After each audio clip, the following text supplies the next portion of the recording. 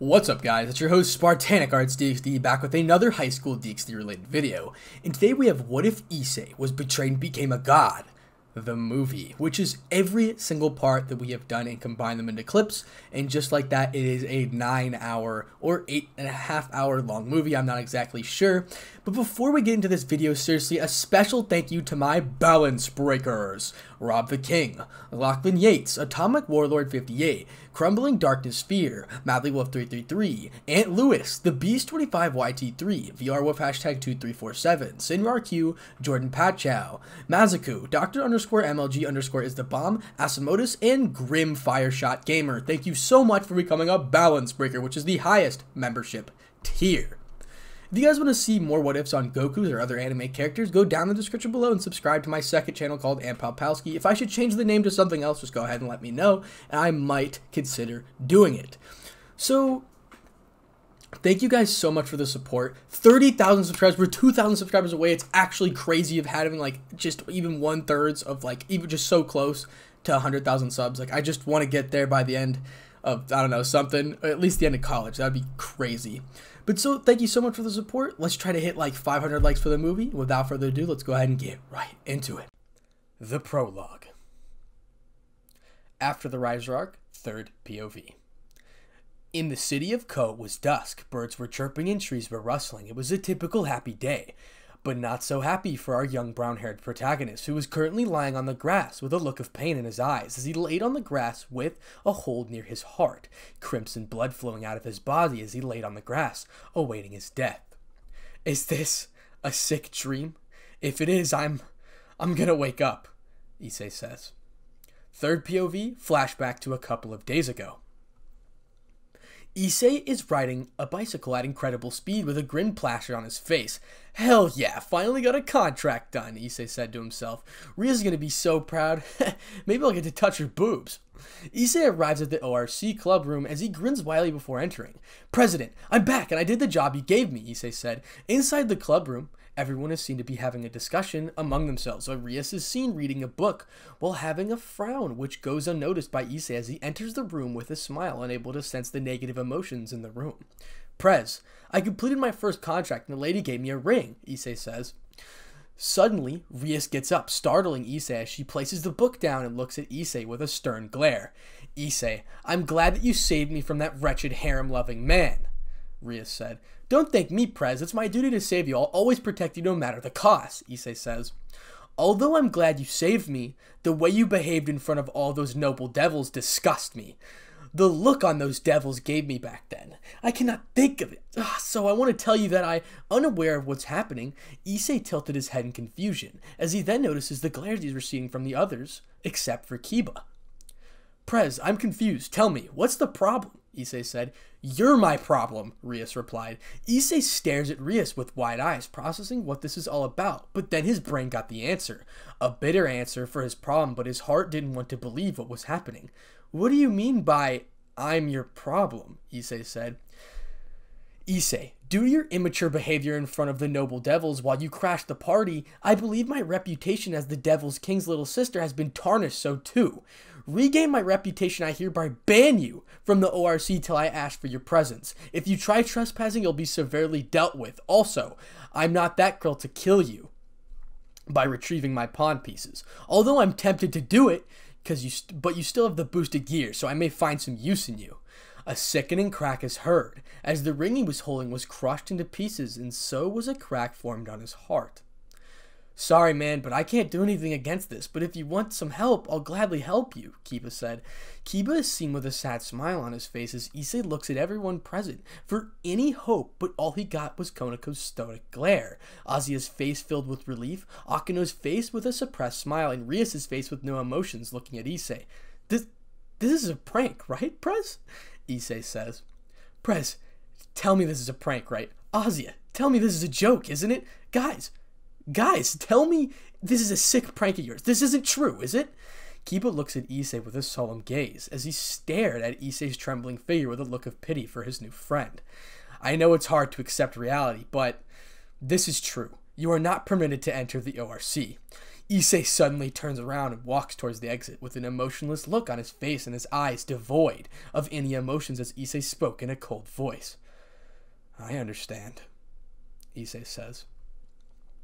Everyone silently flinches that they have never seen him with an emotionless face and a cold voice with no emotions. Issei then exits the room, slamming the door on his way out. The next day, brought to you by Issei, being kicked out of his home by his parents. That's in parentheses. Currently at Kuoh Academy, it's noon, as Issei is seen to be limping towards a cherry tree with numerous bruises and cuts littered all over his body, as he lies down on the shade of a cherry tree, panting heavily.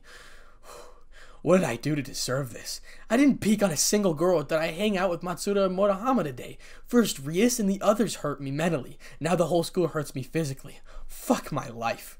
As Issei is seen lying on the shade of a cherry tree, two girls are seen running towards Issei with a wooden katana with the intent to strike Issei. Wait, why am I feeling like I'm being stalked? Issei said. In an instant, a wooden katana is seen to aim to strike his head, but Issei dodges narrowly, but another wooden sword comes into contact with his hands, making him jolting up with his hands holding his hands in pain. This isn't funny. Who's there? Issei said. The answer Issei got was fist to his face and a kick to his knee, struggling to stand, still managed Issei to get a glimpse of the ones who attacked him. It was none other than the Kendo Club. Rotten hell, you filthy, you filthy pervert, girl one said. I come from hell, Issei said. How dare you, filthy pervert who gave permission to talk to us? We don't have conversation with people who sexually harass others, Girl 2 says. I did no such thing, Issei replied. Again, Issei gets a slap to his face as both girls are fuming with anger. Don't lie, pervert. We know that you've been kicked out of the ORC club due to your attempts to sexually harass the two great ladies of the Kuoh, Akeno and Rias, our school mascot Koneko. Everyone knows this, girl one says. I heard that even your parents chased you out of your house and removed your filthy self from your from their esteemed family, girl two replied. You're right. They are no longer my parents by name and I don't consider them my parents anymore, Issei replied. Rias, she ruined my peaceful life, and I shall do the same. Issei then runs away from Kuoh Academy, ignoring the shouts of the Kendo girls. After running away from Kuoh Academy, Issei stops to catch his breath, only to find that he's on the same spot where Raynare killed him. I will not let anyone fool me again. This I swear to Satan himself, and I shall ruin Rias's life in every means possible. I saw her as my master, my love, but to her I'm just a toy to play with. I guess I know why I was betrayed. It's because I'm weak. Yes, I shall become powerful enough to make them tremble. If I'm powerful, I won't be betrayed. Yes! A chuckle is heard across the surroundings as a barrier is erected by someone Issei immediately gets on guard, but the events from before play in his mind, distracting him. Issei, look above you, Ddraig said. Issei looks upward only to be met with a light spear going through his guts, leaving a hole and blood spurts from his body as Issei weakly lands on the ground and looks above to see a fallen angel flying away. Is is this a sick dream? If it is, I'm gonna wake up. That's the end of the flashback. That's the end of the prologue. Chapter 1 Issei's POV if this is a dream that I don't want anything but to wake up. With my last bits of energy, I tried to keep my eyes open. I could already feel my body going numb. If only I had a second chance on life. I wanted to be happy. I wanted a family. But here I am, betrayed by everyone and dying a painful death. No, I won't die here. I want to live. I wish to live. I must live. My life took the wrong turn in an instant. I had planned to live a happy life with Rias, but here I am mumbling my last words to no one.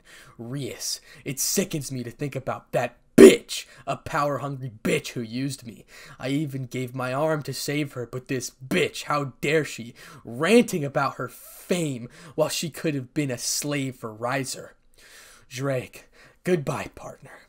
I may have been your worst host, but hey, at least you didn't betray me, Issei replied partner. In my life inside this sacred gear, most of my past hosts just saw me as a tool, but you saw me as my partner. You may be my weakest host, but you're my best host ever, Ddraig said.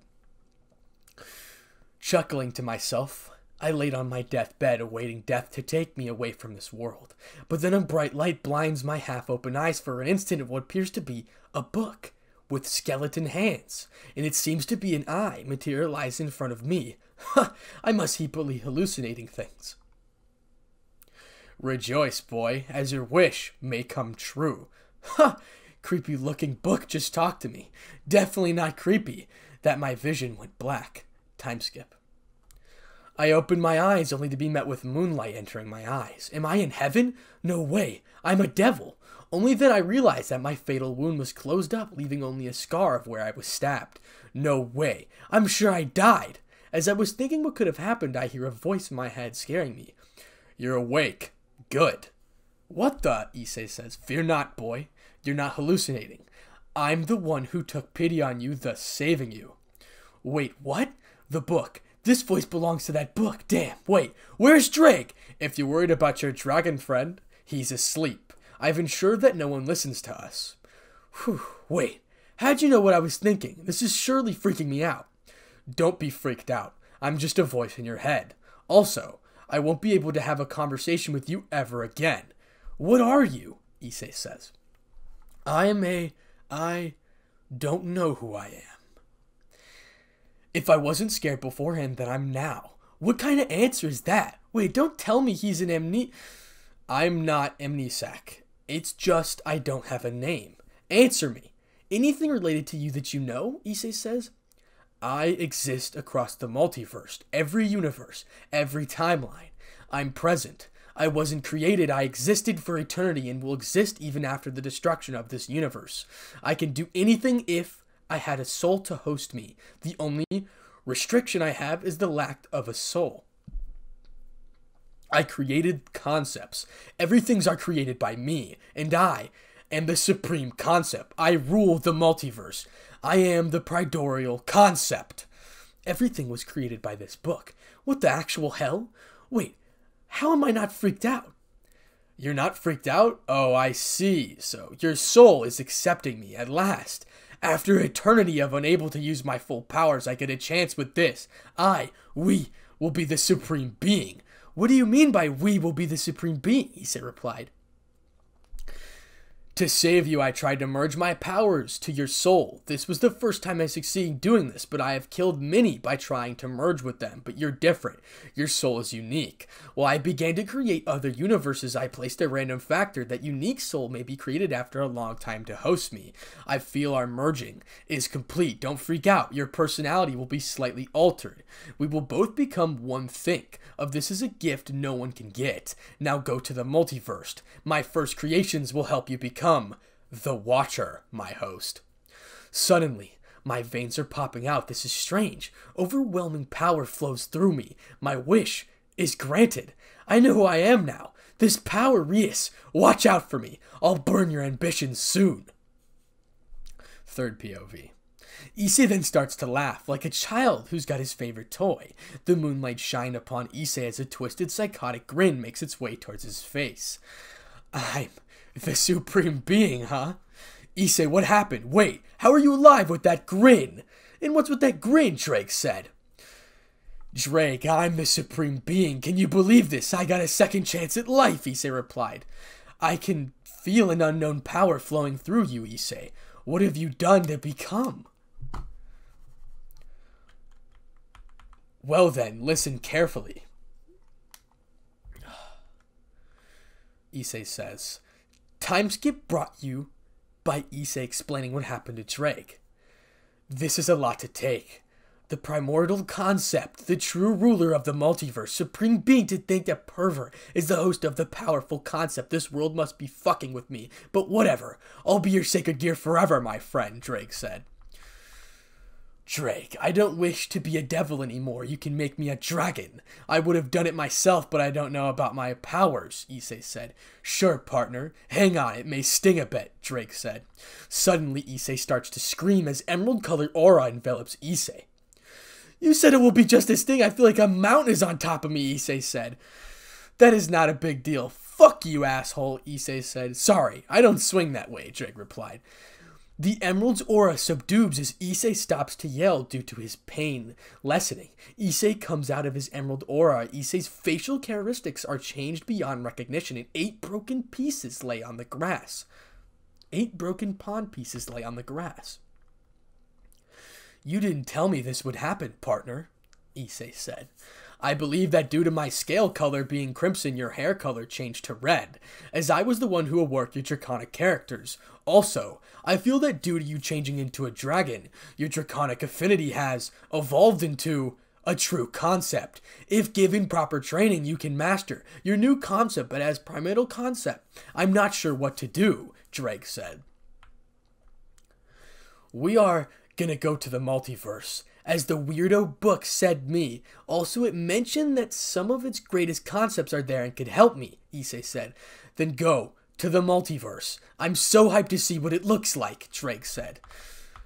Do you think those bitches will search for me? Issei replied. I do. After all, you're the Red Dragon Emperor. I believe that all the factions will search for you, including the Devil faction. After all, having a missing Longinus user doesn't do well with the Devils during this time of extreme tension due to the Great War 4,000 years ago. Beware, gods, I shall return once again with vengeance for all devils and those who oppose me, Issei said. Issei then disappears into thin air. In an unknown forest, a silver haired teen is seen standing on a cliff, mounting looking at the sea below, with no interest on his eyes widely suddenly. His eyes widened suddenly. Impossible! I can't sense the red one! This can't be possible! It's as if he disappeared from the universe itself! Suddenly, the silver haired teen raises his eyebrow as his eyes show curiosity, but then shifts to an emotionless state. Whatever. I lost my rival, huh? Boring. Vali, the red one won't disappear just like that. I've known Ddraig for a long time. If he goes missing, it means he'll come back stronger. The man now introduced as Vali smirks, as blue wings emerge from him and he ceases flying away. Now we're with Rias. Scene break. Rias is seen reading some files retake to Supernatural as she then gets up from her seat with tears startling the others. Rias, what happened? Akeno said. No, no, this can't be happening. I refuse to believe this. Rias then starts trembling as she falls to her knees, having a mental breakdown as the others get concerned and confused. Rias, what's wrong? Koneko said. Issei, I can't feel his pawn pieces, Rias said. The others hearing it stare at Rias with wide eyes, knowing what that meant, except for Asia, who was confused. Akeno, call my brother now, Rias said. Sure, but Rias, Akeno said. Everyone search for Issei, everywhere around Kuoh. Also inform this to Sona, she'll help us search for Issei, Rias says. Issei, you can't be dead, right? Rias says. And that is the end of chapter 1. Chapter 2 Third POV with Rias. Currently, it's midnight as Rias is seen flying with her bat wings, searching for Issei with a concern evident in her eyes. Akeno, have you located Issei? Rias says. Rias, his pawn pieces are not functional. He cannot be alive, Akeno says. No, I refuse to believe he's dead, Rias says. President, I have located Issei's pawn pieces, but they are cracked and emit a strange aura, Kiba says. Please, let this be a sick dream, Rias says. Now, back with Issei. Issei is seen staring at the moon on top of a cliff with an amusement visible in his eyes. The moon is gradient today. I believe that the multiverse itself is welcoming its new ruler. Whatever. Are we paying a visit to the multiverse or not? Drake said. The moon is so pretty, but why do I feel the urge to destroy it? In an instant, a bright silver light covers Issei, and when the light disappears, Issei is nowhere to be found. Issei's POV. A bright silver light covers me as I wish I could feel my body becoming lighter as I am floating. Wait, I am floating as I get far away from Earth and somehow I am breathing. Soon I get accelerated at unknown speeds as my vision becomes blurry. But then I see something. What appears to be a dragon. Picking up a green orb with huge mana reserves, but I have much more mana, and a girl with blonde hair gazing into my dragon eyes. That dragon. It's similar to Fafnir. I think this is dimensional, Ddraig says. Crack. I have heard about this place from Great Red once. He said that this is a crack that separates the parallel universes from the others. He stated that E that even he has only once been in this place when he first manifested. Ddraig says, Oh, okay, Issei replied. And then I got pulled incredibly fast to what seems to be a wormhole. This is magnificent and then a bright bluish light behind me for a second as I get pulled inside the wormhole with even greater speed, but I can't feel any dizziness. I'm actually enjoying this, but Ddraig, Oh my god, too much, too much speed, slow down. I am taphobic. Ah, Ddraig said. the great Welsh dragon, a fate of speed, as I was chuckling to myself, I slowed down as I met with an incredible sight. Oh wow, this is insane. There are no way to describe what I'm looking at. Multiple universes, infinite. Parallel universes, infinite timelines. Oh wow. And at the center, a planet resides. I guess it's the multiverse, Issei says. What the? Incredibly awesome. Infinite space, infinite timelines, infinite universes. Wow. I feel like I'm an ape on steroids, Ddraig says. Really, Ddraig has a twisted sense of humor, but the primordial concept says that its finest creations will be here and will help me get stronger. So we're all so where are they with? And I move forwards to the center of the multiverse, but I can't reach it. I'm pretty sure I'm moving at incredible speed, but why can't I reach it? Is it that far? Even I heard a deep voice behind me. Hmm, so it finally got a host, but this brat also has another concept in him. Definitely interesting. Where the hell are you? Are you one of the so called finest creations? Look behind you. I look behind me only to see a horrid looking thing. I feel like I'm about to pass out, Issei says. This thing has a fucking scythe, which screams death. In this thing, it looks like it's made out of nothing but bones, and not to mention a black cape that has black best color I've ever seen. Afraid of me? I can't blame you. You're looking at the thing that all fear, except you, that is. What are you? Issei says. The creepy skeleton tilts its head towards me as it starts to grin before answering. I am death, one of its first creations. Impossible. You can't be death. Hades is the concept of death, Ddraig said.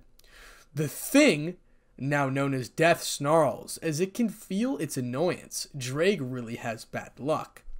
Don't you dare compare me to those false idols, Welsh lizard, Death said. What do you mean by false idols? Issei said.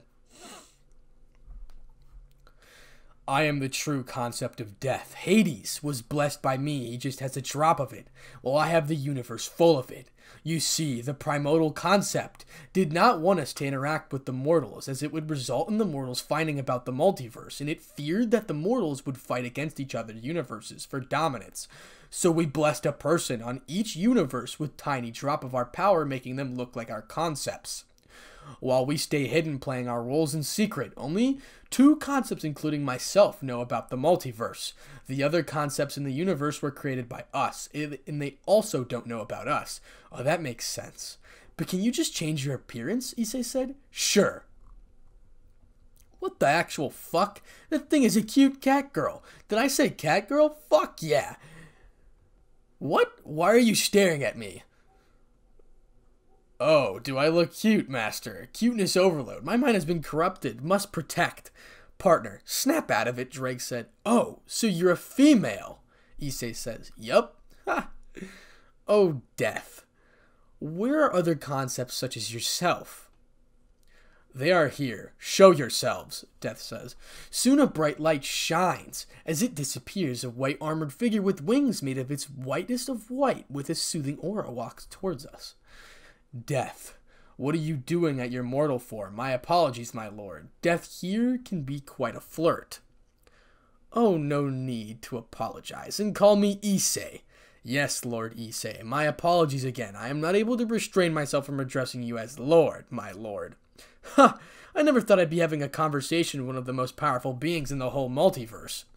Anyway, tell me your name, Issei said. Life, my lord. Well then, death and life, please help me become stronger. Issei said. Sure, I'm quite talented in what mortals call magic, and your second concept, I feel it's related to Mia. Ah, your secondary concept is destruction. What a fine specimen. Mind if I do a little experiment? I can definitely her tone become a bit sturdier at the end. This is an interesting situation, Issei says to himself. Death. I said, don't disturb our lord with such behavior of yours, Life said. Don't worry, Mommy will help you, Death said. Mommy, what the hell? I feel like I'm about to die due to embarrassment, Issei says. My lord, can I change into my mortal appearance? Life says. Sure, go ahead. As I look at life with curiosity, life gets covered in a bright light, and soon, what the hell? Another cat girl as beautiful as death. Ha! I'm in heaven! My lord, do you like how the way I look? You're cute too, life. Well then, let's train in the hyperbolic time chamber, Death says. What do you mean? Issei replied. My lord, it's an alternate dimension where the flow of time is different. Three years inside is three months at your DxD universe. And I'll train you on swordsmanship and physical attributes, Life says. Okay, who will train me to the primal concept's powers? Issei said. As I said, that both of us will strengthen as they gain a serious look. About that. You can access some of its powers, such as creating things, Death said. Without a soul, without mana, any non living thing except weapons with mana construct, granting partial immortality. The one who you the one who bless cannot age and will forever live for eternity, but he can be killed also, immortality for yourself. What? The Supreme Concept said it can do anything, Issei said. My lord, you have the power to manipulate reality itself to do what you wish without any restraints. All laws of nature can be overridden by you. That literally you could do anything, but at your current state, if you use the powers of it to its fullest, we believe your soul won't be able to handle the burden of the powers and will get destroyed. If that happens, you'll be gone forever. Forever. But as a, fa- a failsafe, it will be reformed within a couple of eons, and we will wait for it knows what time another perfect soul. But if you succeed, you'll become supreme being forever. So I advise you that not to use your full powers, not maybe a trillion years later.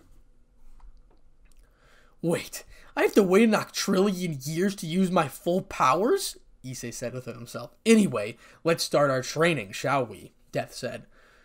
Yeah, let's start, Issei said. I feel bad for our lord. Death's gonna have a good time breaking, my lord. Life said. What's that supposed to mean? I mean, about my future already, Issei says to himself. Always remember, the first rule of Death's training, do not talk about Death's training, Death says. Eh? Third POV, a minute later. Issei is seen running away with tears sweating, screaming like a terrified prey. Holy shit, save me. You're gonna know what mommy's wrath looks like. First rule of Death's training, do not talk about Death's training, Ddraig repeats to himself. Ddraig is seen crying inside as Death also trains him. With Rias, now we're back with Rias, so scene break. Rias is seen having a mental breakdown with Issei's broken pawn pieces, sobbing. I'm so sorry, Rias says to herself. And that is the end of Chapter 2. Chapter 3 Issei's POV, one year later in the hyperbolic time chamber. Hell. I saw hell. Death's teaching me is hellish. How am I even alive? She is a real slave driver, but on the brighter side, I have managed to master the elemental magic types. In life, she's been very, very good with a sword. In this past one year, I have never been able to land more than five strikes at life with a sword. My life sucks. First rule of Death's training do not talk about Death's training, Ddraig said. I'm honestly worried for Ddraig. For the past one year, he's only been saying that with a break, crying like a crybaby, poor bastard. Death tells me that he did something very, very bad another year later in the hyperbolic time chamber. Somehow, the hell got a lot easier. Death is still a slave driver, but the training got a bit easier. I've mastered my sacred gear. The Juggernaut drive was really hard to master, but I did. In life's training is still the same I have mastered. The way to use a longsword and a katana. Also, I've unlocked my second concept, destruction. I've accidentally destroyed an entire universe by mistake. My concept for destruction is crazy strong. Also, Ddraig. He's still the same, still crying and muttering the same words. Poor bastard didn't deserve this. Also, I have developed a sincerely bond with both of my mentors. Issei said. State the first rule of Death's training, Death said. First rule of Death's training. Do not talk about Death's training. Issei repeated. The third year at the hyperbolic time chamber, now inside of Issei's head, is talking to himself again. I have mastered my secondary concept, destruction, finally, and I have mastered every type of sword. And with the help of death, I've mastered my dragon form. It's frickin' awesome. I managed to create some new forms for my sacred gear, and I have an idea. And with the help of death and life, I've managed to create techniques similar to full powers of the Primordial's concept bit a lot weaker, a field of which overrides the world at the fundamental level. Laws of nature are defied by my field, In short, my words are a lot there. I'm able to transport my enemies there. I've named it a reality marble. But it drains a lot of mana from me, and I'm able to use it for a day at best. The next day, finally, I have escaped the hell. Ddraig is really happy that he literally cried tears of joy. Anyway, I noticed death arriving along with life in their human form. Yo, how are you? Mommy misses you screaming, Death said. Did you forget what we just talked about? Death, Life said. I haven't. Issei, are you visiting the DxD universe as you Trang has completed? Death said. I am, Issei said. Oh. Then let us give you a godly lift, my lord. No, Issei, Life said. Just said my name. After all these years addressing me as Lord. Fi- fucking finally. Issei said in his head. Here's my gift, Death says. As Death said that, a black mist forms over her hand and a cool looking dagger with a fearsome aura appears. This is Azoth sword, my finest dagger. I've created it for you, Death said. Created using the best metal in EXE universe. One of the strongest metal in the entire multiverse, embodied with my aura, its power enough to kill what mortals call their low tier heaven class beings, can fatally injure mid tier heavenly class beings. Wow, just wow. I never thought I'd get a dagger from Death herself. This will definitely be a good weapon, Issei says. Now, behold one of my greatest creations, Life replied. A bright golden light enveloped the area, and beautiful multicolored daggers emerges. This is the rule breaker. This dagger can sever a pact with any familiar beings, and this dagger can also sever a being from its life force, but won't work on the concepts, Life said. Both life and death smile mischievously as I know that I have met my end. Let us address you as brother, Life said. Yes. If you don't, we'll take something precious as your first kiss, Death replied. Oh, about that. I don't mind. But hey, they can tell out, can I? Issei said.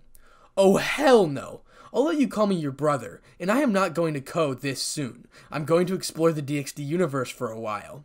I'll be back in a month, in the multiverse, in a year in the DxD universe. Bye, brother, Death said. See you later, Issei, my lord. Third POV, one month later in the multiverse.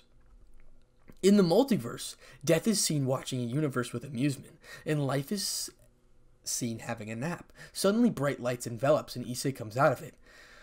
I'm back, my dear sisters, Issei said. No, no, please, Issei, my partner, I'll give you anything. Please, let's go back, Ddraig said. Both Life and Death in an instant hugs Issei, crushing his ribs, breaks a few bones. My lord, I've missed you, Life said. Yes, Mommy misses you, Death replies. You broke my bones. I'm about to die, Issei said. Both life and death loosens the hug, noticing Issei's difficulty in breathing. Ugh, I forgot to mention this. I have a girlfriend I'd like you to introduce you to, you guys. Issei nervously snaps his fingers as a portal opens from it a beautiful girl with blonde hair, ocean blue eyes, brimming with radiance, having a body men would die to get, and a cute smile plastered on her face, wearing a red-colored royal mantle exists in the portal. Greetings. I am Mordred Pentadragon, the only true heir to the Camelot, Knight of Treachery. Nice to meet you.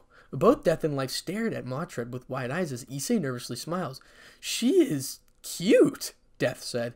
Death hugs Mordred with a bone-crushing, but somehow Mordred is able to withdraw the mighty hug. You must be Death. Issei said you're the most violent slave rider he had ever met and the most prideful one of his two sisters. Issei is seen sweating profusely as Mordred stares at Issei with a smirk. Issei, Mommy's gonna hurt you really bad, Death said. Oh shit. I think we should just change the conversation, Mordred replied. Yes, we should. By the way, I'm Life, one of my lord's sisters, my lady, Life says. Both Issei and Mordred sweat drop at Life's antics as Death face palms. So tell me, have you done it yet? Death says. Issei blushes furiously as Mordred, with a light brush, answers the question. no, we haven't, Mordred replied. My lady. Can you tell us why you two met each other? How you two met each other? Sure, Mordred replied. Flashback three months ago after Issei left the DxD universe near a yokai village at the Shinto realm. Issei is seen flying with his dragon wings, which are emerald green in color towards a mountain. Issei, The few yokais I met before said the evil spirit would be here. Issei lands on a forest, focuses to find the spirit's aura. Suddenly, a huge fire blast hits Issei, but Issei, with an emotionless smile, looks at the spirit which tried to hurt him. It had an eye missing and a blue skin with no hair, and bloodstains on its teeth. Damn, you're one ugly looking motherfucker, Issei said. No, I'm beautiful, bastard, the spirit replied. I'll just kill you, Issei said. Issei then proceeds to tear the spirit's head off with his bare hands as blood gushes out of a fountain. Good riddance, Issei said. But the Issei in an instant ducks down and a fist barely misses his head. Who's there? I didn't do anything, Issei replied.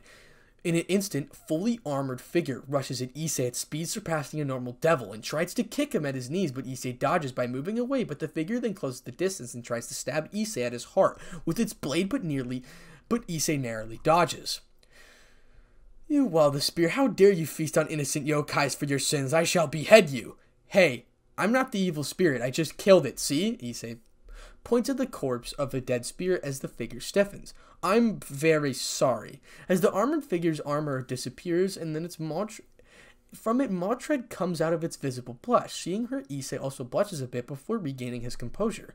I'm Mordred, Mordred Pentadragon. I'm sure you've heard the tales about me. I did, but I thought you were killed by your father, King Arthur. And you're a girl? Issei said. Suddenly, a soreness seen inches away from his neck. Call me a girl again and you're dead. Got it? Mordred said. There's no need to be ashamed to be called a girl, especially a girl as cute as yourself, Issei said. Cute? You pervert, Mordred replied. I'm not a pervert. I was the I was the one that doesn't matter. I'm leaving. As Issei gets ready to fly away, Mordred pulls him back towards her. Hey, how did you kill that yokai? Yokai, Mordred said. I ripped its head off with my bare hands, Issei replied. Mordred stares at Issei with a shock as Issei's sweat drops. You're staring at me, Issei replied. Oh, sorry, Mordred replied. Mordred with a blush looks away at Issei sighs. Anyway, where do you live? Issei replied. After hearing Issei's question, Mordred gets saddened as Issei notices this with visible concern on his face. I don't have a home. I'm a traveler, traveling across but the human realm in the other dimensions. I had a home, but I destroyed it, Mordred said. Mordred whispers the last part, and Issei to her as his hand senses hears it with a saddened look. I'm also a traveler. If you wish, we could travel together, Issei said. Mordred blushes but composes herself and turns her face away from Issei. And if I don't wish to? Mordred replies. I'm an expert swordsman. Maybe we could help each other train, Issei said. Hearing this, Mordred's blush increases as she composes herself with a cute smile and demands Issei. Promise me that you'll spar with me, Mordred said. Sure. Where are your clothes? Issei asked. In my pocket dimension, Mordred said. Mordred smirks as Issei looks at Mordred with astonishment.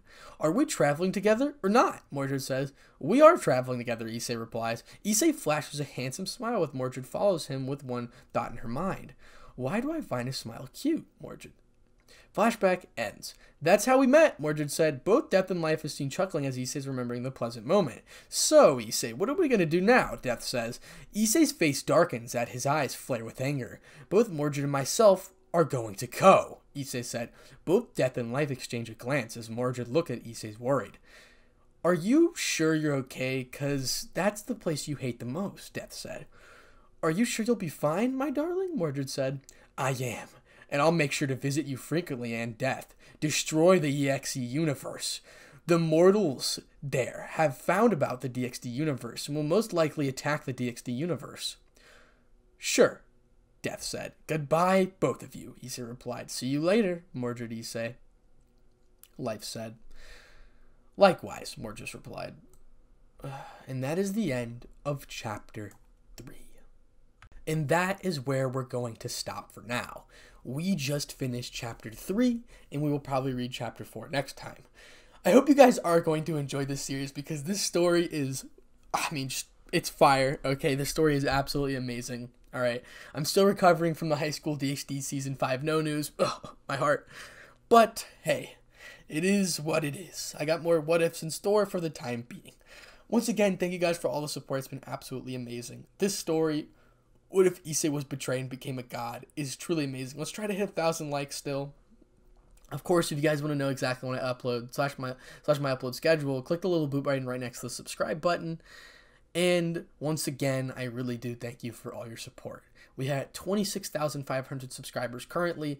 Like, thank you so much. It's been absolutely amazing. We're getting hundreds and hundreds of subs like almost every week. It's kind of cool to see the likes and the views and the subs just go up all the time. Like I really do appreciate it. I'm glad to know that so many people enjoy hearing my voice narrate instead of a robot's because I do agree that is quite annoying sometimes.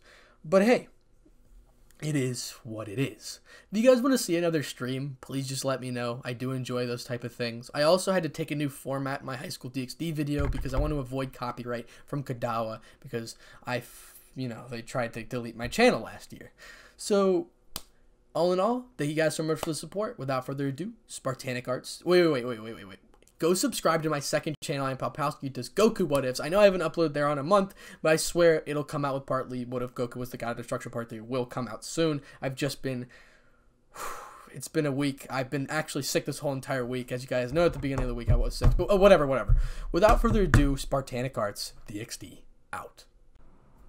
Chapter 4 Third POV at a palace above the sky. Angels are seen guarding the castle, which radiates a calm aura, but the look on the angels' faces say otherwise, one filled with sadness and anger. Suddenly, a bright light invades the area, and from it, four angels with a divine presence but a saddened expression walk into the castle. Angel 1. Are there any survivors? I'm afraid only one. To think that he made an attack on us, Angel 3 replied. It's not an attack, but a massacre, Angel 2 said.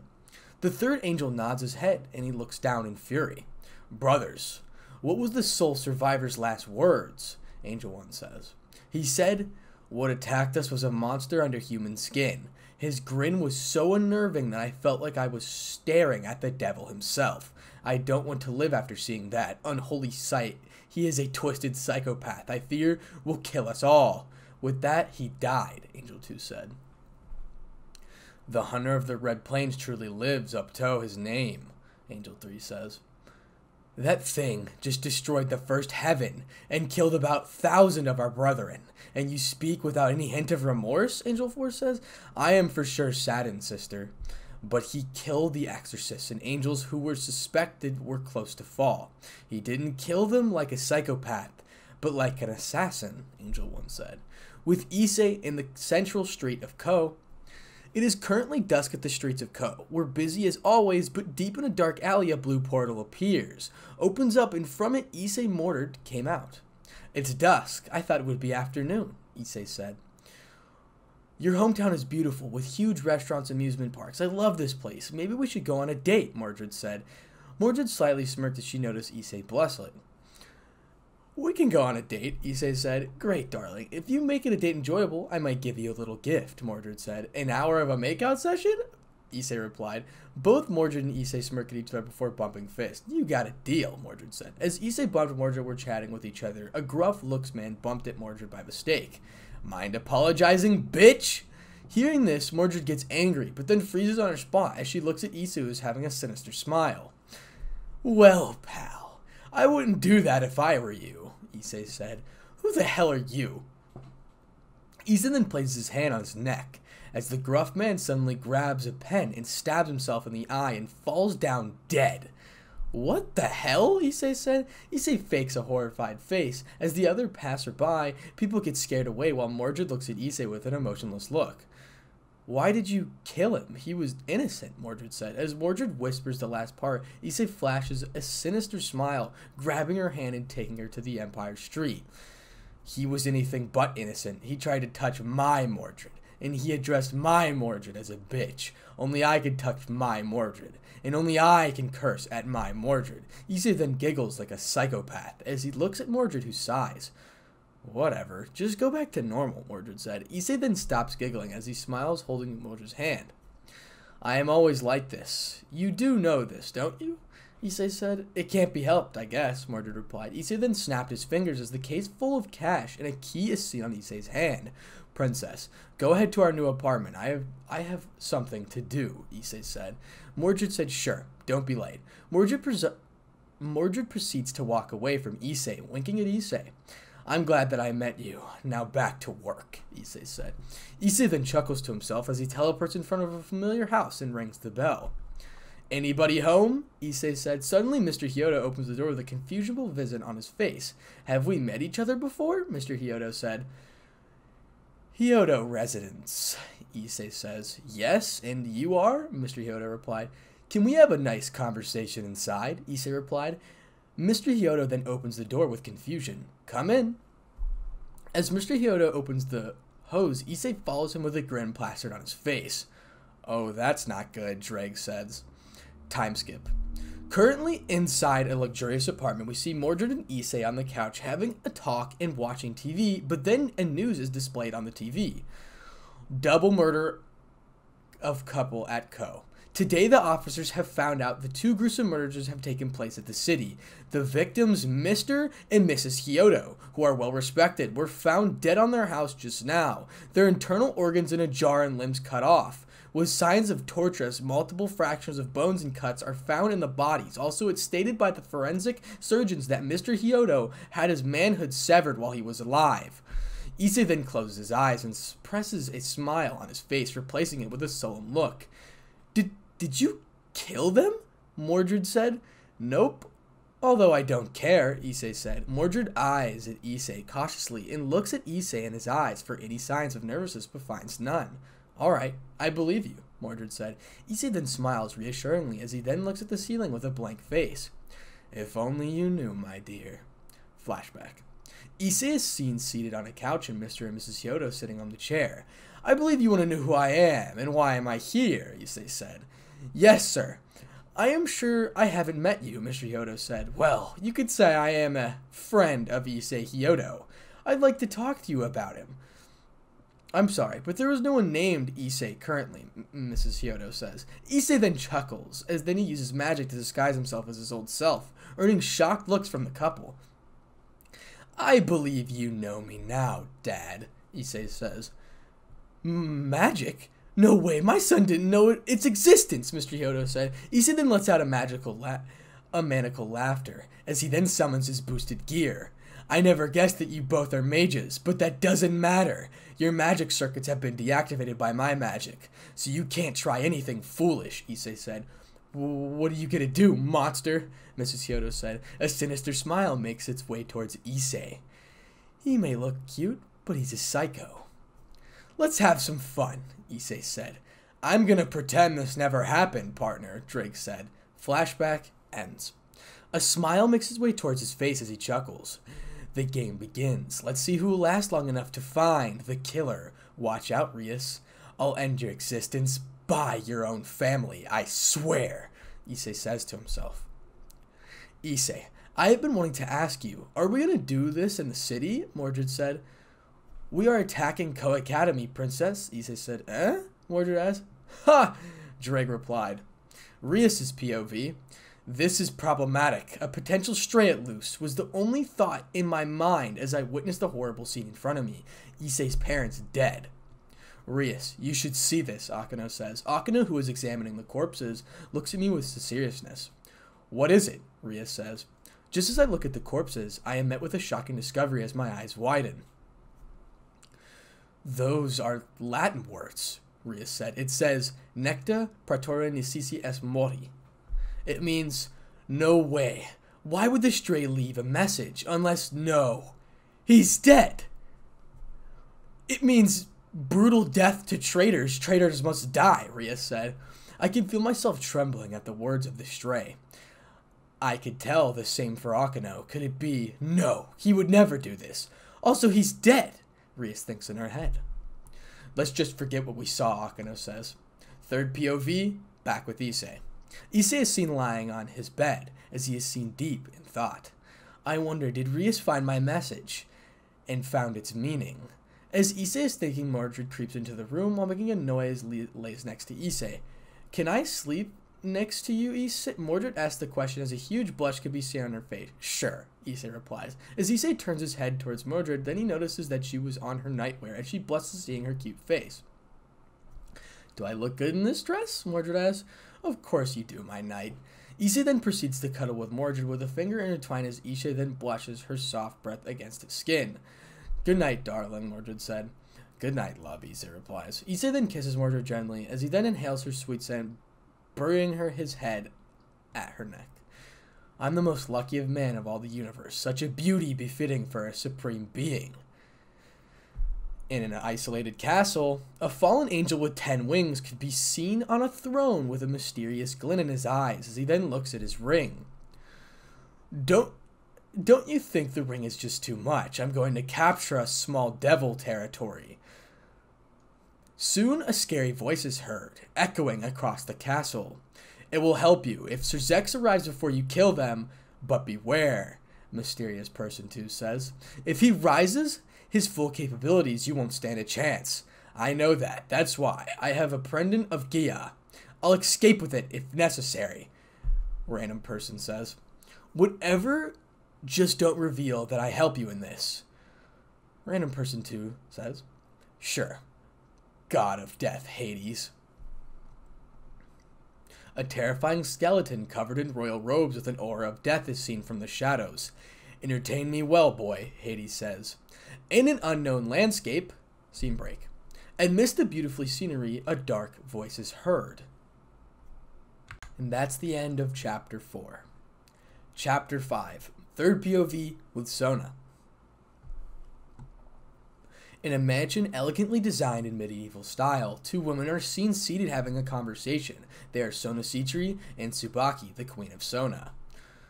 The murder of those Hyodos is a particular case. I strongly believe that the killer is not a stray, as a stray never leaves their victims' bodies, Sona says. Do you imply that a normal human could have killed them? Tsubaki replies. Sona looks at Tsubaki with amusement visible in her eyes. There is a possibility, but no normal human would leave a message in Latin, even if it is a serial killer. The words in their body says otherwise, Sona says.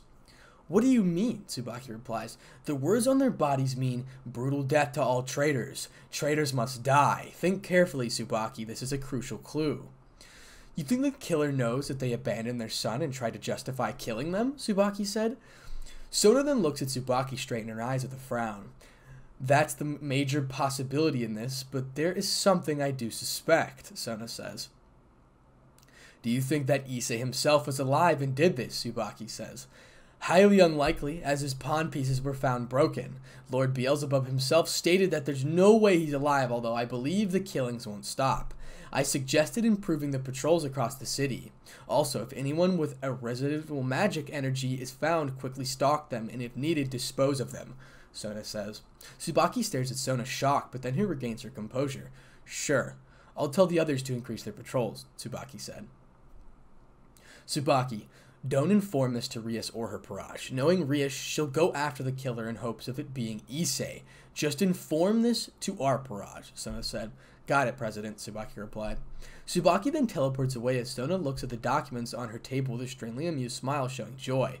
Whomever you are, I appreciate you as you got me thinking for so long. I know that you're intelligent. Let's see who wins this game of chess, unknown killer. The next day, back with Issei. Issei is seen running across the street in his uniform with Mordred following him. I'm gonna be late, Issei said. No, we won't, Mordred replied. Issei and Mordred reached the school campus only to be met with a with a frowning Sona and Static Tsubaki. I guess you both are the new students, Sona says. We are, Issei replied. Good. Following me, I'll take you to your class. Also, refrain yourselves from being late, Sona said. Sure, ma'am, Issei replied. Issei salutes with a fake smile as Mordred chuckles, but Sona rolls her eyes. This way, Sona says. Sona guides them to the classroom, which is 3C. This is your allotted classroom, and if you need any help, feel free to contact me. By the way, I'm Sona Sitri, Sona says. Both Sona and Tsubaki take their leave, as Mordred whispers softly to Issei. They're devils, Mordred said. I know, Issei replies. Issei and Mordred get inside the classroom to find the middle-aged woman and many students eyeing Mordred. Also, Rias and Akeno are seen to be in the same class. Everyone, we are receiving two new transfer students. Please welcome them. The teacher says, Yo, I'm Issei, Issei Kotomine. I'm from Tokyo, and before you ask, I'm not related to Issei Hyodo, the missing students. Glad to meet you, Issei says. I'm sure that you're all shocked at Issei's last name. Just as Issei said his name, whispers are heard around the class, but Rias and Akeno look at Issei with a look of disbelief and disappointment. Well, Mr. Kotomine, You can sit anywhere near Miss Gremory, the teacher says. Rias raises her hands to show Issei where she is, and Issei then takes a seat next to her. I'm Mordred. I'm an orphan, Mordred says. Please take care of me. Every boy in the class yell praises, but none notices the dangerous glint in Issei's eyes except Mordred. Well, Miss Mordred, you can have a seat next to Miss Akeno, the teacher says. Mordred then sits near Akeno and flashes a smile hidden with malice. Time skip to the end of the school. Mordred and Issei are seen leaving the school campus. Mordred is seen to be in a bad mood. Hey, you look like you could destroy this city, Issei said. Stupid school. I aren't even a damn teen. I've seen hundred years old. I'm 700 years old, Mordred said. It's quite funny seeing you, of all people, ranting about this school, Ddraig said. Ddraig's got a point. You're the knight of treachery, and yet you act like a child, Issei said. What's that supposed to mean? Mordred replied. Issei then looks at Mordred, who is seen pouting, which he finds cute. You look so cute, I want to pat you, Issei said. I hate you, Mordred replied. No, you love me, Issei said. Issei then looks around at Mordred with a killer smile, causing Mordred to sigh. Whatever, Mordred said. If you remember, we need to tend to something important, Issei, Ddraig said. Ah, yes. I do have an important job to be done, Issei says. You better come back before soon. We still want to beat the Kokabiel's ass, Mordred said. Sure. See you later, princess, Issei said. Mordred then teleports away while Issei then enables suppress a sadistic smile while whispers something. Presence concealment. Just as these words escape Issei's lips, his clothing changes to that of thin silver armor with a red cape and bandage across his face, except his eye conceal his identity. Time to hunt the vampire devil. Issei then moves back onto the shadows before appearing, disappearing from the street. Time skip. Near the ORC building, Issei is seen stepping out of the tree shadow, with his golden orb shining like a wicked force amidst the night. Time to kill some brats, Issei said. Issei then enters the ORC to find a hidden door protected with Rias's magical field. Boring, Issei says. Issei then proceeds to skillfully dodge the bounded field with ease. Gremory is really pathetic. At the bounded field deployment, this is a mediocre at best, Issei says. Issei then enters the room, only to find a coffin, making Issei sweat drop. Did Rias make a coffin the vampire's hideout? Issei said, A loud yell is heard from the coffin as a blond, cross dressing boy with blood red eyes jump out of the coffin scared. Who are you, mister? The vampire then stutters, intimidated by Issei's dressing. Gasper Vladi, I presume, Issei says. Yes, Gasper replies. Issei then proceeds to throw a knife at Gasper's head, killing him instantly. You deserve to die a peaceful death, Issei says. Issei, this isn't like you, killing innocents. You are a good man, he says, so why? Tell me why kill him, Ddraig said. He was innocent, but he already suffered a lot. I just saved him from his pain. Also, he's a part of Rias's prize, so I'll use this to strike fear into their hearts, Issei said. Just don't let Mordred find out about this. Answer me. Do you love Mordred with your heart? Ddraig said. Yes, I do, Issei replied. Time skip. Issei is seen entering his house with normal clothes. I'm home, Issei said. Suddenly, Mordred appears out of nowhere and hugs Issei. You're late, Mordred said. Yeah, I'm sorry, Issei says. Issei is seen scratching his head with a sheepish grin while Mordred looks at him with a glare. Go get freshened up. We are eliminating Kokabiel, Mordred said. I'm sleepy. That can wait. Don't you get it? We are killing Kokabiel, and that's final, Mordred said. Mordred then stomps Issei's feet, but Issei seems to be unfazed. Jeez, women are scary, Issei says. Issei then gets freshened up and lies on the couch to take a nap. Issei's POV, inside of Issei's dream. Hell, I saw here hell. Screams of agony and stench of blood fills land as the land littered with corpses. Even my standards, this is cruel. This is really scary. I see a man stabbing a man with his sword above all the hill of corpses. I am able to hear human whisper, but I can't make it out what it says to me. And then the voice, the text just blinks. Suddenly everything becomes blurry and my vision fades away. Third POV. Issei then wakes up, covered in sweat with a frightened face. Holy shit, that was crazy, Issei thought in his head. Time skip. As Issei's backyard, at Issei's backyard, Issei is seen casting an advanced bounded field, while Mordred is seen stargazing at the sky. The stars are beautiful today. You should take a look, East Mordred stops. It truly is. But look at the stars when something surpasses it is near me. Issei then winks at Mordred, causing her to blush. But I am just a failed knight, a failed king, an existence that shouldn't have existed. Even my father abandoned me at the end, Mordred replied. Mordred lets out a bitter chuckle as lone tear escapes her eye. I think of you as a knight who'll do anything for the innocent people, a kind-hearted soul striving to lift his sword Caliburn. In my light, you saved me from my darkness, and countless times you've managed to make me smile. So Mordred Pentadragon, thank you for everything, Issei says. Issei proceeds to wipe her tears away, then blushes, noticing her glorify under the moonlight. Entrance, Issei then kisses Mordred gently for a second. I, Mordred says, what? Love you, Mordred says. As soon as those words escaped from her lips, Issei's heart skipped a beat as the unknown flashes of a toothy grin with one thought in his mind must protect. Unknowingly, both of them entranced by each other, closer to another in centimeters apart from from each other's millimeters just as they both were about to kiss.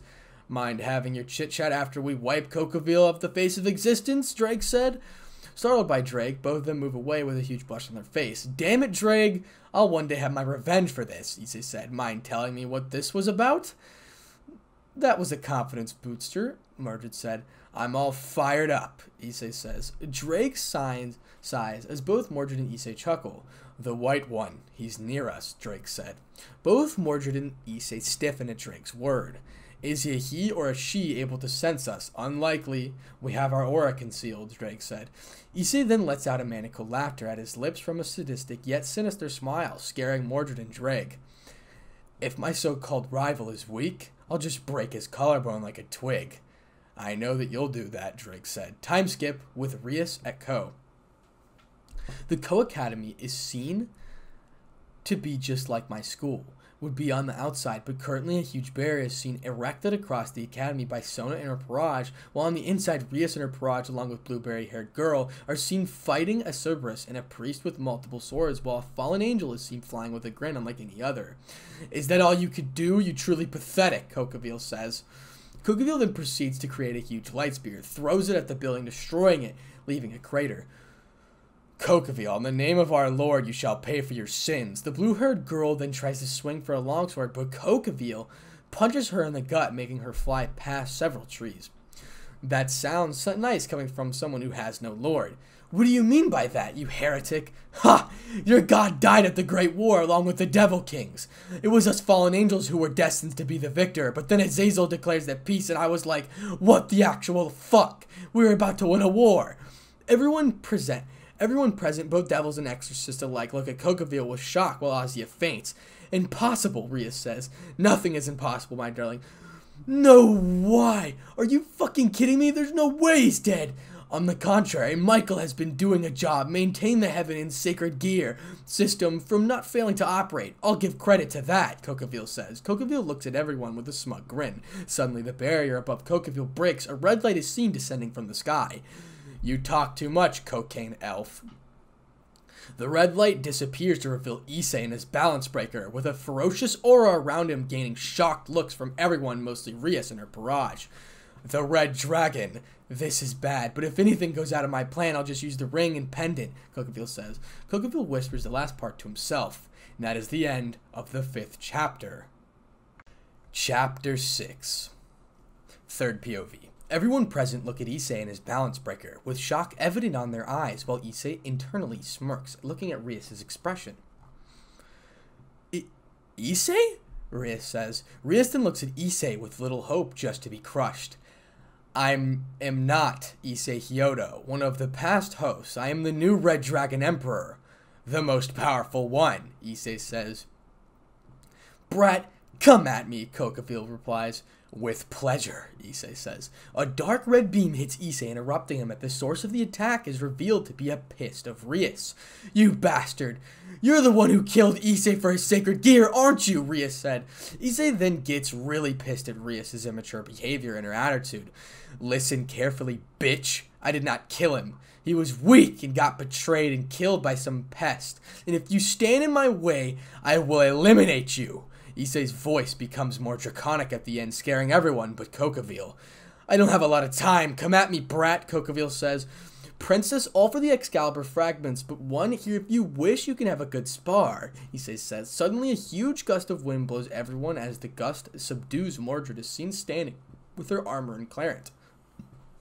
Hey, shitty priest, show me what you've got, Mordred says. Freed then grins at Mordred, and soon the grin erupts into a maniacal laughter. Huh, oh, glad you kill you and chop you up into little pieces, Freed says. Freed then in an instant closes distance using Excalibur rapidly and delivers a Horizon Slash only to be blocked by Clarent, and Mordred continues with a kick to his abdomen, making him stumble. You're a fake, Mordred said. Freed then uses Excalibur, then Nightmare to create dozens of illusions trying to stab Mordred in her chest from different directions only to be stabbed in her guts. Illusions cannot trick me, you fool. I can sense your presence. I am talking to you down. My bad. I'm taking you down, Freed says. Freed then tries to decapitate her head with Excalibur Rapid, only to get his left arm severed clean. Ah, you motherfucking bitch! Freed says. Mordred then proceeds to decapitate him, and killing him instantly while everyone who proceeds to witness his brutality were shocked, especially Kiba and the blue-haired girl. That was interesting, Issei said. Indeed, Kokabiel replied. Mordred then picks up Excalibur fragments and hands them to the blue-haired girl. Tell the church to keep these fragments safe. I have no interest in a broken sword. Mordred then proceeds to lean on the tree, looking at Issei while others stare at her. What? I want to see how the red dragon kicks the elf's ass. Mordred said. Sure, let's get started. Issei then snaps his fingers, forcing te teleporting Kokabiel Mordred himself away. What, where are they? Kiba said. With Issei. Issei then... Issei and Kokabiel are still in the snowy valley, the moon shining bright crimson in color. Not bad, trapping me on a broken dimension. However, the Earthbreaker spell of mine will destroy Kuoh. My girlfriend took care of that, Issei said. I did, Mordred replied. Mordred is seen leaning on a tree without her armor, exposing her to the rays of moonlight. Divine retribution, Kokabiel says. Then the sky splits open and huge golden beam of holy energy hits Issei, but he is seemed unfazed by the attack. Boost! Times 10, Ddraig says. Issei then closes the distance with Kokabiel in an instant, and proceeds to kick him in his face, but Kokabiel manages to dodge it, and then creates a sword out of light, tries to slash Issei, but breaks upon impact with his arms her. Crimson Firestorm, Issei says. A huge firestorm engulfs Kokabiel as he lets out a huge scream due to the immense power of the attack. Boost, Ddraig says, times five. Issei then brutally kicks Kokabiel in his guts, giving him no chance to recover, then pummels him to the ground. I won't lose to you, Kokabiel says. Kokabiel then summons a chain scythe. He then swings it at Issei, but the scythe catches its chain and pulls Kokabiel towards him, and Kokabiel is then met with a sucker punch to the face. Kokabiel then falls to the ground with a broken teeth and bruised eye. Devil's Ring, help me, Kokabiel. Suddenly, an enormous amount of mana floods Kokabiel as the ring in Kokabiel's finger breaks, startling Issei and Mordred. The hell? Issei says. Issei turns around only to be met with a fist to his abdomen, cracking his balance breaker. What? Issei then looks above and gets stunned for a moment by a few appearance of Kokabiel, a silver armor with torn red cape radiating both demonic and holy energy. You nearly killed me. I've never felt this sensation since the Great War. Red Dragon, I acknowledge you as a worthy opposition, so I shall push past my limits. Satan Angel Drive. An enormous amount of aura is released, then Kokabiel making the dimension itself shake while Issei looks up at him, surprised and astonishment. He is on par with a mid-Satan class beings with his armor. Let's have an honorable fight to the death, Kokabiel said. A sword then materializes on Kokabiel's hand, radiating huge amounts of divine aura. O sword of purification, let thy enemies crumble under the shine upon the heavens, and bestow death to thy enemies, for all shall be purified. Hectolate. The forgotten holy sword. How do you have it? Issei said.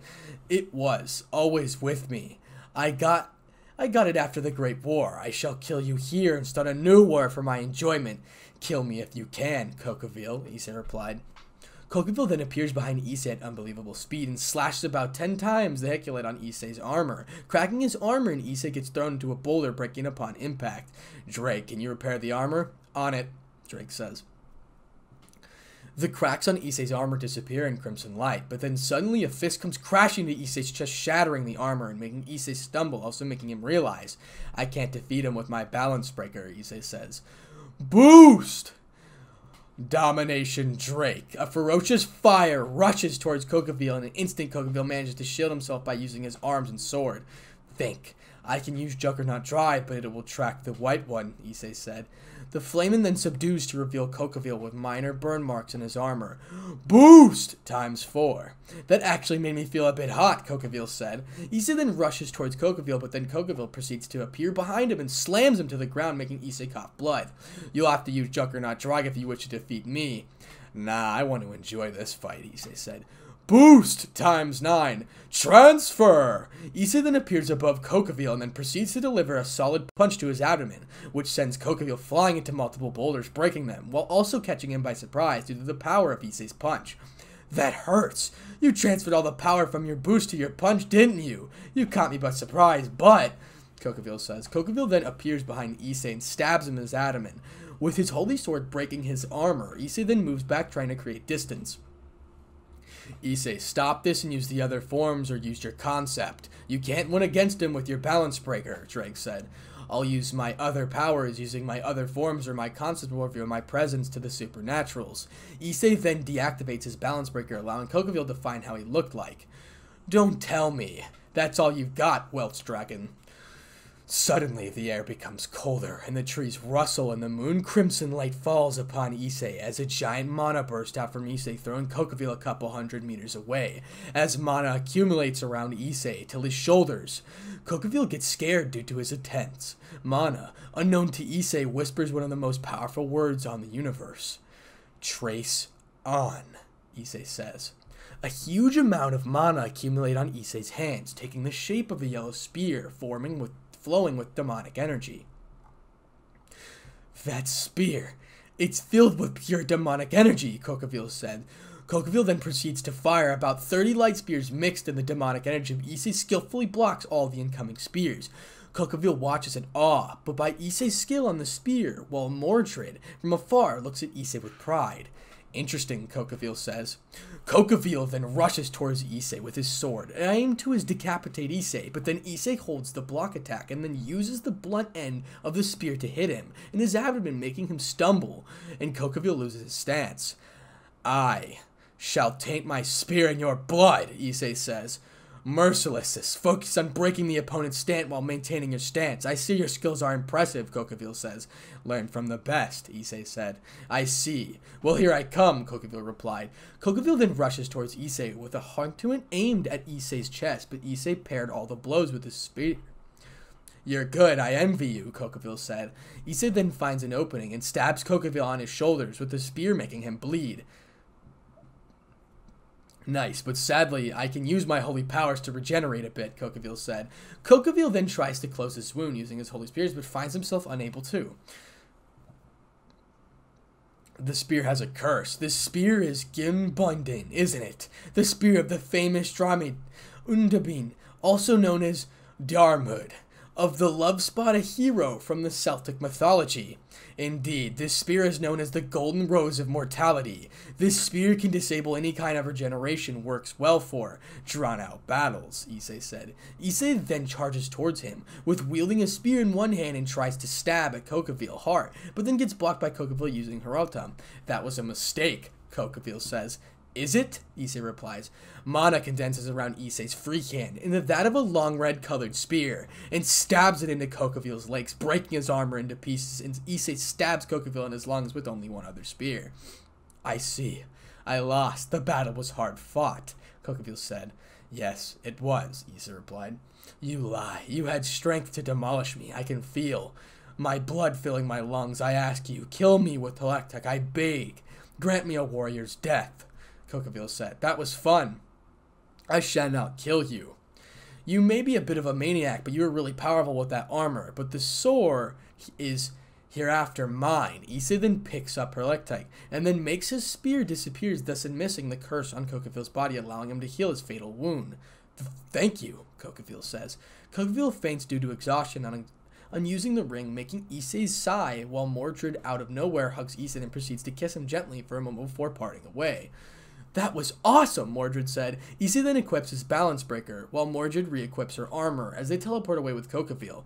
Back with Rias, Currently, Kuoh, Rias, and her peerage are seen with looks of shock and confusion, rage and exhaustion, while Sona and her peerage are seen maintaining the barrier, unaware to what's happening inside. It's been an hour since that bastard took Kokabiel.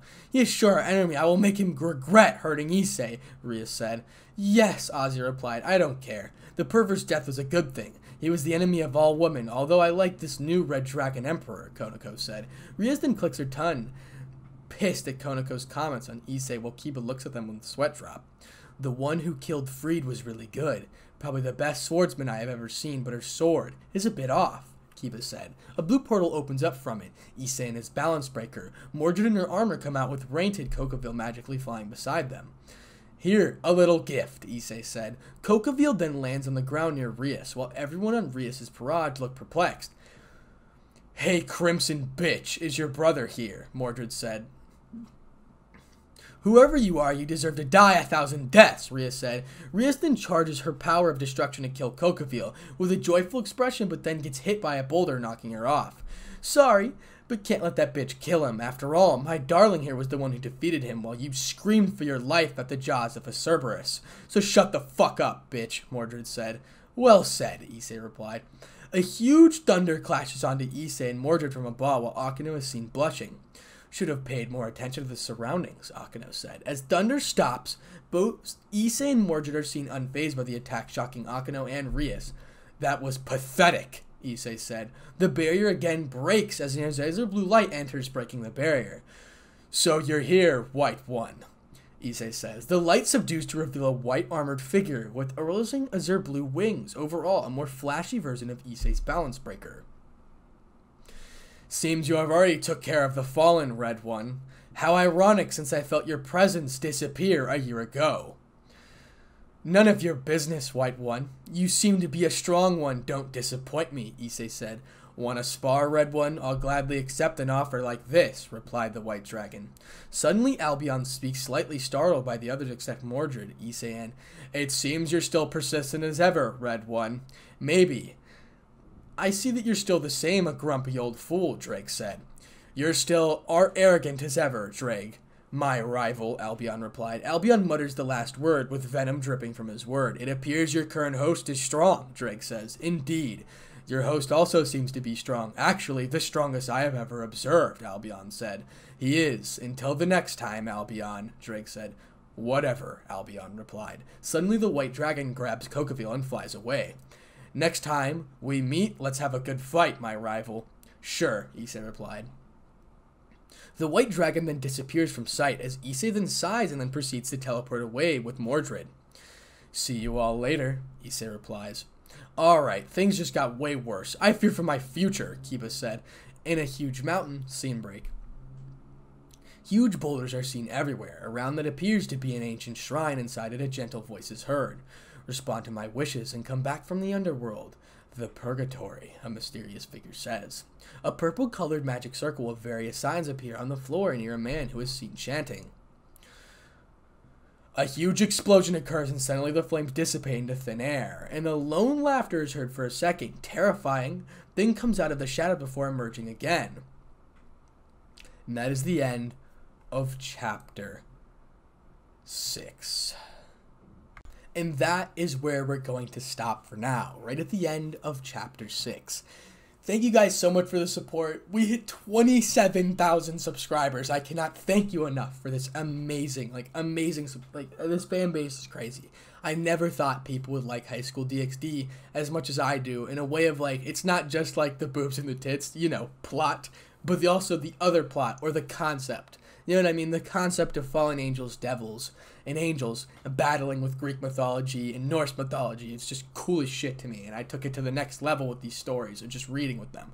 It's awesome to think about other people and sit here and enjoy reading my voice. And once again, thank you to Robert Block, Robert the King, for becoming a balance breaker which is $24.99 a month, which is absolutely absurd. Thank you so much. I cannot thank you enough. If you guys want to know exactly when I upload, slash my upload schedule, click the little blue button right next to the subscribe button. Seriously, thank you for all your support. I cannot thank you enough. I am eventually going to make a membership tier where you can see all my members because they all deserve a shout out. But I decided to shout out Robert Block or Rob the King in specific because he has the highest tier in the membership tab.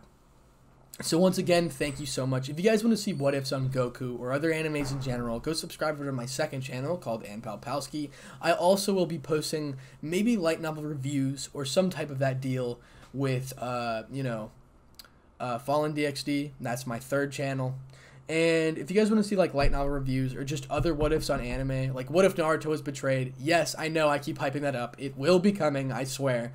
And along with Issei, the God Slayer or God Killer is born.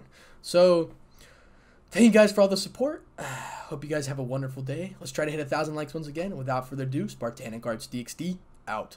What's up guys, it's your host Spartanic Artz DxD back with another high school DxD related video. And today we have What If Issei Was Betrayed and Became a God part 3. Let's try to hit a thousand likes and if you guys want to know when I upload slash my upload schedule, click the little blue button right next to the subscribe button. Thank you to Robert Block slash Rob the King, Jorge Alvarez or George Alvarez, and Atomic Warlord 58 Toner for becoming a balance breaker, which is the highest tier in my channel membership. Thank you so much. You guys have no clue how like much that means to me. Like seriously, if you guys want to see more what if, uh, more what ifs on Goku, uh, go subscribe to my second channel. Part 3 of What If Goku Was the God of Destruction will be coming out very, very soon. Mark my words. I swear to that. Most likely like next week, some sometime out there. It'll be like 30 minutes, somewhat of that. So thank you guys so much for the support. Like seriously, I cannot thank you guys enough for all these channel members. It's been crazy. Once again, I'll eventually just keep shouting out people like who join. So thank you once again. Without further ado, let's go ahead and get into part 3. Chapter 7 Third POV, a day after the fight with Kokabiel. This is a lame job for someone who wishes to kill their prey in an instant. My target is calf filled with humans. This is a pain in my ass, Issei says. Sir, what do you wish to have, sir? Random guy says. One caramel macchiato, please, Issei replies. Yes, sir, the waiter replies. The random guy leaves, making Issei sigh and shake his head. Think. The target's a rogue fallen angel, mid-class, currently working in the cafe in the kitchen, just behind the wall. How can I kill him? Issei thought to himself. Here's your caramel macchiato, sir. Sure, thanks, Issei said. Time to execute plan C. Ah, this is a macchiato is wonderful. Focus, focus. Ah, that's right. I'm here to kill. Also, Hope the calf has been insecured, Issei says. Issei then proceeds to drink the coffee with gleeful smile plastered on his face, but then the smile slightly widens as he proceeds to place the cup on the table as the clock strikes 11. He'll be dead in about 24.16 seconds approximately. Phew, that's good, Issei said. Issei then takes out the serviette from his table and then applies a small amount of mana into it, making it harder and sturdier. Reinforcement, Issei says. He then flings the Servitude at speeds a human eye can't keep up with. The Servitude breaks the wall and proceeds to decapitate the fallen angel on the opposite side of all earning screams from many.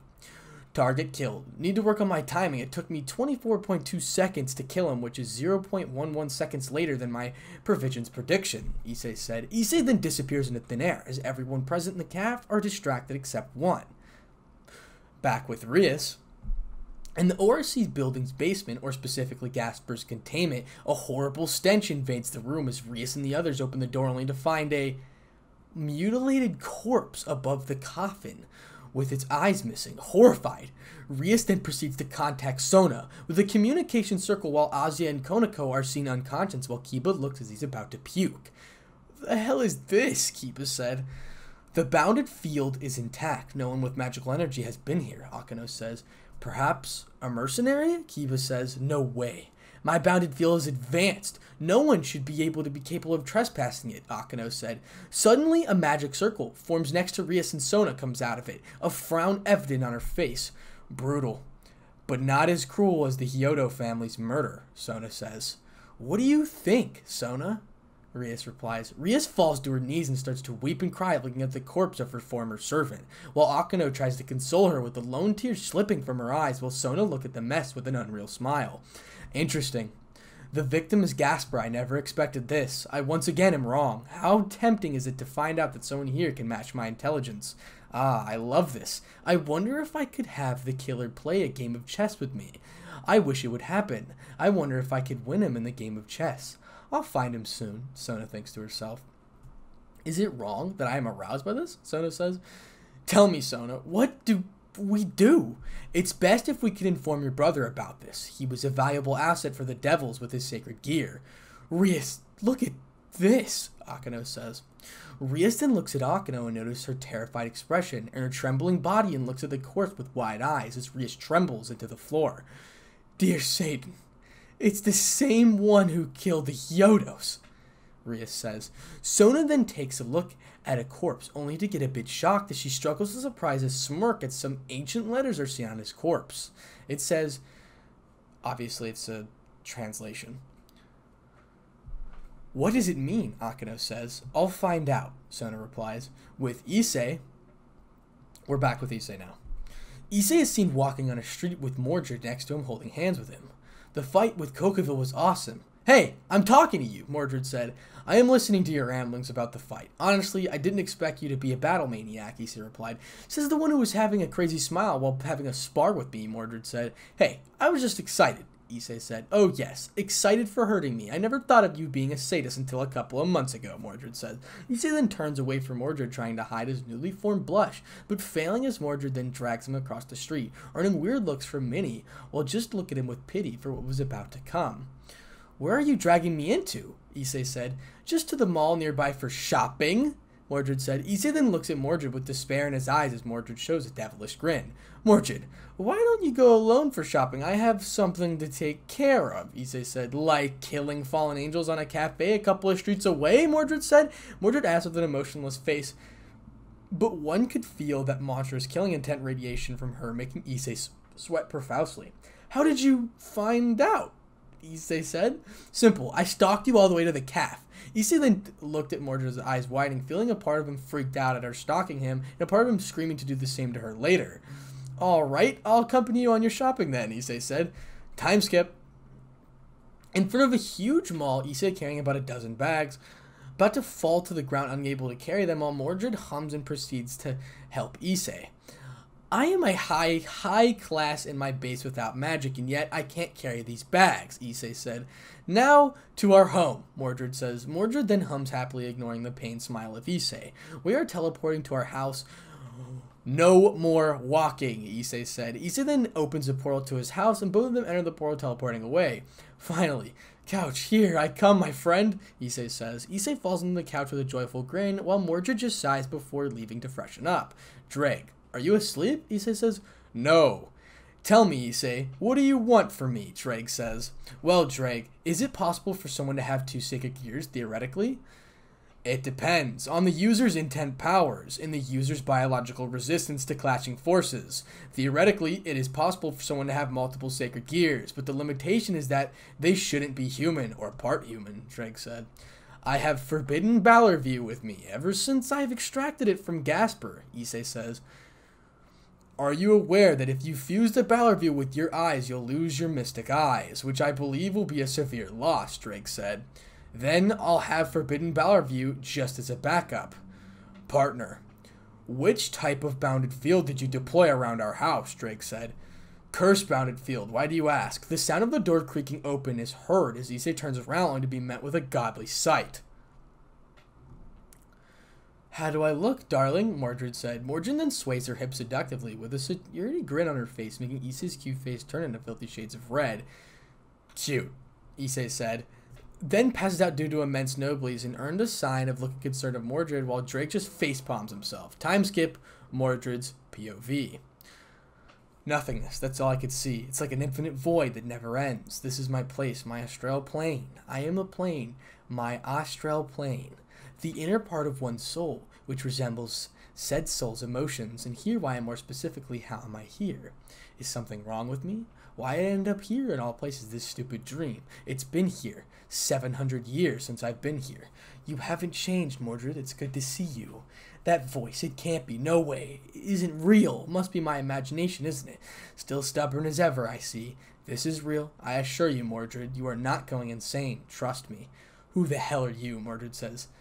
I am really sad that you forgot the person you looked up to, Knight of Treachery. My he, my time here is done. See you later. And I took a liking to the boyfriend of yours. Suddenly, everything becomes pitch black. A huge human, inhuman screech forced my knees due to its intensity. Then I swore I saw a familiar yet distorted face of someone I knew and I admired. Third POV. Mordred is seen sleeping on her bed, cuddling with Issei, but then wakes up breaking heavily, cold sweat dripping from her forearm, and terrified face filled with nothing but negativity. That was the worst dream ever, Mordred said. The next day. It was a beautiful day for both of them as Issei and Mordred are having a good breakfast with happily chatting with each other. Have you ever seen a Mystic Eye user other than me? Issei said. Well, yes, I have, Mordred said. Don't lie. I know you haven't seen one other than myself, because I am the greatest piece of work ever to exist. Feel satisfied that I am being with you because I'm a boyfriend. I'm the best boyfriend you could ever ask for. What's that supposed to mean, huh? Mordred smirk. Mordred asked. Issei smirks with arrogance and pride, making Mordred pout. Was just messing with you. Jeez, Issei said. You're running my sleep, you fucking lovebirds. But hey, can't tell how loud, can I? Ddraig said. Hey, I've been wanting to ask you something. I can feel a lot of fallen angels here. Isn't it supposed to be a devil territory? Mordred said. Actually, this belongs to the Shinto faction. Sirzechs Lucifer, who is also a major Siscon, used his political powers to make the Shinto Pantheon lend this place to them. In the name of Kuoh, apparently by the devils, laws only a mature high-class devil or a pair of intelligent young high-class devils can earn the rights to acquiring a territory. That's a lame. Using your brother's own territory to use is, is something only a coward would do, Mordred said. Issei then chuckles due to a response from he got from Mordred. Sir, Ze- Sirzechs then appointed Rias and Sona Sitri as the joint governors for this place. The reason for the fallen angels in this place is due to Rias's inability to scout and place in her retarded peerage, but Sona does a good job in managing the territory. Now, I can understand the reason for Kokabiel's recent attack, Mordred said. Quit, you little chat. I can sense a person entering our bounded field, Ddraig said. Shit, I deployed a curse field.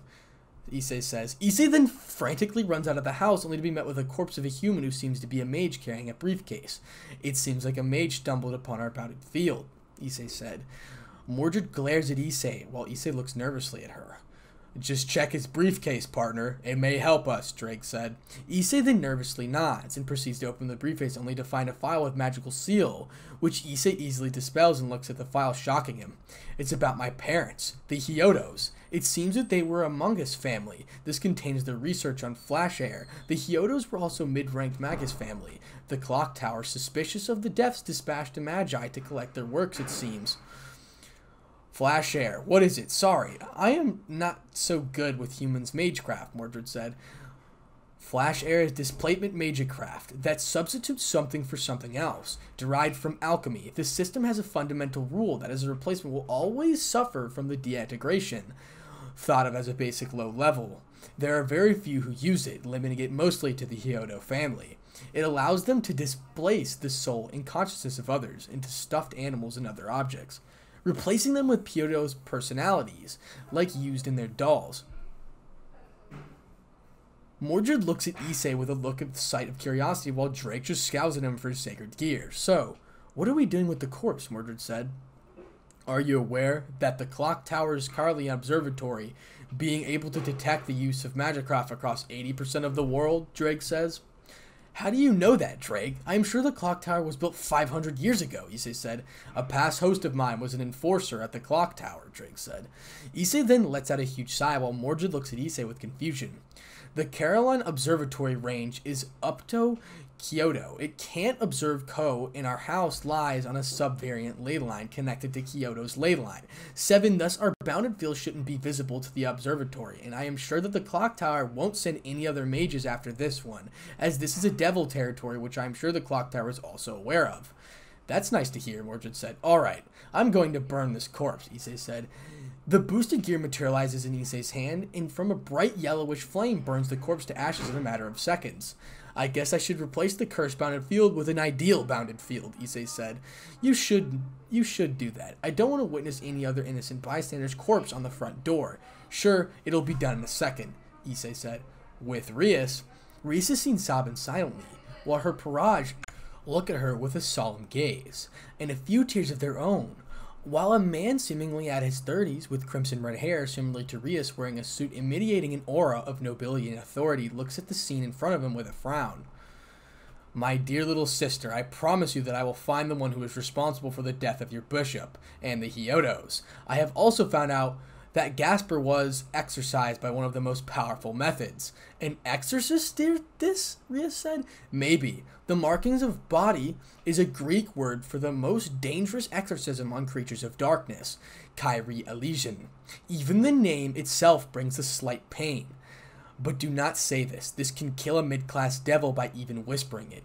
When it is used, can successfully purge the soul of a mid-tier ultimate class being. The one who's responsible for this must be an exorcist of the church or a heretic working for the fallen, or perhaps this is to confuse us. This may be a fake clue. I swear to Satan that I'll find the one who did this, Rias says. That is the end of chapter 7. Chapter 8 Third POV A sickening smell lingering around the plains, which were tainted by crimson blood and corpses of the mortals. Above them was a man, no, a thing, with a long sword as the sole witness for the massacre. Through thy death is thy granted. Fear not souls of thy deceased of peace shall not be granted only by thy death. O death, feast upon their souls, bringing them salvation. A hand grabs the thing's leg, which is seen as a dying soldier taking his last breath. What are you? The soldier says. The shadow shall bring you peace, rest for all eternity, fallen soldier. The thing then stabs him at the heart, killing him instantly. I must thy seek the Hassan of this era. I shall judge his worth, and be his executioner. I must heed towards the plains of red fields. If thy assassin I killed before was right, a skilled assassin roams on the plains. He may be the assassin I seek. Now, back with Issei.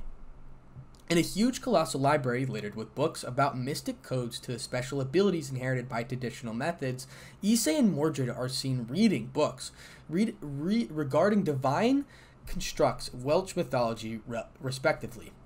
This is absurd. The humans have portrayed me as a male in the Welsh legend, Mordred said. Indeed.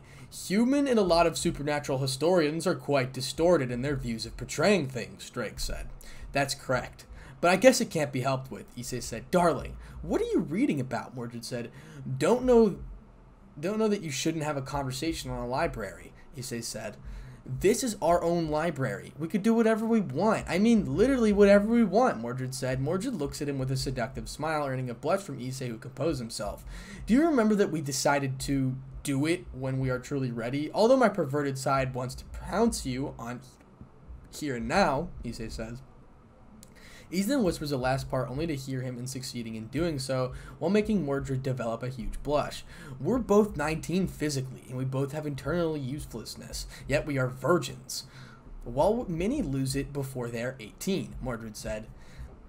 This isn't a big feat. I am still a virgin till this moment, and I have lived for a half a million years, Ddraig said. Feeling them stare at the now memorized boosted gear in Issei's arms with pure shock of disbelief and dancing in their eyes while Issei looked traumatized. Everyone just sat there in silence for a minute. I am sure you have just made a new world record, Ddraig. The Virgin Heavenly Dragon, Mordred said. Ddraig internally ch- chalks hearing such a disgraceful horrific. How are you sane? Issei says. It's not a big deal. I was focused on improving my abilities and defeating Albion while I was alive, and that literally didn't have time left for these. Although it was really hard controlling myself during my heat, I still didn't waste time and remained focused, Ddraig said. Issei gets up from his chair and runs away with a look of horror. What are you doing? Didn't you promise me to help you learn more about human magecraft and history? Mordred said. That can wait. I need a drink, Issei said. Time skip the next day. Issei is seen on the cafeteria at Kuoh Academy, chatting with other students as the group of jerks make their way towards their demise, which is Issei. Dude, you should tell me how you did get that hot blonde chick like that, Boy 1 said. Think with your brain, not your crotch, Issei said. Boy 2. Heh, I want to ravage that new blonde-haired slut badly. The air suddenly turns colder, sending shivers down their spines while Issei lets out a sadistic grin. Ha! you want a ravager, huh? I'll be glad to cut your microscopic dick and chop your legs into pieces for addressing my cute, adorable princess as a slut, and I'll be ripping your eyes out and crushing them as you scream for mercy. In the end, you will just be a corpse without eyes, legs rotting away in purgatory. His face distorts into a disturbing, psychotic laugh, scaring the two boys, making them run away. "Mm, No, please don't. I want to live, Boy 1 said. No, I want my dick, Boy 2 said. Ise then lets out a chuckle at his facial expression, changes into his normal self as he flashes an innocent smile to a girl near him, who is seen sweating profusely. He may look cute, but he's a psycho, the girl said. Of course I'm a psycho. What should I do for knowing my little secret? Issei said. Issei reads her mind, her thoughts, and replies to it with an innocent smile, dripping with malice, making the girl faint, gaining the attention of the others far away. Oh my god, help, help, this is an emergency, somebody call the ambulance, Issei said. Issei shouts with a fake concern as the guy then proceeds to carry her to the infirmary. But unbeknownst to him, Kiba is seen with a terrified face, sweating heavily as he heard their conversation due to his enhanced hearing.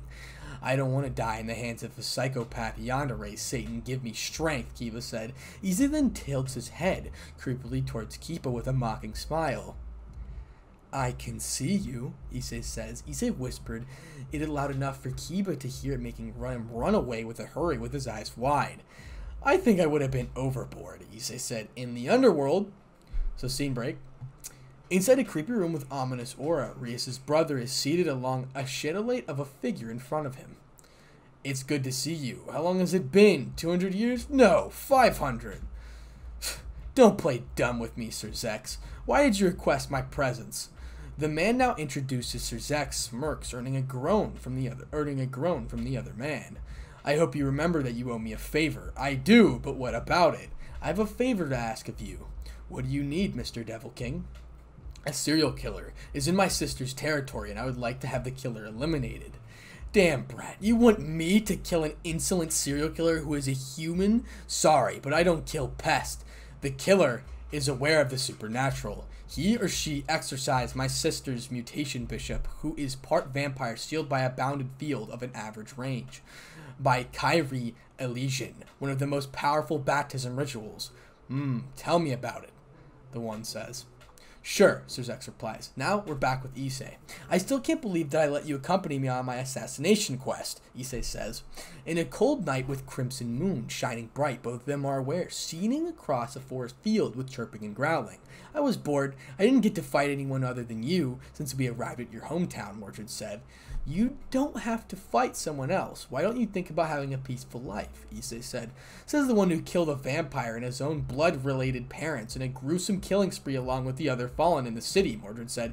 Issei, hearing this, trips on a rock and falls down shocked and terrified due to her words. Did you stalk me all this time? Issei said. Yep, I accidentally saw you sneaking into the ORC and followed you and saw that you kill him. As for the fallen angels, well, I did stalk you, Mordred said. It's good to hear that my girlfriend stalks me, Issei replied. The same can be said to you as well. After all, you did place a well-hidden tracking chip on my coded dress with small amounts of your mana, making them a low-grade mystic code. He just sits there in silence. Cat's out of the bag, Ddraig said. So tell me, Issei, why did you do that? You know very well that I hate people stalking or keeping tabs on me. It's evasion of privacy, Mordred said. To protect you. Yes. Yes, I did it to protect you. There are many who may harm you, and it sickens me that I know that.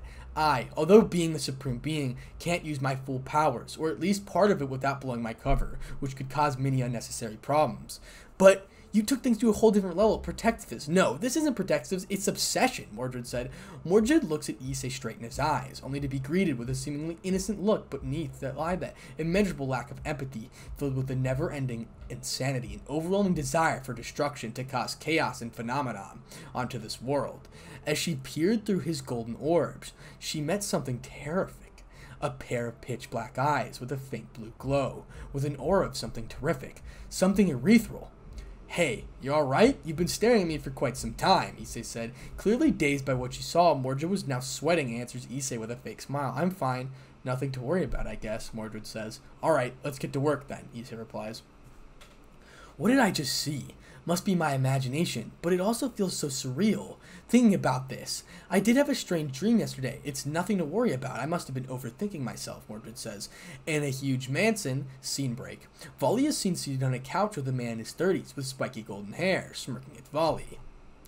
Ah, come on. Why do you look so sad, Vali? Cheer up.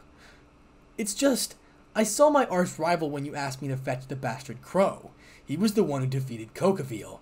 Ah, the new Red Dragon Emperor has risen, the previous one was.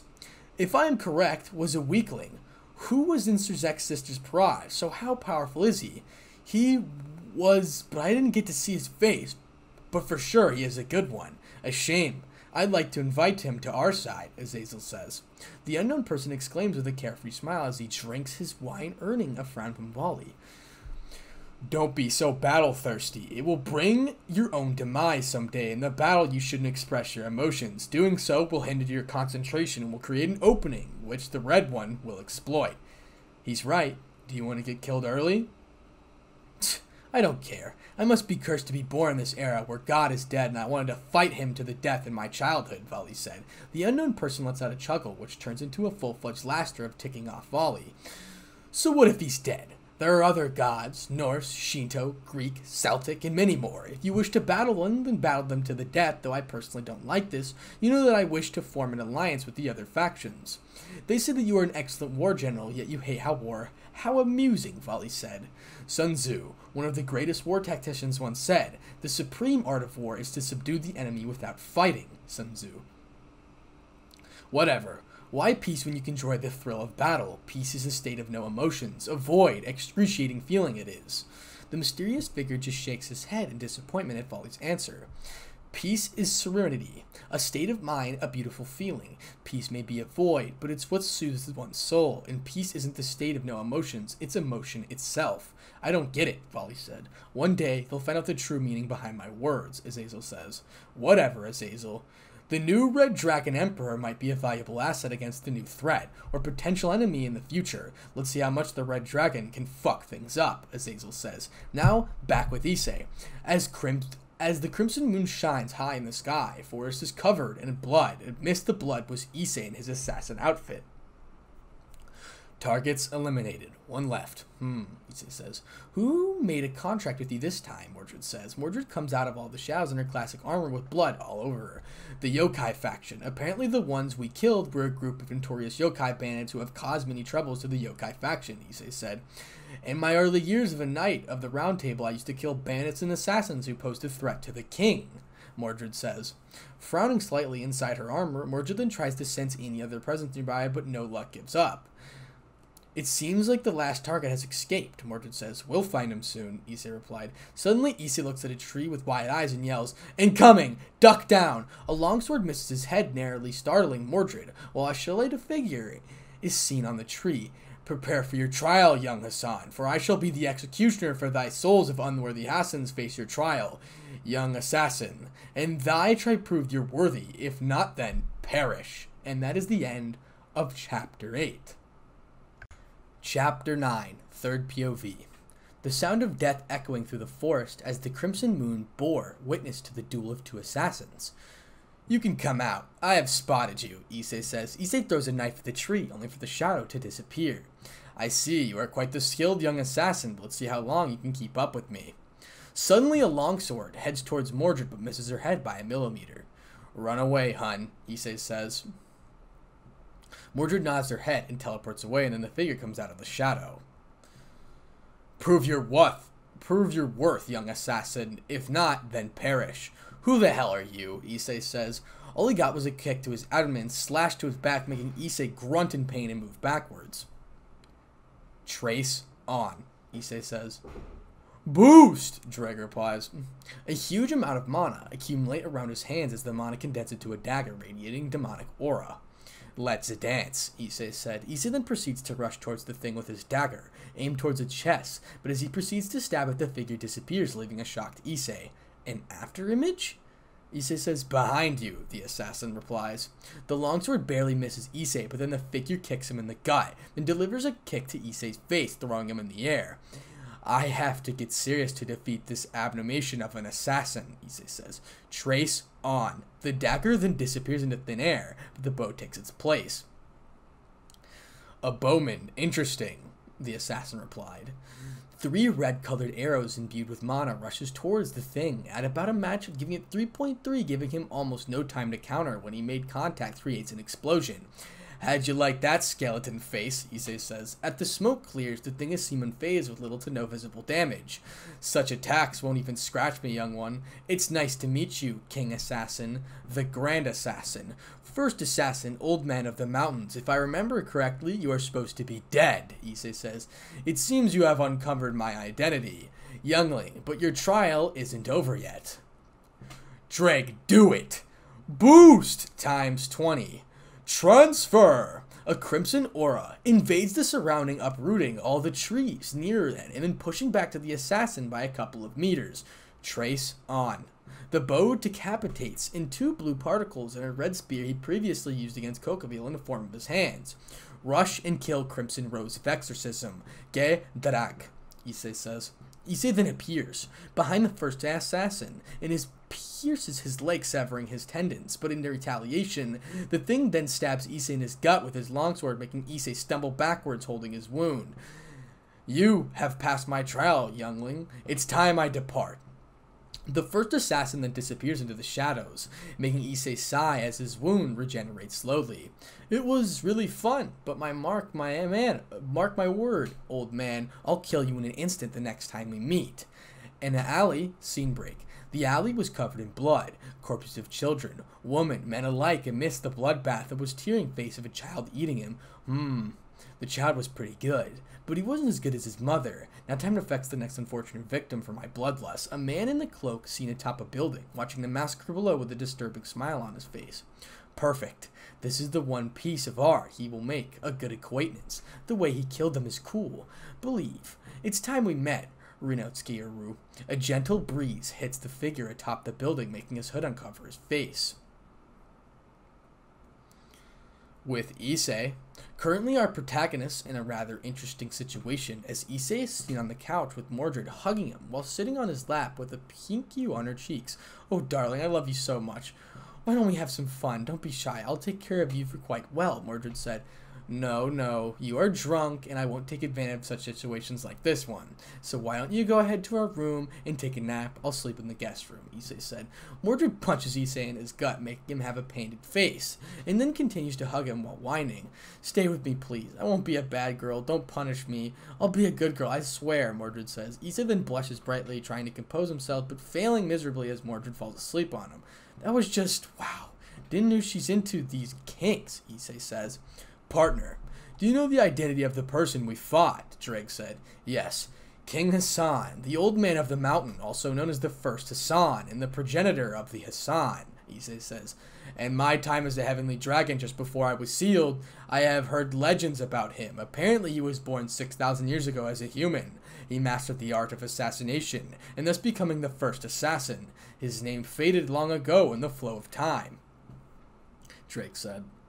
It doesn't make any sense how come a human lived up to 6,000 years? Even the devils live only up to a 1,000 years, except for the Satan class ones. Rumors say that he was able to live up to 3,000 years by stealing others' life force, but then tried of the living died, a natural death. They say during his life he founded the Hassans, Ddraig said, a group of elite mercenaries who were known for their ability to kill supernatural in an instant while being humans. They say that if any Hassan becomes corrupt or fails to follow the code of conduct, the first Hassan will kill them from the shadows. It is said that no one has ever seen him, not even the Hassans, as anyone who has seen him has never made it out alive to tell the others, Ddraig said. First time for everything, Issei replied. A crimson colored magical glint forms near Issei, ears startling him a bit. State your identity, Issei says. A voice is heard from the glymph. Sirzechs Lucifer, am I to speak with the hunter of the Red Plains right now? State your business, Mr. Lucifer. I don't have all day, Issei replies. Indeed, I wish to have contact with you for escorting someone who is targeted by an old Satan faction, Sirzechs says. I don't save people, instead kill them. I refuse your contract, Issei says. Would you refuse if I said that you'll pay part of the Gremory territory, Sirzechs says? After a minute of silence, Issei in relaxed tone replies. Interesting. Tell me about the contract. This is a confidential matter, so please be discreet. We, the Devil Kings, have planned for a peace conference in a couple of days at Kuoh with the biblical faction and dragons, and since the Kokabiel incident, I believe that the old Satan faction will try to attack us. So we wish to hire you to eliminate any threat. Don't think you could manipulate me, Sirzechs. I am no fool. Tell me the real reason, Issei says. A huge sigh is heard from Sirzechs, earning a smirk from Issei.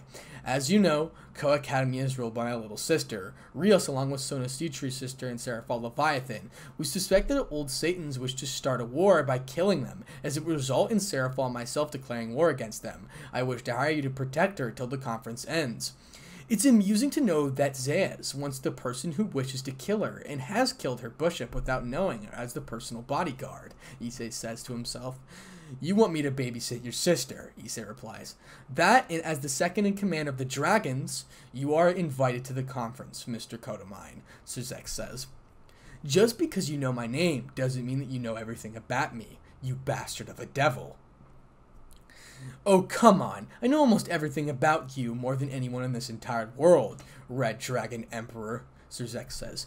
You're the biggest fool I have ever met, Sirzechs. You may know me as the current Red Dragon Emperor and the Hunter of the Red Plains, but you don't know the fact that I am Issei Hyodo, the former pawn of Rias, and the mysterious killer of Kuoh who killed your sister's bishop. You are a good tool for me to use to get my vengeance against your sister, Issei said to himself. Hello, are you alive? Zex says. Then snaps out of his thoughts due to Zex rambling. You got yourself a deal, but on one condition that my betrothed shall accompany me.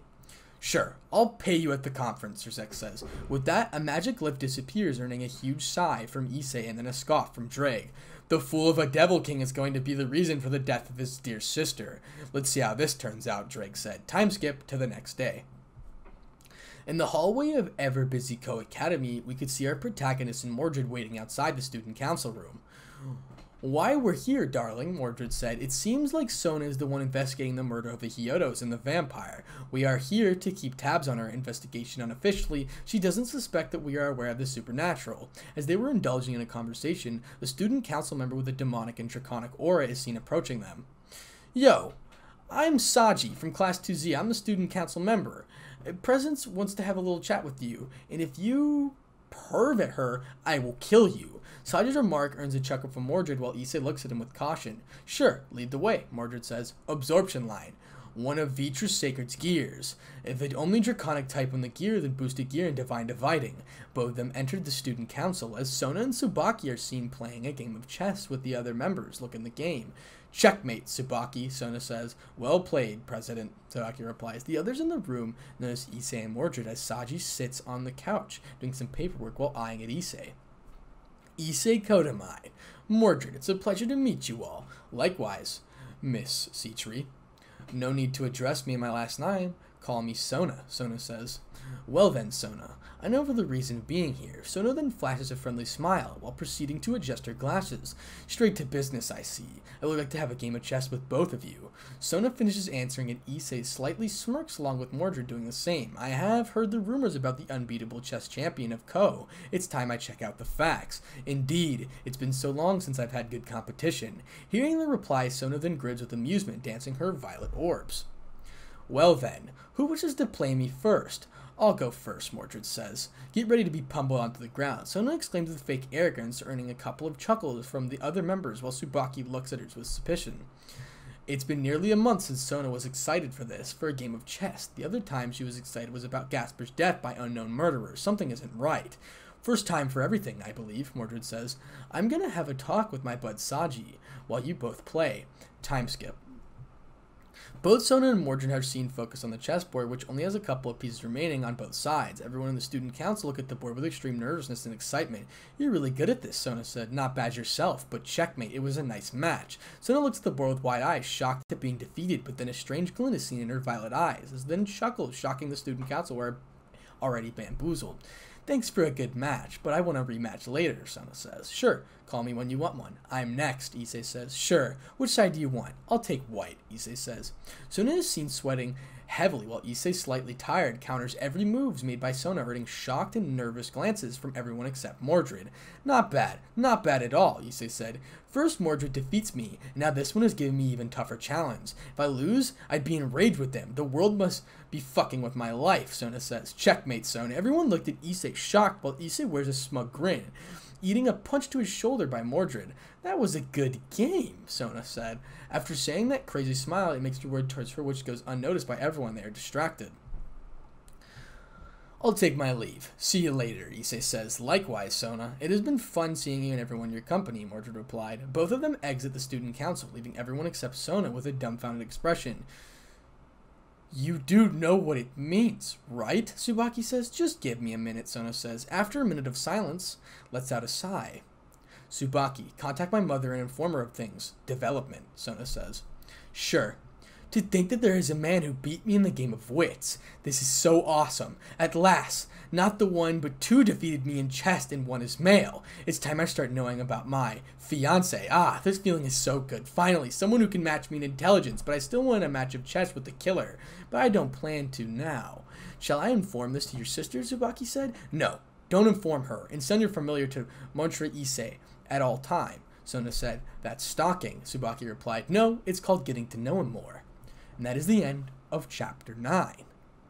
And that is where we're going to end it off for now, right at chapter 9. And the next chapter we will read will be chapter 10. Sorry, I just yawned. Now, once again, thank you to Robert Block or Rob the King and George Alvarez or Jorge Alvarez for becoming a balance breaker. Thank you guys so much for all the support. It's been absolutely amazing. Once again, that is the highest tier membership. I will make a list with all my memberships and shouting out everyone continuously, but mainly the balance breakers because that is the highest tier. Thank you so much for the support. It truly has been absolutely amazing. Remember, I will do a what if on Naruto. I will do a what if on Goku on this channel eventually. It's just not the time as of right now. What if Naruto obviously be coming before Goku? But once again, if you want to see what if on Goku's, uh, just go check out my second channel. It'll be linked down in the description below. Once again, let's try to hit a thousand likes. That'd be absolutely amazing. Once, if you guys want to know exactly when I upload, such my upload schedule, click the little blue button right next to the subscribe button. And on Fallen DxD, I'll either post shorts, light novel reviews, things of that, etc. You just say what you want me to do in the comment section, or if you want me to do it on this channel, I might as well knock it out. It'll probably get above like a thousand views and things like that anyway. I just want to try out a couple of things, if you know what I mean. Thank you guys so much for the support. 30k soon. Without further ado, let's go ahead and end off this video. Spartanic Artz DxD out. What's up guys, it's your host Spartanic Artz DxD, back with another high school DxD related video. Instead we have what if Issei was betrayed and became a god, part 4. Let's try to hit a thousand likes please, and if you guys want to know exactly when I upload such my upload schedule, click the little blue button right next to the subscribe button. Thank you so much to Robert Block slash Rob the King, Jorge Alvarez or George Alvarez, Atomic Warlord 58 Toner, and Lachlan Yates for becoming a balance breaker. That is the highest membership tier in the membership tier. Thank you guys so much for the support. Seriously, you guys are absolutely amazing. If you guys want to know, if you guys want what ifs on Goku, go subscribe to my second channel, linked down in the description below. Thank you so much for the support. 30k soon. Without further ado, let's go ahead and get right into it. Chapter 10 Issei's POV Today is a beautiful day indeed, as I am on my way towards Kuoh Academy with my princess. I swear we're going to be late to school, Mordred said. Says the one who literally burned our food while cooking, Issei replied. Mordred then playfully punches me on the shoulders. She seems to be having a good day. Suddenly I swear that I saw a pair of red eyes looking at me. It must have been a familiar of either Sona or Rias. No, Rias is familiar as a bat, which doesn't have red eyes. It must be Sona's. Can you feel that, darling? Mordred replies. I can. Must be the familiar of Sona, Issei said. The best course of action is to take his Izakam to avoid suspicion. I suggest not make any other assassination missions for a week, Mordred says. She does have a point, although one week is a bit too much for me, without seeking the blood of the bad guys. As we were chatting, Sona walks towards us, waving her hands. It seems we meet again, Mordred, and you too, Issei, Sona replied. I didn't expect you to see this soon, so we have a couple of this chess mass, Mordred said.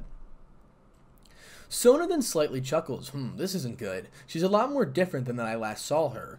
I was Rias's pawn. She was supposed to be stoic, but today she has this glint in her eyes. It's so unnerving. Maybe I'm seeing things, but the bell goes off indicating the start of homeroom. It seems we have to leave. It was fun being in your company, Sona, Issei said. Third POV. As Issei left towards his class with Mordred, Sona looks at Issei as a creepy smile makes its way towards his face, her face. I'll make you mine, Issei, Sona says. With that, Sona leaves her class with her stoic demeanor replacing the creepy smile from before. Time skip. Currently, Issei is seen on his room reading a book ab about mystic eyes while Mordred is seen in the kitchen cooking. Mystic eyes of petrification. I wish I had this one. It would have been useful for killing multiple targets. Instead, I just got a lame but overpowered mystic eyes, Issei said. Suddenly, an indigo colored glyph forms above Issei's ears, earning a look of amusement at the glyph. Mr. Ketamine here, Issei says. The moment these words escape his mouth, a dark chuckle is heard from an unknown person. It seems you're doing fine, Issei, my boy. It's good to hear from you, my old man. How are the Dragon Apple farms doing? Issei says. Good. The yield has been doubled thanks to my research on dragon apples. You want one? He replied. If you can, send a mountain full of it, Issei says. A loud laughter is heard from the unknown's person, earning a small chuckle from Issei. Now, jokes aside, do you know there's a peace conference between the biblical factions? Yes, I know. Sirzechs invited me as the Dragon's faction representative and hired me for the protection of his sister. That damn Syscon never changes, does he? Also, I'd like to know about your whereabouts. Silence ensues as neither of them responds for a minute, then Issei lets out a sigh. Tannin, I respect you a lot. That's why you're the two people who know about me, at least a bit, but I don't take orders from you. I will execute my will according to my plan, so stop persuading me from revealing my location. My location. The person now introduced a tiny size. I did expect this. Don't think you're being a bit harsh on this old man, Tannin says. I'm being kind, old man. If I was harsh, you wouldn't be in one piece. Trust me, I'm far from being harsh, Issei said. We're getting out of topic, Tannin replied.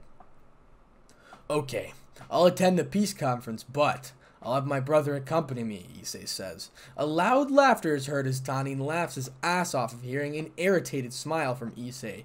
You have a mate? So who's the lucky lady, Tannin says. Her name is Mordred Pendragon, the Knight of Treachery, Issei says. What the hell? Tannin says. Tannin instantly shouts, making Issei yelp. What the fuck? This is impossible. She was supposed to be dead long ago. Wait, is she a female? And how did a human survive that long? Tannin said. Calm down and take a deep breath. Inhale and exhale, Issei said. Tell me now, Tannin said. Well, she isn't dead because of her gaining partial immortality after her duel with King Arthur, and she is female, Issei said. Be more specific. Tannin said. I am specific, Issei replied. Anyways, should I send Bova to peace conference for your safety? Tannin said. Issei rolls his eyes and lets out a pissed of a growl. Are you implying that I can't protect myself? You're hurting my pride, Issei said. I'll take that as a no. Don't forget to visit the old man later, Tannin said. Sure. I'll also bring my maid. I've been planning out on her to take a date after peace conference tomorrow, Issei said. That sounds fine. Also, Bova said hi, Tannin said. Tell him that next time we meet, we'll have a good old spar, Issei says, Sure. I'll take my leave. Devil work is really tiring, Tannin said. See you later, old man, Issei replies. The glyph disappears as Issei then proceeds to read his book with focus while Mordred yells from the kitchen. Shit, I burned the food, Mordred says. Hearing that, Issei sweat drops as a thought of burnt stew as his dinner. This never gets old. Guess I should cook this time. Indeed, you should, Ddraig says. Time skip. Currently, both Issei and Mordred are seen at the dining table with delicious bowl of ramen near both of them. Do you like my cooking, my highness? Issei turns around only to be met with Mordred eyeing the ramen with a face of ecstasy. It'll do just fine, Mordred said. Well, then, bon appetit. Bon appetit, Mordred replies. Mordred then takes a bite of the ramen, soon a face of pure ecstasy, as she then proceeds to finish the bowl in a minute, making Issei jaw drop. Seconds, please, Mordred said. Sure, here you go, Issei replied. Mordred. Japanese food sure is amazing, Mordred said. Time skip. Mordred is seen on the dining table with numerous bowls around her, as a depressed Issei looked lingering on his face. Bring me another bowl of ramen, Mordred said. That was the fifth bowl of ramen. Are you sure you want another one? Issei said. Give me one more, please, Mordred replied. Mordred then flashes her secret power, the puppy eyes, making Issei flustered. Must resist, damn it, I can't resist this. Nope, must resist, Issei says. Focus, channel on your inner puppy eyes, make him obey you, Mordred said. Mordred then flashes an even cuter puppy smile, making him blush even harder. Your eyes can deceive you, don't trust them, but I can't resist, Issei said. Please, fine, this is the last one. Mind tricks don't work on me, Ddraig said. Do I have to remind you that you had three years of death training? Issei sarcastically laughed, making Mordred confused, but then Ddraig yells, making another concerned. First rule of death's training do not talk about death's training, Ddraig says. Is he alright? Mordred replied. I think I've reawakened his buried trauma, Issei said. I feel bad for him, Mordred replied. Don't be worried, he will be alright. Although I think maybe I should have taken him on a supernatural counselor, maybe then he'll be alright, Issei said. I don't think any counselor would remain sane after inspecting our poor Ddraig, Mordred said. Maybe I'll give it a try. First rule of Death's training. Do not talk about Death's training, Ddraig said. POV, now we're with Rias. Both Rias and Akeno are seen outside of the shrine as Rias' look of irritation, while Akeno just shrugs at Rias' attitude. Why is it taking so long? Rias said. Don't be like that, Rias. He will be here soon, so don't be like that. Or you'll get wrinkles, Akeno said. Hmm, whatever, Rias replied. As they are seen speaking a huge amount of divine aura, enters the shrine as a golden light shines on the shine. My apologies for being late. I hope I did not antagonize you. As the light fades away, a blond man in his late 20s with a halo and wearing a royal attire while radiating calm divine aura appears in front of them. No, you did not, Lord Michael. Don't worry about it, Akeno says. On to business. My brother did inform me of your visit, but may I ask you the reason as the governor of Kuoh? Rias says. Rias exclaims with her pride evident in her voice, causing Michael to chuckle. Very well. I am here to present you a gift of contribution to the peace conference and as you managed to hold Kokabiel to a standstill till the White Dragon arrived. Akeno looks at Rias with nervousness dripping from her face, while Rias remains emotionless but can one feel malice hidden. Did I touch a sensitive subject? If I did, my apologies, Michael said. It's fine, Lord Michael, Rias replied. We could have a good talk inside the shrine if you wish, Akeno says. Sure, it would be the best as people won't be able to eavesdrop on us, Michael says. Inside the shrine, Michael is seen leaning on a pillar while having his focus directed towards the two she-devils in front of him. After a few moments, a divine aura invades the shrine as a sword materializes out of thin air as both the she-devils stare at a magnificent sword with awe and caution at the divine aura emits. Behold the holy dragon slaying sword, Ascalon the most powerful dragon slaying weapon next to Samael's blood. It's in restrained form. But a devil can't wield a holy sword, Rias says. That's true, however, a part devil can wield this sword in its restrained form. However, wielding this is its unstrained nature will obliterate the part devil wielder in a snap. I believe this will be a fine present, Michael said. We are grateful for this, Lord Michael. Thank you, Akeno says. White colored wrapper surrounds it as divine aura slowly fades away. This wrapping totally suppresses the aura of the sword, enabling even a pure devil such as yourself, Miss Gremory, to carry them without the risk of injuring yourself, Michael says. Whole, I wholeheartedly thank you for this wonderful present, Lord Michael. Seriously, Rias says. I hope this will come in handy for you and during any crucial times, and I forgot to mention that Ascalon, as its restrained form, can kill mid-class dragons, which is low-tier ultimate class when fully mastered in global aura scale. In its unrestrained form, it is capable of slaving Dragon King's beings class, which are fully mastered. I will have that in mind, Lord Michael, Akeno said. It's a shame. I wanted to present this to the Red Dragon Emperor Issei Hyodo, Michael said in his head. I'll take my leave. With that, Seraphim teleports away in a flash of golden light, making Rias and Akeno sigh simultaneously. Finally, I can breathe. His aura is really powerful, Akeno said. I didn't expect Big Brother to have Lord Michael give me Ascalon, Rias says. Unexpected things do happen, Akeno says. Come on, Akeno. We're going to our mansion, Rias says. Now, we're with Sona. Prez. I did the job you gave me. Sona is seen seated on the couch in her mansion, with a file in her hand while Saji is seen standing next to her. Did you find any suspicious person? Sona says. Nope, Saji replies. This isn't good. Saji hereafter. I prohibit you from taking contracts with humans for a week. Instead, you are to scout the places around your house and the abandonment church repeatedly. Got it? Sure, leave it to me, Prez. Saji does a fake salute, making Sona roll her eyes. You're dismissed. Have a good night, Sona says. Saji then teleports away with a blue magic circle as Tsubaki comes inside the room with her casual clothes on. So, got any clues regarding the killer? Tsubaki says. I'm working on it, Sona replies. That's great. Also, Momo informed me that her contact with our client 43 is completed, Tsubaki says. Devoid of an emotion, Sona looks at Tsubaki straight in her eyes, slightly scaring Tsubaki in the process. That's good. Who is currently in patrol on the western part? It's Tomo who is inspecting that part of the city, Tsubaki says. The eastern part. I believe that's where Issei Kotomine and Mordred live, Sona says. With a small smile, Sona looks at the file thinking of Issei. Tsubaki is scouting there, I believe, Tsubaki says. Tsubasa is scouting there, believe, Tsubaki says. Are everyone in contact? Sona says. They are, Tsubaki replies. Well then, Tsubaki, that's it for today, Sona says.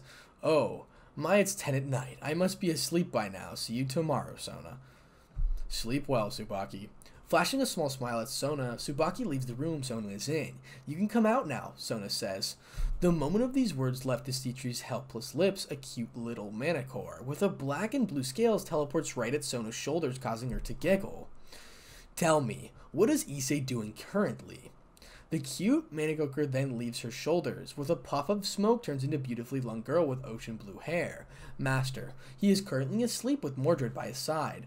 Polygamy is it known uncommon with devils. Maybe I could turn both of them into devils with the help of my mother, Sona says. Have a close eye on them. Your task is to find out his likes and dislikes, Sona says. Sure, master. May I take my leave? You can. If anything goes wrong, inform me immediately. The girl then bows a bit and then proceeds to teleport away from Sona having a look of happiness.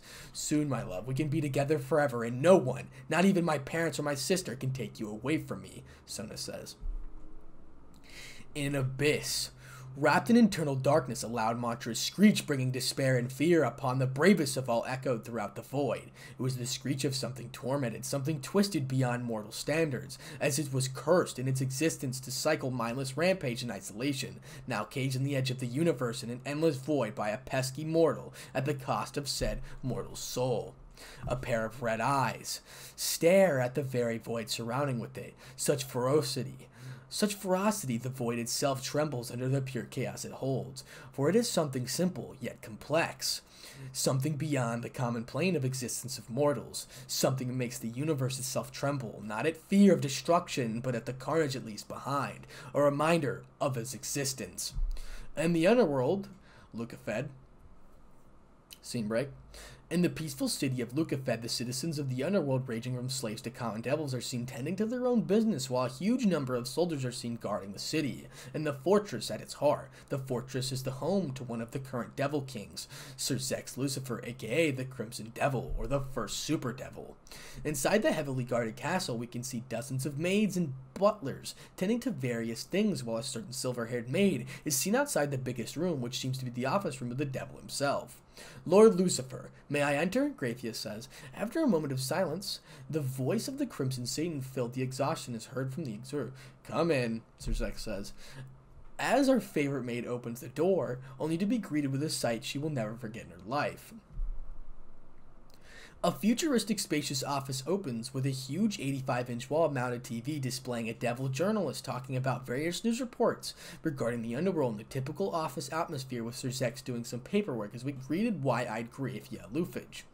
The newly built office is astonishing, Grayfia said.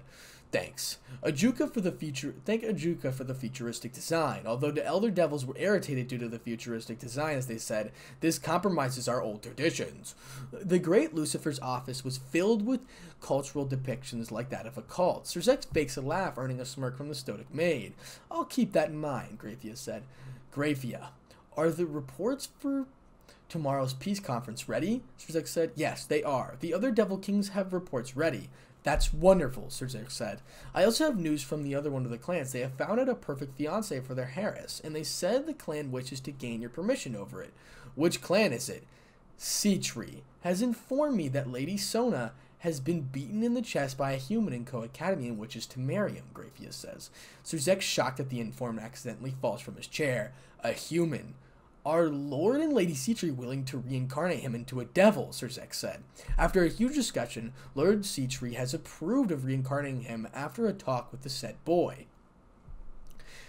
Does the boy have any idea about this? Also, about what about Serafall? No.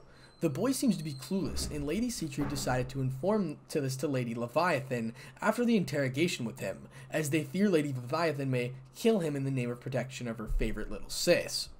Sirzechs then snickers at the thought of Serafall choking the boy in the name of protecting Sona. What's the hu human's name? Sirzechs says. Issei Kotomine, I believe. The moment these words escape her lips, Sirzechs looks at Grayfia with wide eyes, then starts to tremble, earning a concerned glance from the silver-haired maid. Uh, I think I heard it wrong, Grayfia. Tell me name once more. Issei Kotomine. Sir Zex then accidentally falls out of his chair, hitting the floor, knocking him unconscious, earning a gasp from Grayfia. Sir Zex! Grayfia says, and that is the end of chapter 10.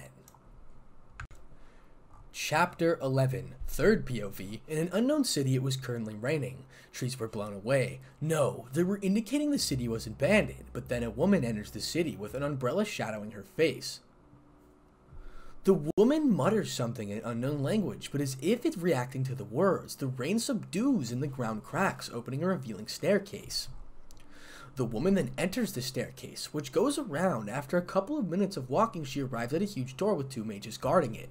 State your identity, mage says. Leviathan. Suddenly, the two mages fall to their knees with the head facing the floor. Forgive my insolence, my lady the mage says. The mage opens the door, which reveals a gigantic base, with mages and the devils everywhere. Soon the mages and the devils notice her presence, and bows, earning a smirk from the lady as she unfolds her umbrella.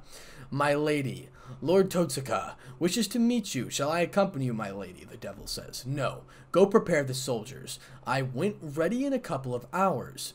Leviathan says. Yes, my lady. The random devil then runs away frantically. As the lady then proceeds to walk towards a room decorated with various mystic codes and others such, the lady then opens the door only to be met with a man seemingly at his late 30s, wearing an elegant suit with a staff as deep as blue eyes, analyzed the woman with a small smile. Back, Lady Leviathan. I thought you had a good. Welcome back, Lady Leviathan. I hope you had a good journey. I did. Tell me, Tomoki, how is the plan for our little project? Leviathan says. Before I would like to inform you about our truce is likely to end after the infiltration on the peace conference. I would like to have my promise fulfilled by today, Tomoki says. Leviathan narrows her eyes at the request of Tomoki. I don't have the Lesser Grail with me. It's under the jurisdiction of my superiors, but it will be yours after you have our pact fulfilled, Leviathan says. Excellent. Well then, Lady Leviathan, I wholeheartedly present you my finest mages, who are mainly rogue spellcasters and heretic who are hunted down by the clock tower and the church. I couldn't understand the reason behind your pact with me. Why would you, a prestigious magi from a well-known magus family, help us? You clearly are a well-known person in the clock tower who are allied with the biblical faction, Leviathan says. It's simple. I will make my wish fulfilled at any cost. Once the lesser grail is mine, I'll summon the greater grail to kickstart the Heaven's Feel ritual, and then and then the reach of Eptamine of all truth, the root, the Akasha. But I can can't tell you that, can I? Tomoki whispers in his head. Now, we're with Issei. Currently, Issei's in his class listening to the class while having deep thought. I can't help but think about what Death said when we were alone in the multiverse, Issei said. Flashback, one year after Issei's arrival in the multiverse. In a grass field, Issei is seen leaning down the grass, looking onto the sky, which has cracks indicating it is an Earth, but a sub-dimension. This is so-called training is fucking intense. It helps, but I can't stop thinking about the shit I'm into, Issei says. Suddenly a fist comes crashing into Issei's face, creating a huge crater to the ground, but Issei remains unfazed. Death? Just give me a second to rest, Issei says. I can, but what's the fun in it? Death says, seemingly unknown to where both Death and Life appear next to Issei in their human form. How are you doing, my lord? You need any assistance? Life says. I'm fine, Issei replied. You have improved a lot. Mana's Mama's proud of you, Death said. Life then slaps the living lights out of Death with irritation visible in her eyes. Shut up. I am not pleased with your seductive attitude towards our lord, Life says. That doesn't mean that you can slap me, bitch, Death says. Okay, fine. We'll settle this later, but do you remember the reason why we are here, Life says? I do, so shut up, Death replies. Issa then looks at the uncomfortable due to the fact that two of the most powerful beings having a verbal fight. Um, guys? Issa said. Forgive me for disturbing you, Master. Okay, so why are you both here? We wanted to show you why something extraordinary, but then that, I'll make Ddraig unconscious so he can't know about it. Death says. Suddenly, all three of them exist in the dimension and enter the multiverse. Master, you may have seen the Castle of Origins, but we're going to show you something even more powerful, so brace yourself, Light says. Suddenly, all three of them gets thrown towards the center of the multiverse at incredible speeds. What the hell? Issei says. After 30 minutes, the trio slowly decelerates as they reach a void, which exerts extreme pressure upon them, causing Issei to stumble. Don't worry, that won't kill you at first. Security barrier to keep others from reaching here. Suddenly, a huge light blinds Issei, causing him to panic, but then the light slowly disappears, revealing what could have been described by any words on first sight. Magnificent, isn't it? Wow. What the hell is that? Issei said. Allow me to explain. This is the finest creation of primal concept. It is known as the root, the Akasha. It is the anchor of the multiverse, which connects the multiple universes. It also functions as the backup data of all creations. Only the primordial concept or the provised vessel can access the interior of the root. Not even us can. Death says. It was the first creation of the being. The root contains all knowledge about the multiverse, which even we don't know about. The root is ethereal, cannot be destroyed. It can also be used to observe any part of the multiverse, Life says. Only I can reach it, huh? Cool, Issei says. Not exactly. You see, any being with a soul can't access the interior of the Akasha, but theoretically, even humans can reach the swirl of the root. But only one in vigintillion can act can actually reach the swirl without having their soul destroyed by the chances of being alive after witnessing the swirl is even less than infinite due to the red shadow. Red shadow, Issei says. Issei tilts his head in confusion, only to be met with a scary red silhouette, with eyes like that of a beast. That's the red shadow, the last failsafe if a mortal managed to reach the swirl of the root. Don't be scared, he won't kill you. He recognizes you as the vessel. His job is to destroy any mortal that has touched the swirl of root, Death says. Touching the swirl of root will grant the mortals unbelievable power called true magics. There are five of them, but the red shadow kills them as soon as they touch the swirl. Only due to their sheer luck has managed to evade the red shadow, Life says. For real? You gotta be kidding me. His name is Kischur Zelretch Schweinorg. He is from the universe 2 million of the Nasu universe cluster. That old fool managed to gain the second manage the Kolebnikai. Its domain is the operation of parallel worlds. It allows the user to travel between multiple universes and the ability to draw mana from the parallel universes to an extent. He managed to access partial immortality by specific means. He is the person you wouldn't wish to meet a huge troll who messes up the other parallel universes for his fun. Yeah, definitely an interesting person. He can't have fucked thanks to up to the, to the extremes, can he? He can fuck things up to the extremes, can he? Issei says. Death groans while life scratches the head of her, while Issei sweat drops. You have no idea. That man fucked up nearly 10,000 timelines in the Nasu-verse for his entertainment. He destroyed about a hundred parallel universes, either by mistake or by improper manipulation of the parallel timeline by adding external factor to the original timeline, making it unstable. Would you believe that he destroyed an entire timeline just by saving a person from death? Oh, great. I don't want to meet him ever in my life, Issei says. Human mages in many parallel universes have partial knowledge about the swirl of root and many tried to open the pathways to the Akasha, and few succeed in doing, but all got killed except for Zelretch. Also, once a successful pathway is used, one cannot use it further, as we should close the pathway and many users Magus tried to use Greater Grail, which is incredible amounts of condensed prana and mana, but all failed to open a pathway. In short, the Greater Grail cannot be used to open a path to Akasha. Wow. This is too much for my mind to process. How can the fuck can I understand? At least vaguely, Issei says. Flashback ends. Now we're back with Mordred. As Issei is seen in his own world, Mordred is seen dozing off the class. Mordred's POV, nothingness. Nothingness encompasses around me till my eyes see. It's like a dream. I'd swear I saw her. It can't be real. I'm hallucinating. That must be it. Finally, I can have a small talk with you. A whisper. It was her voice. I'm sure it was her. The one I despise. The one I hate her. I want to make her disappear. You want me to disappear? Hmm. Have you fall? How have you fallen, my child? Who the heck are you? Who the heck ate you? This can't be a coincidence. I'm sure I am under a spell or I've been cursed. Don't be so feisty. I don't mean harm, child. Go to hell, you fucking impostor, Mordred says. The moment I said those words, the air around became cold. As the chill down my spine, it's been so long since I felt this um sensation. You are not worthy! I tried. I always did, but why did I fail? Why won't she acknowledge me? I just wanted her shadow. I wanted to make her proud. Then why? Why did she cast me away? Tell me why you did. I wanted to inherit the legacy of the Pendragons to make you proud. Then why didn't you let me be the future of King Camelot? I wanted to be a king who takes care of her subjects with happiness and righteousness. I just wanted my people to flourish, to live a happy life. I wanted to have a good life. As the ruler of prosperous kingdom with no, no, I didn't wish for these. I just wanted to prove my worth to you, to make you proud by inheriting the golden swords of Victorious. But you declared that I was unworthy. All I got was a loud malformed whisper, which I couldn't understand. But the one thing I'm sure of is that the voice belongs to one person I hate most yet admire the most, the ruler of Britannian, king of Camelot, the king of knights. Artoria Pendragon, my mother, the only person I hate the most, the person I killed with my own hands, along with the entire country of men and women just to kill her. Third POV, time skip. Mordred, wake up. We're still in class, Issei says. Due to Issei calling her, Mordred finds herself awake with tears dripping down her eyes. She is unaware of her tears have stoic look. Why'd you make me wake up? I was taking a nap, Mordred said. Hey, did you have a nightmare? Because you're crying, Issei said. Mordred replied, huh?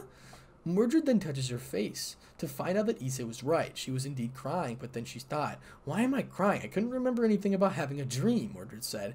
As if reading her thoughts, Issei then gains a serious look while listening to pretending to listen to her teacher. Maybe her dream was so frightening that the look of her subconscious has surpassed them. Maybe I'll find out soon. Time skip. At the night of day, at one of the hidden rooms of Kuoh Academy, the three great power gathered together after the Great War. Each were beings of unparalleled power. From the Devil faction, Serafall, Leviathan, and Sirzechs Lucifer and Grafia were present, along with Rias, Sona, and their peerage, and their peerage standing next near the exit. From the fallen angels, Azazel and Vali, who were leaning on the wall, while Michael, along with the two exorcists, were present as representatives of heaven. All the leaders were visibly tense at the tension to all air except Azazel, who was just calm. The representative of the dragon faction must be here by now. Ah, he's here. Suddenly, a bright multicolored magic circle appears on the floor, earning a small smirk from Sirzechs, while Serafall gets excited at the color of the magic circle. When the magic circle Issei and Mordred arrive in their battle attire, shocking Rias in her Peerage, along with Sona in her Peerage, but the one shocked of all out of all was Sona, who was staring at Issei with wide eyes and unable to comprehend the situation. Greetings, I am Issei Kotomine, the honorary second in command of the Dragon faction. Pleasure to meet you. Mordred Pendragon, the true heir of the Camelot, and mate Issei here is nice to meet you, Mordred said. Everyone are seen shocked while Vali just grins, and Azazel smirks at Issei. You must be lucky to have a hot chick like her, lucky bastard. Please take a seat, both of you, Sirzechs says. Both Issei and Mordred take a seat and Azazel claps his hand together. So why don't we get started, Azazel says. First, I'd like to know about the incident with Kokabiel, Rias, and Sona. How about you give your report, Sirzechs says. I'd like Lord Lucifer to hear the details. Pre prepared by both mine and Sona's report. Rias then hands over the file to Sirzechs. We are fortunate that this didn't turn into a war. We are the devils, can't offer to lose our remaining purebloods in a war. I am concerned about the objectives of Kokabiel. He stated that he wanted a war, Michael said. That warmonger was really a big trouble. He managed to slip past my vigilance and stole the Excalibur fragments. I should have kept him in my leash. My bad, I can assure you that the fallen angels are not interested in a war. I also had the white dragon stop his nonsense, but the red one did it, Azazel said. The room visibly tenses at the thought of the new Red Dragon Emperor. I'd like to inform you all that I am the new Red Dragon Emperor, Issei says. Issei then summons the boosted gear, causing nearly everyone to gain a shocked look, while Vali just grins even wider. no beings other than humans could inherit the sacred gears, so how did you? Michael said. I hope you all know about the flaw in the system, due to Nohu's death. It is just a matter of sheer luck, Issei says. I would like to research your sacred gear. Would you like to visit the Grigori? Azazel says. Azazel says. Azazel then looks at Issei with a creepy smile, causing everyone in the room to get uncomfortable. Aw, you look like a pedophile, Serafall replies. At the mo at the comment made Serafall, almost everyone laughs, while even Vali and Grayfia have a smile. Lady Leviathan, please reframe your childish tendencies, Grayfia said. This is lame. Why don't you all just declare peace already, Mordred thought. My thoughts exactly. Why don't we get this over with, Azazel says. Azazel grins, earning a sign from Michael, while Sirzechs narrows his eyes. I'm afraid it's not that simple. We are devil. We, the devils, have some demands, Sirzechs says. The same can be said for us dragons, Issei replied. Since the Devil Kings and God are dead, we have no purpose on a new war, when we are on the brink of extinction, Michael said. Well, I would like to focus on reviving our species in my sacred gear research, Azazel said. That's our primary concern too, Serafall replies. We were the ones who stuffed the higher amount of casualties among the royal clans, Sirzechs said. We dragons want peace. Nothing more, nothing less. Also, we would like some territory in the underworld as fee of our, for our armies. As you know, us dragons are one of the strongest species, and we are need of dragon apples which grow exceptionally on the underworld. Sure, your demands are reasonable, Sirzechs said. We can provide our sacred gear tracking system and our medical facilities, but we demand to know the evil system pieces in and how it functions, Michael says. We can agree to that, Sirzechs said. We can share our sacred gear research and the new artificial sacred gear in return for the reincarnation system in some territory in the underworld. Also, we have some Longinus users on our side. Sure, but, Serafall says, we request the armies of the dragons and help in dealing stray devils will offer some territory as well as information the reincarnation system of the evil pieces, Sirzechs said. I agree. For the Alliance, we dragons support this proposal, Issei said. We agree for the Alliance, Michael said. No objection on our side. Devils are the Alliance, Sirzechs said. Then the peace treaty is sealed, henceforth we dragon shall offer our military support, Issei says. Now, I'd like to know the thoughts of the white and the red one, Azazel said. I just want to fight strong opponents, that's all I wish, Vali says. Vali just stares nonchalantly, earning a couple of worried glances while Azazel just laughs. You don't need a war to have a spar, Vali. I want peace, Issei says. That's it now officially the alliance's form. Suddenly everyone except Issei, Mordred, Vali, Grayfia, Irina, Saji, Xenovia, Kiba faction leaders are seemingly freezed in time. What happened? Kiba said. A frown then makes it lay towards Sirzechs's face. It seems that time has stopped. What could have caused this? Forbidden Balor view, Issei said. Rias's bishop has it. He must have been kidnapped by the intruders. How is it possible? Gasper is dead, Sirzechs said. For once, the laid back personality of Azazel changed into a serious tone. Vritra's power must have saved this guy while your holy sword saved your swordsman. Suddenly, about 1,000 magicians arrived from a big teleportation circle. It looks like we are concerned and our troops are being teleported away, Sirzechs said. And that is the end of chapter 11. Chapter 12, third POV, Impossible. I have that sac- sacred in my house. That isn't good. Not at all, Issei thought to himself. Our troops are being teleported away. This is bad, Sirzechs said. In the skies of Kuoh, the peaceful Atzimir was replaced by a huge magic circle through which numerous magicians entered the battlefield, forced teleporting and killing the troops frozen in time. We must rest. We must Rescue Rias's bishop if this continues. He is currently in the balance breaker state of his sacred gear. They might force him to even freeze us, as Azel says. Rias's bishop is dead. He was found without his eyes, possibly exorcised, says Azazel. This is someone else's doing, Sirzechs said. Everyone except Issei and Mordred look at Sirzechs with wide eyes. This is troublesome indeed, Michael says. Why don't we just kill the mages? Vali said. Go ahead if you can, rival, Issei said. Vali then lets out a huge grin and then proceeds to fly towards the mages with his divine dividing. Balance breaker, Vali says. Vanishing Dragon, Balance Breaker, Albion says. Azure colored light invades the battlefield, stunning the mages. Finding the opportunity, Vali then incinerates about six magi near him with a white beam. In retaliation, the other mages fire numerous spells of magic and witchcraft, which disappears into the thin air, approaches Vali.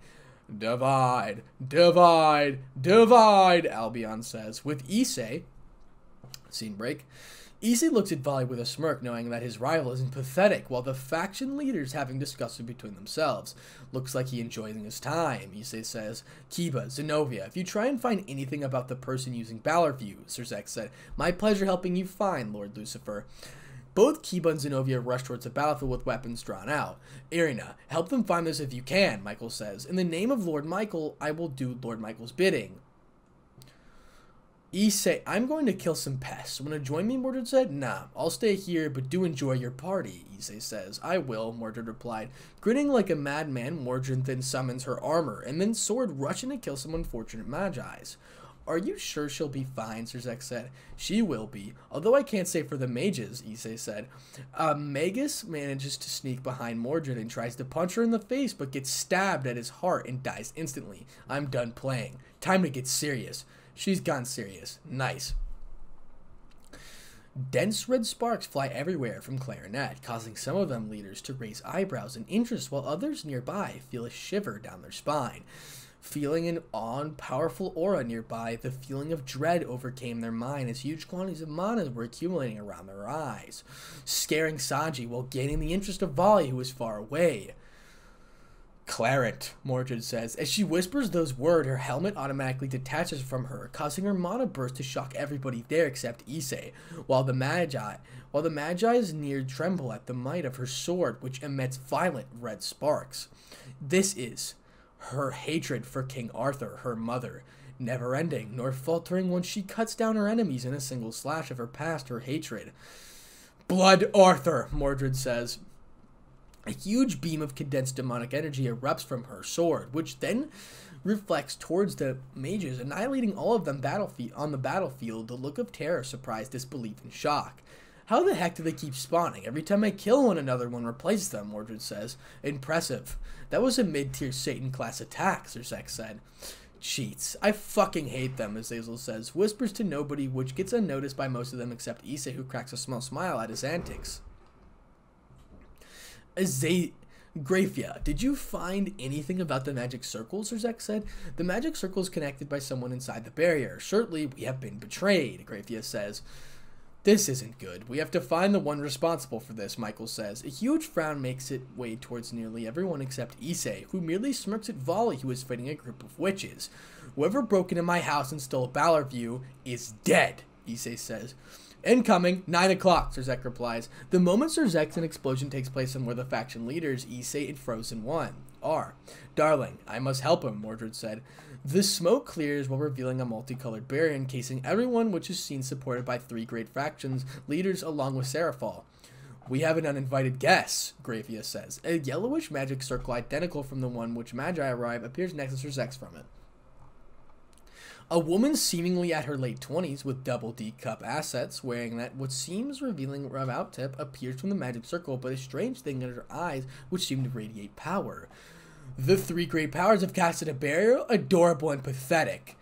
Caterol, Caterol Leviathan, great daughter of the first Devil King Leviathan. What do you want? Sirzechs says. Exactly the opposite of you want, of what you want. Chaos. Cathria says. Cathria flashes her author in an attempt to scare the young devils, but then a sinister chuckle echoes through his air everyone except a few, scaring everyone except a few. Chaos. What is chaos? Issei says. Issei then with his eyes shadowed asks a calm soothing voice, which betrays no emotions, unnerving everyone greatly making the descendant of Leviathan smirk. Who exactly are you, young man? You seem to be strong. I am strong, Issei says. Ha! It's funny of you, Catchthea, to interrupt the peace conference in trying to take all of us down. If I can take down one of the three great powers, then I will give up my life for the true Satans to rule the world, Catchthea says. Azazel then burst out laughing, earning a cold glare from Cathria. Don't underestimate us. You are nothing compared to your great grandfather. He'll be ashamed of you tarnishing your clan's name. You're nothing but a mere low tier ultimate class being, Azazel says. Katya, don't do this. Do you want your life to be peacefully? Don't you want to live your life peacefully? We used to be friends, Serafall said. Looking at Serafall, who was sudden, saddened smile, Katya scowls and then shouts at her. You have no right to talk, Sarah. It's your fault that I'm like this. I was supposed to be the one to inherit Le Leviathan's lineage not some low-class Sitri. Today I will kill you and claim what's mine, Capria says. Serafall smiles, falters an emotionless stare, and makes her way towards her. Can I take her one-on-one? Azazel says. Sure, Serafall replies. Hmm. What can you do, old bastard? I'll kill you, fallen scum, after I got away the new toy to check. Suddenly, her eyes then changes into something different, emitting deadly aura, startling the faction leaders, while Azazel and Issei have their eyes open, unable to be able to believe what they had witnessed. Galti, I will fucking rip your eyes out and claim what's mine, bitch, Issei says. Leave this to me. I'll face her. Amidst the sky, both Azazel and live with their 12 and 6 wings out, and are seen having intense stare down, every muscle prepared to react the moment opponent's attacks. Ladies first, I guess, Azazel replies. You'll regret that, crow, Cathria says. Says the bat, Azazel replies. With a shit-eating grin, Azazel taunts his foe, earning an ice-cold glare from Cathria. I'll go first. Azazel unfurls his wings and proceeds to throw numerous light projectiles at Cathria, but the projectiles abruptly comes to a stop, frozen midair. Smart. Eh, I'll just overclock your stolen sacred gear until you can't use it anymore. Pretty simple, Azazel says. With a snap from his fingers, about a thousand light projectiles at very high speeds change towards him. Cathriel desperately tries to stop them with Forbidden Balor View, but a dozen of the projectile hits her creating a small explosion, but then smoke goes off revealing a furious Catriel with a magic guard raised split second before the projectiles could reach her.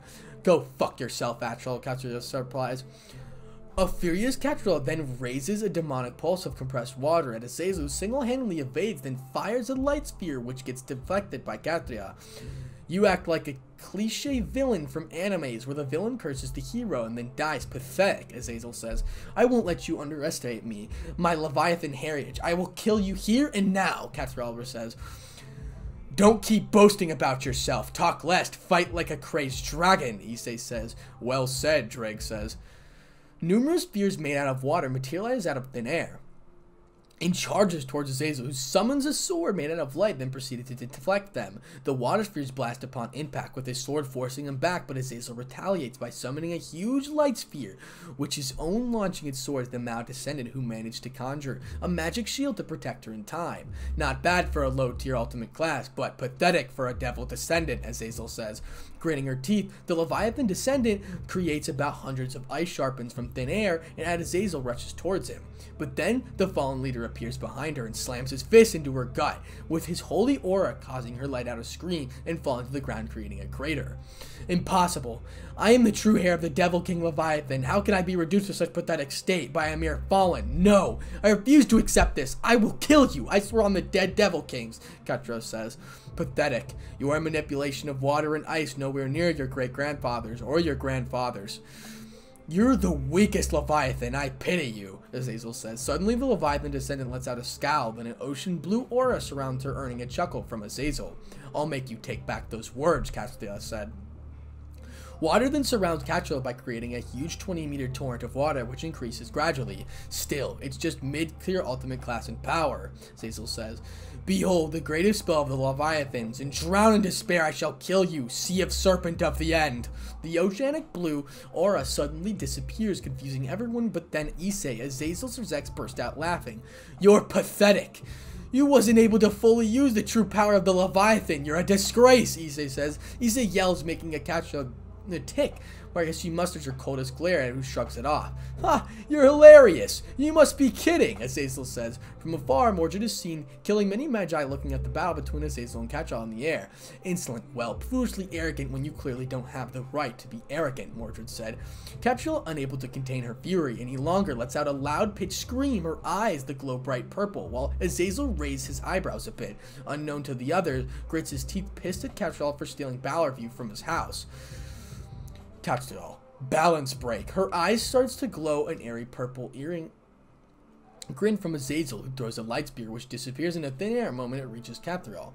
You've achieved the balance breaker for Forbidden Balor View. Are you the one who killed Gasper? Shame that I have to kill you. I have fun researching your sacred gear Forbidden Invade Balor View the Beast. The balance breaker of Balor View allows you to control time and darkness in your surroundings. It's powerful ability indeed. I did not kill the vermin. I got this as a mere gift, Cathriel said, from someone. Now die! Suddenly a dark aura surrounds Cathriel, then included the darkness turns Cathriel into a 5 meter tall monster with dragon head, making Issei grin like a madman. Didn't expect this. You had some cards up your sleeve, but still a high tier ultimate class. You're still child compared to me, as Azazel says. The monster roars and unleashes a torrent of dark flames, to which Azazel responds by conjuring a holy barrier contouring the flames, but the Catriel slams her newly formed tail at Azazel, throwing him off guard. But then Azazel retaliates by throwing a huge orb of concentrated holy energy, earning a scream from Catriel as it collides with her. Die, bastard! I'm done playing, Azazel replies. An eerie bluish flame manifests on the fallen leader's palm, which gains the look of curiosity and shock from the others who are witnessing the battle. Divine Azure Flame of Eradication. The flame in his palm then turns into a steam of holy fire, which rushes toward Catherall in a blink of eye, creating a huge explosion. As the smoke clears, a heavily burned and battered Capsulate is found lying unconscious in a huge crater with her clothes torn in different places. She's alive, you can interrogate her, I don't care, Azazel says. With a shrug, Azazel lands on the ground while Azazel also, Zex Force teleports to Catchell, who knows where, but, but teleporting a faint flash of light is seen. Thank you, Azazel, for keeping her alive. I want to interrogate her about the death of Gasper Vladi in the Balor view, Sirzechs said. Too bad for them since I extracted her sacred gear just now, Ise said. You should be aware that she will not die, but she must have lost a good portion of her life force, Ddraig said. I am aware, Ise said. Finally, one of the old Satan faction's leaders have been caught. Michael says. Leave this to me. Your magic girl Leviathan will make her pay with a twinkle, Serafall says. Suddenly the time freezes disappears as the once frozen Sona, Rias, and her Peerage look at the now heavily damaged Kuoh Academy with wide eyes. What is the meaning of this? Sona says. Don't be like that, Sona. Your sister will take care of this with a twinkle. Serafall replied, Are you cosplaying the Magic Girl Milky Spiral 7? Mordred said. The moment these words left the Penetron lips, Sona, Rias, and her Peerage look at her with wide eyes while Zazel, Sirzechs, Issei, and Grayfia smile nervously. Confused by the sudden reaction of the others, Mordred tilts her head on the only to be met with Serafall just centimeters away from her, giving her a noticeable glint on her eyes and a wide smile creeping out of her bit. You have watched Miracle Girl Leviathan show? Serafall says. Hmm, yes, I have, Mordred said. She's doomed, Sirzechs replied. In a swift moment, Serafall tackles Mordred into a hug, causing them to lose their balance and fall down onto the floor. Yay, I got a new friend. Say, can we have a nice dinner together and have some girl-to-girl action, Serafall said. Uh?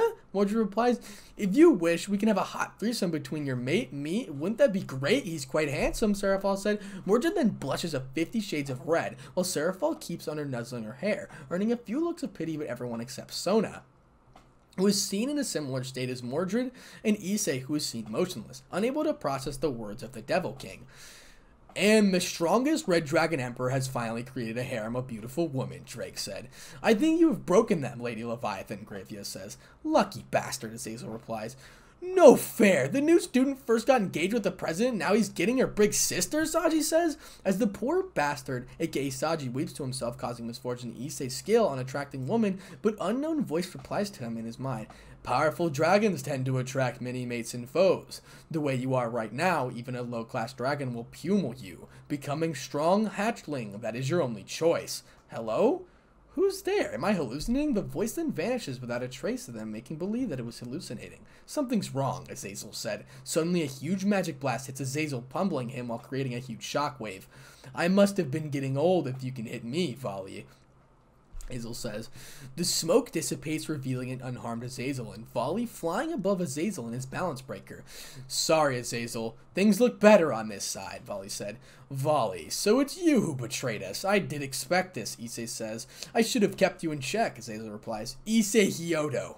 My arch rival, prepare yourself for your glorious battle to the death, Vali says. And that is the end of chapter 12. And that is where we're going to stop for now. Once again, Thank you to Rob Block, Rob the King, Jorge Alvarez slash George Alvarez, Atomic Warlord 58 Toner, and Lachlan Yates for becoming a balance breaker. Thank you so much for you became the highest membership tier. That is literally the highest membership tier. It's absolutely amazing. Thank you so much for the support. I cannot thank you enough. What if Issei awakened the boosted gear early will be a whole entire movie segment, and yes, I am working on it at the moment. What if Naruto betrayed, and what if Goku was the god of destruction will be released as well very, very soon. What if Goku was the god of destruction part 3 on Anpal Palski, and what if Naruto was betrayed part 1, that is an hour long special, will be released soon as well. Thank you so much for the support. It's been absolutely amazing. Truly is a blessing I'm able to like have this community like i cannot thank you enough like it's been abs it truly is a dream if you guys want to i want to know something do you guys want to see different videos on on my other channels assuming like like just talking about anime in general. You know what I mean? Like just hear me talk about something. Because if you're interested in that, it'll be either be on Anpal Palski or Fallen DxD as of right now. So please subscribe to those channels. They will be down in the description below. Without further ado, Spartanic Artz DxD out. Remember, let's try to hit a thousand likes. All right, peace out. What's up guys, it's your host Spartanic Artz DxD back with another high school DxD related video. And today we have what if Issei was betrayed and became a god part 5. Let's try to hit 500 to 600 likes. And if you guys want to know exactly when I upload slash my upload schedule, click the little blue button right next to the subscribe button. A special thank you to Rob the King, Jorge Alvarez, Lachlan Yates, Atomic Warlord 58, Quizzical Cody Tolkek Sun God, I'm sorry if I mispronounced that, Daybreak, VR Wolf, hashtag 2347, Sinrar Q, Jordan Pacho, and Mazuku. Thank you so much for joining the Balance Breaker tier. I cannot thank you enough for the amazing support you guys are showing the channel. And without further ado, let's go ahead and get right into what if Issei was betrayed and became a god, part 5.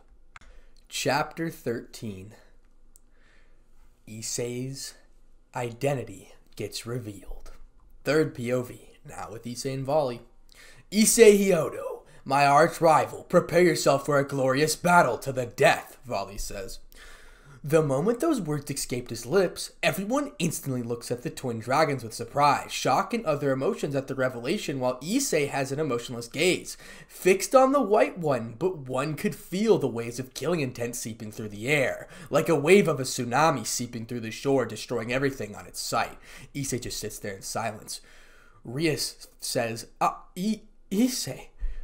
I am engaged to the former pervert? This doesn't make any sense. How did he become smarter than me? Sona said. With tears steaming down her face, Rias musters all the strength she can and whispers under her breath, which gets noticed by Mordred, who looks at Issei with concern with evident on her eyes.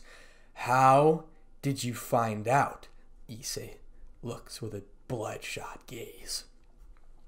His golden orbs gazing into Vali's eyes, Issei mumbles under his breath but devoid of any emotions, causing Vali to chuckle while feeling a bit scared.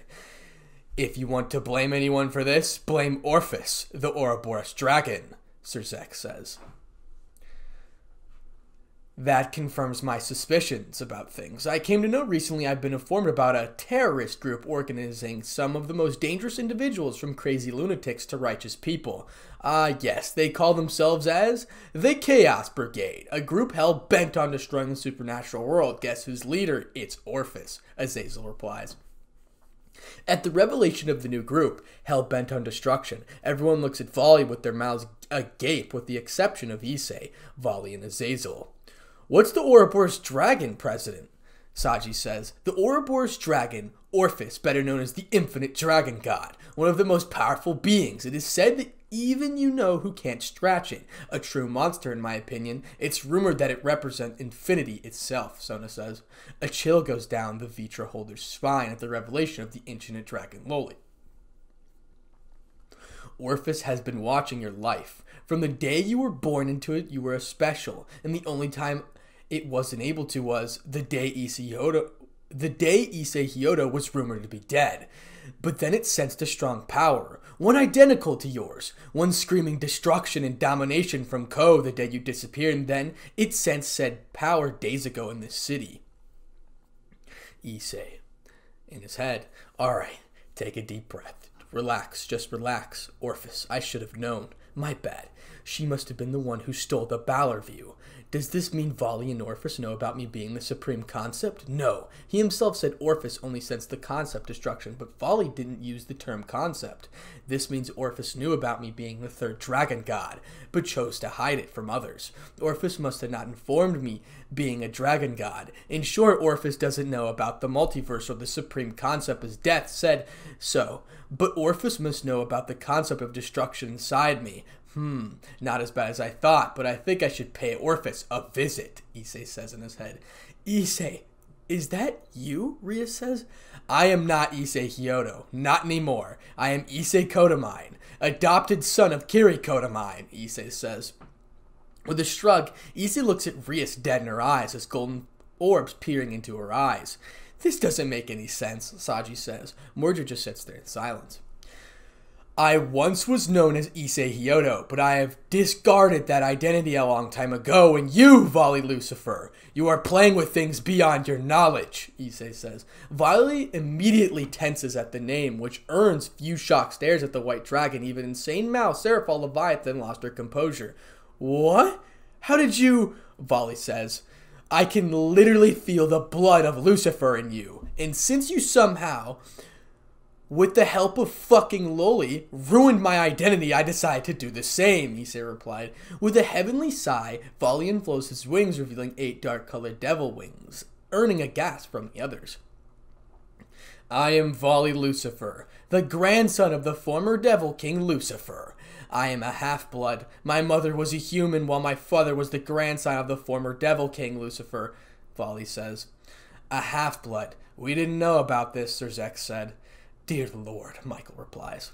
Since you are a half blood, you managed to inherit divine dividing, which is astonishing. To have blood of the true devil King Lucifer and the host of the white dragon. You weren't supposed to exist, Azazel says. Azazel looks at Vali with a grin plastered on his face.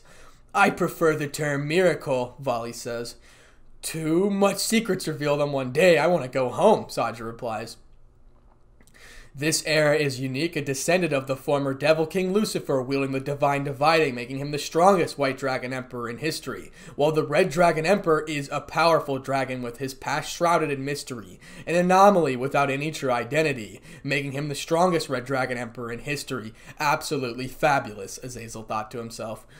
When this is all over, I want answers to this mess. Wait, hold on. If Issei's the Red Dragon Emperor in a royal dragon, then I can easily convince my parents the marriage between us, Sona says to herself. I should have stayed at the mansion, Mordred said. Issei, why did you leave me alone? I thought you were dead. I found your pieces. How are you alive? Rias said.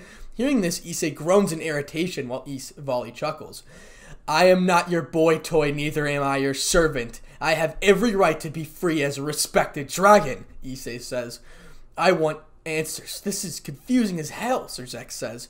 Issei Hyodo, I, Vali then says. Issei quickly raises his voice to stop Vali from whatever he was about to say. Could you please refrain from addressing me as Issei Hyodo? I have long forsaken that name. Call me Issei Kotomine, Issei says. Very well, Issei Kotomine. I carry the blood of the Devil King while you carry that of a powerful dragon. I'd say we're the best heavenly dragons to ever exist, Vali says. Indeed. I want to know how this will end. Who will win, the strongest red dragon or the white dragon? Let's see, but I am sure my partner will be victorious given his intense training regime, Albion says. You're underestimating my host, Albion, Ddraig replies. Let's see, Ddraig. Let's see, Albion says. Are these two destined to fight or something? Saji says. Hearing Saji, aka Fool's dumb question, literally everyone avert their gaze at him, making him nervous. Saji, I can't believe that you don't know about the Heavenly Dragons and their history, Sona says. With a sigh, Sona shakes her head in disappointment, causing her to scratch his head. This is ridiculous. Every supernatural being knows about the battle, and we are praised and feared for our past actions, Ddraig said. A really long time ago, two dragons, immensely powerful, were born far away from each other. They were Ddraig Goch and Albion Gwiber. Both dragons were born in power to kill gods. They were praised as heavenly dragons. They roamed the world with the intention of gaining power, fighting. They killed the gods who dared challenge them, thus ending many pantheons. But then they found each other, and fought, and to their surprise, both were equally matched, and their powers didn't affect each other. They fought each other as rivals, developing techniques such as boost, divide, but then during the great time of the Great War, the Dragon faction decided to remain neutral. But then the Red Dragon and White Dragon fought each other and missed the battlefield. They killed millions of devils, fallen, angels, and who were fallen angels who were nearby and also proceeded to wreak havoc on the realm of killing countless grim reapers. But Hades, the god of death, interfered, which annoyed the dragons, who then returned the underworld, which was the primary war ground. The three factions were forced to deal with the rampaging dragons and formed a truce to kill the heavenly dragons.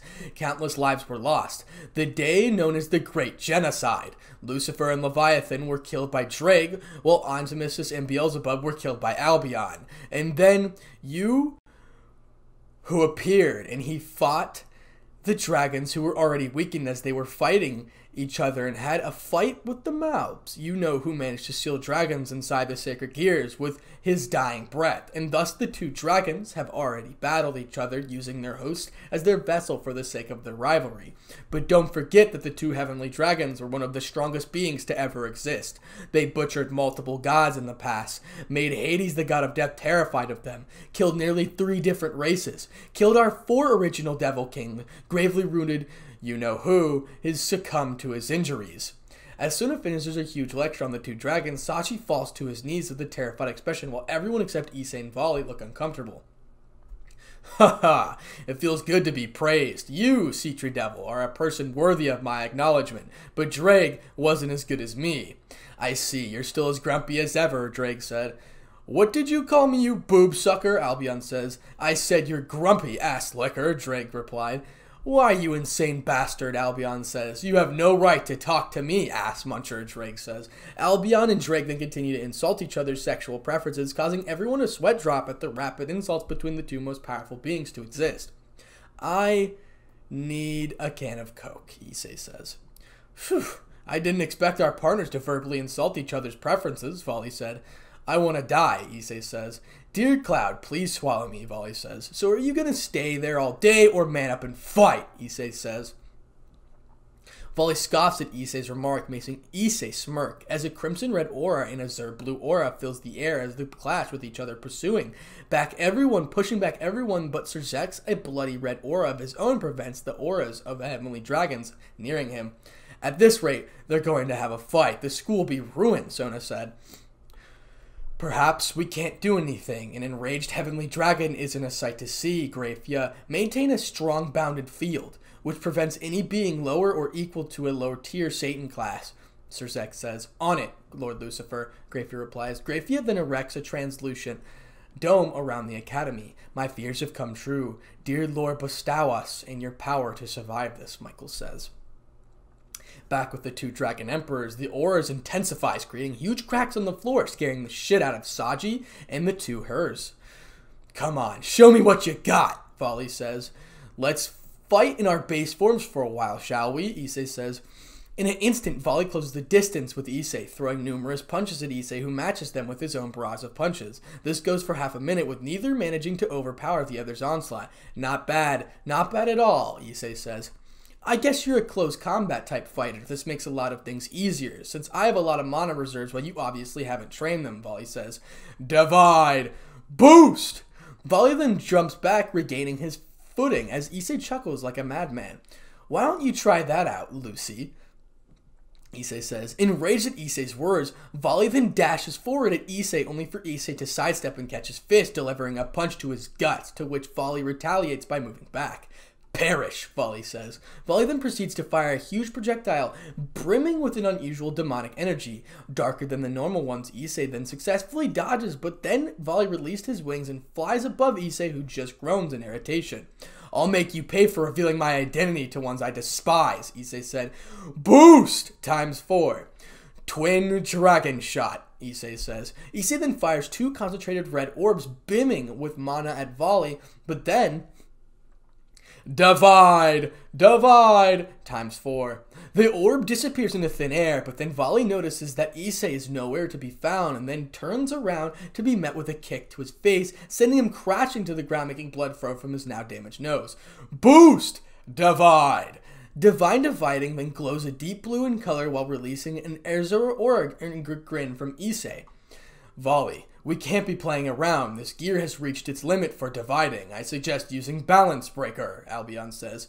But that doesn't mean that Vali can't use Divide. He can just expel excuse, Excess's aura, thus increasing his limits, but then he'll reach his limits at the point if he goes on, Azazel says. more. I want more, Vali says. You're not half bad, Vali, Issei replies. Kick his ass, Issei, Mordred said. Boost! In a blink, Issei appears behind Vali, catching him off guard and throws him a sucker punch to which Vali responds by a hook kick, which manages to push Issei back a few meters. Dear Satan, they're capable of this without getting serious, Sona says. Suddenly, a beam of demonic energy hits Issei, creating a sandstorm blocking others' view of Issei. Divide! Boost! The moment Divine Divine proceeds to uh, divide Issei's sealed power, Ddraig springs into action by boosting. I can I can just destroy him if I release a few of my seals. If I release them all, Vali will surely die even if he tries to divide once. But doing that isn't worth. This guy has potential to become strong. I'll spare him, but that doesn't mean I should give up, Issei says. And as Issei is in his own world thinking about things, Vali utilizes this in situation and tries to deliver a punch to his face. But Issei, due to his draconic instincts, manages to evade the attack and then delivers a roundhouse kick, sending the white dragon flying. Time to take things up another level. A bright light invades the area, causing everyone to shield their eyes. Soon as the light disappears, revealing Vali and his balance breaker. Vanishing Dragon. Balance breaker, Albion says. Let's fight. The way dragons fight. Divide times six. Suddenly, Vali rushes towards Issei at unbelievable speeds. Issei off guard and delivers a wheel kick to which Issei narrowly dodges, but then Sucker Punch comes crashing onto Issei, slamming him towards the ground, causing him a standstorm. Well, I think I overestimated you, rival, Vali says. Has the fight ended? Saji says. No, this is nothing but a prelude to the actual fight, Sirzechs says. With his eyes narrowed, the Crimson Satan looks at the Sandstorm with a calculating look. The hell? I thought it was over. Saji says, Will the red dragon be victorious? It's necessary for the red one to be victorious as the white one is with the Chaos Brigade, Michael says. Issei is childish. He hates losing. I am also childish and I hate losing. That's how I know, Sirzechs said. Even I didn't know about Issei Hyodo and Issei Kotomine being the same person. Hyodo, Kotomine, Issei, the Red Dragon Emperor, and the Hunter of Red Plains, you are a miracle that wasn't supposed to exist, Sirzechs says to himself. The sandstorm then settles down, revealing Issei with his battle attire torn and having a bruise on the place Vali punched him, shocking Vali while Sona and Mordred unconsciously sigh in relief. Welsh Dragon, Balance Breaker, Ddraig says. As Issei enters the Balance Breaker, a huge crimson aura forms a shillette of Red Dragon, causing Eat Vali to sweat silently while the others erect a barrier to protect them from the monstrous aura. Boost times 7. Crimson Firestorm, Issei says. Albion. Reflect the huge firestorm conjured by Issei gets reflected, but then Vali is met with a roundhouse kick to his face, slightly cracking his helmet, which gets repaired instantly. Divide, divide, times three. Ddraig, boost about five times and transfer them to my nervous system, Issei says. You want me to boost your nervous impulse, thus increasing your reflexes? This is extremely dangerous, Ddraig said. Just do it, Issei replied. Boost! Transfer! Azure Wave Impact, Vali says. A huge beam with blue spark surges towards Issei at unbelievable speeds, but to Issei, the beam seems to be slower thanks to his boosted draconic reflexes. Force Barrier, Issei says. At an instant, Issei manages to erect a transparent barrier in which the beam explodes, creating a huge explosion after smoke subdues Issei and above a crater 6 meter long with second degree burns. Erecting that barrier was definitely useful, Issei said. Divide times four, Albion says. In an instant, Vali closes the distance with Issei and tries to blast Issei with a draconic spell. At the point blank range, but Issei tries a new technique. Ddraig. Rapidly boost and increase my defense, Issei says. Boost times 10. A huge blast takes place midair, blowing back Vali due to recoil, but Issei is unfazed by the attack, earning a frown from Vali. I underestimated you. You aren't weak, Vali says. Hadokle, Issei says. A swirl of holy aura accumulates around Issei, causing Vali to get uncomfortable while Michael looks at the sword with curiosity and shock. The forgotten holy sword of purification, Michael says. Boost times 10. Divide times 5. Issei then suddenly disappears and reappears behind Vali, delivers a horizontal slash, breaking his balance breaker while Vali gets flung back and bleeds a little from his mouth. You completely destroyed my balance breaker. That's what I expected you for my rival. Vali says, You're good, Issei says. A bright light shines as soon as disappears, revealing Vali in his balance breaker form, flying. I thought that fight was over, Saji says. Dragons fight till neither one is standing, Tsubaki says. Indeed. We are dragons are prideful creatures and will fight till the death for the sake of our pride. This is how we dragons battle, partner. The mysterious voice before echoes through Saji's mind, causing him to look beside him in confusion. Now with the two dragons, supremacy strike, domination jab, divide, divide, boost, boost. A Azer blue aura and a red aura envelop Vali and Issei, respectively. Both at unbelievable speeds ram into each other, trying to gain superiority between each other. Shocked at the intensity of the fight, Rias tries to intervene, thinking that her dear pawn is in danger, but Sirzechs stop her. Rias, if you try to interfere, their aura will burn you into a crisp, Sirzechs said. Reluctantly, Rias stays away while biting her lips in frustration, causing Sona and Mordred to look at him in irritation. Time to end this, Issei says. Boost times 20. Transfer! Soon, a green aura transfers to the Holy Sword, causing the golden aura to significantly increase in size. Then Issei appears next to Vali and delivers multiple slashes, breaking the balance breaker and sends Vali crashing into the floor, with blood plurting out of his cuts and body. The battle is over. You fought valiantly, Issei says. Why didn't you use your full powers? Vali said. I have made a promise to Ddraig that I will defeat the White Dragon with his power, not mine, Issei says. Struggling to get up, Vali looks at Issei with a battle hungry grin as Issei walks away from him. You wouldn't dare, Albion says. Oh, but I can. Doing this will destroy the whole town. It will kill innocent people, Albion said. Vali says, I don't care. As Issei walks away from Vali, towards Mordred, who is the opposite direction. At last, it's over. It's currently 12 p.m. Fuck, Mordred says. Finally, my fiance came out alive and victorious, Sona says. Vali says, I, who shall awaken. A heavy, dense azure blue aura erupts from Vali, causing Issei to turn around and look at Vali dead in his eye. But all the faction leaders look at the scene with them somber, looks recalling their past memories. Even the crazy Azazel and insane Serafall look at them and worry. Don't you dare, Issei says. Issei then looks at Vali, fear evident in his golden orbs. And that is the end of chapter 13. Chapter 14 The Awakening. I, who shall awaken, Vali starts. A heavenly dense orso blue aura erupts from Vali, causing Issei to turn around and look at Vali dead in his eye. But all the faction leaders look at the scene with somber looks, recalling their past memories. Even crazy Azazel and Saint Serafall look at them and worry. Don't you dare, Issei says. Issei then looks at Vali, fear evident in his golden orbs. Vali, don't do this. Do you want to repeat the same mistakes that my past host did? Albion says. Azure blue orbs appear from his balance breaker, um, armor emitting an ominous aura. Feeling the ominous deep blue aura released by Vali, the two Harris and peerage members gasp ever air, unable to deal with heavy aura, but the most effective one is Saji, who's seen twitching on the ground in agony, while whimpering a bit, causing Issei to look at them with concern for Saji and Sona's peerage. Sir Zex, can you increase the barrier around the academy to the deity class? That's the only way the innocent people will make it out alive, Issei says. I sure can, Sirzechs says. The barrier suddenly turns to a faint red in color, indicating Sirzechs's powering up the barrier, but then both Michael and Azazel combine their powers, establish a barrier protecting themselves and the other devils am the heavenly dragon who has taken the principles of supremacy from God, Vali says. The vanishing dragon balance breaker armor releases a monstrous aura responding to Vali's chant. Partner, Ddraig says. If he activates the drive, I'll be destroyed in an instant unless I release some of my seals. But if I use Trace On, the faction leaders will be able to deduce my identity as the hunter of the Red Plains. Sirzechs already knows of this, but if Heaven finds out, the peace conference will be ruined and they will declare war against the dragons as I massacred the first Heaven, Issei says to himself. Irina, I order you to leave this place, Michael says.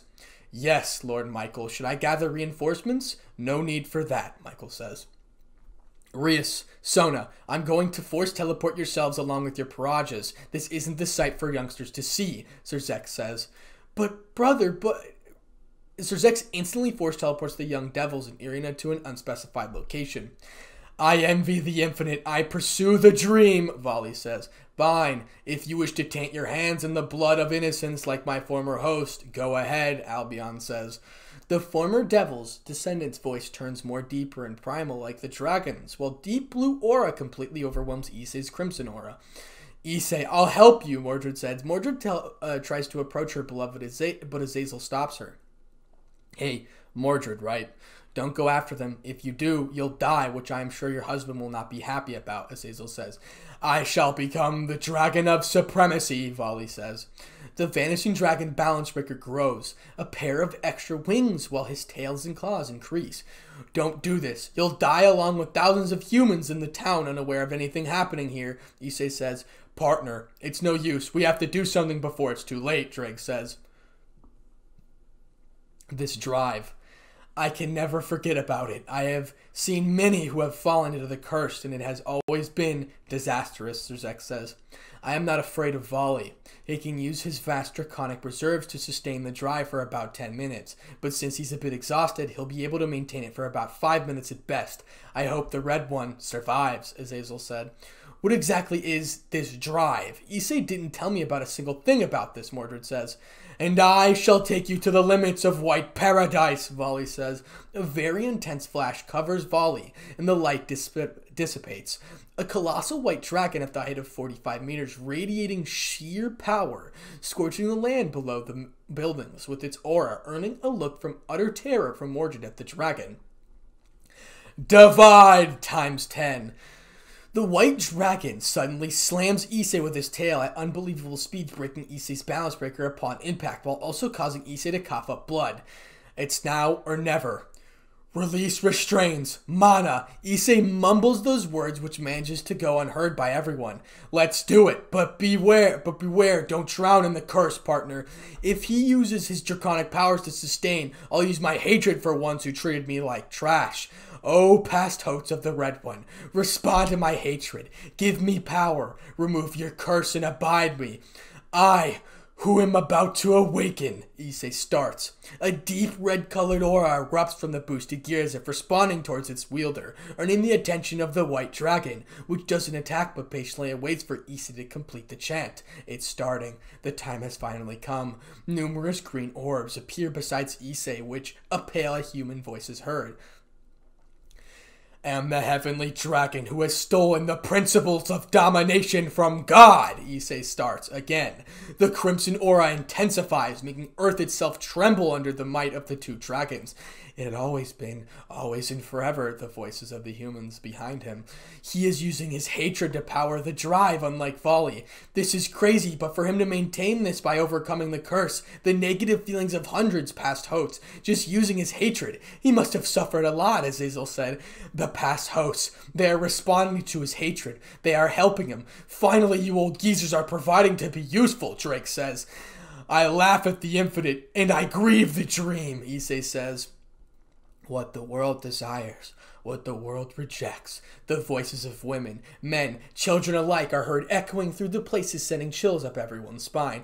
I shall become the red dragon of domination, Issei says has always been power, has always been love. No matter the occasion, you always choose the path to ruin. Slowly, Issei's hands changes into a dragon's claw, and I shall sink you into the depths of crimson purgatory. As the words are said, Issei's a huge green light envelops the surrounding ones, concentrated hard enough to see the transformation that took place a colossal red dragon at the height of 45 meters with large fangs matching the size of the white dragon. A gigantic, dense amount of red colored aura, screaming the concept of domination, surrounds the said dragon, thus blowing up all the buildings academy into dust and in the attention of the other dragon. Ugh. Issei's dragon. Boost times 50! Divide times 20. With a ferocious roar, Issei aka the Red Dragon charged towards Vali aka the White Dragon, breaking the sound barrier in which process is possibly moving at Mach, at Mach 2. The White Dragon successfully evades the attack but bites the Red Dragon in his neck. Enraged, the Red Dragon fires a red colored beam from its mouth, sending the White Dragon Feel my anger, my hatred. Can you feel it? Issei says. Boost times 50. Heavenly flames of domination, Issei says. A dragon made out of flames appears around Issei in a hot, concentrated blast. A dragon fear, imbued with principles of domination, hits Vali, sourcing his outer scales. The time is further reduced to the attack. At best, you have two minutes. Any longer, you'll lose your mind, Albion says. I can feel it hatred, anger, sorrow. I think I can't do this, this, but I feel staring the abyss at itself. The curse. It's so strong I see now the past hopes die in their agony. Pain, hatred, and anger. It's suffocating. The red one must be going through this just like I am, Vali says the red one, he isn't using his magical reserves, but instead he is using his own negative emotions to bend the will of the curse. This mustn't be possible. His hatred has surpassed hundreds of past host curse, but even he will have his limit. Partner, I never accepted to say this, but let's flee. We'll fight him when he is We are strong enough, Albion says. I won't flee from a good fight, Vali replies. Divide times 50. In an instant, the air next to Issei starts to rapidly crystallize, creating a huge crystal around the dragon, trapping it inside. Divide times 20. Boost! Times 50 transfer! The giant layer of suddenly cracks on multiple sides. Then with a loud roar Issei seal breaks revealing a pissed red dragon. Vali. The timer has been reduced from 1 minute to 20 seconds due to the usage of my original spells. We cannot win this. The red one may still have about 10 to 60 minutes. We cannot win albion says. Boost times 20 transfer the red dragon suddenly releases its wings and dashes towards the white dragon, now reaching the speeds of Mach 5, checking the white one off guard, and delivers a solid punch to his gut, creating a huge shockwave, making the barrier to shake and then proceeds to reverse kick the white dragon in its neck, penetrating the thick scales and draw blood. Two, Albion says. Let's make a deal. An eye for an eye, a dragon for a dragon, Vali says. You have one minute. Good luck, Albion says. Huge amounts of deep blue aura burst from the white dragon, causing the red one to lose its footing. Restart, Albion says. The white dragon glows and erupt blue, causing the red dragon to fire a blast into the air in frustration. Partner, it seems the white one made a sacrifice to gain power. Partner, are you still there? Ddraig says. I am fine, Ddraig. How much time do I have left? 40 minutes. If you're using your negative, if you're using your negativity, but if you use your mana at this rate after losing a part of the seal, I'd say you'll get an additional hour or two, Ddraig says, with the faction leaders now. Inside the protective barrier, conjured by Michael Azazel and Grayfia, Mordred bites her lips in frustration and worry, while Sirzechs looks a bit tired, but still keeps on maintaining a deity class barrier, which separates the city of Kuoh and the academy. Sirzechs, do you want me to help you maintain the barrel? Serafall says. Lady, shut, shut, shut up, Sirzechs says. Oh, you're no fun, Serafall replies. Sirzechs groans while restraining the huge urge to facepalm himself, noticing the chirpy Serafall. Mordred looks at her and confused. Hey, weirdo, you're Azazel, right? Tell me, is she always like this? Mordred says. You have no idea. She thinks I think she may have some physiological issues because she is obsessed with her younger sister, Sona Sitri obsessed with magical curls, and who the fuck can remain calm when the two heavenly dragons fight each other using the drive, Azazel says. Indeed, Mordred says. You're awfully calm about this situation. I don't find it amusing, Blondie, Azazel says. With a sheepish smile, Mordred looks at the two dragons fighting each other. It's simple. I have faith on my darling. He made a promise to me the day he confessed his love for me. No matter what he takes, he'll stand by my side no matter what happens. He said that he will always be there for me and would even kill thousands of gods to prove his love for me, Mordred says. With a heartbeat smile, Mordred looked at the ferocious battle while earning the attention of everyone. Some looked at her in awe, happiness, while some looked at her with shock. This girl. It's like I'm looking at an old mirror of myself, Graphius says. Ah, true love fascinates me more than anything, Michael replies. Man, Looks like you got yourself a woman, Issei. I don't care if you're Issei Kotomine or Hyodo. You are my friend. As long as you don't turn into a cruel person, I'll help you. No, I must help you. At least repay my debt that I owe you, Sirzechs said. Quite amusing, as Azazel replies. With Issei, I can't win this battle unless I use it at my disposal, Vali says. Divide times 20, half dimension. Issei's huge aura starts to shrink in size and then suddenly, but then the white dragon seeming to disappears and appears behind Issei and uses his claws to attack Issei, which provides to be futile as a part of the scale gets ripped off, and the red dragon causing Issei to try to counter by his own claws to rip the white one's dragon scales, which works but only to be met with a point blank range dragon shot, stunning him. Shit, this is bad. Wait, that's it, Issei says. Under normal circumstances, you'd be dead if you do that, but I think you'll survive, Ddraig says. In a desperate attempt, Issei manages to hold off the rib scale of the white tail, which has a deep blue crystal imbued in it. Suddenly, Issei takes the orb and places it into his chest, shocking everyone who was witnessing it. You wouldn't, Vali said. Boost times nine. Transfer! The blue orb suddenly merges with center green orb of boosted gear causing the various orbs in his body to simultaneously flash from green to blue. You fool! Do you have any idea what would happen if you combine the two opposing forces? You'll die, as Azazel says. After a few seconds, the simultaneously light change stops and the orbs retain their original color. Vanishing Dragon, power is taken successfully, Ddraig says. This is impossible. No way. This can't be true, Albion says.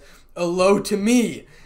Is how you something spectacular, Issei says. Divide, times nine, transfer! As the orbs Issei chain into Blue Ddraig shocks everyone by calling out divide instead of boost. As Vali could feel his power being divided and boost! Times a thousand! The ground underneath him begins to get broken into shards of the rock due to sheer intensity of the aura contained with the red dragon. Ddraig, Longinus Smasher! The green orb in his chest glows radiant, and soon huge quantities of mana accumulates around the orb in an instant. A huge green-colored beam brimming with broad power is launched from the red dragon towards the white dragon and successfully hits its target, causing a huge explosion which cracks the barrier created by Michael and Azazel, and with the white dragon crashes into the ground with huge chunks of its armor broken. Reset, Albion says. The white dragon starts to glow a poop peril in color following Albion's words. Soon the glow dies, revealing the badly hurt Vali, barely conscious with numerous deep cuts and third degree burns. Littered all over his body throughout the most important part was his left eye turned blue. I lost, Vali says.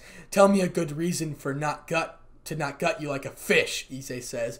Soon the red dragon vanishes into thin air. Instead, Issei in his battle outfit with his arms crossed as he looks at Vali, his arm towards a disgusted feeling.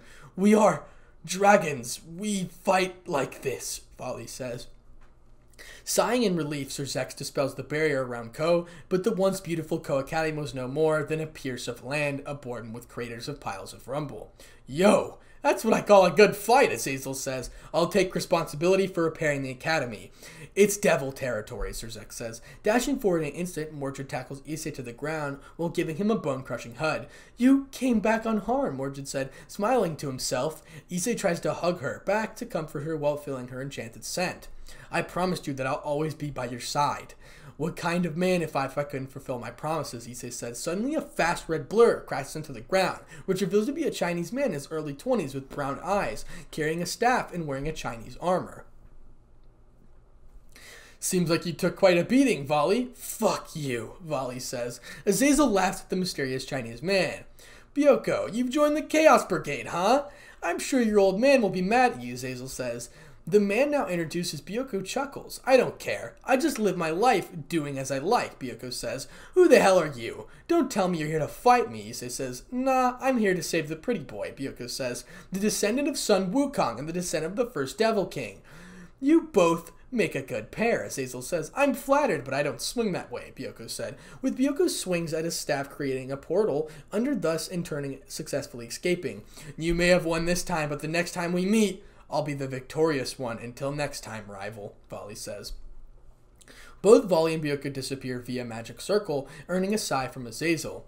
I think you owe us an explanation, Issei Kotomine, or Issei Hyodo, Sirzechs says. With a heavy sigh, Issei motions for Sirzechs to pay attention. I once was known as Issei Hyodo, but I have long discarded that identity, Issei says. How'd you become a dragon? Sirzechs said. Ddraig changed me into one, Issei replies. For what purpose did you visit Kuoh? Classified, Issei said. Are you the one behind the recent killing on Kuoh? Sir Zex said. No, Issei replies. Sirzechs looks at Issei dead in the eye to find any traces of deceit, but since Issei is a master of concealment, he finds no trace of lies. Does this change anything between our friendships? Zex says. No, unless you try something else like keeping tabs on me, Issei says. Last question. Why did you leave my sister's peerage? Zex replied. After an uncomfortable minute of silence, Issei answers his question. She kicked me out of her club, then turned my life a miserable one as the students tried to harass me. And even my own parents abandoned me. They thought that I did something bad to your sister. And after some small analysis, I found out something, Issei says. What did you find out? Sirzechs replies. Tell me, Zex, if any rogue fallen angel trespasses into a devil's territory, what should the devil, according to the protocols, do? So Issei says, Well, if the fallen angel is confirmed as rogue, the governor of the territory can do whatever she wants with the fallen, either kill them or capture them. Issei then looks at Sirzechs with unparalleled rage present in his eyes, causing him to flinch. She knew that a group of fallen rogue angels have infiltrated Kuoh, but she didn't take any action. And when I was asked to date by a fallen angel, she didn't alert me, but instead ordered her rook to stalk me on the day of my death. Her familiar gave me a summoning circle belonging to the House of Gremory, and when the Fallen killed me, she forcefully revived me as a devil since I had the sacred gear. And she was in despite, she was in a desperate need of powerful peerage pieces. As Issei then completely completes his speech, everyone looks at him in surprise and then shock. But the worst affected out of them was Sirzechs, who looks at this ground with unrecognizable emotions, unable to believe that his dear little sister is capable of doing this. Meanwhile, I'm going to kick her ass, Serafall says, meaning.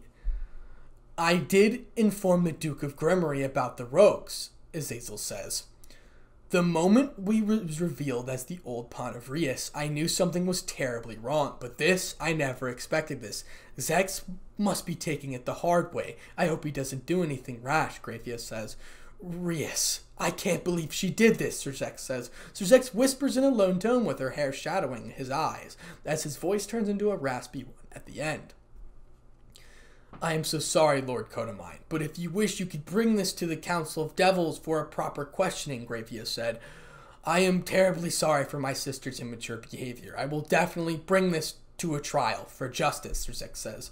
You don't have to be saddened by the actions of your sister, but I do want to severe actions taking on her, Issei says.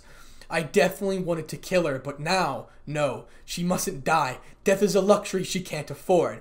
I have faith in Zex that he'll punish her sister. But that still won't be enough. I'll make her life a living nightmare, Issei says. I wanted to give this as a present, but considering the circumstances, I'm giving this as a token of apology. Please accept this. Sirzechs brings out a small case of which radiate, radiates a faint draconic aura. This is a set of evil pieces, custom for turning humans into part dragons instead of devils. The same rules of evil pieces apply of this, and you can also enter the devil's rating game. I hope you like this, Sirzechs says. Sirzechs then opens the case revealing a set of evil pieces, which has 15 pages radiating a strong draconic aura, earning a small smile from Issei. Thank you for this gift. This will be good enough to help in the future, Issei says. Well, you must infuse your aura into the pieces for them to acknowledge you as king, Sir says. Nodding his head, Issei then places his hand above the case and pours his aura into the pieces, causing the, them to glow brightly all 15 pieces have mutated. This hasn't occurred more than twice. Ajuka and myself were the only ones who got all pieces had mutated once, Zex says. Great. I'd like to have a good conversation, but it's time for me to go home. As the payment for your protecting your sister, I'd like half of Kuoh's ownership, which Rias owns, to be transferred to me. It will be done in a couple of weeks, Sir says. Well, then see you later, Crimson, Issei replies. With a bright red flash, both Issei and Morta disappear from the academy. Lord Lucifer, we have to rebuild the academy, Grayfia says. Curse my dumb luck, Sirzechs replies. Grayfia then drags Sirzechs to help rebuild her academy, while the Sirzechs weeps like a woman at his misfortune. But then, oh shit, I forgot to tell him about the engagement between him and Sona, Sirzechs says. Now, currently with Sona, currently at the middle of the night, Sona is seen on her bed and unable to sleep after receiving the news that Issei's safe and academy will be rebuilt within tomorrow. I have to inform my mother about my fiance being the Red Dragon Emperor and the second in command of the dragon, Sona said. Oceanic blue colored magic glyph forms at her ears, and soon a feminine voice is heard. Sona, dear, how are you? I'm fine, mother. The treaty went well. The city is safe, Sona said. Good. How is your Peerage, my dear? I have been notified that a Vritra sacred user had been made your pawn, Lady Sitri says. Indeed, he is not bad for a newly reincarnated devil. He's like an annoying little brother at times, Sona said. A loud giggle is heard from Lady Sitri. Now, I'm looking forward on meeting him. Lady Sitri says, Mother, about my fiance, Sona says. Oh, the one who you bet in chess? Say he is a good individual. Lady Citri says, he is... A- and Mother, he is aware of the supernatural, Sona says. After a long, cold minute of silence, Lady Teacher responds back, Oh, so what is he? He is a dragon and a really powerful one. He was invited to the conference representing the dragon faction. It seems like he is a very powerful dragon and the Red Dragon Emperor. The perverted pawn of Rias. Hmm, no way. He was declared dead, is the new Red Dragon Emperor. Is he the new Red Dragon Emperor? Lady Sitri says. No, mother, he is Issei Hyodo, but somehow he managed to survive, removing his pieces and becoming a dragon adopted a new identity. But I assure you he is no longer a naive pervert. He has drastically changed into a ruthless but caring person. And mother, please don't oppose this engagement. I am in love with him. I fell in love with him the moment he defeated me in chess. Before that, when he arrived at the student in Kuoh, it was a small crush, but now I love him with all my heart. Oh, I cannot say no. That I suppose, but I wish I have a present talk with him, Sona. Inform him of this engagement, and if he's alright with it, we'll proceed, Lady Sitri says. With an atomic blush, Sona tries to compose herself, but then Phi's unable to do so. It's late, mother, so I'll call you after a couple of hours, Sona says. With that, Sona dismisses the magic limp and proceeds to fall asleep thinking about Issei, but unknown to her behind Velatorm glare of her room, a small camera with a microphone is seen if one could look at it clearly. A word is seen out of the camera which says property of Leviathan. And that is the end of chapter 14. And that is where we're going to stop for now. Thank you guys so much for the support. It's been absolutely amazing. I'm so, so fucking tired. I can't even begin to explain. I gotta go eat lunch after this. Your boy's been grinding like a lot. I've had to move my stuff from places to places. This place has shitty Wi Fi, but either way, I'm in college. I had to move a college dorm because our shower needed maintenance and I didn't care. And so now we had to switch to another dorm. You know what? I'm not even gonna bother fucking explaining it. Either way, it was super annoying. Once again, thank you to all my people who joined Balance Breaker. Rob the King, Jorge Alvarez, Lachlan Yates, Atomic Warlord 58, Quetzalcoatl Toltec Sun God, Daybreak, VR Wolf 2347, Sinroar Q, Jordan Paccio, and Mazaku. Thank you so much for the support. I cannot thank you enough for joining the Balance Breaker tier. You guys don't understand how much this helps me. Thank you guys so much for your support. It's been absolutely amazing. My next series I really plan to do extremely recent is What If Naruto Was Betrayed, and obviously the If Issei awakened his boosted gear early, or awakened his What If Issei awakened his boosted gear earlier which will be a movie and it'll include something special. So just be prepared for that movie. And what if Naruto was betrayed? Thank you guys so much for the support. And without further ado, Spartanic Artz DxD out. Wait, let's try to hit 600 to 500 likes. Peace. What's up guys, it's your host Spartanic Artz DxD back with another high school DxD related video. And today we have What If Issei Was Betrayed and Became a God, part 6. Let's try to hit 500 to 600 likes. And if you guys want to know exactly when I upload slash my upload schedule, click the little blue button right next to the subscribe button. And a special thank you to all my balance breakers. Rob the King, Jorge Alvarez, Lachlan Yates, Atomic Warlord 58, Quetzalcoatl Toltec Sun God, once again, I'm sorry if I mispronounced that. Daybreak, VR Wolf, hashtag 2347, Sainrar Q, Jordan Pachow, and Mazaku. Thank you guys so much for becoming a balance breaker. Thank you so much. I can't thank you enough for the support. And without further ado, let's go ahead and get right into it. Chapter 15. Third POV, an unknown location a day after the conference. Darkness, as far as one eye could perceive. Amid the darkness was a heavy stretch, a heavy stench, of blood along with whimpers and groans. Suddenly a small streak of light appears. Alone, candle is ignited, revealing a small boy curled up in a corner, his hands drenched in crimson liquid. But soon a chuckle is heard, not from a boy, but something else, causing the boy to sob. I'm back, kiddo. Tell me how was your day? How was it to feel your own intestines in your hands? A deep voice is heard within the darkness, scaring the boy to no end. Devil kids are more restrained to pain. Any human kid would have been dead before he could see his insides, but you can feel your own intestines in your hands. I envy you. With a loud clang, the light turns on, revealing blood and squished organs all over the room, and in the corners of the room, corpses of young women were piled up, with rotten behind identification. But the most insidious thing was a teen with amber hair, most likely in his late teens, but the most remarkable feature was the unnaturally smile on his face. Tell me, kiddo, how are you feeling? Please help me, the kid says. But then from the shadows on the corners, a man, no, a scary humanoid creature wearing a luxurious robe of ancient design. Satania's scarlet patterns adorned the pitch black fabric, comes with traumatizing the kid by those abnormally big eyes, easily reminding him one of nocturnal animals. But the amber haired teen just grins at the creepy thing. Ryuunosuke, I have arrived at last. How is our new victim I have brought you earlier? He's just cool. He can feel his own guts and insides in his hand without dying. I'm about to test him by serving his man part and making him look at it. His despair. It's so cool, Ryuunosuke says. The team now intruded by Ryuunosuke's claim, with Glee causing the scary thing to chuckle. His despair is quite fresh indeed, but hey, boy, don't be afraid. I won't hurt you. You can get out. You can go by yourself, right? Yes, the kid replied. The thing casually heals the boy and opens the door with a smile on his face, which makes him look more uncomfortable than before. But the boy, with hope in his eyes, exits the room and looks at the hallway with the main door just a couple of steps ahead in happiness. As the boy with his hopes high, tries to leave the house. Multiple tentacle like things catch him and drags him towards the creepy thing, and the teen, in process to stab him, then this newly healed guts and proceeds to rip out his limbs, earning a loud scream of agony from the boy, which becomes faint as the boy slowly dies. Oh, that was cool, Ryuunosuke says. Some forms of terror are livelier than others. The best is to show them a ray of hope, just to be crushed in an instant, just like what happened to me a long time ago. Suddenly, a green colored magic circle opens up, and a man with his identity concealed by hood appears. Uru, your next mission is to infiltrate the city in the underworld called Baphacil. In the territory of Beale Devil House, you will be infiltrating that place as a common devil citizen and gather any available intel. Keep a low profile and do not commit mass murders, maybe a couple of killing. Do not, by any chance, try to enter the Beale private grounds. This mission was directly appointed by Beelzebub himself.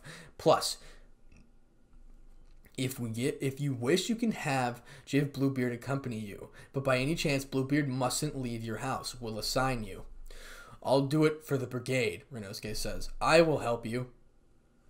Good. Be good to use. Since we were the ones to have saved your life by reincarnating you as the devil, now POV we're with Issei.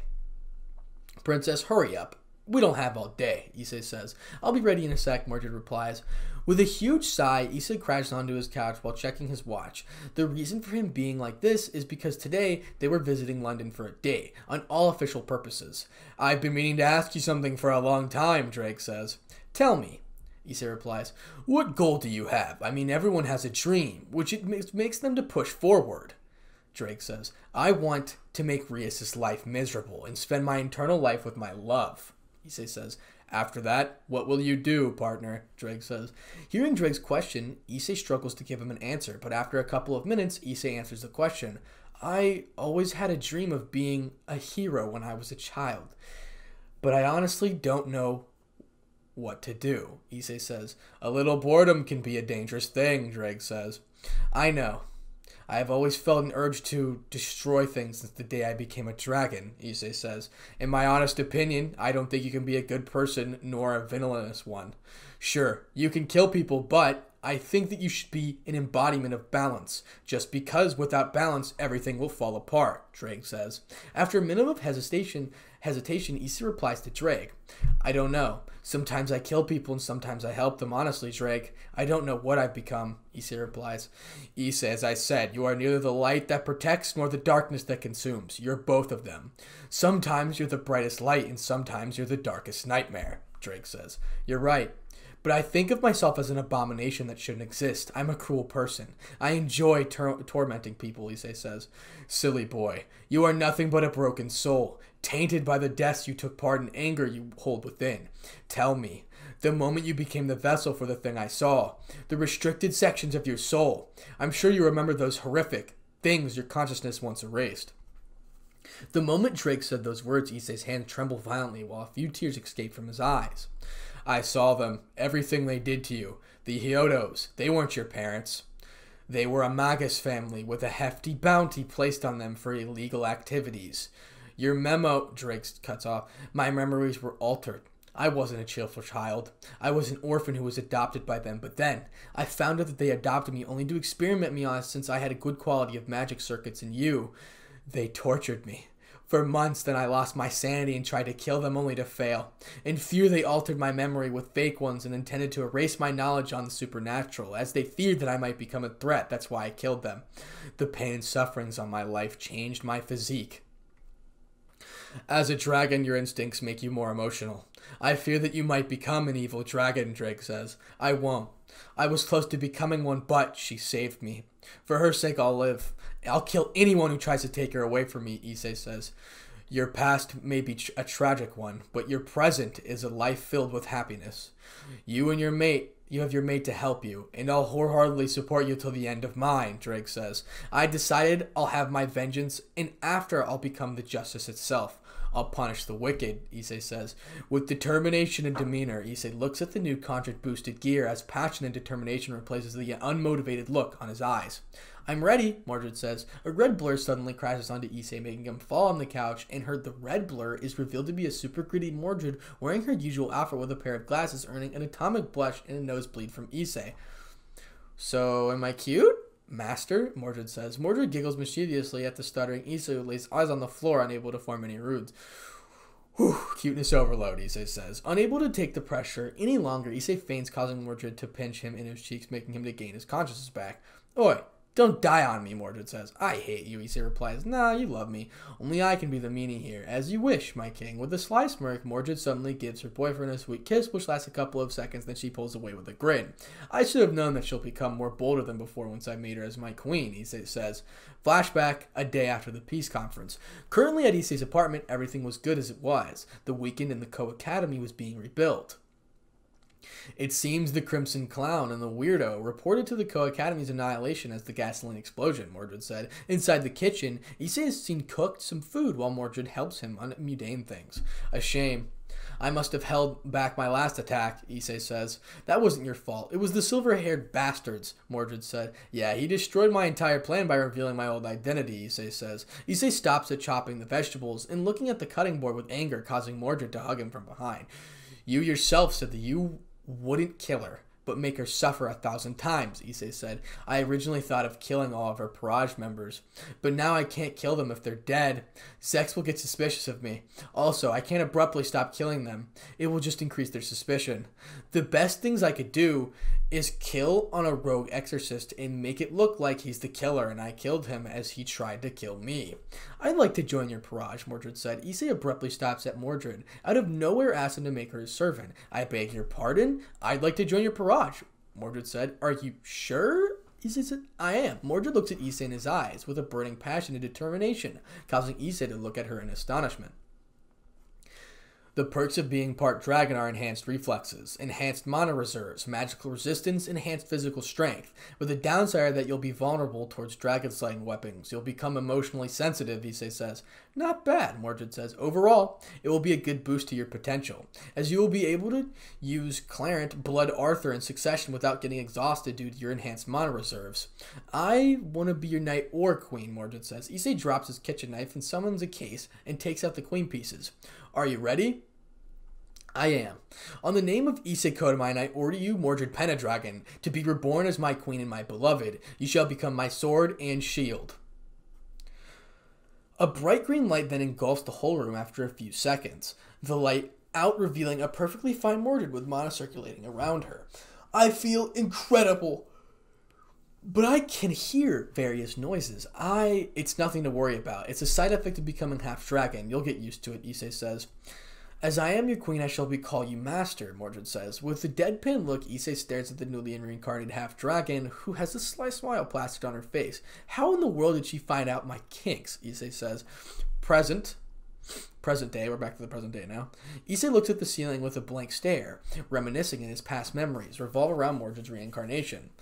Hello, Earth to Issei, Mordred says. What? Oh, you were staring at the ceiling for a whole minute. We have to be at London, remember? Oh, yeah, I do. A bluish portal opens up, a couple enters the portal holding hands. In the underworld, in the outskirts of City Luafalt, server devils were in a magister room, which serves as the council room since the Civil War room. Devils from various royal clans were present, and a few elder devils, along with the four great Satans and the great King Zek and Biel, were seated on the upper deck overlooking the trial. Welcome, distinguished royal families of each clan. Let the trial begin, Sirzechs says. Rias Gremory, Harris of the Ested Gremory clan, has been charged with the breaking of the Reincarnation Act, violation of territory protocols, endangering the devil community, improper rule over territory, high treason. May Rias Gremory be present. As soon as the older Devil, aka Zekram Bael, the oldest devil alive, announces the news. Two guards bring Rias chained towards the trial. Rias Gremory, you have been charged with the breaking of the Reincarnation Act, violation of territory protocols, endangering the devil community, improper rule over your territory, high treason. Do you have anything to say? Sirzechs says. I I knew that a bunch of fallen angels have infiltrated into my half of Kuoh, but I didn't do anything as I was banking on Issei to be killed so that I could reincarnate him, Issei says. In a crestfallen tone, Rias tells them the truth with her head hung low, causing a few murmurs. I'd like to clarify that the person Rias forcefully reincarnated was the Red Dragon Emperor Issei, and recently he was declared to be dead. But we have found that he is alive, and he managed to expel the pieces and become a full fledged dragon after he found out the truth. Who is the second in command of the Dragon faction? Rias Gremory has managed to not only risk a great war, but also risk a war with the dragons.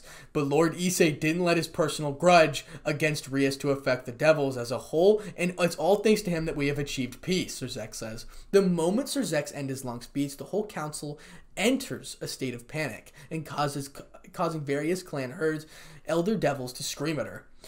She dared to cause the extinction of the devil. She must be executed, Lorgan said. Guilty. She must be executed amid the common devils, Lorgan says. A disgrace to the devils must be eliminated, Lord Biol says. A huge uproar breaks out as many devils demand for Rias to be killed, but then Zekram intervenes. As the great king, I personally consider that Rias Gremory, although guilty, is an immature devil. She wasn't well aware of the consequences of her doings, so I suggest that we reduce her punishment, Zekram says. I agree. It isn't right for an immature devil Harris to be executed, Lord CG replies. Execution isn't the right thing to do in this case, but one can't leave this unpunished. We, the Phoenix clan, will be neutral for this trial, Lord Phoenix says. A vote shall be taken to decide the punishment of Rias Gremory, Ajuka says. Time skip. Scene break, time skip. The votes of every pillar and the mouths have been received, and the results are 13 clans have voted for execution, 4 clans have pledged neutrality, and 15 clans have voted for minor punishment. Us mouths have voted for minor punishments. Rias Gremory will not be executed, Sirzechs said. As the Great Kings proposed that Rias Gremory should be stripped of her position as a Harris and should be stripped of her Peerage, Zekram says. I agree, Lord Gremory says. I disagree. Rias Gremory is considered as an upcoming devil prodigy by common masses in the clan, so I refuse to strip her of her peerage. She will be valued asset to the devil society as a whole, Sirzechs says. After a long minute of silence, Zekiel Biel with a huge frown answers back. I can't deny, but what if the dragons come back with an army demanding her head, Zekram says. He would do no such thing. It was all thanks to him that we managed to secure the treaty, Sirzechs says. The dragons are in dire need of portions of the underworld, as the dragon apple is only found in the underworld. That was the primary objective of the dragons. So what if he betrays the treaty after acquiring the lands and comes back for her head, Zekram says. A few murmurs raise at Zekram's point, but causing Sirzechs's face to twirl into that of a frown. If that happens, Rias Gremory will be handed over to the Red Dragon Emperor, but she won't be executed by us, Sirzechs says. I acknowledge that the fact that Rias Gremory is considered a prodigy and she won't be stripped of her peerage, but what about her position as the Harris? Zekram says. Lord Zekram, you should consider the fact that we have no heirs to the clan. If Rias is stripped to the position of the Harris of the Gremory clan, will most likely become extinct, Lord Gremory says. Don't fool us, Lord Gremory. I am well aware that there is another heir to the clan. Millicas Gremory, firstborn son of Sirzechs Lucifer and Grayfia Lucifuge. He inherits the power of destruction of the Biols, and the power of the Only Chains of Twilight, the long-lost signature ability of the Gremories, which allows the user to conjure and manipulate chains of made of demonic energy which earn the respect of the former Lucifer as he asked to acknowledge the ability, and that is why the Gremories were given the rank of Duke. Lord Agrius says. As Lord reveals the information, the whole meeting disrupts into chaos, causing Sirzechs to sigh. Dear Satan, power of destruction and the unholy chains of twilight. The last no Gremory to wield this ability was the first Gremory and his son, Lord Phoenix says. The Gremmies have such a terrifying child, Lord Bio replies. But he's just six-year-old child, Lord Gremory says. Ah, yes, a six-year-old child with the power level of a low-tier high class, and he hasn't even trained his powers. And not to mention that Rias Gremory, the prodigy, who is 19 years old, has trained since the age of nine, is also a low-tier high class in power, Lord Gardas said. With a, moth, with a mocking laugh, Lorgas looked at the Gremory, causing him to sigh. Fine, I agree to strip my daughter from the title over Harris, and form now on Millicas Gremory will be made the heir. That's all. Council is now adjourned, Sir says. Now back with Issei. Britain has changed a lot. From the top of a huge skyscraper, the couple stare at the city, London, with their hands over intervene. So, where do you want to go? Hmm, shopping, Mordred says. No, no, no, no, no, Issei says. Issei frantically waves his hands and looks at the now smiling Mordred with horror etched into his eyes. First, we'll go Hyde Park, and then we'll spend our time in the National Portrait Gallery in the National Museum. I want to see how many humans have decapitated my glorious life after we'll pay a visit to the Millennium Wheel, Mordred says. Sure, let's get going, Issei replied. Time skip. Mordred looks at something with no emotions visible on her eyes. And next to her, Issei lets out a chuckle. Why, this is absurd. My mother is portrayed as a gruff looking man, well, an incompetent piece of steel. Mordred looks at the portrait of a gruff man on a horse with a sword. Grinning her teeth in frustration, the Pendragon averts her gaze of the portrait, while a huge bloodlust covers the gallery, causing several people near them to sweat profusely. And many move away from them, seeing that Issei slight nudges her. Humans try to misinterpret many things. You have to tone down your bloodlust, Issei says. After hearing her boyfriend's word, Mordred halts her bloodlust, causing the people to unconsciously sigh. Time skip. Scene break. With the flick of his hands, a portal opens up and a couples go through and come out only to be met with a busy street brimming with life and excitement, a huge Ferris wheel next to the river. This is awesome, Mordred said. So this is Millennium Wheel, not bad, Issei replies. Come on, let's check it out, Mordred replies, with a mysterious glint in her eyes. Mordred drags Issei towards the Millennium Wheel. Time skip, scene break.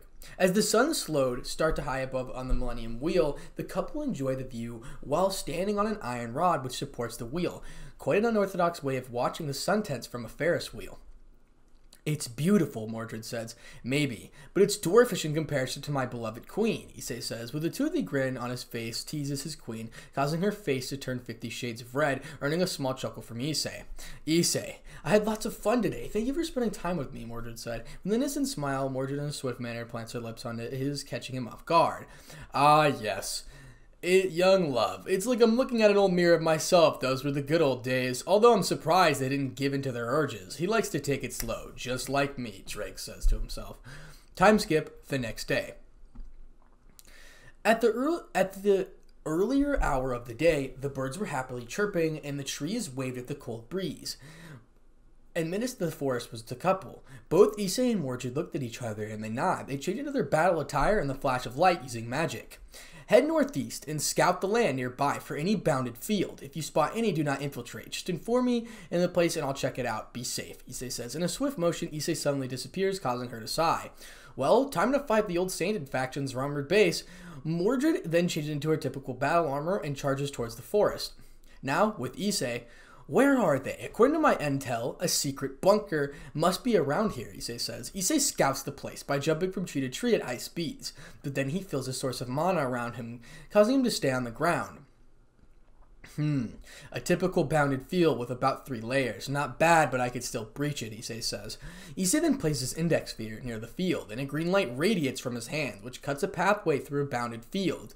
In an instant, Issei passes through the bounded field, only to find a huge castle with numerous devil and mage-like guards. Halt! State your identity, Devil One says. Don't you know me? Issei replies. We don't. Now state your identity, Devil Two says. Issei Kotomine, your non-friendly slayer, Issei says. With a maniacal smile, Issei grabs the two devils and smashes them into the floor, killing them. Ah, Mage One says. A soul mage tries to alert the other guards, but suddenly someone comes and grabs him by the collar and lifts him to the air by his throat. Ouch. Could you please tell them that I'm sorry, Issei says. Issei's maniacal grin winds at the mage's terrified expression, then proceeds to kill him. You're awfully violent, Drake says. Two mages made my life a living hell when I was young. So what did you expect from me? Issei replied. Remember, control that frenzied side of yours, Drake said. Can't help it. Whenever I see these fucking mages and devils try to kill it, it reminds me of my past, Issei says. Suddenly, Issei disappears out of thin air, and Reapers next to the devil guard with his presence concealed. Hey guys, open up, the devil guard says. The devil knocks on the door, causing a mage to open the door with a frown. What do you want? Mage 3 says. In a swift manner, the devil's head falls down to the floor, earning a small yelp from the mage, but then the mage looks at his chest only to find a hole. Ta ta, Issei says. The mage's body falls onto the floor with a thud, causing the other devil and human mages to notice him. Kill that fucker, Mage 4 says. Boost, Ddraig says. Trace on, Issei replies. mana accumulates around Issei and then condenses into multiple kitchen knives, which rust out towards the guards to kill most of them. Pathetic.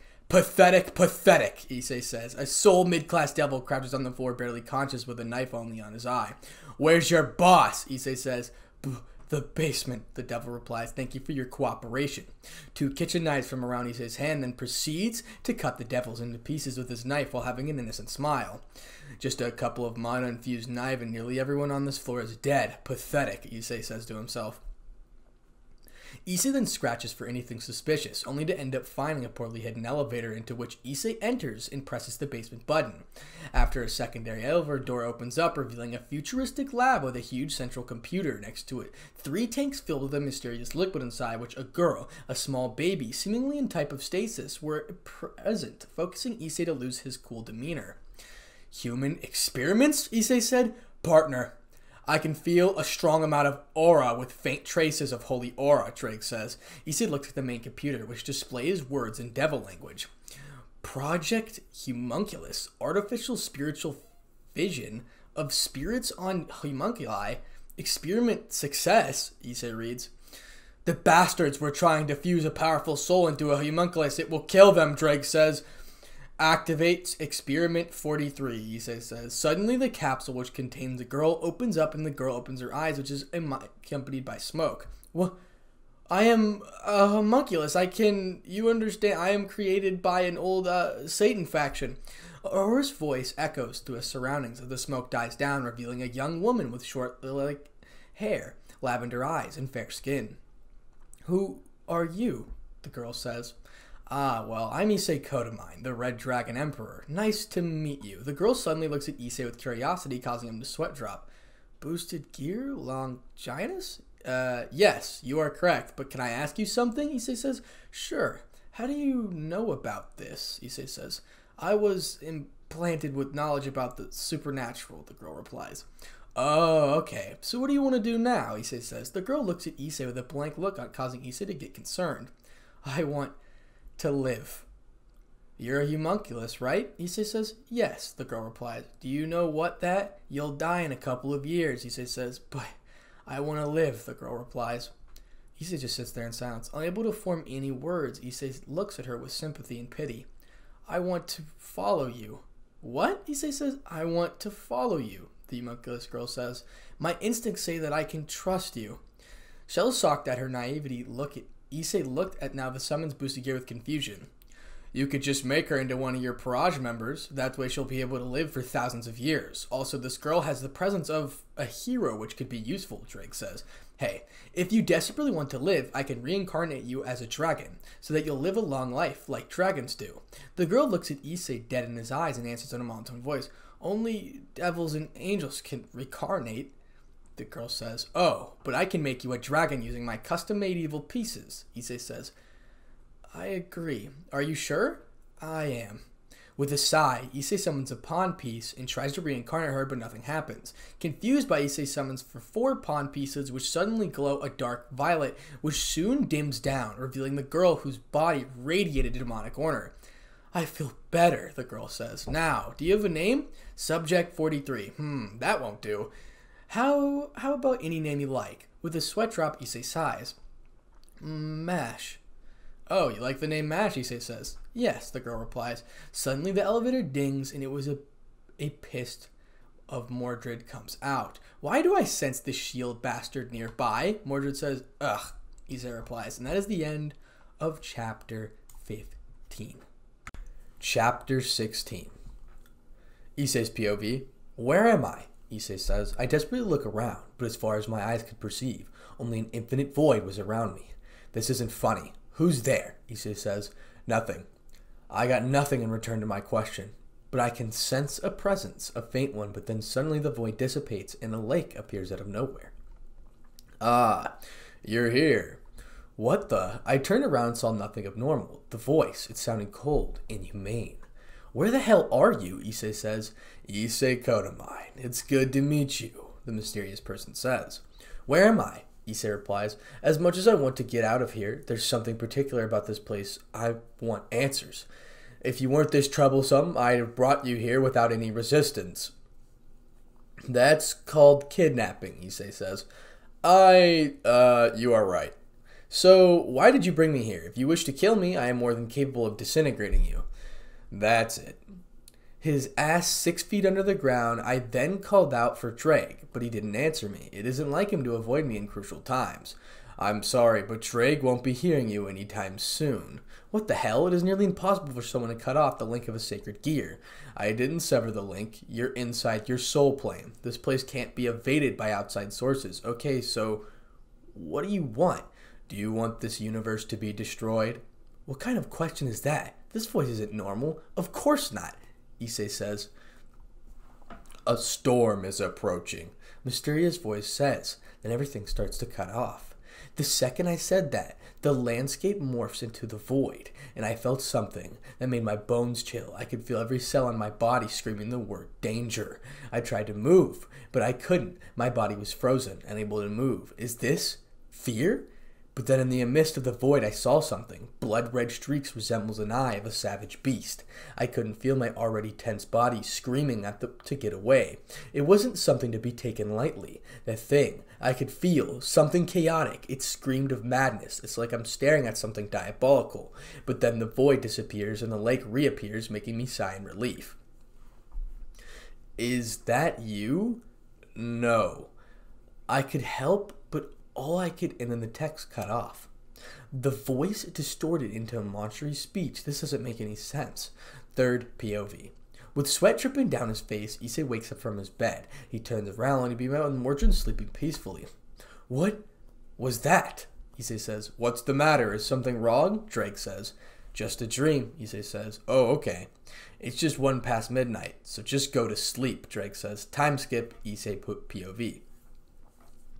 A sweet aroma lingers around the house as my love Mordred, Mash, and surprisingly Sona have their breakfast together. It's been one week since I made by Mash my pawn. Mordred managed to reveal the identity of the spirit which got fused with Mash, and surprisingly it was the spirit of an authoritarian tradition, Galad whom Mordred addresses as the Shield Bastard. Also, a couple days ago, Sona requested to temporarily live with us since her mansion was under renovation, and surprisingly, Mordred agreed.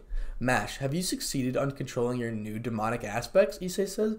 Controlling my reflexes have gotten a lot better, but I'm not able to use draconic magic, but I'm able to use human magecraft thanks to my homunculus part, Mash says. If you need any help, feel free to ask for my help, Mordred says. I thank you, Mash replies.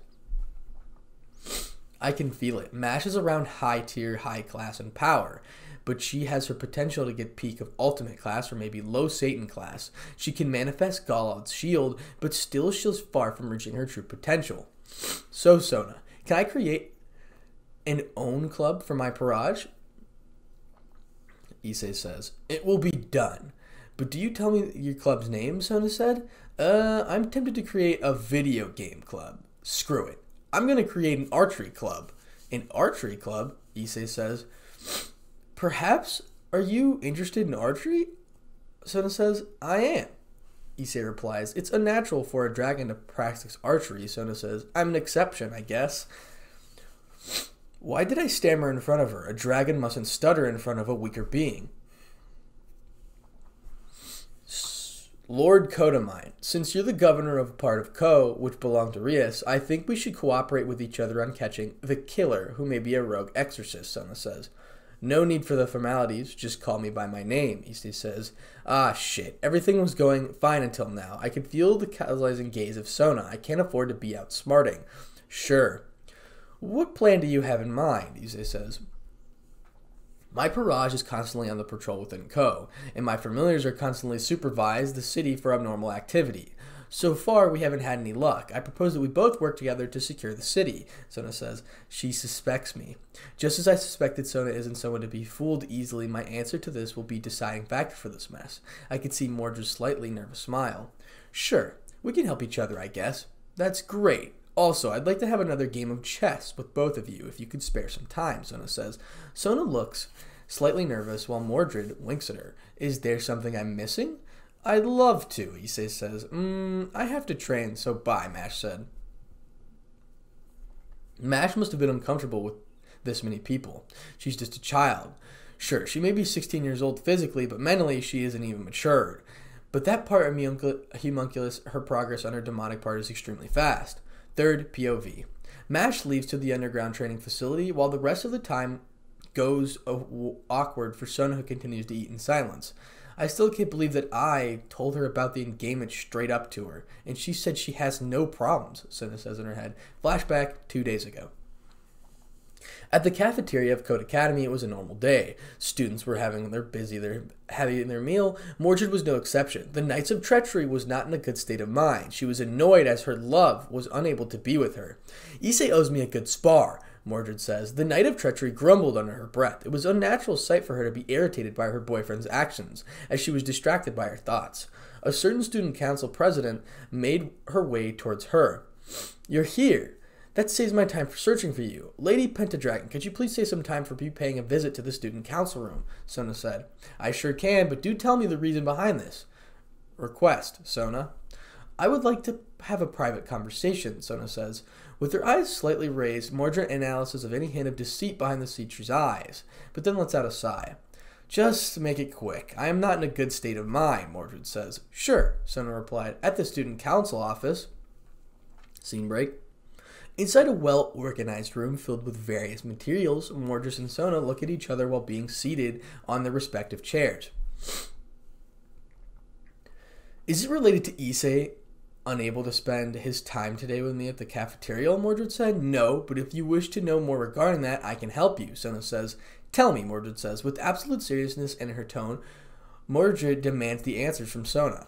Issei wanted a piece of Kuoh under Rias' jurisdiction, and an official order from Lord Lucifer has arrived stating that Rias should be relieved of her duties and the land to be transferred to Issei. Also, it seems the issue regarding Issei's reincarnation has caused an uproar among the council. The council wanted to execute Rias, but later they have decided to strip her of her status as the heiress. Sona says. She deserves it. That sick manipulating bitch manipulating my east to her selfish desires. This doesn't make me feel any better, Mordred says. With a small snarl, Mordred curses Rias, causing Sitri heiress to nervously laugh. I can't deny that, Sona says. So what do you want to talk about, Sona? With a snarky smile, the Knight of Treachery slightly teases her victim with a appearance smile irritations to be placed by Bliss causing Sona to look at her nervously. I'll be honest with you. I'm engaged to Issei, Sona says. What? Mordred replies. Mordred looks at Sona with a twisted anger and jealousy. The infiltrated knight looks at Sona while subconsciously admitting huge amounts of bloodlust, scaring the Sitri heiress beyond belief. Hold on, let me explain, Sona says. Sona looked at Mordred with pleading for her to hear you out. Explain, Mordred said. When I was about 13, my parents made a marriage contract with the Amon clan. I was forced to marry the second son of Amon clan, who is a great pervert. So I challenged him to a game of chess, and he lost. Using this, I demanded that I wouldn't marry a devil who couldn't match my intelligence. Since then, my clan made a deal with me that the first male to win a game of chess against me will become my fiance. I was challenged by many devils, but none managed to win. But then you and Issei won against me for the first time. I explain to your parents about this. I am sure they will cancel your mistake, Mordred says. With her voice as cold as the ice, Mordred harshly answers her, causing Sona to flinch. But then, why can't you understand? I love him. The first moment I saw him, it was a crush, but then after all this, I love him. I love him. I love him. I swear I love him. I want him. Why can't we just share him? Sona says. With a twisted smile on her face, the Sitri heiress stares directly at the knight's eye. But then her twisted smile changes into a frown as her facial features become distorted, holding her unhealthy desires. Do you love him? Mordred says. Yes, Sona replies. What will you do if someone tries to take him away from us? Mordred says. I'll kill them, Sona replies. What will you do if he doesn't accept you? Sona just sits there in silence. Sona visibly tenses and stays quiet with her hair shadowing her face, earning a small smirk from Mordred as she knew that she struck a nerve. Answer me. I tell me, are you scared? If you're scared, you don't deserve him, Mordred says. I will kill Sona says. With an expression that contradicts her original personality, Sona yells and she breaks the table nearby in two and looks at Mordred with an expression of person, nearing the verge of insanity. Who will you kill? Everyone and everything. Will you kill your sister if she tries to interfere? I will tear her limbs apart. Till, till she pleads to kill her, I will obliterate her wretched existence off this planet, Sona says. In a fit of rage, Sona lets out her aura, causing the ceiling to crack and the furniture to break in two. Such an intensified bloodlust, even the Lucifer's descendant didn't have much Melissa's aura. She's dead serious about the fact that she will kill anyone to be with my Issei. Her eyes then glowed eerie, red causing Mordred to take a step back and clearly compose herself. That's a nice answer, Mordred said. Uh, what? Sona replied. I'm not scared by your little trick. I won't stop you from pursuing him, Mordred says. Why? Sona said.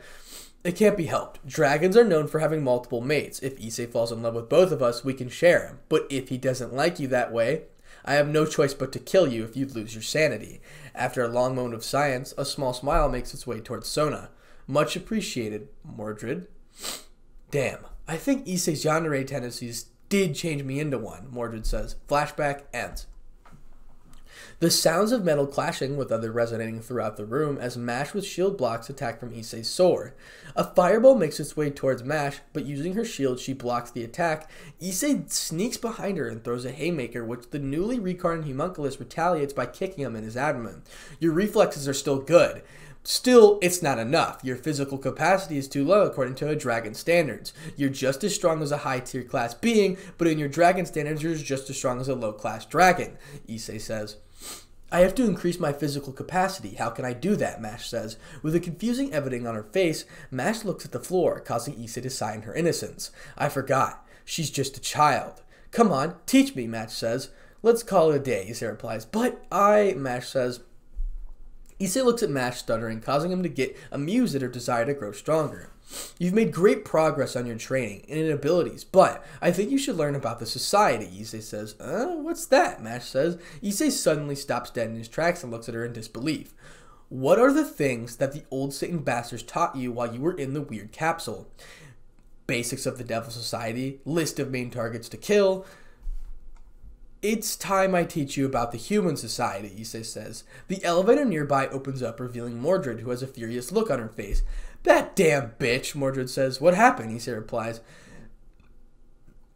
The Gremory bitch and her group of sluts dared to come here to see you. How dare she? Hearing this, Issei's previous expression changed into a motionless one. Where is she? Issei says. Sona threatened to revoke her permission to stay in Kuoh, causing her to leave. Mordred says, I see. This was bound to happen sooner than later, since Vali carelessly revealed my past identity, Issei says. She was really furious when I asked her to leave, and then half fallen, I think her name is Akeno, tried to attack me. Keyword, tried. With a battle-hungry grin, Mordred playfully punches Issei on his shoulders who remains unfazed. What did you do in retaliation? Issei says. Just a light punch to her guts, a kick to her groin, although she was weirdly blushing after my small retaliation. She's a masochist and a sadist, a huge one at that, Issei says. Sensing the commotion, Sona decided to threaten Rias to leave, Sona says. So, Want a good spar? Issei replies. At the Occult Research Club. A depressing aura surrounds the club, room inside, which all members of Rias's Peerage are present. Um, President, Akeno's wounds are healed, Asia says. Thanks for your help, Asia, Rias replies. With the tears streaming down her face, Rias sits down on the chair, while Kiba and Asia silently move towards the corners of the room. Koneko looks at the crimson magic glyph with a frown. Xenovia just stares at the depressed club. President, the familiar sent to spy Issei's mansion is dead. It looks like the curse-bounded field was eradicated, which killed Akeno's familiar. Hearing this, Rias sobs and becomes louder than before, causing Xenovia eyes to twitch. Why should we spy on Lord Kotomine? If your brother finds out, you'll be punished severely, Xenovia says. Getting her teeth in frustration, Rias lets out an aura to flare, silencing the former exorcist. He is my... He, that gives me the reason for me to watch his actions. He's just being humiliated by that disgusting whore, Rias says. In a fit of fury, the former Gremory heiress summons her power of destruction and obliterates a chair nearby. Rias, I know that the past has been very hard for us, but I think we should let him be by himself, Kiba says. He is Issei, Rias says. Not anymore. Not after what we've done, Kiba says. Kiba yells at Rias, trying to knock some sense into her thick skull. You. He is my pawn. My Issei. He belongs to me. I love him, Rias says. He isn't yours anymore. He is not Issei Hyodo. The man called Issei is long dead. We killed him without remorse. Issei Kotomine isn't the new Issei we knew. He is a monster that we made. Get that into your dense skull. If you can't accept the truth, you're delusional. Fool forever. With a cold glare, Kiba leaves the club by summon teleportation circle, leaving a pissed Rias. I didn't deserve this. I lost my territory. My position as a heiress is stripped from me and given to immature brat by my brother. And now a blonde slut and my bestie Sona have Issei under their strings. Do not be worried, my beloved Issei. I will cut you free from her strings. In the Kotomine residence, the air was tense at Issei's apartment at Issei. Mordred and Sona stare at a figure cloaked in shadows.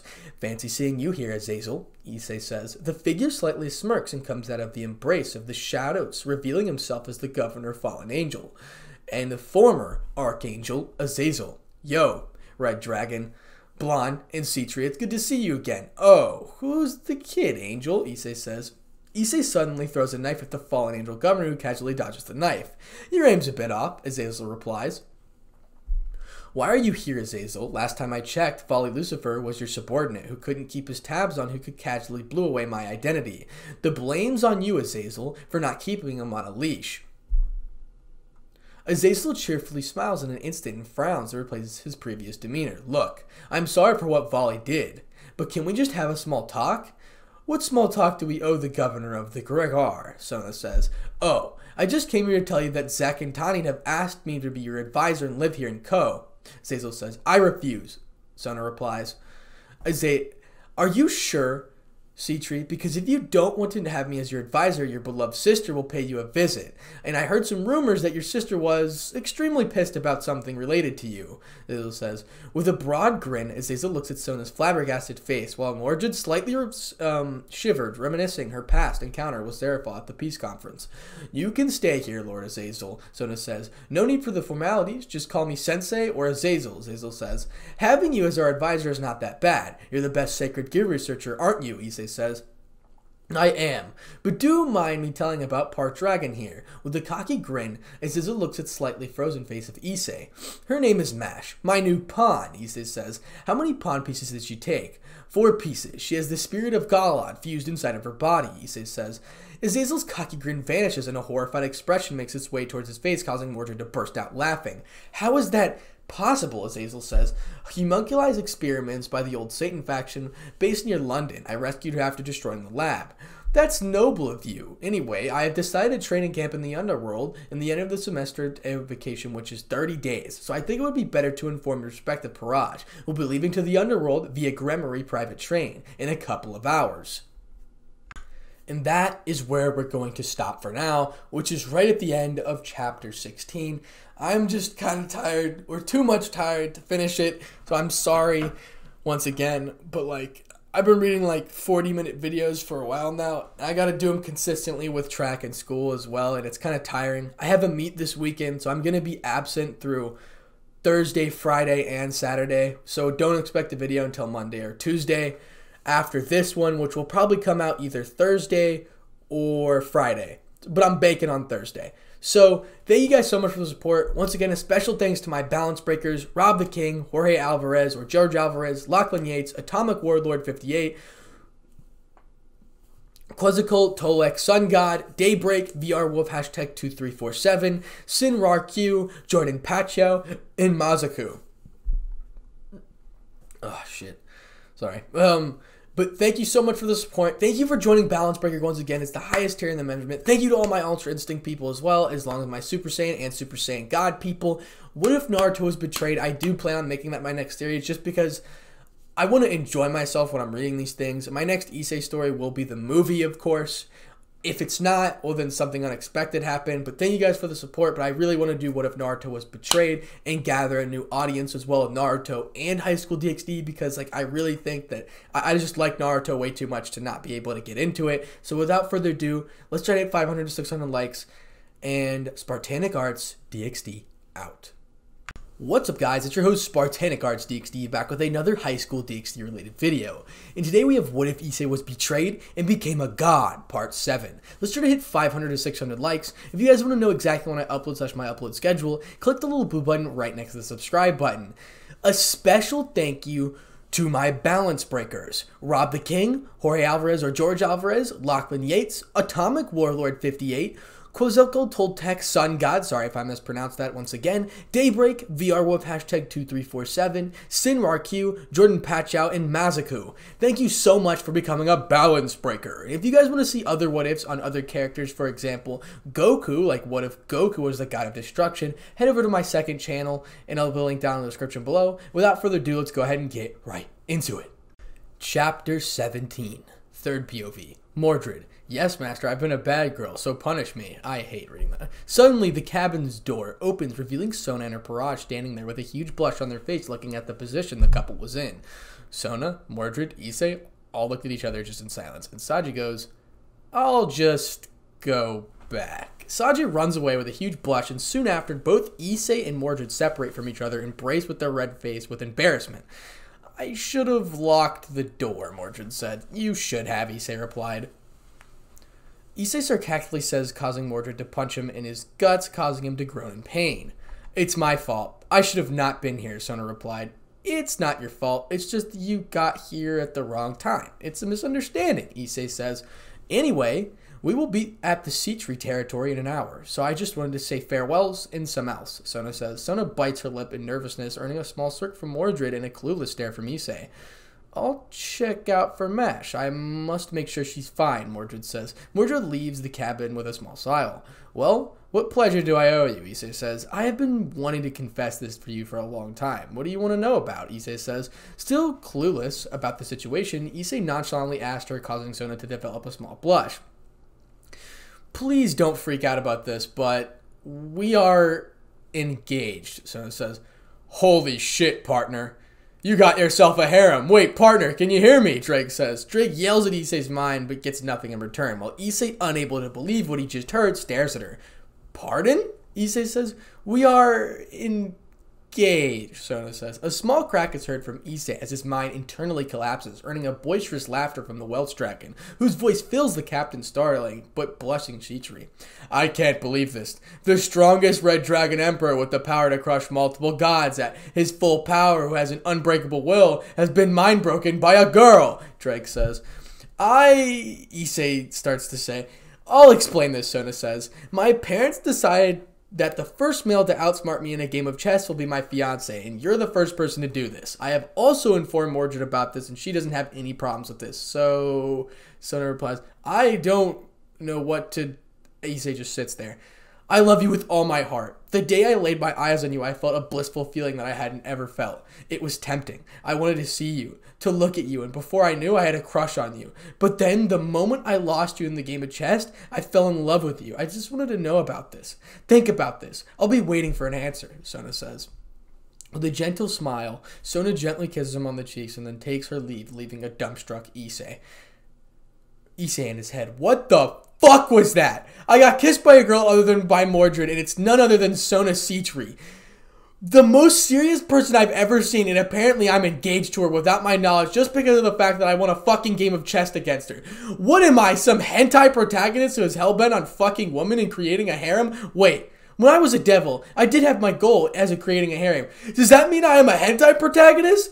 But why do I feel like Dragon Sense is getting a bit dormant? Should I just accept her confession? Wait, no. Why did I ever think about cheating on my queen? Holy shit, Issei says to himself.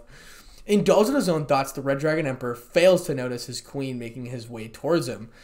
I suppose that she confessed, Mordred did. That she did, Issei says. Without letting his emotions out, Issei vaguely answers her, earning a small frown from the Knight of Treachery. Issei, darling, I'm not against the fact that you have been multiple lovers. Dragons are known for having a lot more but mates. But if you ever try to replace me, I'll tear you apart, Mordred says. With a maniacal grin replacing her previous smile, the Knight of Treachery lets out her bloodlust. Looking at her malicious behavior, Issei feels himself getting a bit nervous, feeling a few drops of sweat on his forehead, but then another feeling took over his nervousness. I will never leave your side. I made a promise to be beside you forever, he says. I'm glad to hear that. Anyway, what about Sona? Mordred said. I honestly don't know, Issei replies. Letting out a huge sigh in frustration makes Issei make eye contractions with Mordred, earning a small smirk accompanied by a blush. Perhaps I could help you, Mordred says. Understanding the meaning behind the smirk, Issei immediately pushes her into the couch and proceeds to kiss her. Now, with Rias. The ex Gremory Harris has her gaze fixed on the television in which a devil tells news regarding the underworld. President, the familiar spying on Issei's cabin has reported a live feed, Akeno says. Hearing this crimson haired ruined princess averts her attention to the newly formed Gremory magic glyph, which also earning the attention of everyone except Kiba. I want to see this, Koneko says. I'll pay attention, Asia replies. With a meek voice, Asia responds to Akeno, while Koneko answers to Akeno with her stoic voice. This is called stalking. I don't recommend this, Xenovia says. It's not stalking, it's called taking interest, Rias replies. That doesn't justify your actions, President, Xenovia says. Play the clip, Rias says. Ignoring Xenovia's comment, Rias orders her queen to play the clip with her voice as cold as the cactus, earning a flinch from half the fallen, who proceeds to play the clip and freeze at the sight. The glyph shows Issei pinning down his queen and hungrily plants a few kisses on her neck, earning a few soft moans from the knight who has a lewd expression. Seeing this, almost everyone, with the exception of Rias, gain a pink hue on their cheeks. That's embarrassing, Xenovia says. Akeno makes a glyph disappearing, earning a sigh of relief from Kiba, who shakes his head in disappointment, but then a cold, bone chilling aura invades the surroundings. President? Akeno says. Rias looks away, averting her gaze from her peerage of members. Slowly, her emotionless stare morphs into a terrifying smile that reflects her dark, twisted side. Do you think if you ignore me, I would stop following you? Do you think if you would get some help, I would back down and give up? Or have you ever thought if you hide somewhere, I'd never find you? Oh no, my dear Issei. Somewhere around in the Shinto realm, so scene break, in an unspecified hill peak, Vali is seen staring at the sunrise with a small smile reminiscing his old memories. Suddenly, a blue colored teleportation circle appears from it, and Bikou comes out, earning a small frown from Vali. Yo, Vali, how are you doing? Bikou, you're back earlier than expected, Vali says. Ah, don't blame me. The job was extremely easy, Bikou said. With a huge grin, Bikou lays on the grass and looks at the beautiful scenery with a huge smile. This does bring me some good memories. How is your assignment? Vali says. The Norse gods have decided to ally themselves with the biblical faction if the rumors are true. Also, there is a party for the young devils. I wonder, will you be at the party, rival? Vali says. Vali, he may be there for the party, but focus on getting stronger. You may be in the peak ultimate class, but you're a mere hatchling compared to the real world of the gods, Albion said. Listening to Albion's words, the White Dragon Emperor looks at the now manifested divine dividing with a small frown. If you compare my power to the list of the most of the strongest beings, where will I be placed? Vali said. Hmm. In your balance breaker, you'd be placed between 1,500 to 1,300. In the Juggernaut drive, you'll be between 600 to 400. Gritting his teeth in frustration, Vali looks at the sunrise with a huge frown. Not enough. Even at my best, there are 600 people who can defeat me, Vali says. You know, she has planned to try and take her sister back to the party. At the party, Bikou says, hearing Bikou rant about someone Vali sighs and looks at the sunrise trying to avoid Bikou, but then suddenly the space itself tears apart, and from a silhouette a man appears. Why did you decide to come here? Vali says. My assignment was finished earlier, and thus I have arrived earlier than expected. A smooth voice echoes through the surroundings, earning a small smile from Vali while Bikou just snorts. I am curious about what will you do if you ever cross paths with the fabled Mordred Pendragon. The air suddenly becomes more colder than usual, and a strange golden aura radiates from the silhouette. I shall execute that impostor for tainting the name of the Pendragons. Now, back with Issei. After a long makeout session, the couple was watching a movie with a smile on their face. It looks like we've arrived at the Gremory territory, Issei says. With a small smile, Mordred looks outside the window, spotting a huge territory roughly the size of Japan. That's the Gremory territory, Mordred says. It is. Suddenly, Azazel barges into the cabin, breaking the door in the process. I forgot to mention something, Azazel says. With a heavy sigh, Issei looks at the panting, panting fallen angel and questions him. What? As you already know, I have planned to train you guys, and for that, I'll have to test them. So I asked Zex to send Tannin for a small examination of their skills, as Azazel says. Hearing this, Issei's neutral expression changes to that of pure surprise at the mention of Tannin. Tannin is here? How? Issei says. He's not here in this train, but is waiting at a valley between the Gremory territory, and I'll force teleport Rias's peerage there, and Tannin will attack them. This way, I'll know about their skills, and Tannin may be a higher up dragon faction, but he's also part devil and under a devil. I'm well aware that was the reason for Tannin not being sovereignty of the dragon faction. That's why he made his second son as the sovereignty, Issei says. I know that your queen and yourself are highly capable, so I don't want to waste my time testing your skills, but I would appreciate if you could help me out finding out their skills, Azazel says. After a minute of thinking, Issei's lips curve upwards, indicating his approval. Azazel lets out a nervous chuckle, spotting Issei's disturbing smile. Now, back with Rias. The ORC club members were minding their own business with a little to no conversations better than them, but suddenly they find themselves in a valley.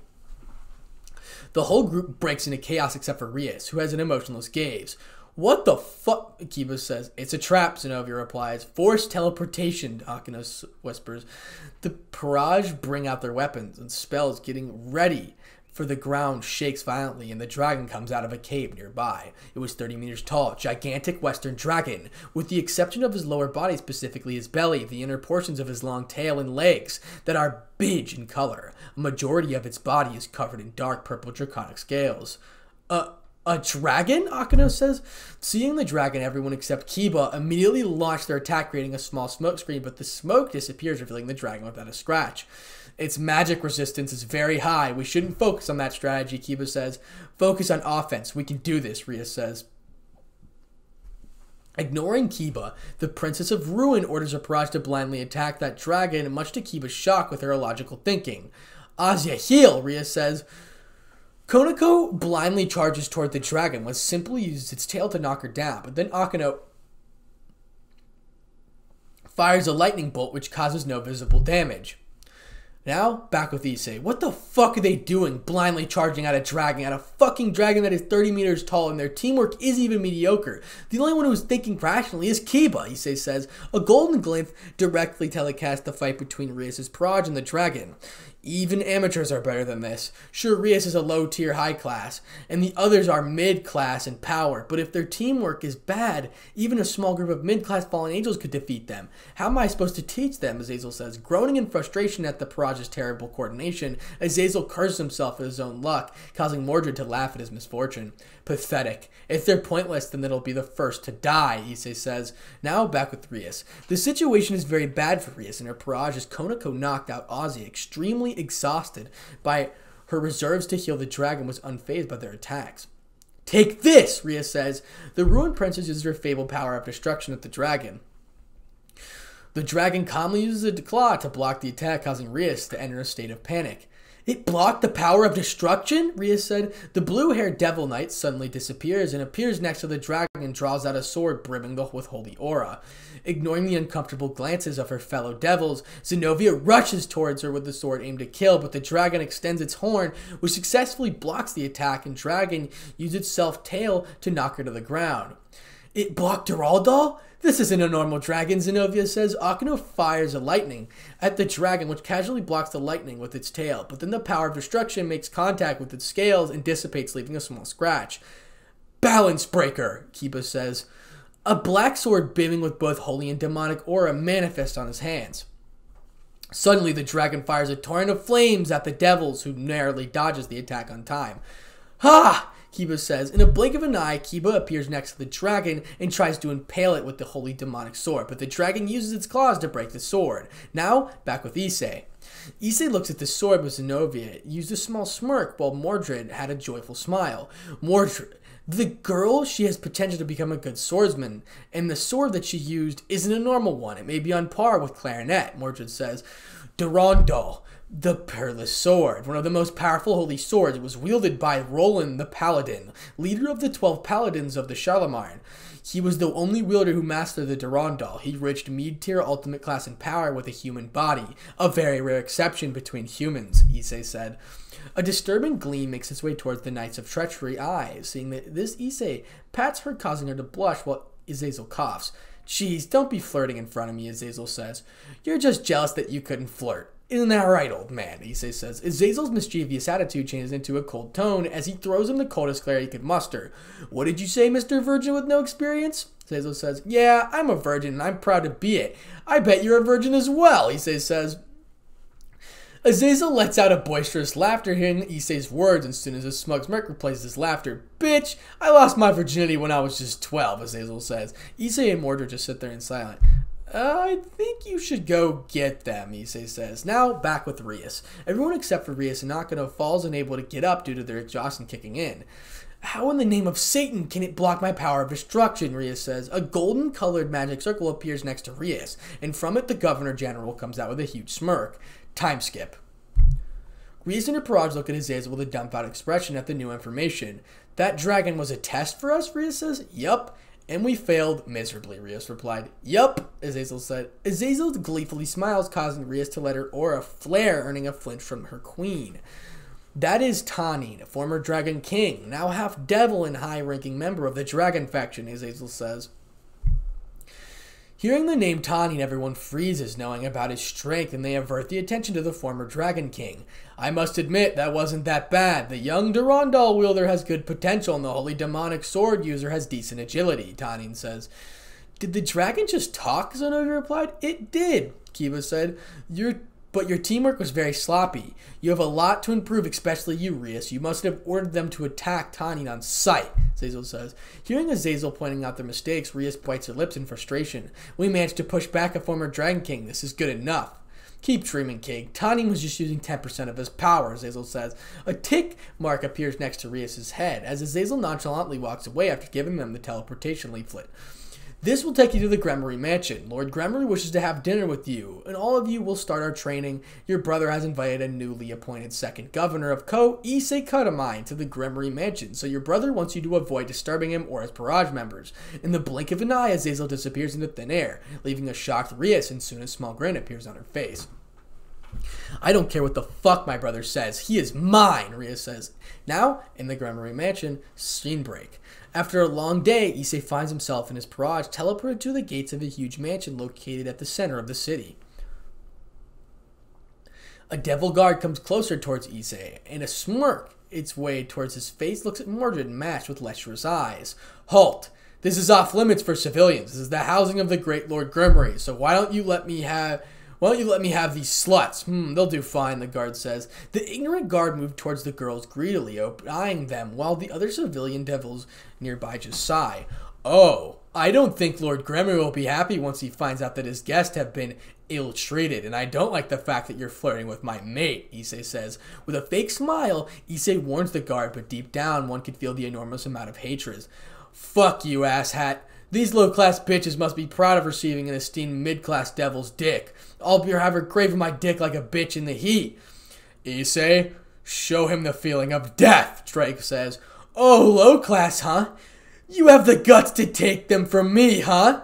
Issei lets out his blood red aura, run, scaring the shit out every single Dell while the guard falls to his knees, unable to breathe. Scared beyond under looking at, the unstable smile on Issei's face and his eyes change into that of a dragon's, and about 50 low class devil guards hastily try to approach him, but failing miserably.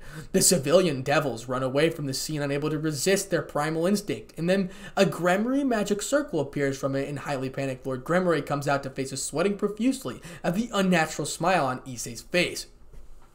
Lord Kotomine, you're scaring the civilians. Lord Gremory says. Issei, calm down, Mordred says. He just released an aura equivalent of a high tier ultimate class. He isn't even using his full powers, Lord Gremory said. Please don't kill me, the guard says. Wrong choice of words. I hate people like you, Issei says. Issei's aura comes into contact with the guard whose body vaporizes. Unable to withstand the aura. Lord Gremory, pleasure meeting with you. I think I owe you an apology for disintegrating one of your guards. He tried to lay his filthy hands on my mate. With a nervous laugh, Lord Gremory apologized to him for his guard, and soon Grayfia appears next to the guide in the rooms. Please feel free to do anything you want to, Grayfia. Here will be a small tour around the mansion, Lord Gremory says. With a small smile, Lord Gremory leaves them with the strongest queen who humbly bows down to greet them. Lord Kotomine, Lady Pentadragon, if you would like, may I give you a small tour of the mansion, Grayfia says. Sure, I appreciate it. Tell me, Lady Grayfia, how is Sirzechs? Eustace says. Please refrain from addressing me with such titles, Lord Kotomine. I'm just a maid of Lucifer. And to answer your question, he is fine, Grayfia says. Grayfia sternly corrects Issei with a stoic stone, which earns a small look of curiosity from Mash. We dragons always respect the strong lady Grayfia, Issei says. You're the one bearing the title of the strongest queen, right? Mordred said, I am, Lady Pendragon, Grayfia says. Then let's have a spar. With a huge manacled grin on the Knight of Treachery, challenges the silver-haired Queen Annihilation to a duel, earning a facepalm from Issei and a sweat drop from the Stoic made her swell. I apologize for my mate. She's a bit of a battle maniac. Since she's a dragon now, her tendencies have multiplied, Issei says. There is no need for an apology, Lord Kotomine, and I would wholeheartedly accept the spar if you wish, Lady Pendragon. Yeah, I got a duel, Mordred says. Princess, control yourself, Issei replies. I am merely curious to see the girl next to you, Grayfia says. Out of curiosity, which is rare of the stoic mage, she asks about Mash, causing her causing Bash's body to go stiff. Ah, she's my newest pawn, Issei says. Pleasure to meet you, Lady Grayfia. I am Mash, pawn of Issei, Mash says. With a shy tone, Mash introduces herself to Grayfia, who slightly smiles at her. Likewise, Lady Mash, Grayfia says. Time skip. Scene break. The Red Dragon Emperor, along with his Peerage, walk into this main hallway, which is filled with butlers and maids who could bow down to them at respect. This place sure has a lot of maids, Mordred said. Devils highly believe in the system of hierarchy. Issei replied. As they were walking through the hallway, a cute young boy with short crimson red hair advances towards the Red Dragon. You're the one who caused the aura flare, aren't you? The voice says. With a small scowl on his face, the boy young glares at him, causing Issei and Mordred to be amused by his actions. I am. It's impressive that you could sense that, kid, Issei says. Why did you do it? The kid replied. A snob threatened someone to get close to me, so I guess. Issei replied. With a sheepish grin, Issei nonchalantly explains to the boy, who scoffs in return, amusing Issei even more. You shouldn't have done that. What if an innocent man got caught up in it? Tell me, kid, were you able to sense the power of my aura? I was able to. It was the range of an ultimate class. Aren't you afraid of my power, kid? Issei replies, No, it's a noble's duty to save the innocent, so I'll do anything to defend them, the kid says. With all the serious he could muster, the kid proudly exclaims, causing Issei and his queen to break out laughing. You have such a good heart, Mordred replies. Well, if you are noble, where are your manners? Issei says. With a smirk, Issei questions the young boy who answers with an innocent smile. I am Millicas Gremory. Nice to meet you. The serious tone of his sudden vanishes, a cheerful one takes place. You're the son of Sirzechs, aren't you? I'm Issei Kotomine, but you can call me Issei, Issei says. I am Mordred Pendragon, the true heir of King Arthur. The boy identified as Millicas suddenly bows down. I am sorry for being cold, but I just wanted to make sure the people were fine, Issei. Millicas says. With the coldness completely gone, the son of Lucifer flashes a cheerful smile akin to his father's. You're pretty powerful, Millicas. I can tell that you're powerful. As a low tier, high class devil, while most of the pure blood devil kids of your age are just low class or mid class in power, you have, have you ever trained? N- no. I have never trained. I was born with this power. Grandfather said the devils only train after they're 10, Millicas says. With a sad smile, the boy looks at a couple who have slightly shocked expression.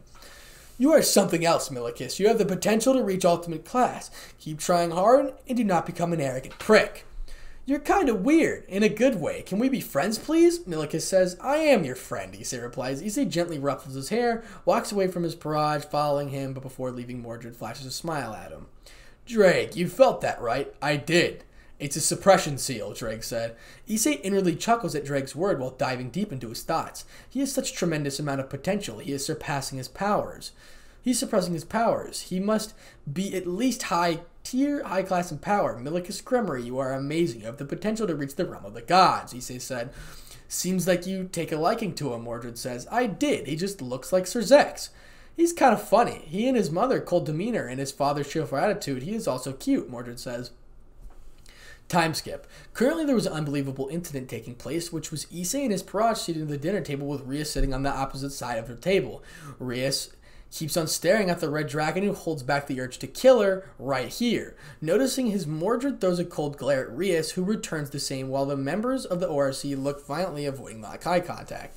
I really want to kill her right now, Issei thinks in his head. Lord Gremory says, Please relax and enjoy yourselves. By the way, Lord Issei, Lord Gremory shoots Rias a glare clearly understanding the staring contest. Yes, Issei replies. I have been informed that you'll be taking part of the training montage. I hope you have a good time, Lord Gremory says. Thanks for your concern, Lord Gremory. Ah, quite a gentleman you are, Lord Issei, Lady Gremory says. With a mischievous smirk, Lady Gremory teases Issei, who just brushes it off. Well, this is the format. Even please refrain from your being your mischievous self, Lord Gremory says. You're no fun. Hmm, Lady Gremory replies, slightly pouts, earning a small blush from Lord Gremory seeing Mordred chuckles. Seeing this, Mordred chuckles. Mother, I will. Rias starts. Lady Gremory cuts her off daughter by engaging the conversation with Mordred. Lady Pendragon, may I call you Mouson? Of course you can, Mordred says. Well then, Mouson, if you want to take any advice from me, feel free to ask, Lady Gremory says. Mordred's face changes in a deep red embarrassment, causing Issei to stare at them blankly. Women are strange, Issei says. Indeed, Ddraig replies, and the rest of the dinner was filled with utter silence, but it wasn't peaceful as Rias's glare was directed towards Mordred. And that is the end of chapter 17. Chapter 18. Third POV, unknown location.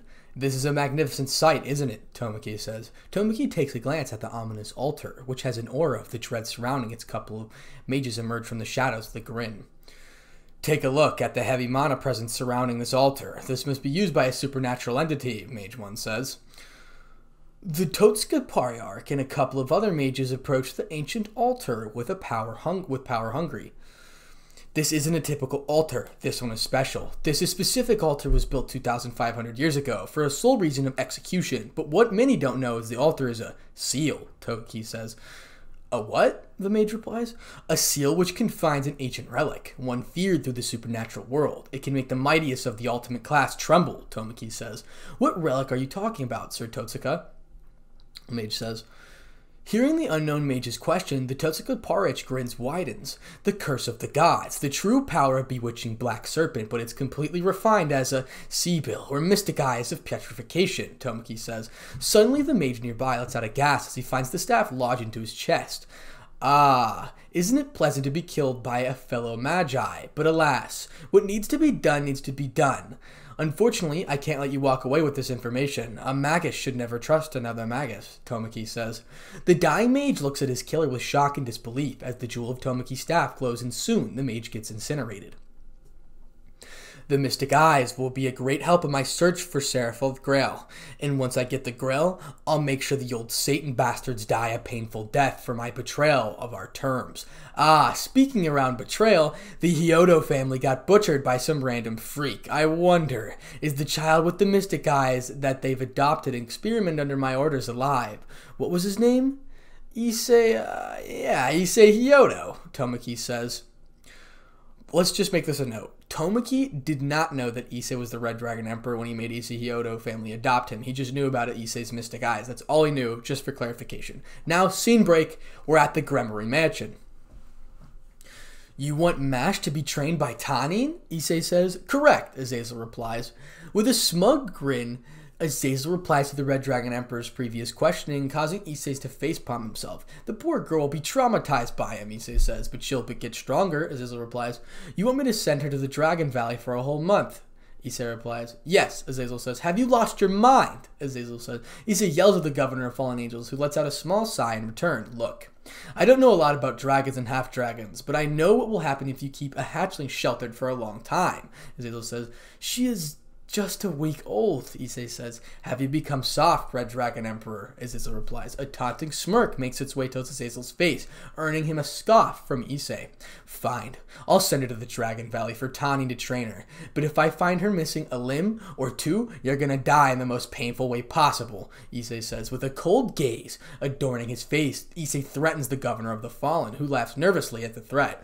And I have made a special arrangement for the blondie with Okita Soji, the Knight of Sirzechs, to help her with her swordsmanship, as Azazel says. I am aware of the fact that my Mordred lacks technique in swordsmanship, as her stance is mainly focused on strength and speed, Issei says. For you, I believe that you can just train yourself in isolation, Azazel says. I am sure I'm going to miss my Mordred and her adorable smile, Issei says to himself. Issei's neutral demeanor morphs into a sad smile, causing Azazel to raise an eyebrow. You're fine, aren't you? Azazel says. I'm good. I was just curious if anyone from the Gremorys Peerage will be trained by Tannin. Ah, yes. Tannin personally wants to train Baraqiel's daughter. Azazel says, Oh, Issei replied. The next day, scene break. On the courtyard of the Gremory mansion, the Red Dragon Emperor, amidst of the rising sun, bids farewell to his Peerage. Take good care of yourselves. I'll be back in a month in MASH. Tannin, don't won't hurt you while training, so don't quit so quit worrying and use this to self-improve. I'll, I'll try my best, Mash says. With a meek smile, Mash turns away as Tannin flashes a thumb and gently carries her away. I'm going to enjoy this training to its fullest, Mordred says. I'm sure you will. Just stay safe, Issei says. Bye, Mordred replies. Mordred gently kisses him, causing Azazel to groan. I'll miss you, Issei says. A pair of emerald colored wings sprouts from Issei's back, and the Red Dragon Emperor flies away, taking a last glance at his queen, his queen's beautiful eyes. Now, with Mash. A defeating blast echoes throughout a valley in which Mash desperately tries to escape from the Blaze Meteor Dragon's blast. He, he said Tannin won't hurt me, Mash said. Getting distracted in a battlefield is fatal, young one, Tannin said. Tannin once again fires a turret of flames at the exhausted Dragoness, who narrowly dodges the attack. Suddenly, another torrent of flame hits Mash, who falls into the ground exhausted. Hmm, your reflexes are good for a hatchling, but dwarfs in comparison to an experienced dragon, and we'll have to train on you to hand-to-hand combat, Tannin says. Okay, Mash replied. Now get up! Hatching, we haven't finished our training yet, Tannin yells. While Tannin roars at the poor girl, a teleportation circle appears, and from it the priestess of thunder arrives with a mischievous smile. Ha! this makes me hot, Akeno says. Suddenly, Mash feels a chill down her spine as Tannin turns around, facing the Queen of Rias. You're late, daughter of Baraqiel.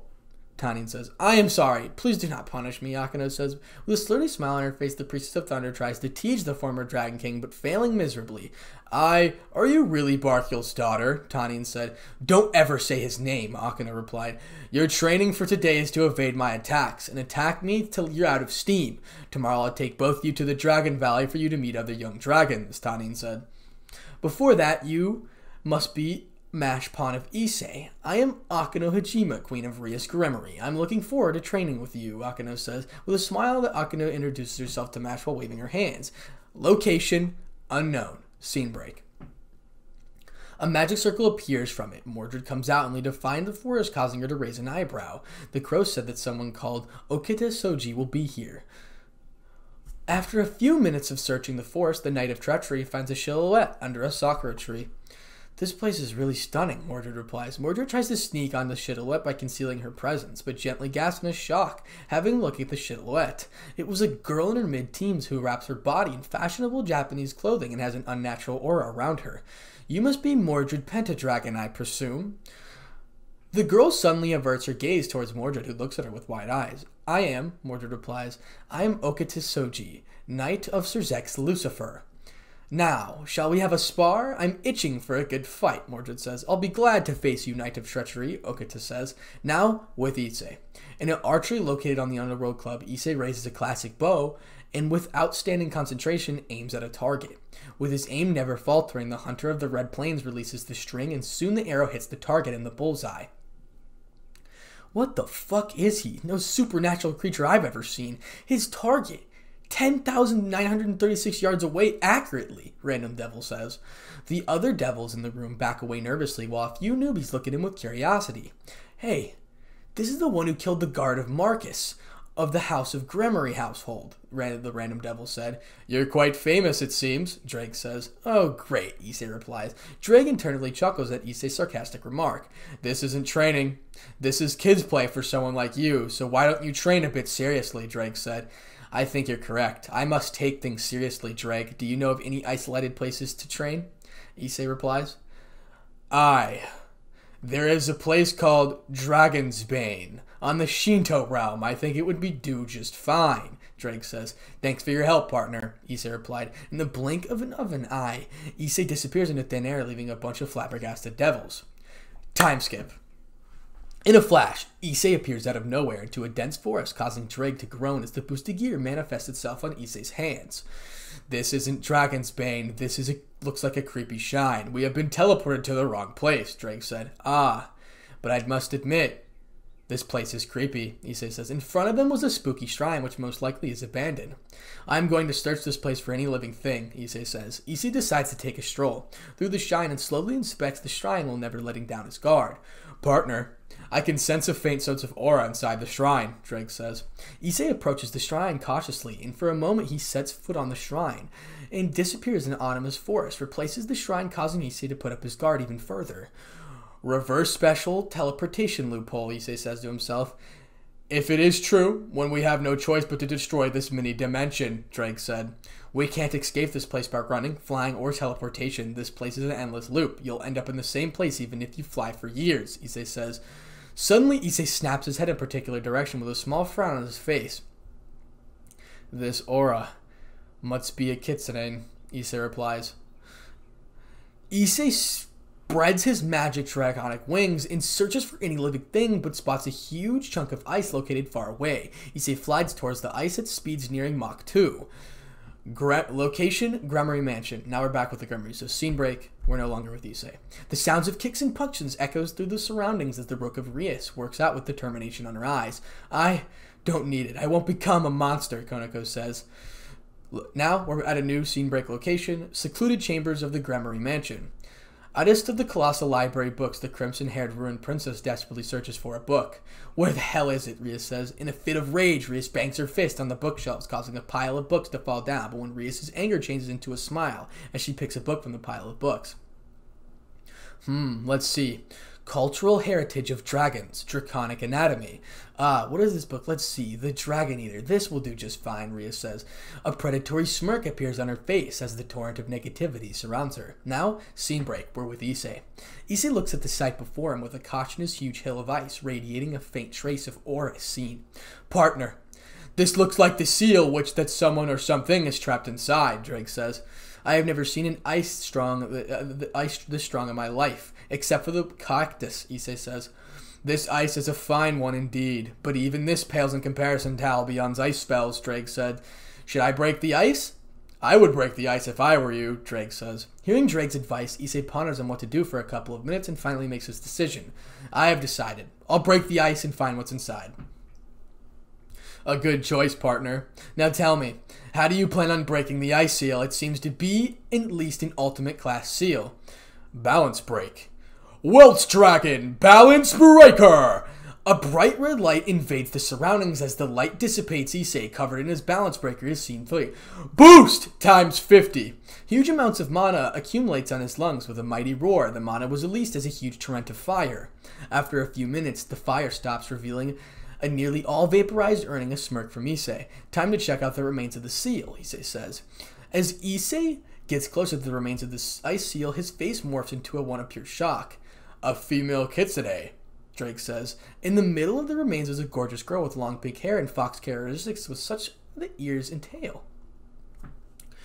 The girl was wearing an elegant blue kimono as she laid amid the ice with a peaceful smile on her face. I'm starting to think the author likes fox girls. Am I right, guys? I just wanted to say that.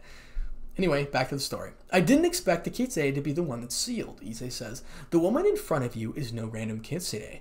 She has aura of divinity on her. She is a nine-tailed kitsune, Ddraig says. She seems to be in a coma due to extended periods of imprisonment.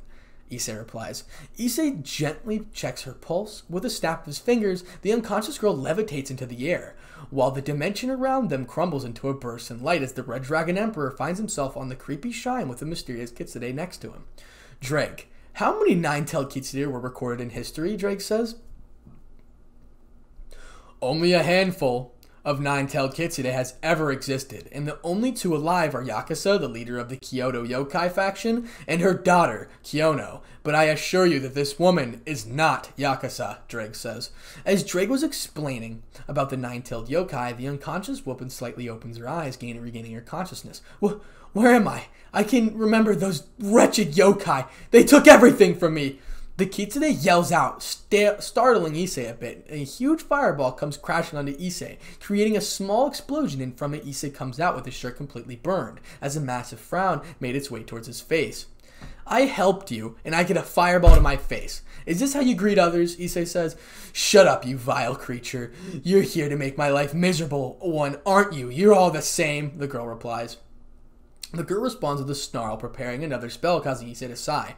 I am a dragon and not a yokai, and I am here to make your life miserable. I'm not here to make your life miserable. I freed you from prison, Issei says. This is the Code period, isn't it? The Kitsei says. Hearing this, Issei nearly tips due to shock at her question. When were you imprisoned? Issei says, uh, the year 1193. Issei just sits there in silence. Ddraig sits there in silence. That's 828 years ago. You were in prison for 828 years, Issei says. Issei answers come in a form of whisper while Kitsune stares at him with a blank expression. Wh- which year is it? It's 2021, Issei replies. What the fuck? Who are you? Issei replies. Why should I tell you? The girl says. The girl snaps at his question as a smirk forms on Issei's face. I'll ask you a question and you can ask me one. It's a win-win for both of us, Issei says. The girl stares at the ground for a moment, pondering the offer, and with a small sigh, agrees. Fine. Who are you? The girl says. Issei Hyodo, the strongest Red Dragon Emperor and full-fledged dragon. Now tell me, who are you? Issei says. With a proud smirk, Issei answers a question, earning a small smile from the Kitsune. Reincarnation of the divine fox yokai, Tama no Me. Hearing this, Issei's smirk gets replaced by an emotionless stare. If you're telling the truth, I have to admit that I am shocked. But how do I know that you're not a threat? Issei says, Chill, Dragon Boy. I won't mindlessly kill everyone in my set, Tamiyo says. Issei groans at Tamiyo's nickname for causing her to giggle. How were you trapped inside the ice seal? Issei says. A frown replaces her giggles the moment she heard this question. When I was weakened, a wandering ice mage used his fire force to reinforce his ice magic and su- successfully sealed me at the cost of his life. It's your turn to answer. Tell me about the Shinto Pantheon and the Yokai faction, Tamio says. The Shinto Pantheon lost a bit of their territories to the devils, but other than that, nothing big has happened. And the Yokai's faction's authority has rapidly declined to a state where only territory they have is the city of Kyoto. Tatsuki and Hirakiri, but the ruler of the yokai faction, Yasaka, a nine-tailed fox, is doing a good job at recovering the glory of the lost yokai faction, Issei says. Hearing Issei's lecture about the yokai faction, Tamiyo burst out laughing. Ha! Those fools deserve even worse than this, Tamiyo says. One final question. What are you going to do after this, Issei says. Hmm. Maybe we'll kill a bunch of yokai and wander the realms, Tamiyo says. Tamiyo nonchalantly answers his question as Issei sighs at her bluntness. I am in a search for an isolated place to train. If you wish to follow me, you're welcome. Issei says, I don't train with lizards weaker than me, Tamiyo replies. Issei attempts to hold back a laugh, but fails to do so, causing her eyebrows to twitch. You know, the last person who said that to me ended up pretty badly, Issei said. Why don't you prove it to me, dragon boy? Time skip.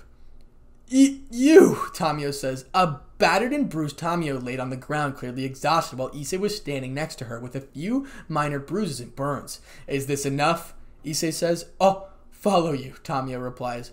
Now with Mordred two weeks later. So this is a time skip to two weeks later with now we're with Mordred. Ah, stay still, bastard, Mordred says. Mordred desperately tries to land a hand on her opponent, but Okita successfully dodges all of her strikes. Not bad.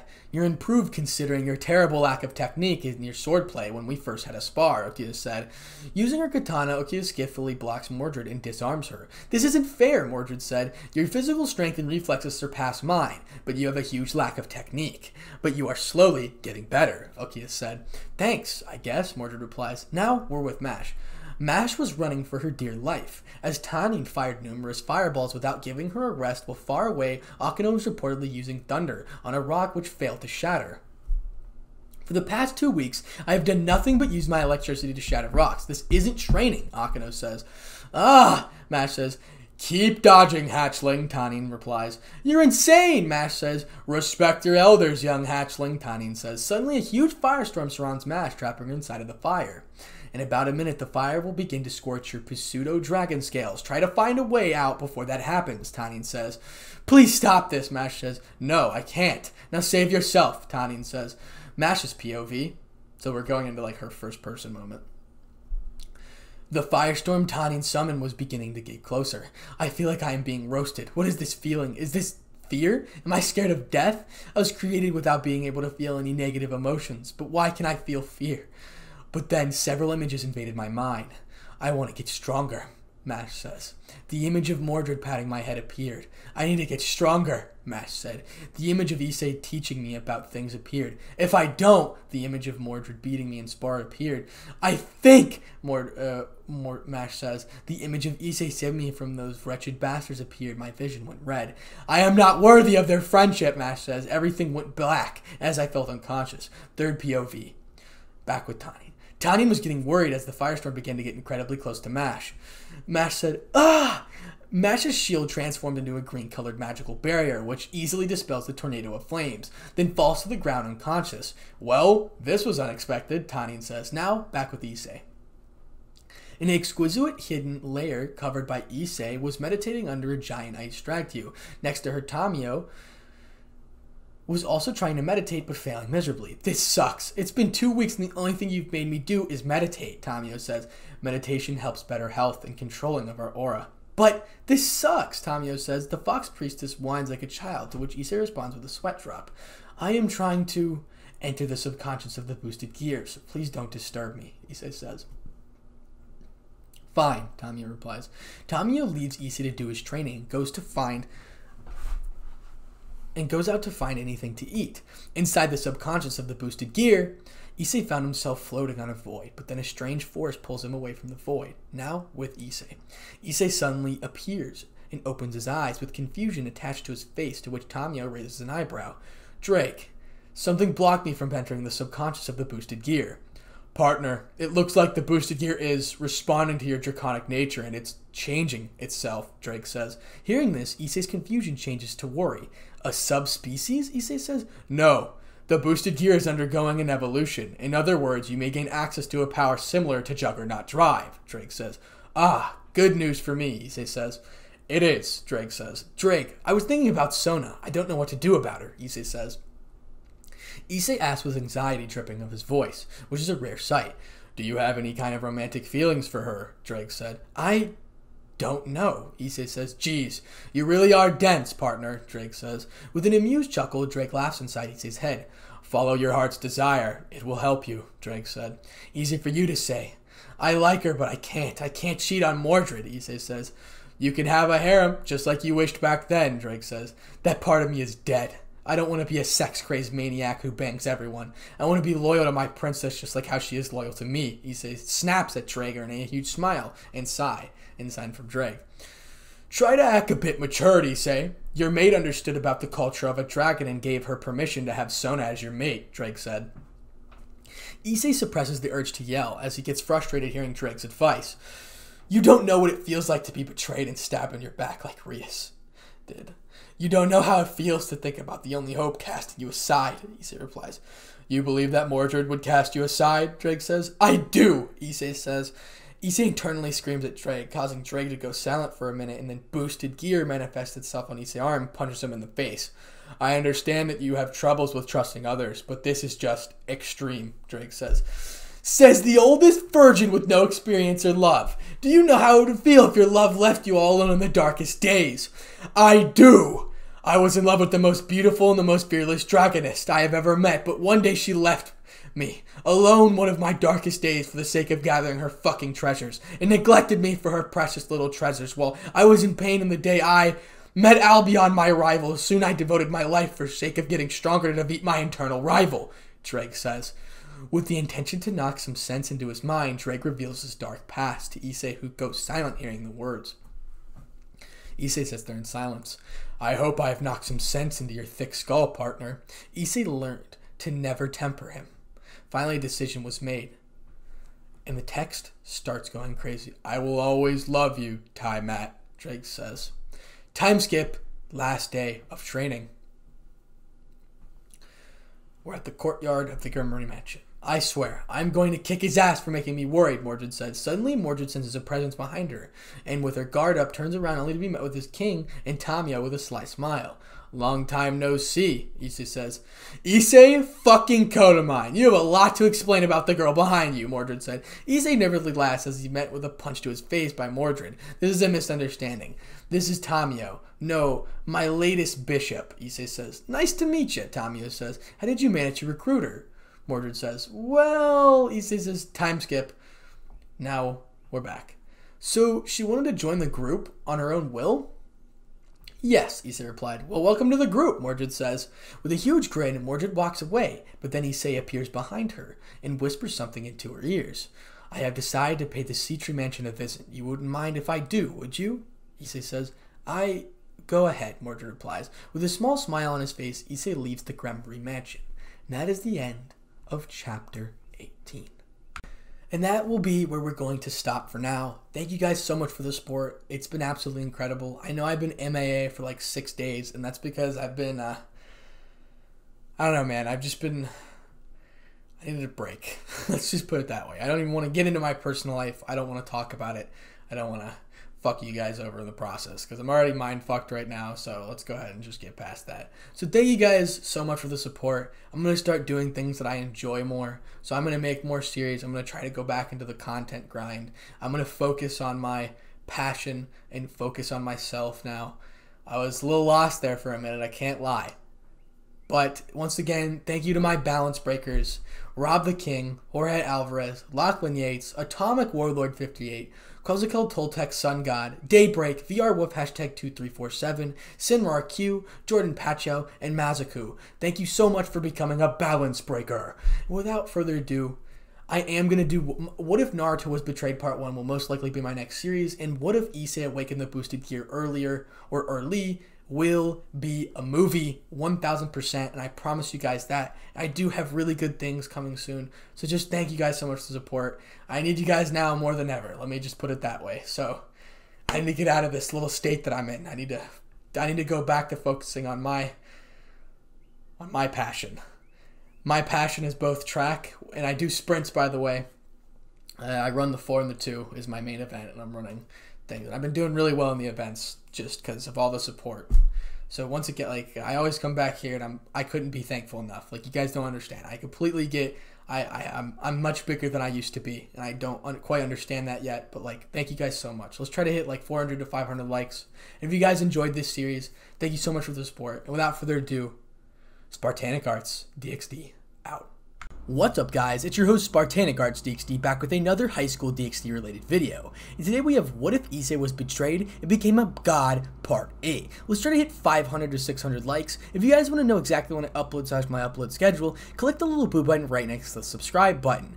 First off, a special thank you to my balance breakers, Rob the King, Jorge Alvarez, Lachlan Yates, Atomic Warlord 58, Kozakel Toltec Sun God, Daybreak, VR with hashtag 2347, Sinrar Q, Jordan Patchow, Mazaku, Doctor underscore MLG underscore is the bomb. Thank you so much for becoming a balance breaker, which is the highest tier membership in my channel membership tier. Seriously, can't thank you enough. If you guys want to see what ifs on other anime or Goku in general, I love Dragon Ball, go ahead and subscribe to my second channel down in the description below Anpal Palski.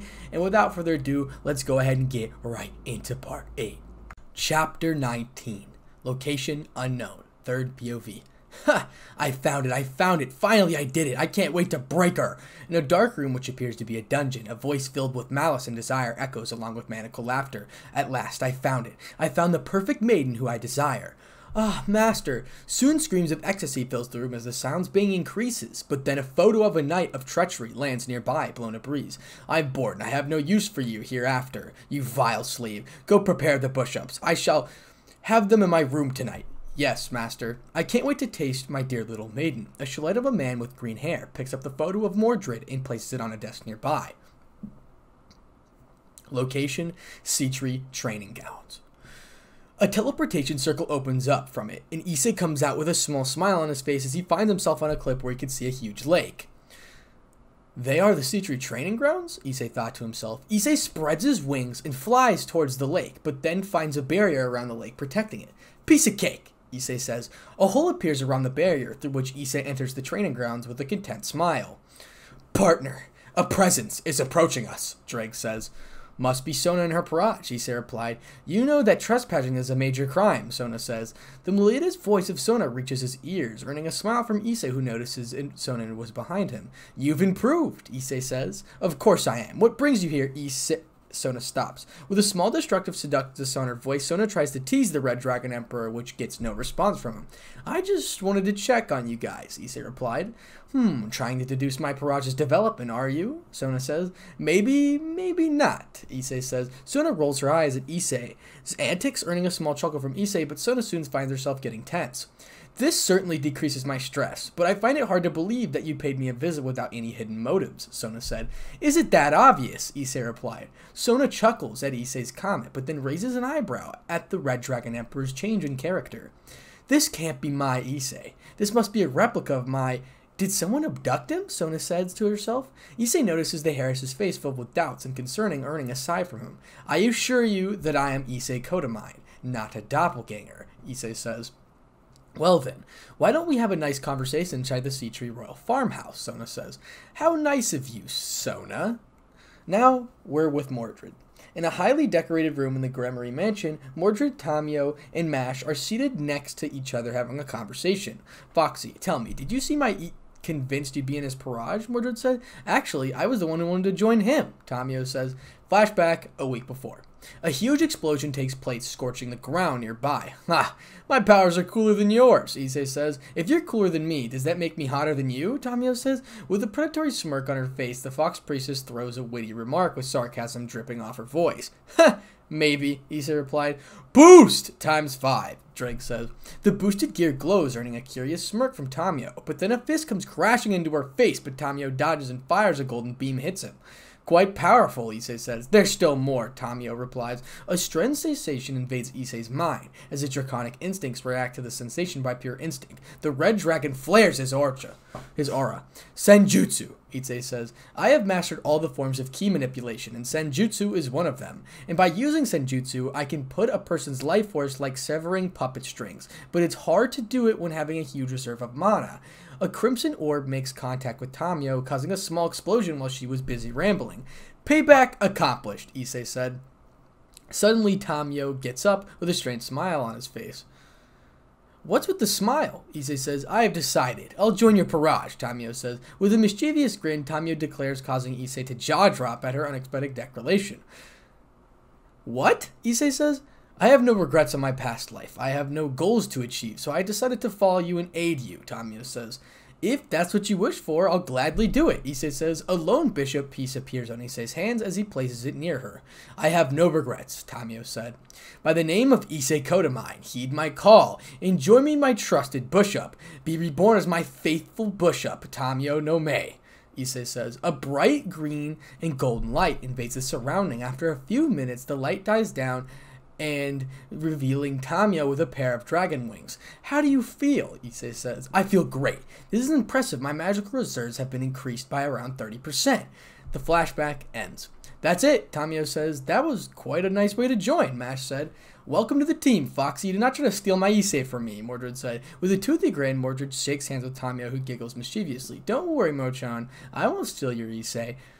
Good, Mordred says. Location, now we're back at the Sitri House. In a well-designed, stylish room, Issei finds himself staring at a bookshelf nearby. Sona, noticing his stare, smiles internally before beginning him a cup of tea. Want some refined tea handmade by myself by using the famous Sitri Royal recipes? Sona said. With a boastful smirk on her face, Sitri Harris bags about her tea. Earning an amused chuckle from Issei. The tea is quite delicious, Issei says. Thanks for the compliment, I guess, Suchi replies. I've been meaning to ask you about Saji. Tell me how the training is going on, Issei says. Quite well, Sona replied. Sona suddenly goes silent and struggles to refrain his disappointment frown from a replacing stoic face. Hmm. It's good to know that a fellow dragon is doing fine, Issei says. Not to be rude, but why are you here? Sona says. How can I avoid you after that little confession from before? Issei says. With a heavily amused smirk, Issei watches the Tree Harris face turn a deep shade of red. I am so sorry. That was my fault for being rash, Sona said. Look, I'm not angry at you. You sure I was a bit shocked, but I was not angry about it, Issei said. With a heavy sigh, Issei mentally curses himself for feeling anxious, but then decides to calm down and finish his speech. I can't blame you for falling in love with me. After gathering my thoughts, I have decided to give it a shot. I'll keep this short. I've had fallen in love with you. I love you, Issei says. What? Sona replies. The Sitri Harris's face turns red in sheds of red, shed shades of red never seen before. Calm down, Issei. Don't blush. Ah, oh, damn it, I'm a dragon. I shouldn't be losing my composure, Issei says to himself. I, Sona starts to reply. Gathering all the courage she could, the Sitri Harris dashes forward and seizes the red dragon's top lip with hers. Location, outskirts of the Bael territory. In the beautiful village of the outskirts of the Bael territory, commoner devils were busy minding their own business. The devil guards on the gates of the village were inspecting the devils entering and leaving the Bael territory. Guard 1. Man, this is tiring. Why should we have to inspect every single devil who enters this village? The devil guard was relatively young who was questioning an older devil. You have a lot of learning to do, son. The Great Gate is the only way through the common devils can enter and leave the great territory of Bael, and there are chances that some criminal or old Satan follower may try to infiltrate the great King Bael's territories. As the older devil was delivering a lecture to his son, as a familiar ginger-haired serial killer, his so-called creepy mentor arrived, checking the terminal. Welcome to the inspection terminal hashtag 45. Please hand over your permit and devil identification card, Devil 2 said. Sure, Ryunosuke said. Ryunosuke and his mentor hand over the card and a few papers to the guard, who take a look at the papers and smiles a bit. Welcome to BL Territories. Mr. Black and Mr. Uru, your papers are legitimate, and glory to the old Satans. The older devil car the older devil guard whispers at the last part with a wicked grin on his face as the killer duo leaves the great gate enters the streets of the village nearby. So many kids, so many guts, Ryunosuke says. Location unknown. What do we do? Some mysterious person says, and a spooky building lone voice echoes through the room. Soon two hooded figures appears from the shadows. We must reclaim our rightful place as the Satans and continue our legacy. But first we must help Leviathan escape from the clutches of them. Indeed. But tell me, how are the tasks assigned to you? The first voice lets out a hollow chuckle at the second voice's question. Near London, a few of the soldiers Elden's elite squadron encountered a group of first class enforcers from Magus Association, but our men managed to kill them, except one who fled. Casualties on our side? Two the person replied.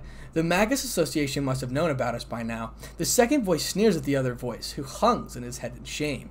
Apologies. The Magus Association is allied with the Angels, so by now, the fake Mao in the Heaven must have learnt about this. Is there any precious outpost or bunker at that place? No, but three squadrons are placed near London. Abandon that city and relocate our squadron to the city of Bristol and Birmingham.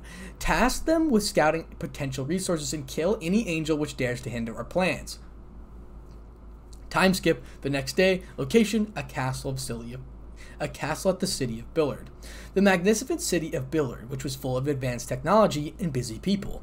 Inside the castle, Issei and his peerage were all in elegant costumes for the young devil part. Several devils were gathered, as well as the four devil kings. This place is amazing. I want a house like this. The fox priestess observes the surroundings with curiosity and admiration, causing a few devils nearby to stare at her beauty. Lot of people, Mash said. Don't be scared, Mash. I'll dispose of any vile devil who dares harm you, Mordred says. The Knight of Treachery reassures the nervous homunculus as she catches the eyes of everyone due to her formal black tuxedo with a white rose on her side. I want that hot chick, Devil 1 says. I want her, Devil 2 replies. A few devils stare at the Knight of Lustful Eyes, but an angry glare from Issei scares them. That's a nice dress, blonde, Azazel says. The Governor General walks towards the group with a smirk and a smile, wearing a white tied suit. Azazel, it's nice to meet you, Issei says. Likewise, Azazel replied. Yo, creepy crow, how's life for you? Mordred replied. With a mirthful grin ex chuckle escaping from his lips, Azazel gains a small smile. Life isn't that bad when the Chaos Brigade wants your head and your faction destroyed, Azazel said. The Governor of Fallen Angels answers in a sarcastic way, earning a couple of chuckles from the group. Not bad, Tamio says. May I get the honor of getting to know you, my lady, Azazel replies. Tamio burst out laughing at Azazel's poor attempt at flirting. I'm the reincarnation of Tamio no Mei, the Fox Priestess. It's a pleasure to meet you, Azazel, in the flesh. With a wink, the Fox Priestess introduces herself to Azazel in a seductive manner. Yo, Issei, Saji says. Across the hallway, as Sona and her peerage make the way towards Issei and the others. It's good to see you, I Sona says. Sona winks at Issei as she was in an elegant light green party dress, earning a small blush from Issei. Like what you see? I do, Issei replies, with a grin revivaling that of the governor of fallen angels. Issei answers to her filthy remark. The Mordred dress the, the dress looks good on you, Mordred said. I'm flattered, Sona replied, but before they could continue, suddenly the wall nearby exploded into debris, and through the debris they saw a man and woman who were in a deep argument. I won't let a filthy bastard such as you insult my ancestors, Zephyrdor. Quit whining, you shitty old hag, Zephyrdor says. This was bound to happen, Sona replied. Ah, isn't it rude to trash a party hosted by the Devil Kings? The voice was that of a young man with a muscular body who appears next to Zephyrdor, with speeds untraceable by anyone except Issei and Mordred. The man suddenly shifts his attention towards Issei, who stares at him without in, with any emotion. Strong, Issei thought. Sairaorg Bael, the strongest youth devil, Sona says. Sona Sitri, heiress of the Sitri clan, Sairaorg says. With an air of confidence and pride around him, the young man walks towards the two arguing devils. Zephyrdor, the problem child of the Glasya, Labua's family. Do not anger my fiance, Sairaorg said. The young devil proclaims with a smirk, causing the problem child of the Glasya family to frown while the unknown devil gains a faint blush. I'll make you pay for disrespecting me, Bael. Final warning, Sairaorg said. You don't scare me, trash of Bael, Zephyrdor says. The moment Zephyrdor utters those words, he finds himself embedded into a tree, which is half a kilometer away from the castle. Oh, hell, Saji says. Impressive, Mordred replied. Every single devil on the room stares at the gigantic hole through the castle with wide eyes. Fuck, Devil 1 said. Issei's peerage and Sona look at the strongest young devil in awe, except Issei, who has had his eyes narrowed. That punch. It was strong enough to knock out a high-tier ultimate class, but he's still holding back. Do you think he's reached the Satan class? The Knight of Treachery whispers to Issei, who's still at his gaze at the gigantic hole. He may be a low-tier Satan class, but strangely, I can't feel any trace of power of destruction from him, Issei says. Oh, I want to fight him now, Mordred replies. What is this feeling? This devil, he isn't normal. I am sure I can defeat him, but why do I feel tensed? Perhaps there are monsters, huge potential among devils, Issei says. The image of Saji, Sairaorg, and Milikis appears in Issei's mind as a predatory grin appears on Issei's lip. I can't wait to see their full potential unleashed, Issei says. He is the next heir of the Bael family, Sairaorg. He is known as the strongest youth. Now, with Sairaorg, away from Issei in the group, the strongest devil has a thoughtful look on his face as he walks away. Issei Kotomine, I'm looking forward to meet you in the battleground, Sairaorg says to himself. Now, back with Issei. While Issei and Mordred were having a stroll around the hallway, a young blonde devil bumps into them. Apologies. You're little sister, Issei says. With a, a surprised tone, Issei exclaims about the young devil who blushes at his praise. How's your bratty big brother doing? Issei says. Um, actually, quite terrible.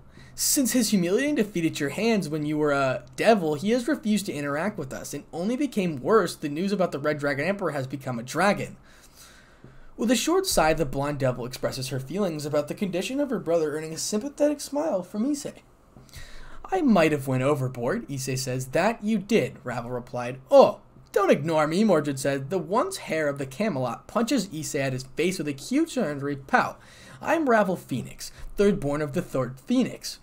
Hmm, I have never met a Phoenix Devil in all my life. I always wanted to check out a Phoenix Devil's immortality. Mordred said. Mordred scares the blonde devil with her strange smile. Oh, Ravel replies. Ah, where's my manners? I am Mordred Pendragon, the true heir of Camelot. You're the Knight of Treachery? Ravel said. I am, Mordred replied. With a proud smile adorning her face, the Knight of Treachery boasts about herself while Ravel looks at the huge pure glee. Oh, my Satan, I am in front of a true knight, but isn't King Arthur's heir a son? No, both King Arthur and Mordred are female. They were portrayed as men by the old historians, but I'm surprised devils know about the legends of King Arthur, Ravel said. The legend of King Arthur is one of the most famous legends in the underworld. It is said that King Arthur once killed a low tier Satan class, only in a handful of Satan class devils were alive at the time, Ravel said. The Phoenix Devil enters her fangirl mode as she continues to ramble about King Arthur. Hey, it's time for the party to start, so why don't we have this talk later? After the party, Issei says, Oh, Ravel replies. Shouldn't you help your big brother since you work for him? Mordred says. No, I don't serve under him, Ravel replies. Hearing this, Issei averts his attention towards the blonde devil. Explain, Issei says. I left his peerage for my mother's, Ravel said. You can do that? Issei said. You don't know about trade? Ravel said. Ravel calmly explains about the process of exchanging an evil piece on the condition that the two pieces must have the same value. Beelzebub did a good job on creating the evil piece, Issei said.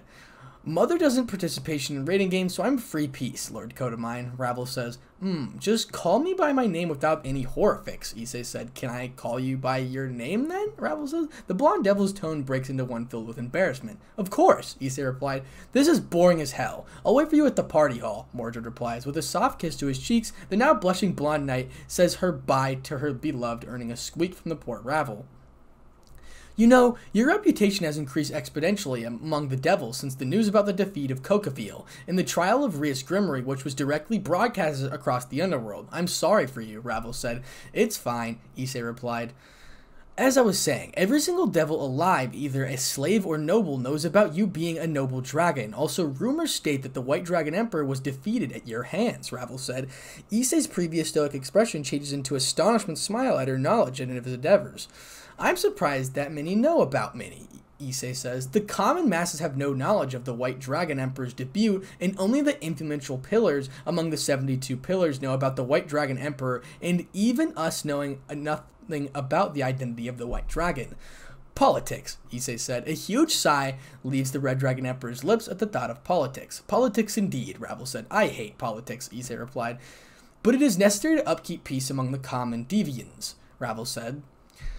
Deviants are common devil citizens, by the way.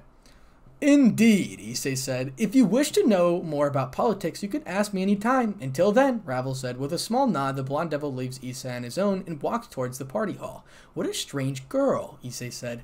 Indeed, Ddraig replied. Now at the party hall. The amora of delicious foods were found in the air as many devils were gathered in one place. Mordred finds herself Unable to take her eyes off the food next to her while Guard Devil approaches the group. Lord Kotomine, Lord Lucifer has requested your presence, Devil 1 said. Tell him that I'll be there in a few moments, Issei replied. Lord Lucifer has requested your presence at the moment, my lord, Devil One says. With a sigh escaping his lips, Issei nods and heads with the guard. Lead the way, guys. I'll be back in a few minutes, Issei said. Issei leaves the guard Devil after bidding his farewell to the group. Now, time skip. Issei finds himself in a luxurious bedroom with the Crimson Satan, who is beaming with happiness. Greetings, my friend, Sirzechs says. Likewise, but do tell me the reason for request my presence. I was having a good time with my loved one, Issei said. The Crimson Satan lets out a huge, exhausted sigh. Issei, I did not call you here for a pep talk, but instead for your help regarding a certain issues. Sirzechs says. Issei raises an eyebrow. Sirzechs's a normal change in character. From goofy to serious. What do you help? What do you want from me, Zetchi? Issei says, Issei, whatever happens in this room must not leave this room, Sirzechs said. Sure, Issei replied. With a small smile, Sirzechs places his hand on a mirror nearby, and soon a mischievous maniacal voice is heard. Identifying. Sirzechs's Lucifer. Entry approved. Suddenly, an organic blue colored magic circle appears in a bizarre eye appears on the magic circle. Feeling the potent aura emitted by a magic circle, Issei gets shocked. That is a multi-dimensional cross-transmit teleportation seal created by Ajuka. Only the individuals that I have acknowledged to be teleported can use this. Not even a Dragon King class being can trespass through this seal. Sirzechs says, You better explain the reason for using this, Issei replied. I will now enter the magic circle, Sirzechs said. Issei enters the magic circle along with the Satan Lucifer, who grins Issei's slightly shocked face. Sirzechs just sits there. A bright blue light blinds Issei as he finds himself being teleported away. Location, private laboratory of Ajuka Beelzebub.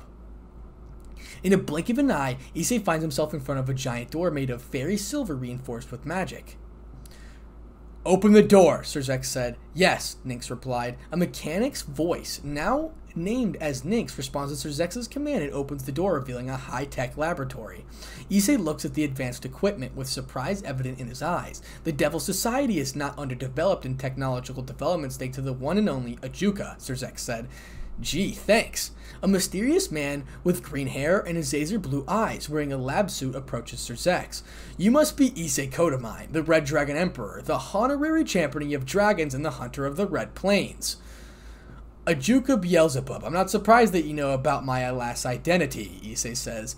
The man now introduces Ajuka who flashes a very small smile. While you did a decent job at concealing your identity as the hunter of the Ren Plains, it was not hard to find out the truth, Ajuka said. As expected of the most intelligent devil, Issei says. Reintroduction aside, why don't we inform Issei about the issue, Sirzechs says. The current Beelzebub's non-existent smile turns into a visible frown. After the reveal of the White Dragon Emperor Vali Lucifer being a half-breed descendant of the first Lucifer, the Devil Council decided to conduct an all-out research for any other half-devil descendants of the royal clans. And two weeks ago, a devil mole inside the old Satan faction had informed us about the existence of a half-devil descendant of the Leviathan clan being kept in status. And we successfully managed to find out the target and some put in some important information. A small alarm goes off at the current Beelzebub rushes to the system and Panel lets out a sigh as soon as having a look at the monitor. As I was saying, we successfully retrieved the descendant of the Leviathan, but we found out that she could not be taken out of the stasis as she has an aura of the interference disease, which is due to her Longinus class sacred gear, Nirin Kairi, rejecting her body. This disease has no cure as it damages the soul and I have estimated that she only has a few days to live in her stasis. But Ajuka here believes that theoretically the disease could be cured by changing her original aura signature in her half-human body into a creature with huge affinity for energy, and the only creature we could think of is Dragon, Issei says. Issei interjects Sirzechs's ramblings with a synthetic smile on his face. Yes, dragons are the creatures born of pure energy and have the greatest affinity for aura. Thus, I believe that if she wants to lose her humanity and turn into a dragon devil hybrid, she will live, Ajuka says. Since I am the only one with Draconic Evil piece, you want me to resurrect her into my peerage, Issei says. Yes, I can't create a new Draconic Evil piece in a couple of days, so I ask you, please help her, Ajuka says. With a sad smile adorning on his face, the green-haired devil pleads to help her, causing Issei to sigh at the devil. I may be ruthless at times, but I wouldn't dare refuse to help an innocent little girl, Issei says. Thank you, Issei, Ajuka says. Well then, we'll resurrect her after the party ends. I believe that Mao-chan would be upset if you were missed to party, Sirzechs said. It seems like I have to go. Farewell, Lord Beelzebub. Issei and Sirzechs walk away leaving the lab. The Beelzebub, who has a bright smile on his face, a lone tear escapes his eye. At last, I have fulfilled your final wish with me, my love. I swear on my name that I will take care after your daughter as my own. If I were only if only you were alive today instead of being killed by my own hands, my childhood friend and eternal love. Ajuka says to himself. The image of the young Ajuka who is bloodthirsty grin choking a beautiful purple-haired woman who struggles to escape his grasp but failing miserably appears in his mind. I will always love you, Ajuka. Location, Young Devil Gathering, the city of Billard. Issei finds himself in the middle of the party hall with Mordred eating a ton of food, earning nervous glances from everyone nearby while Sona was being dragged away by her big sis Leviathan, who was ranting about her sister being kidnapped and mind controlled by the evil dragon of lust known as Issei. A few things never changed, Ddraig. Do you think I could save the girl Juka said about? Issei says, to be honest. You can help her by turning into a half dragon since her sacred gear is known as the only Longinus that can strengthen dragons, Ddraig said. Suddenly, Issei senses a faint wave of senjutsu, causing him to look at Mordred, who appears to have not noticed it, while at the corner of his eye he spots Koneko going stiff before running away to the part hall. Princess, I'll be back, Issei says. Issei suddenly disappears in the shadows, leaving an infuriated Mordred.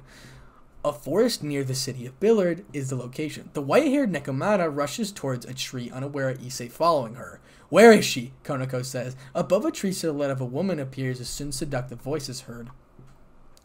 Big sis Kuroka, Koneko says. Ah, you can still sense me? I'm touch. Kuroka says. What do you want? Koneko replies. Koneko raises her guard and takes a fighting stance while Kuroka merely raises an eyebrow. I am disappointed in you, Shirone. You cast aside our gift in Senjutsu and use your fist instead of magic. This is the reason why you are just a mid-class at best, Kuroka said. Yo, Kuroka, don't be harsh on your sister, Bikou said. Bikou appears from a portal nearby with his staff ready to strike down the white-haired Nekomata. Shut up, monkey. Now the Shirone, why don't you let your big sister take care of you? Kuroka said. We also have to gather intel on other young devils gathering to make this quick, Bikou said. I'm afraid I can't let you do that, Issei says. From the deepest of the shadows, Issei emerges, startling everyone. You must be pretty skilled for evading my senses, Kuroka says. What is this fool doing here? Koneko replies. Oh, the Red Dragon Emperor found us. I'm scared, Bikou says. Issei snarls at Bikou's sarcastic remark, earning a gleaming smile from Kuroka. This is the one who pounded Vali, Kuroka said. Issei raises a barrier, trapping them with him. Sorry, I didn't pound him, but rather he got his ass kicked by me, Issei says. Whatever. Think you could take both of us? Bikou said. A victorious smirk appears on Issei's face as the dragon roar is heard from afar. Soon Tannin in his dragon form appears above them. Need help taking care of these pests? Tannin said. Yes, please, Issei replied. The former Dragon King, huh? I want to fight him. Extend, Bikou says. A cloud appears below Bikou, and the cloud takes him high in the sky, and then his staff extends and tries to hit the former Dragon King who evades the attack. Looks like the monkey is having fun. Kuroka said, I will warn you for the last time. Get out of here if you wish to live. Issei says, Hmm, nope, Kuroka replies. And that is the end of chapter 19. Chapter 20. I will warn you for the last time. Get out of here if you wish to leave. Issei says, Hmm, nope, Kuroka replies. Issei finds his body tense at her answering, causing him to narrow his eyes. Nice try, but your senjutsu techniques won't work on me. So while Issei was busy explaining about how senjutsu didn't work on him, he is met with a blue orb made out of senjutsu on his face. How rude, Ddraig. What are you waiting for? Activate the balance breaker. Sorry, pal. The boosted gear is still undergoing its evolution, so you can't use it, Ddraig said. You want to play with this naughty kitty? Kuroka said. In an instant, Kuroka disappears, and a mist reappears at random locations, earning a smirk from Issei. Now, what will you do? Kuroka says. Yojutsu. Trace on. Mana accumulates around Issei's hand as it materializes into the familiar red spear. Rush and drill. Gae Dearg. Issei says. Issei rushes forward and slashes every single clone of Kuroka as they disappear into thin air the moment the spear touches them, earning a shocked gasp from Kuroka. Found you, Issei says. Issei disappears into the shadows and appears behind Kuroka, with his fist ready to strike her, but by pure instinct, the older Nekomata conjures a defensive barrier just in time to stop the attack. You know, you're really a fool to think that you could win against me, Issei says. Huh, Kuroka replied. While Issei and Kuroka clash against each other, the white-haired Nekomata decides that this is the time to escape, but then... Don't leave your big sis alone, Shirone, Kuroka replied. Strange obsidian colored runic text appears as Kuroko rises her hands and suddenly a mist appears. The white-haired Nekomata instantly falls to the ground, unable to withstand the effects of the fog. That was my own spell, which is poisonous to beings who come into the mist, although it won't work against dragons, Kuroka said. A mid-tier ultimate class at the least, Issei says to himself. Don't lose your focus to miss the battle, Ddraig says. Run away, you'll die, Koneko says. Ignoring Koneko's warnings, Issei with a war cry dashes forward with his stance unbroken. Die, Issei says. In an instant, Kuroka conjures multiple barriers made of ki, but the crimson rose of exorcism cuts through them, like a hot knife slicing through a block of butter. What the? Kuroka says. Use your brain, dumbass, Issei says. Using the blunt end of the Gae Dearg, the Red Dragon Emperor pushes back Kuroka by several meters and then delivers a sucker punch. You're hardly a challenge for an SS class straight devil. I wonder who wanted a pathetic waste of space like you in their barrage, Issei says. Arrogant bastard, Kuroka replied. Visible hints of frustration appears on her face as Issei inwardly smirks at angering her. They say that you became drunk in power and you killed your master, but I doubt that you would have killed him by yourself, Issei says. You have no idea, Kuroka said. The older Nekomata's voice becomes filled with hatred and venom, indicating that the Red Dragon has opened up old wounds. Hmm, perhaps you weren't drunk in power, but killed him in a fit of rage, Issei says. Kuroka visibly flinches at Issei's words, causing Bikou, who was fighting Tannin, to yell at her. Kuroka, snap out of it, Bikou says. While Bikou averts his attention towards the Nekomata, Tannin fires a huge torrent of fire which engulfs the descendant of the Monkey King. Fool, do not leave yourself open, Tannin says. Damn, you're not bad, old man, Bikou says. Bikou rushes towards Tannin and his cloud with his staff ready, but Tannin evades the attack and uses his tail to hit slam him into the ground, leaving a huge crater. You're a thousand years too young to face me, Tannin says. Now, back with Issei. Issei gracefully dodges multiple blue-colored projectiles with ease, further frustrating Kuroko. You're a disgrace of a sister. To abandon your own sibling is something I wouldn't even think in my darkest nightmares, Issei says. Damn you, Kuroka replies. A purple colored magic circle appears behind Kuroka, and with a loud yell, the older Nekomata creates three orbs of pure Yojutsu. Using his spear, deflects the first two orbs towards the third orb, making them explode midair. I need a weapon, Issei thinks to himself. The crimson rose of exorcism dissipates into thin air as a couple of throwing knives charges towards Kuroka who uses her senjutsu to stop midair, but then finds out that Issei is missing. A bait? Kuroka said. A vicious haymaker was the only answer the Nekomata received from the Red Dragon, but retaliates by slamming a dozen of Yojutsu spheres into his face at point blank range, throwing him about 50 meters away. That hurts like a bitch, Issei says. The smoke dissipates and Issei with his right eye bleeding stands there with an uncanny smile. You, you were able to penetrate my pseudo dragon skin. Ah, you must be high tier ultimate class with mastery in long range combat, Issei says. You're not invincible. In your base form, you're just a high tier high class. And if equipped with a good weapon, you may reach tier ultimate class. But without releasing one of your seals, using the boosted gear or suppressing the limiters on your reality marble, you can't win this girl, Ddraig said. You know very well that I cannot release the limiters on my reality marble, as it would reveal too much about me and most of my ace weapons are available only after releasing the limiters, Issei said. With an angry snarl, the Red Dragon Emperor charges towards Kuroka, who retaliates with a huge orb of concentrated ki to his gut, who grunts in pain. Activate your sacred gear if you want to win, Red Dragon, Kuroka said. Fuck off, Issei replied. How rude. Maybe I should tame this naughty dragon, Kuroka said. A dozen of orbs made out of Yojutsu appeared behind Kuroka and then merges each other with creating a circle of ki. Orb of Calamity, Kuroka says. Issei, dodge that, Ddraig said. But, Issei says. The attack successfully hits Issei, causing a heat explosion which blows away a dozen of trees and creates a huge shockwave. The explosion catches the attention of the former Dragon King, who has anger all over his face, then summons a huge fireball which severely injured Bikou. Issei, Tannin says. She used it, Bikou says, back to Issei. The smoke cloud disappears, revealing Issei with his combat outfit reduced to cinders, a dozen of first degree burns all over his body, and a broken finger. Dragon Slayer magic, Issei says. You must be pretty strong to be able to stand that after taking my strongest attack, Dragon Slayer attack. Kuroka says, Shit, I can't take a Dragon Slayer attack on this form. I have to release a seal or I will die. If only I had the boosted gear now, Issei says. You fool. Did you lose your mind? You refused to use your full powers and nearly got yourself killed. Are you the strongest Red Dragon Emperor who killed Kokabiel in his new armor and defeated the strongest White Dragon Emperor in Juggernaut Drive? Ddraig said. Ddraig roars inside his mind, causing Issei to stare at the cold Nekomata who has a smug grin on her face. The most powerful Red Dragon Emperor, who has mastered the Juggernaut Drive, has gained powers enough to slay gods, has lost to a mere ultimate class Nekomata, as you hesitated to use your full powers. Don't you have any pride as a dragon. Ddraig said in his head. I, Issei said, educate this weakling about the power of a dragon and show her the might of the Red Dragon Emperor, Ddraig said in his head.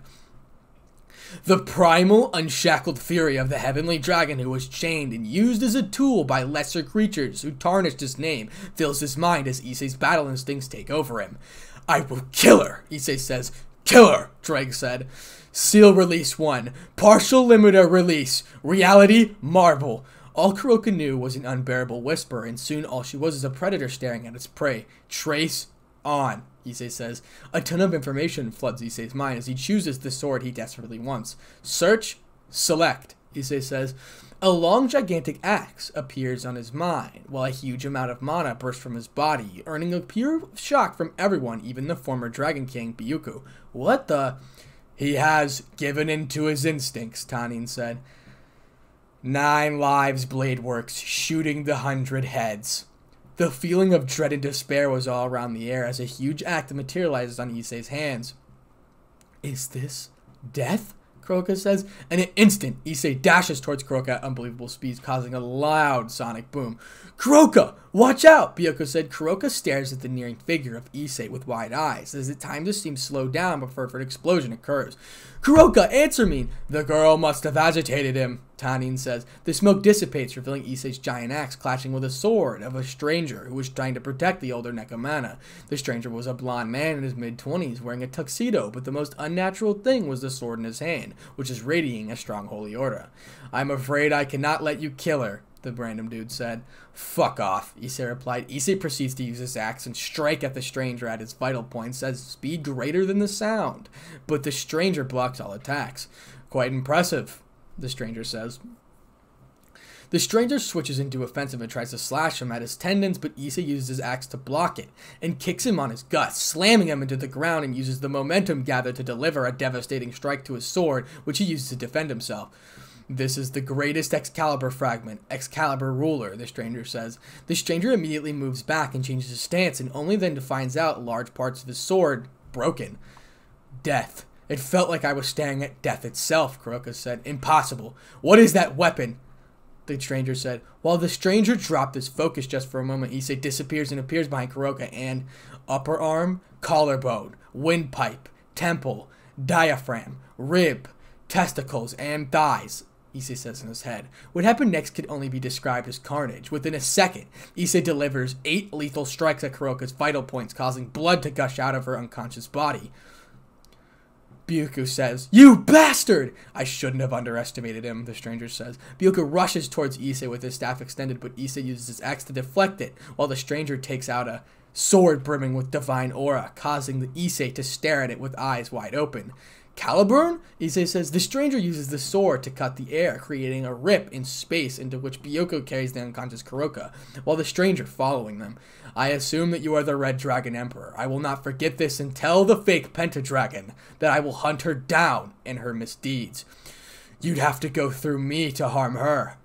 The Pendragon, Issei says. Farewell, this boy says. The rip on space vanishes without any trace. Issei then shifts his attention towards Koneko, who is staring at him with wide eyes. Forget, Issei says. Issei snaps his fingers as Koneko falls into the ground unconscious. Time skip. Issei finds himself in a party hall, along with the young devils gathering after his fight with Kuroka. I, Mao Lucifer, am honored to inform you all 16 devils have reached the required age to participate in the Rating Games, and 7 are from the 72 pillars. They are Cyber Org Bjol, Seekvaira Agares, Diodora Astaroth, Sona Sitri, Rias Gremory, Greg Fornis, and Zephyrdor Labius. To celebrate this occasion, we have decided to host a rating game tournament between those young devils, and also the honorary champion of dragons, Lord Issei Kotomine, will be competing in the tournament as a guest to improve the relationship with the dragon faction, Sirzechs said. The crowd cheers for the young devils while the pillars were busy chatting amongst themselves. We're going to participate in a rating game, Mordred said. Yes, we are, Issei said. Awesome. Is killing allowed in the tournament? Mordred said. Every devil stares at her, at her absurd question, her for smile with fear. No, killing is prohibited, Sirzechs says. Hmm, this might be a good way to spend some time, Tamio said to herself. We have to fight, Mash said, with a nervous dripping from her voice. The shell they're asked with a nervous smile on her face. The first round of the matches are all selected. They are a holographic image of the schedule for the first round was shown to the devils present, causing a few devils to take photos of the hologram. It displayed Match 1. Sairaorg Bael vs. Zephyrdor Glasya, Labos. Rias Gremory vs. Issei Kotomine, Match 2. Match 3. Sona Sitri vs. Grag Fornis. Match 4. Diodora Astaroth vs. Seekvaira Agares. Everyone in the room erupted into cheers and the smiles displayed, but Issei spots Rias, who has uncanny smile on her face. She stares at the hologram, causing him to raise an eyebrow. This is perfect. I'll kill that blonde bitch with Ascalon. And since it was at a rating game, they can't arrest me, and the only thing they'll do is disqualify me, Rias says. The tournament will start one week later. I wish you all good luck, Sirzechs says. Sirzechs finishes his speech, earning an applause from everyone in the hall. This tournament. I will win this, Sona says. Location unknown. In a mountain cliff, during a cold night, a split in space appears, and the blonde sergeant and Bikou come from the split in a space with the unconscious Kuroka. Is she dead? Vali says. Nope. But if we don't help her, she will be, Bikou replied. Without a second thought in his mind, the White Dragon Emperor carries Kuroka to a nearby tent and places her down with a solemn expression on his face. I have no knowledge of healing spells. I should have hired a healer, Vali said. May I suggest we patch up her fatal wounds while I contact my sister who must have knowledge of a few basic spells. The unknown swordsman suggests solution, but Vali shakes his head in disapproval while letting out a sigh. I suppose that I could heal her in a traditional devil way, Vali says. How would you do that? Bikou replies, I, devils can heal others, or half-breeds, by sharing a bit of their life force, but the process requires both the devils to be naked. Vali says, with no visible changes in his facial expression, but a faint pink hue adorns his face at the thought of certain things. Vali explains about the devil's shin skip, causing the others to snicker. Damn, you really have the devil's luck, Bikou said. Very well. Wouldn't it be a hindrance by being here? And Vali, do treat her well. With amusement dangling in his face, the unknown swordsman leaves with a content smile. See you later, Bikou said. A teleportation circle appears below Bikou as he teleports away with the girl on, her, on his face. Time to heal her, I guess, Vali says. And all my life, I, Albion, never expected you to be embarrassed, Albion says. Just shut up, Vali replied. Issei fi- time skip the next day. Issei finds himself in the middle of Ajuka's laboratory, with Ajuka nearby working on a hologramic computer. Countermeasures, stand by, Nix says. Roger, what about the stabilization pod? Ajuka says. Operational, Nix replies. The mechanical voice of the AI, Nix, is heard through the room, along with the sounds of metallic clanging. Nix, bring out the stasis pod, Ajuka says. The floor opens, and from it, a futuristic pod appears which has brimming with magic. Issei, you have 54 seconds before she dies. Yes, Issei replied. Nix, open the pod. The pod opens, revealing a purple haired girl with her skin paler than the moon itself and has orange eyes, but the most captivating feature was the innocent smile on her face. Ajuka stares at the girl with a solemn expression as his past memories overwhelm him. By the name of Issei Kotomine, I, be reborn as a faithful dragoness with your weakness casted aside and serve as my pawn, Issei says. A bright purple light engulfs the laboratory.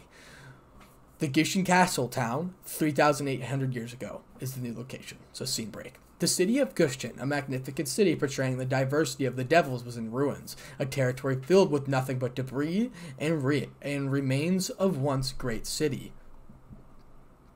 Amidst the ruins, a total 150,000 pound soldiers were stationed around the city, while a younger Ajuka was among the army generals. Status, Ajuka says. The forces under Tatsumi Leviathan are estimated to be around 700,000 to 10 million and are currently in the Royal Trident formation, which is suited for direct defense and stealth strikes, Devil General said. Hearing this, Ajuka lets a frown adore his usually stoic face. They will break our defenses. We are also outnumbered in numbers, Ajuka says. What do we do? The Devil General replied. Rapid fire at the city. Aim for the skyscrapers, Ajuka said. A gas escapes the General's lips at the young Super Devil's command. But, sir, there might be civilians who have escaped the fall of Gushin, Devil General says. I don't care. Kill every single devil you come across. For victory, Ajuka says. Multiple beams of demonic attacks are fired from Ajuka's army as they wreak havoc on the buildings while killing innocent people in the Satan army. But then a huge shield covers the whole city.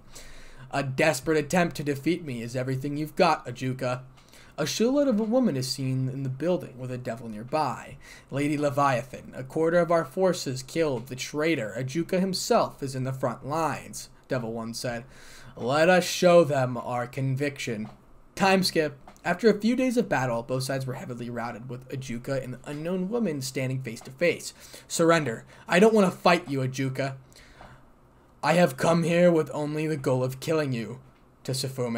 Ajuka lowers his hood, revealing his handsome face. You've gotten stronger, Tefutsume says. The silhouette of a woman now introduces Sufume, lets out a sigh as she reveals herself a young woman in her late twenties with looks which could kill a man. Ajuka's stoic face morphs into a disgusted scowl at the sight of the woman earning a sigh from her. You still haven't let go of your grudge, Tatsumi says. I see. You were having a good life far away from me while I was all alone, broken and tortured, Ajuka said. With rage barely held back, the young super devil lets out an animalistic howl. I had no choice but to bear his child. My mother's last wish when she died a hundred years ago was to marry him, Sufume says. A human. You had a child with a human, Ajuka says. The Leviathan lets out a huge sigh, as sadness was all she knew, at the sight of the gentle Ajuka reduced to such state.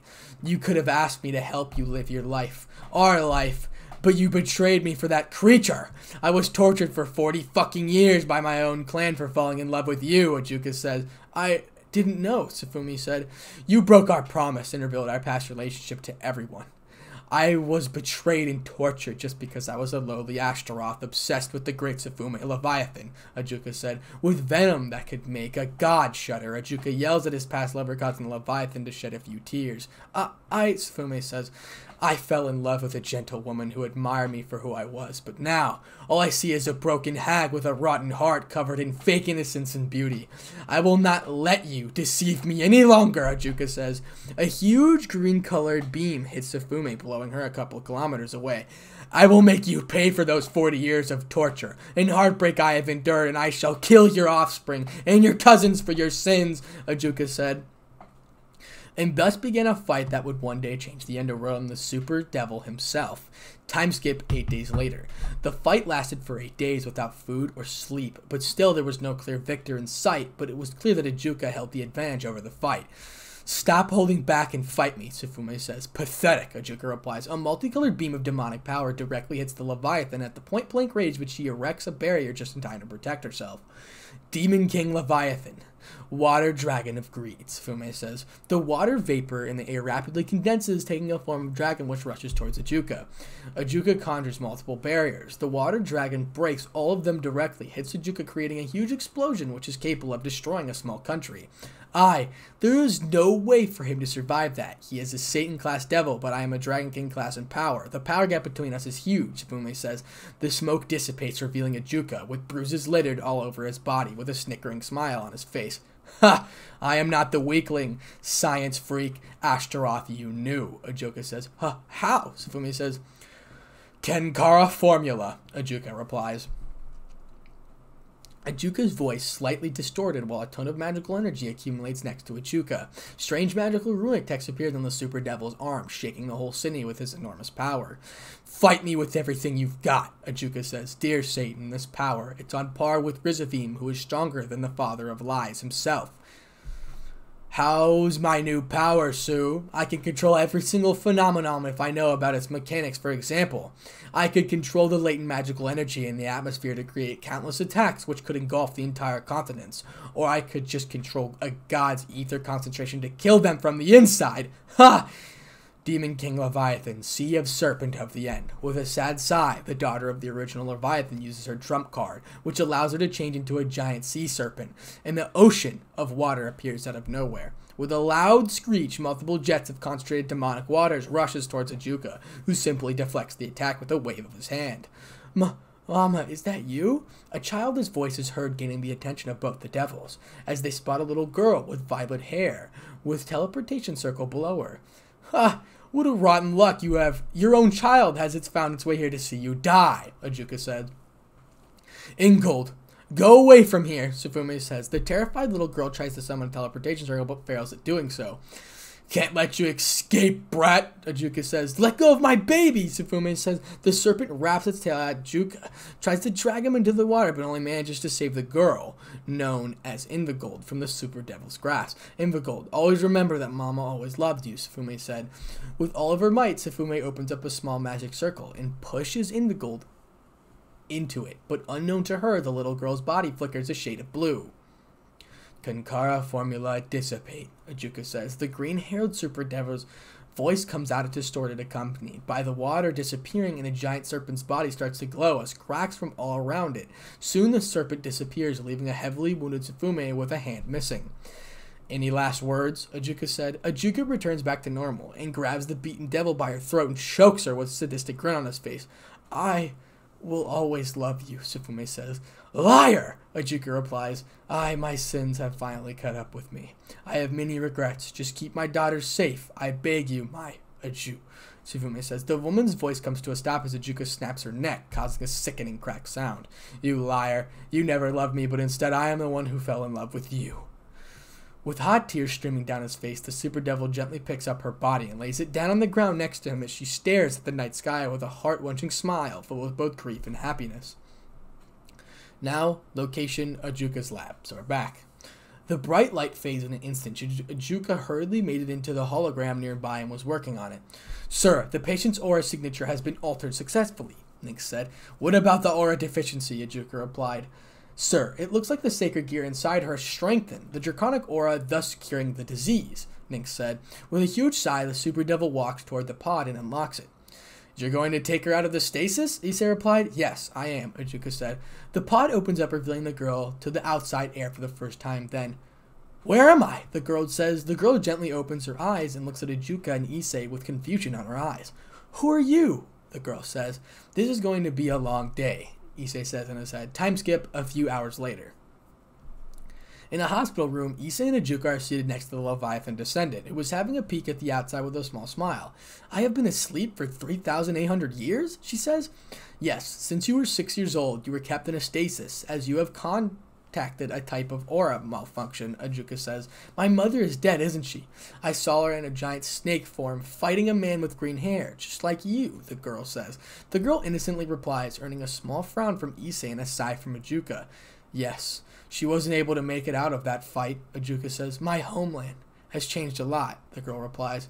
You're awfully mature for a six year old girl, Issei says. The girl innocently flashes a smile at his question before answering. I am not six year old child, the girl says. I'll order the maids to send you a few books regarding the recent changes in the underworld since 3,000 years, Ajuka said. With that, Ajuka leaves the room in a blink of an eye to somewhere. Hey, Issei, I am your pawn. Am I right? The girl says, Yeah, Issei says. Then I'll follow you, big brother. The girl says, I like this girl, Ddraig says. The girl jumps on the stunned Red Dragon Emperor, who unknowingly pats her head, earning a coup. I almost forgot to introduce myself. I am Invigold Leviathan, daughter of Sufume Leviathan. Can I join your peerage? I promise I won't be able to burden you. Please, the girl says. If that is what you wish, I'll make sure to inform the others about this, Issei says. Yay, I get a lot of big sisters, Invigold says. Unable to suppress a chuckle, Issei awkwardly waves his farewell and leaves the room with his thoughts wandering. Big brother, huh? I'm glad I have a little sister, Issei says, chuckling to himself. The Red Dragon Emperor teleports away. And that is the end of chapter 20.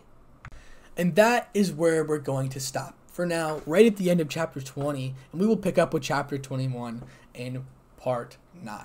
Thank you guys so much for the support.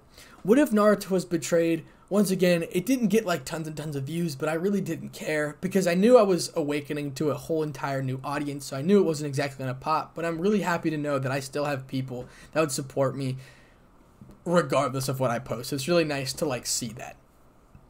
I just wanted to gather a new audience because I really, really enjoy Naruto. So that's why I did the video because I like putting my passion into things, as you guys know. But I really wanted to make Anpal Palski a Dragon Ball almost only channel and just talk about everything Dragon Ball related, as long as, as well as do what ifs on the videos. But thank you so much for the support. This was What If Issei Was Betrayed and Became a God Part 8. And a special thank you once again to my balance breakers, Rob the King. Jorge Alvarez, Lachlan Yates, Atomic Warlord 58, Kozakil Toltec Sun God, Daybreak, VR Wolf hashtag 2347, Sinrar Q, Jordan Pachow, Mazaku, Doctor underscore MLG underscore is the bomb. Thank you so much for becoming a balance breaker. Your high, which is the highest membership team membership tier. I can't thank you enough for becoming a balance breaker. Let's try to hit uh, 500 to 400 likes. Thank you all for once again for all the support. If you guys want to subscribe to my second channel down in the description below, it's always there. Along with my shorts channel, aka Fallen DxD, will be posting a lot of videos as well soon, just on shorts about anime and just random things in general to just know my thoughts or analysis on some things. That once again, thank you for all the support, and without further ado, Spartanic Artz DxD out. What's up guys, it's your host Spartanic Artz DxD back with another high school DxD related video. And today we have What If Issei Was Betrayed and Became a God, part 9. Let's try to hit 400 to 500 likes, and if you guys want to know exactly when I upload, slash my upload schedule, click the little blue button right next to the subscribe button. Seriously, a special thank you to my balance breakers, Rob the King, Jorge Alvarez, Lachlan Yates, Atomic Warlord 58, Kozakil Toltec Sun God, Madly Wolf 333, Daybreak, VR Wolf hashtag 2347, Sinrar Q, Jordan Pachow, Mazaku, and Dr. underscore Emeralds underscore MLG is the bomb, and Asimodus. Thank you so much for becoming a Balance Breaker, which is the highest membership tier. I cannot thank you enough for becoming a Balance Breaker. Seriously. If you guys want to see what ifs on Goku or other anime in general, go subscribe to my second channel, link down in the description below, along with you just click the channels, you can click on Fallen DxD and Anpal Palski, and those are my two other channels. Hit the sub button for those, along with follow me on other social medias. Without further ado, let's go ahead and get right into part 9. Chapter 21 Back at Issei's own house, a stranger was on the doorstep as he presses the doorbell with a smirk adorning his face. Kotomine residents, how may I help you? Tamio says. I have come to see Issei, the Red Dragon Emperor. The man blatantly replies, causing the fox priestess to raise an eyebrow, but welcomes him. Follow me, Tamio says. The man proceeds to follow her with a stoic uh, face as he finds himself in the lounge with Mordred, Sona, and Mash having a conversation. Who are you? Mordred said. He wanted to meet the Red Dragon Emperor, Tamio said. With a teasing smirk on her face, the fox priestess teases the unknown man, earning a small snicker from him. What business do you have with my king? Mordred said. Classified, the man says. The man answers almost like a machine, causing Mordred to snarl at him, causing Sona to interfere before things get worse. Don't be rude to our guests, Mao-chan, Sona said. Whatever, Mordred replied. Can I see Issei Kotomine? The man says. I'll bring him here, Mordred says. The Knight of Treachery spares the mysterious man one last glance and proceeds to the basement. That guy, he is not normal, Mordred says to herself. Shaking her thoughts aside, Mordred proceeds to the basement, only to find Issei and Invigold in a friendly spar. You've gotten a lot better at controlling your draconic order, Issei says. Hmm, I'm going to hit you, big brother. Invigold says. A series of explosions follows the Leviathan descendants' threat shaking the walls nearby. Control yourself, Invigold. This manor can't withstand the attacks of an ultimate class being, Issei says. Okay, Invigold says. Yo, Issei, a crappy dude wants to see you. Mordred says. The Knight of Treachery approaches the Red Dragon Emperor with a sly smile on her face as she delivers an unexpected kiss to her love and pulls back. Hmm, intoxicating, Issei says. Now hurry up and go kick that stranger's ass, Mordred said. Get a room, Invigold replied. Ignoring the Leviathan descendant's sly remark, Issei then proceeds to the lounge with a stoic face replacing his previous expressions. Hey, darling, that guy, he isn't a normal one, Mordred said. Fear not, my princess, for I am invincible, Issei says. Mordred rolls her eyes at her love's proclamation before elbowing him in his gut. Dragon, Ddraig said. Definitely a dragon's aura, Issei replied. The couple enters the lounge, where Issei spots with a mysterious man, who now has a toothy grin on his previous stoic face. Yo, Issei, you look as good as ever. I can say the same to you as well, Bova. The man now introduces Bova, spreads his four sealed obsidian wings as his, his appearance changes into that of a tan skinned man in his late 20s wearing a regal dress. But the most prominent features were his golden eyes, filled with warmth and mirth. I thought you wouldn't recognize me in my disguise, Bova says. Everyone on the lounge has their eyes set on the dragon with wide eyes, but the fox priest's eyes man with a man with lust. The hell is this? Mordred said. That is that, my love, is Boa, third son of Tannin, famously known as Bova the Destroyer, and my associate. Issei says, Sexy, Tamio says. You all must be a member of Issei's Peerage, Bova said. I did not receive any notice regarding the entry of the notorious troublemaker of the underworld, Sona said. The Sitri Harris gives a blank stare to Bova with irritation present on her eyes. I am here on a top secret business of the Dragon faction, Bova said. Is there anything wrong? Issei replies. The air of the household drastically changes from cheerful nature to seriousness. The Chaos Brigade has attacked and nesting on the astern sector of the dragon faction, and 15 guardian dragons were killed on our own side. A dozen of the hatchlings were killed brutally by dragon slaying magic, Bova said. Rage floods into Issei's mind, as the thought of hatchlings killed is the same as provoking the dragon faction. How dare those insolent pests attack us? This deserves death, Ddraig said. The booming voice of the Red Dragon Emperor echoes through the room as red aura shrouds the room, forcing everyone except Sona, Mordred, and Bova to their knees. Ddraig, save your anger for the ones who deserve it, Issei said. They're trying to provoke the dragon since they are the biggest obstacle in the Chaos Brigade's way, Sona says. The dominating order of Ddraig disappears without a trace after a few seconds of earning a sigh for many. How could they slaughter innocent children? Mash said. The High Council has decided to assign the task of killing those bastards to my eldest brother, Bova says. The son of Tannin tells them with anger and disappointment in his voice. Stupid councilmen. They want that disgrace of a dragon to avenge the death while they could have sent you to kill them? Issei says. According to those old geezers, I'm irrational and unfit for helping them in this issue, Bova said.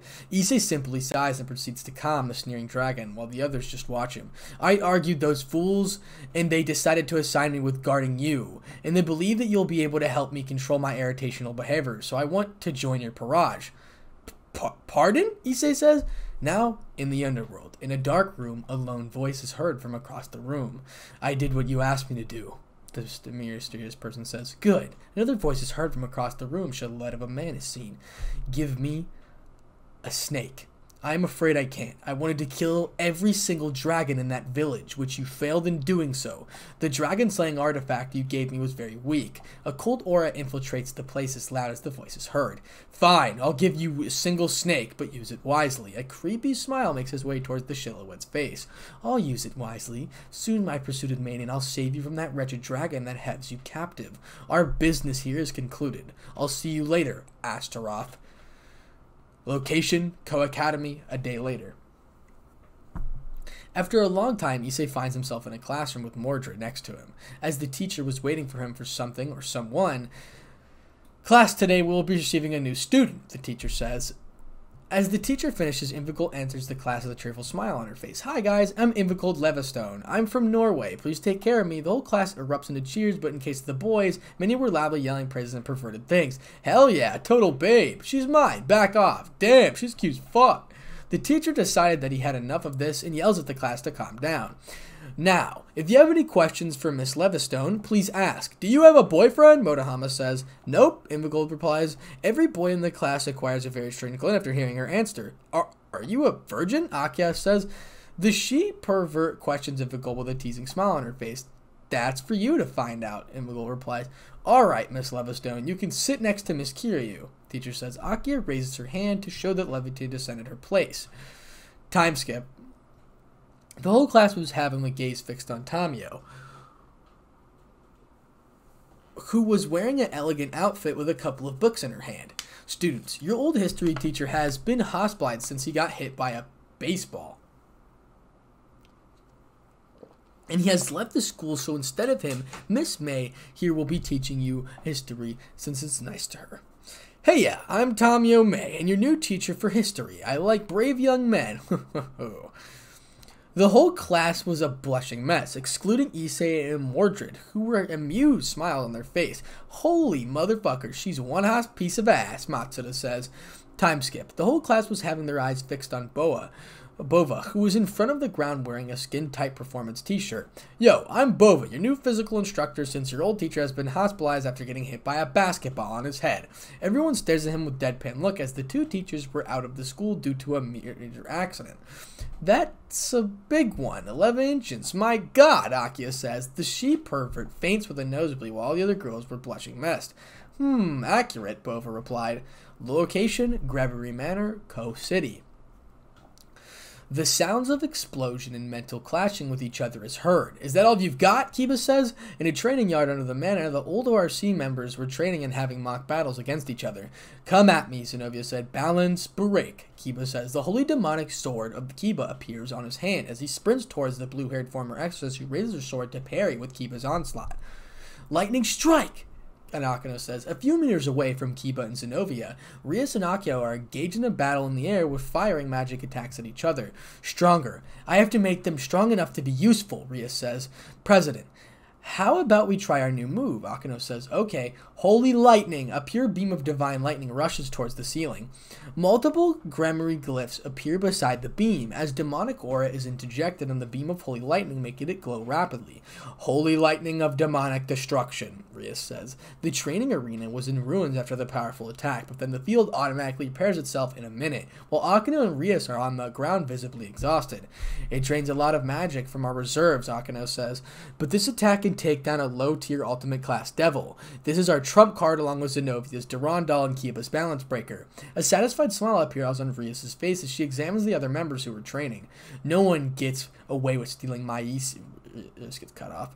It would be a great help if Gasper was here.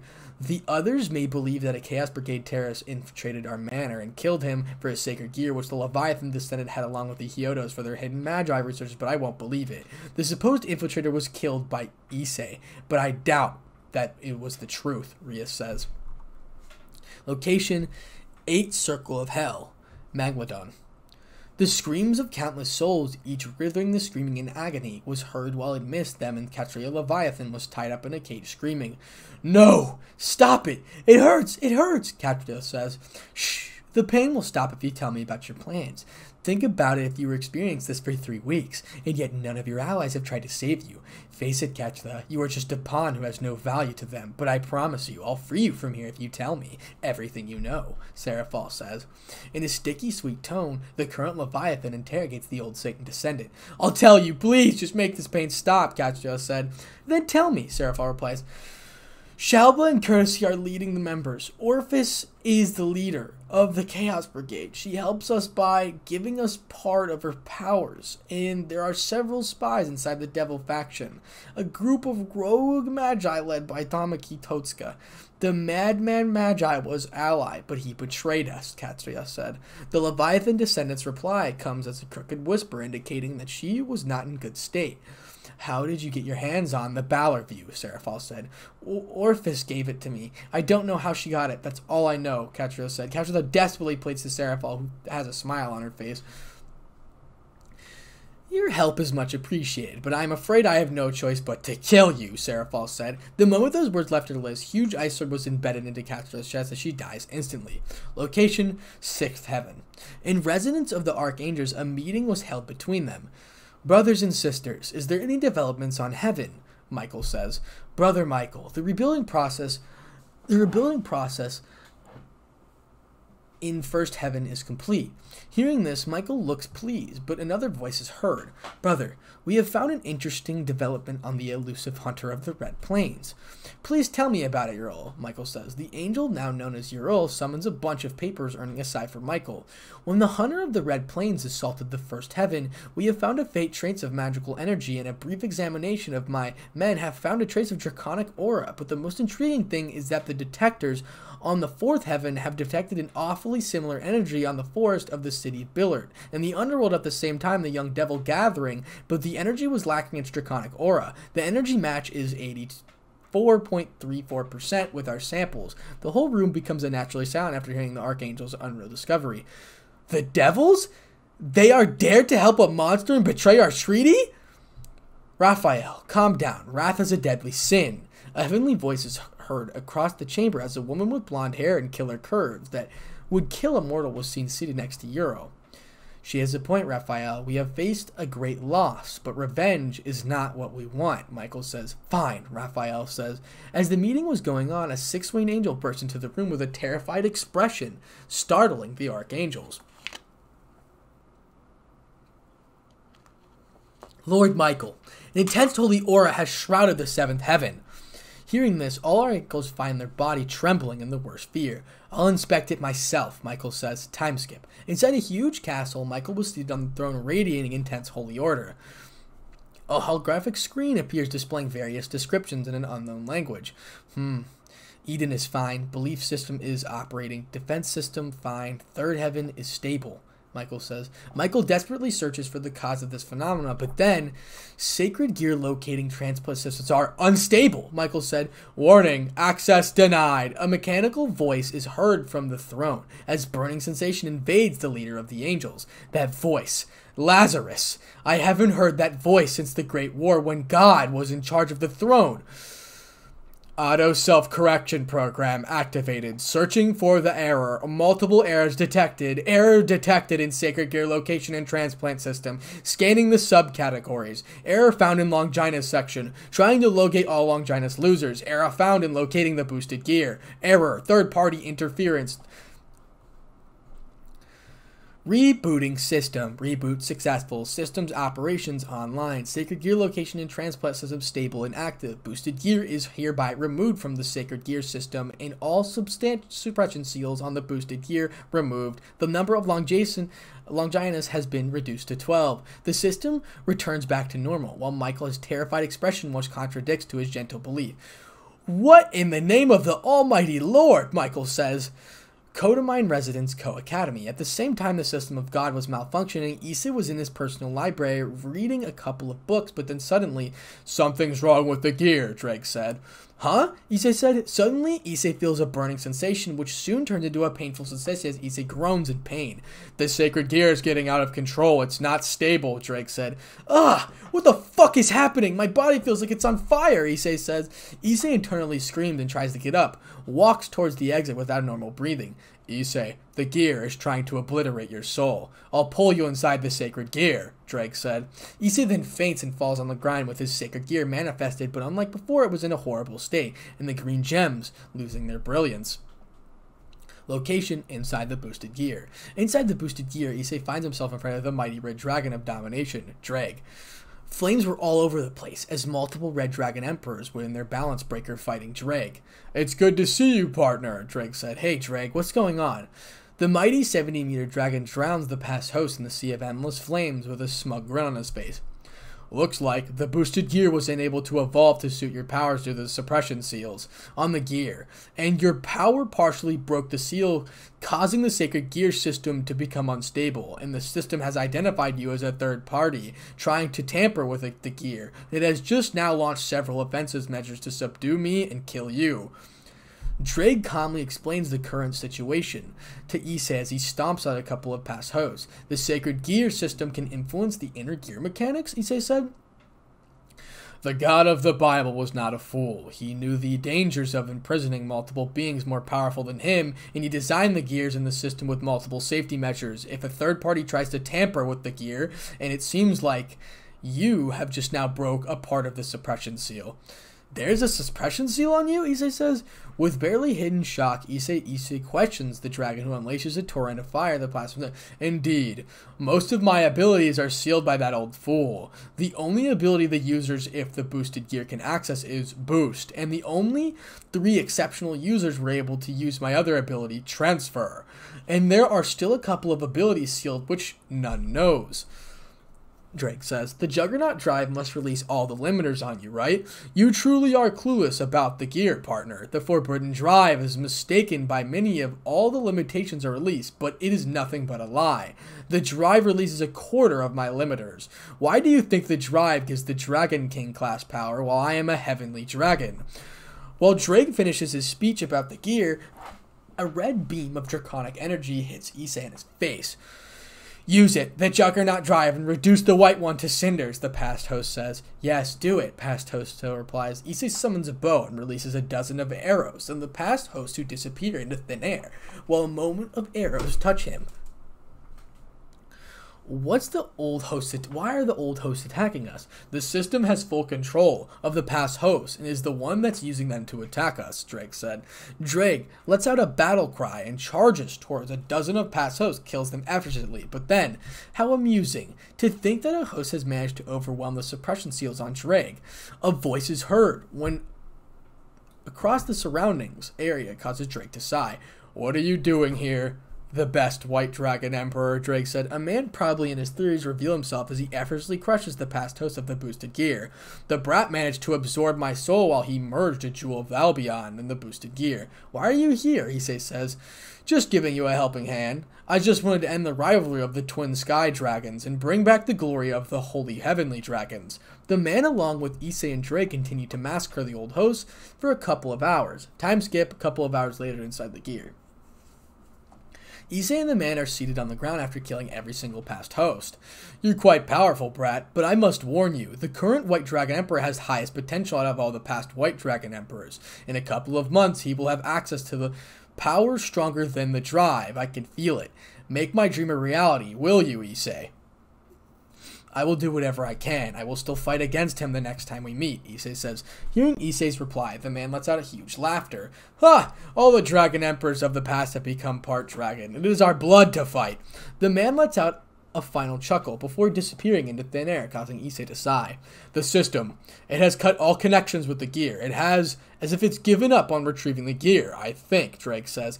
A pulse of overwhelming energy flows through the red dragon as he stops his speech with his eyes widening in shock. We have succeeded, haven't we? Issei says, Fuck yes. At last I have been freed from my shackles. The system has relieved the suppression seals. My powers are like, it's back to my prime. The boosted gear is free from its clutches. Partner, we have attained a new power today. With this we shall burn our enemies to the ground. Location, Kotomine Residence, Kuoh Academy, a few hours later. Issei and his Peerage were on the couch watching a live relay of the first match of the Young Devil Rating Games tournament, which was between Sairaorg and. The guy with green hair is acting like a wimp, Bova said. Yeah, Mordred replied. Hmm, Issei said. While the others were busy commenting about the battle, Issei was having his gaze fixed on Sairaorg, who was demolishing a couple of rooks of Zephyrdor. Is, is something wrong? Sona says. You're not going to faint like what you did a couple of hours ago, are you? Mordred replied. Both of the girls look at him with concern, for his health evident in their eyes, making Issei smile at the pleasant feeling of bliss knowing that there was someone worried for him. I am fine. I was thinking about certain things, Issei said. Hell yeah, kick his ass, Bova said. Issei nearly fell off the couch due to the delinquent dragon's loud yell. Noticing this, Mordred flashes a malicious glare at Bova, who was slightly unnerved by the glare. Bova-san, do you want me to weaken you with my sacred gear and hand you over to Tamio? Invigold said. I'd like that. Oh, the number of things we could do together, Tamio said. The newest rook of Issei lets out a nervous laugh at the menacing smile plastered on the fox priestess's sexy face. This woman is crazy, Bova said. Hmm, looks like Tamio took an interest on him, Issei said. A loud explosion is heard from the television, which shows Sairaorg destroying the problem child of Glasya clan without breaking a sweat. I want to fight him to the death, Bova says. This man is Tannin's son? Mash says. You can't kill him, Bova. He is the heir of Bjorn clan, and a promising young devil. Besides, we have to focus on wiping the floor with Rias, Issei says. The Gremory girl is no more than a weak training dummy for us, Bova said. The delinquent dragon puffs his chest in pride while Issei's expression changes into a serious tone. I think we should increase our daily trading regimen, Issei says. Oh, I almost forgot that I have a meeting with my peerage. See you later, Mr. Serial Killer of Kuoh, and good night to you all, Sona says. The Sitri Harris leaves the apartment by magic circle, with a vicious grin on her face leaving a stupefied Issei and Mordred.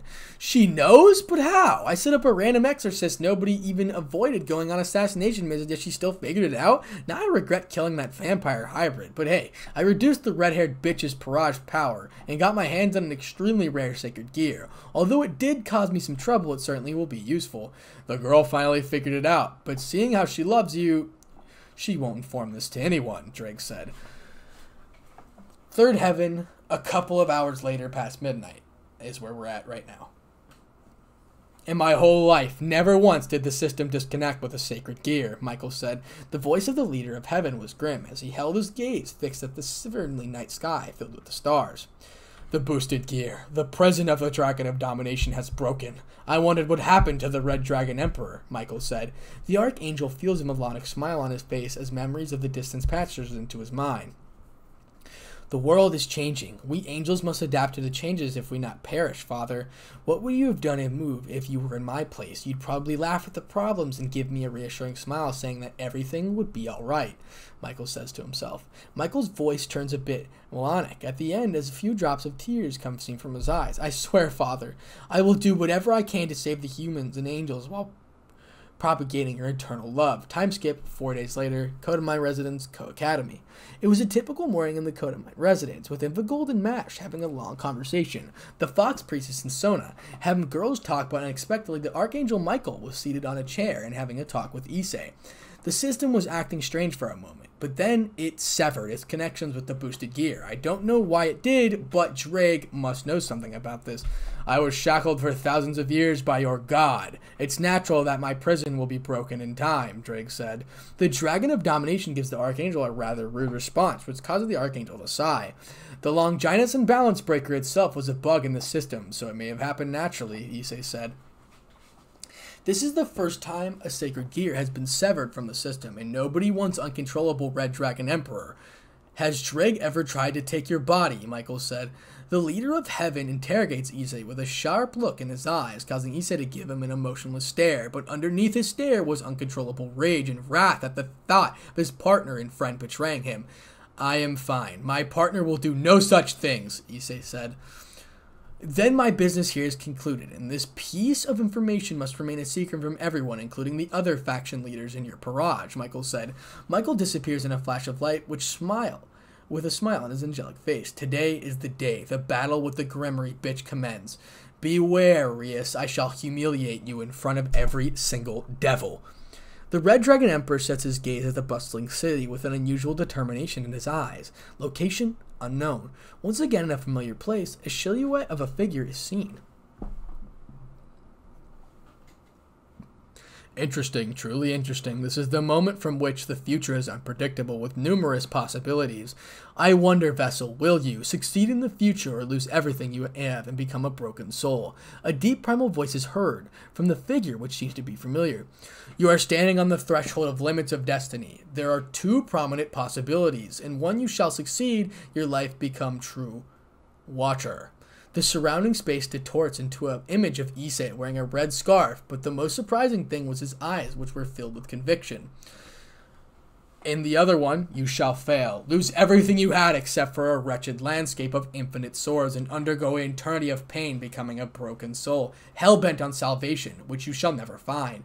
The space again morphs into a blurry image, a man on his knees, amidst the countless swords embedded on a desolate landscape. A storm is approaching, a big one, the mysterious figure says. And that is the end of chapter 21. Chapter 22 Location Kotomine Residence, Kuoh Academy. It was a peaceful night for the citizens of Kuoh, but inside the Kotomine residence, the atmosphere was serious. Today is the day I will humiliate you and break your ambitions and dreams, I promise you, Gremory, Issei says to himself. I'm ready, Mordred says to herself. The melodic voice of the Knight of Treachery is heard as she moves towards Issei. You look great on that dress, princess. Aw, you're making me blush, Mordred said. A small pink hue is seen on her adorable face, causing Issei to smirk. Are the others ready? Issei says. Yes, they are, Mordred replies. Issei, you've suppressed your bloodlust and that crazy side of you, but how much longer do you think you can do it? Ddraig said. Issei completely ignores the Welsh dragon's questioning, but then the sound of the clock striking 12 is heard as a teleportation circle appears below them. It's time, Issei says.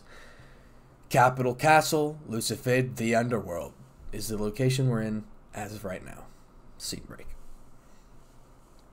The Crimson Satan was with his queen on a room filled with numerous devils working on something with a smile on his face while the ultimate queen was in her usual stoic mood. Are the preparations complete? Sirzechs says. Lord Lucifer, the preparations for broadcasting the rating game is complete, Devil One says. A rather old looking devil answers to the Devil King, who is trembling with anticipation. Good. I want every devil, may it be a commoner or a noble, to be able to witness this game, Sirzechs says. It looks like the game is to begin, Grayfia replies. Gremory Mansion, Coast City. Inside a European styled building, the members of Rias's Peerage were on the lounge. The preparations are complete, Akeno says.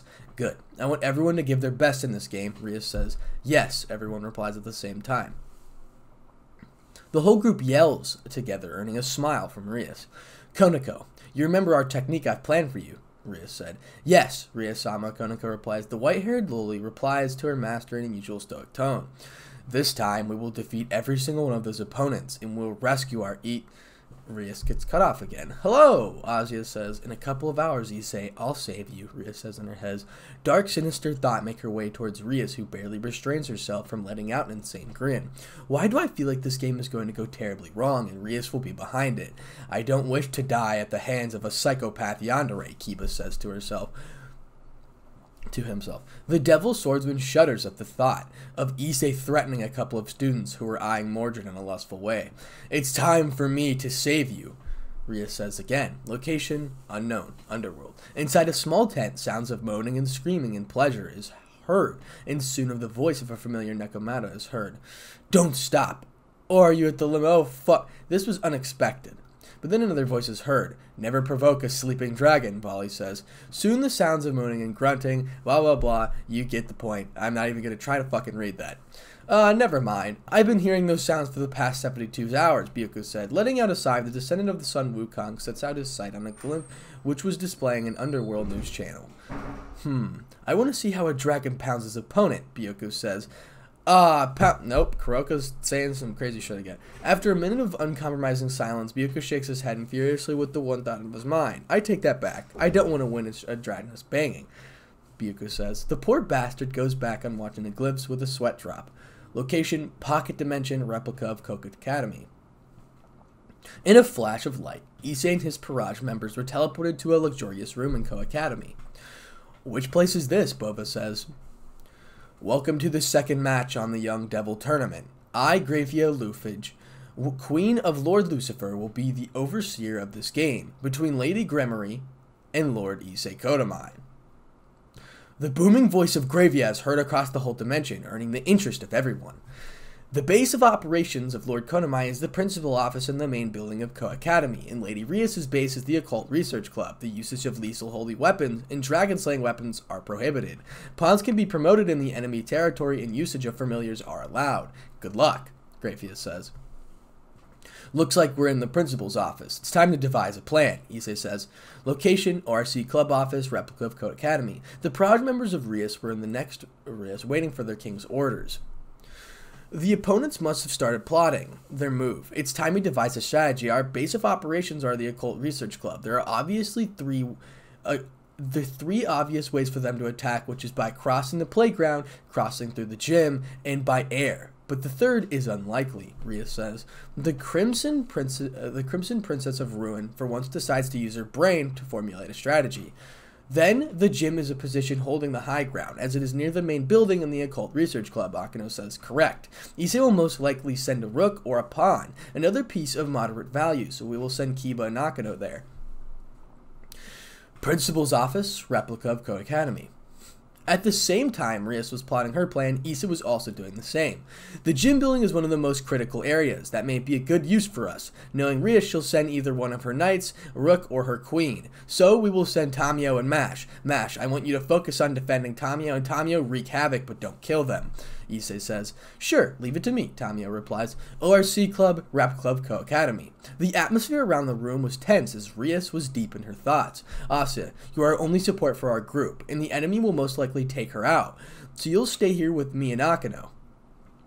I mean, Akeno. If you ever feel like losing your if you ever feel like losing your holy lightning and if you can't win, withdraw and make it here for Asia to heal you. Rias says. Yes, President, Akeno replies. The fallen devil hybrid bows in respect, but a small twitch in her lips are seen. Xenovia and Koneko, you'll be our offensive team, as you will both will try to infiltrate their base by crossing through the playground, and you will find the opponents there and engage them, but with all at all costs protect Koneko while also attacking the opponents, even if you are forced to use the Durandal, Rias says.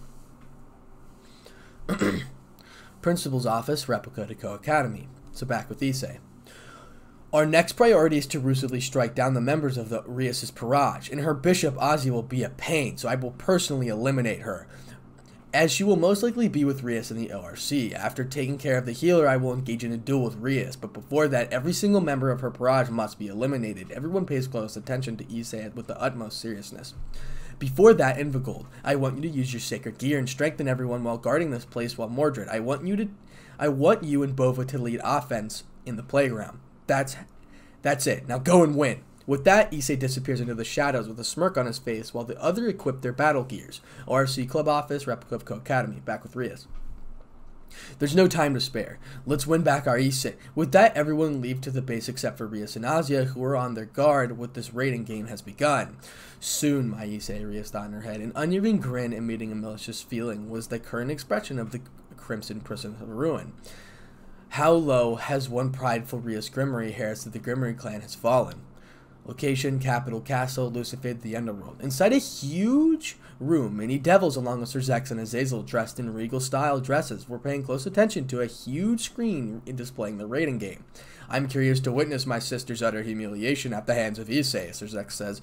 Don't you think that's a bad idea for both of them to fight each other, Azazel says.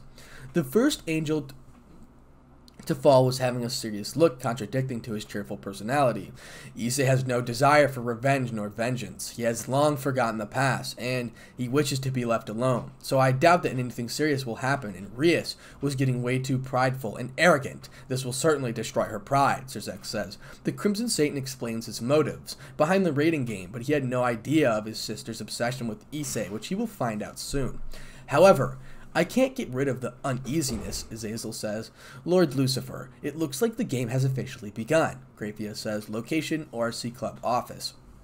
Rias was focusing on several glimpses next to her displaying various places next to the replica of Kuoh Academy. Akeno, this is Rias. Can you hear me? The voice of Rias is heard through a communication device, which each ORC member has. I can hear your voice, President. Good. Are you in position? I'm on the way, Akeno says. In a split second, one of the glints displaying the locations becomes blurry, and soon all the glints become blurred. All the familiars of Rias Gremory eliminated. Grayfia says. The voice of the Ultimate Queen is heard across the dimension as Rias gains a shocked look. Replica of Kuoh Academy. Above a huge building, the sole look of the sole rook of Issei was holding a bat-like creature as it disappears in a faint blue light. That was easy, Bova says. Gym building, replica of Kuoh Academy. Sounds like a metal clashing. Against metal is heard across the field as Mash blocks a strike from Kiba, who is wielding a nameless demonic sword. I am Kiba Yuto, Knight of Rias Gremory. I don't care, Tamio says. Multiple black colored tentacles sprout out of nowhere and rush towards Kiba, who prepares to dodge, but Kiba prepares a sword blade to defend himself, but a huge lightning blocks the attack, giving time to Kiba for escape. My, my, who might you be? Akeno says. Not bad, little crow, Tamio replies. With a huge smirk on her face, Akeno summons multiple lightning bolts and fires them towards Tamio, but Mash redirects the attack towards Kiba with her shield, forcing Kiba to block it. Shit, Kiba says. While Kiba was busy blocking the lightning bolts. Mash sprints towards Kiba and radiates to slam her shield on him, but due to his instincts, the blonde knight manages to block it with his sword, and the sword breaks upon impact. Demonic lightning flash fire, Akeno says. A huge Gremory glyph appears midair, and Akeno fires a huge lightning strike at Mash, causing a small explosion. Akeno flies above the building's now ruined ceiling, while Kiba dashes backward and summons a bunch of swords, which covers him. Ha! This was exceptionally powerful attack for a low tier high class, but, Tamio says, Akeno suddenly falls back with a stunned look on her face at the sight of Tamio and Mash perfectly fine, but then, black flash of the wicked, Tamio says. Multiple runic text appear next to the fortress as the black mist hits Akeno and Kiba, causing them to cough up blood. That spell is my favorite. Reverts contaminates your magical re reserves, causing them to shut down, which means you can't use any magic for an hour, but unfortunately your sacred gear remains unstable, Tamio says. This is bad. Balance break. Sword or betrayer. Sword of betrayer. The Priestess of Thunder helplessly watches as Kiba tries to turn the tides by activating his balance breaker. Location Athletics track replica of Kuoh Academy. Koneko was in tense situation as she found Bova in his human form staring at her with a smirk. Ah, Nekomata, if memory saves me correct, Nekomatas are extinct, hunted by devils, and yet a half-devil Nekomata is in front of me, amusing. Dragon, Koneko says. With that, Koneko rushes towards Bova with his fighting stance ready to strike, but the dragon pays no attention to her and simply catches her attack. Weak. Use your abilities, kitty, Bova said. This mischievous dragon then does something incredible. He punches Koneko in her gut, sending her flying at speeds that a naked eye can't perceive. There's no way she can stand that attack, even though I just use a small fragment of my power, Bova said. A couple of hundred meters near Bova, the armored Mordred was clashing with the blue ex head exorcist. Ha! You guys are weak as fuck, Mordred said. The Knight of Treachery ruthlessly slashes at Xenovia, who was forced to defend her attacks using Excalibur destruction. This is bad. I'm just second rate compared to her, Xenovia said. Pathetic. To think that the fabled Excalibur being reduced to such a state. It taints my mother's glory, so I shall destroy it. In one swift motion, Mordred uses her monstrous strength and slashes at the Excalibur fragment with all of her might, causing it to crack. She managed to crack Excalibur Destruction? I have no choice but to use my trump card, Xenovia said. An intense holy aura surges from the former exorcist's body, pushing back a slightly intrigued Mordred. The sword chose me, my final trump card, Durandal, the Peerless Sword. A regal-looking long sword manifests her hand, radiating an intense holy aura around it, which scorches the surrounding rocks. Things just got a lot more interesting, Mordred said. While Mordred was busy admiring the pierceless of Asura, White Blur approaches them. Bova did his job well. The Knight of Treachery grabs the flying Koneko and slams to the ground, creating a crater. Queen of Rias Gremory, retired, Grayfia said. The voice of Grayfia is heard earning a smirk from Mordred. Gym building, of Kuoh Academy. The blonde Devil Knight was panting heavily as he restlessly blocks the magical onslaughts from Tamio and physical attacks from Mash. I can't keep this up much longer, Kiba said. Be grateful that Issei didn't want us to go all out on you guys, Tamio said. I'm just a mid-tier high class at best with my balance breaker. I can't land a scratch on them. By their aura, their ultimate class and power, Kiba said. While Kiba was distracted, Tamio closes the distance with Kiba and fires a spell at Kiba who manages to dodge it at the last instant. The spell misses Kiba and instant blows up a large large building nearby. That was close, Kiba said. Look above, dear, Tamio said. The mischievous fortress flashes him a teasing smile, and soon a huge chunk of building was flying towards Kiba, who tries to dodge it, but then a dozen of yellowish chains appear from the ground and restrain his movements. Fuck, Kiba said. Bye, Tamio replied. The huge chunk of the building crashes onto the Devil Swordsman, who lets out a groan in pain before disappearing in a flash. Knight of Rias Gremory, retired, Graphius said. Cuckoo, he was a fine young man. Let's make sure Invigold is safe, Tamio says. Athletics track replica of Kuoh Academy. Scene break. The surroundings were a wreck, with cracks and craters all over the ground, but amidst the ruins, two knights were facing off against each other. Good, good. Your style and reflexes are good, almost as good as an expert. But, Mordred said, in an instant, Mordred seemingly disappears and reappears next to Xenovia and ruthlessly delivers a few strikes from her sword, facing the former exorcist to block them. Why? Your strength, speed, and almost everything is above mine, yet you are toying with me. Tell me, am I not good enough for you? Xenovia says. I want to test the peerless sword to its full extent. That's all I aim to, Mordred says, without wasting a single second. Both holy both the holy sword users continue with their clash swords with inhuman speeds. A true splendid clash indeed. Almost for a second, both of them were on par with each other, but soon Mordred overwhelms the blue-haired devil. After the destruction of Camelot, I visited a lot of places and I heard a lot of legends about the peerless sword, even among the supernatural, but to find that this, it's the weak, pathetic, you weren't worth this of this sword, of being Greshiel's adopted child. Perhaps even the dead god of Bible would have been ashamed of you. The Knight of Treachery taunts the devil with a mocking grin, causing the blue-haired devil to grit her teeth in frustration. Looks like it's working. This brat has potential to enter ultimate class and power and become a master swordsman. Mordred says. Is that an insult towards me or my sword? Bastard child of King Arthur, Xenovia says. Amidst the clash of swords, the wielder of Durandal questions Mordred with a blank stare, earning a frown from the Knight of Treachery. But the thoughts of Xenovia was, did she just Berate Durandal? How dare she so bluntly throw insults at the miracle for which I bled for? My whole life training and hardships are worthless for her, Xenovia says. For a brief moment, the former exorcist's eyes turned to avoid emotions, which is an unserving sight even for veteran fighters. It was the look of something, pushed beyond her limit, a pure look of unadulterated fury. Hmm, I suppose that you're. Shut up, Xenovia says.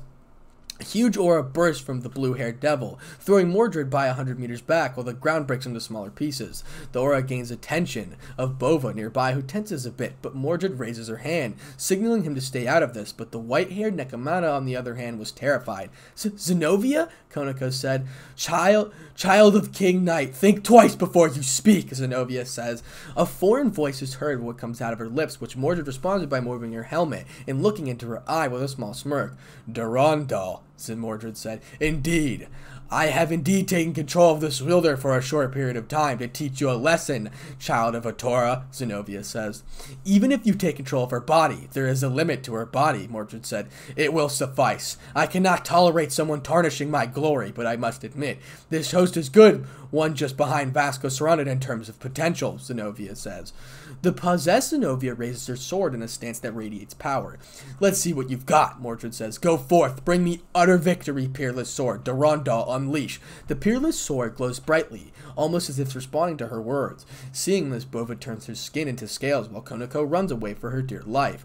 With a mighty swing of her sword, a golden beam of intense divine energy surges towards Mordred, who is staring at the beam with wide eyes and nostalgia, as she recalls a memory etched into her very being.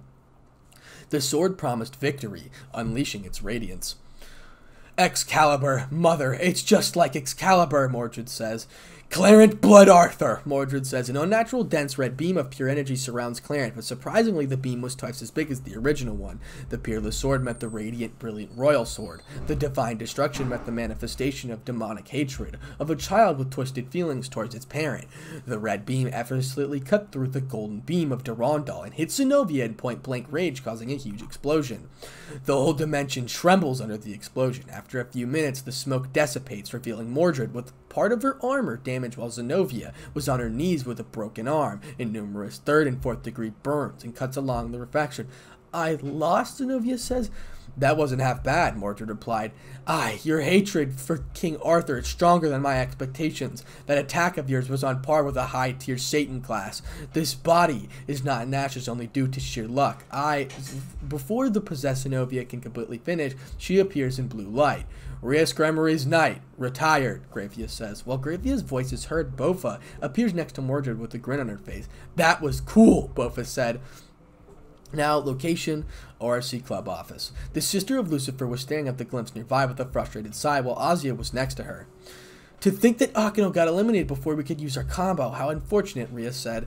Knight of Rias, Gremory, retired, Gravius says. Hearing this, the ultimate queen's declaration, Rias closed her eyes and concentrates to find out which one was eliminated. Kiba, Rias says. President, is Kiba's son? Yes, he must have been outnumbered. The blood ex-nun glances and finds the shadow behind her move, freaking her out. Rias? Asia says, What? Rias says, The shadow behind me moved. Asia says, Rias' eyes widen at Asia's proclamation before any of them could act, the deep voice of Ddraig heard. Welsh Dragon, balance breaker, Ddraig says. A choking sound was soon heard, causing Rias to turn her attention towards the healer who was on her knees at the dominating figure of the Red Dragon, and before her was Fist in her gut. It's nice to see you, Asia. Issei says. Issei's son, Rias says, Shut up! You don't deserve to utter my name, treacherous filth! Issei says. Tears were seen on the blonde healer's eyes as she cries at her former friend's remark. E e Ria, Shut the fuck up, bitch! Who gave you permission to talk to me? Issei said. The immense hatred and bloodlust emitted by Issei was enough to scare both devils, or so he thought. Not now. I need an opening to execute my plan. Now, be a dear little girl and willing to retire yourself from the game, Asia. I can't put Asia said. Asia abruptly stops as she looks down to only find out that Issei has mercilessly delivered a roundhouse kick, causing her to fall to her knees. Boost! Times four, Ddraig says. Asia, I always thought of you as a friend who I could trust with my life. I went as far as taking a light spear to my lungs two on my two knees just to save you. I never expected you to do this to me. My whole life was a lie. My parents are fake. My friends are fake. I just wanted to be loved, but thanks to you guys I got strong. Strong enough to challenge gods. I always wanted to do this for a long time, so Issei appears next to Asia in a second and grabs her head and slams it into the ground, breaking the floor causing Asia to instantly disappear. You're next! Issei says, Issei, just hear me out. I, Rias says, both the dragon and Rias avert their attention to a massive aura flare at the level top tier ultimate class. That aura. It is not identical of any others, Issei says. Partner, if I am correct, that was the raw aura of Durandal, but the current wielder cannot use it in her state. It looks like the sword took control of the wielder. Ddraig says, I'm sorry for this music in the background. This fucking idiot's just playing music around me. I gotta finish this video, so I'm just gonna continue. But then an awfully familiar aura was also felt, but strangely it was a lot stronger than before. Clarent Blood Arthur, I have never felt this strong. It is due to her change as a dragon, Issei says. That was, Rias replied. Fuck off, motherfucker, Issei says. Knight of Rias Gremory, retired, Gravius says. Hearing the strongest queen's announcements makes Issei sigh in relief, but then, take this, Rias says. The Gravia Glymph appears and from the fabled power of destruction rushes towards Issei. Issei calmly summons a red sphere and shoots the power of destruction as both of them cancels each other. A terrific ability to destroy a molecular level, but you do not possess any skills to use it. Disgrace of a Gremory, Issei says. Oh, Issei, I know that that blonde bimbo is the one messing with your mind. I'll prove you my love and save you. Issei visibly pales at the sickeningly sweet tone of Rias.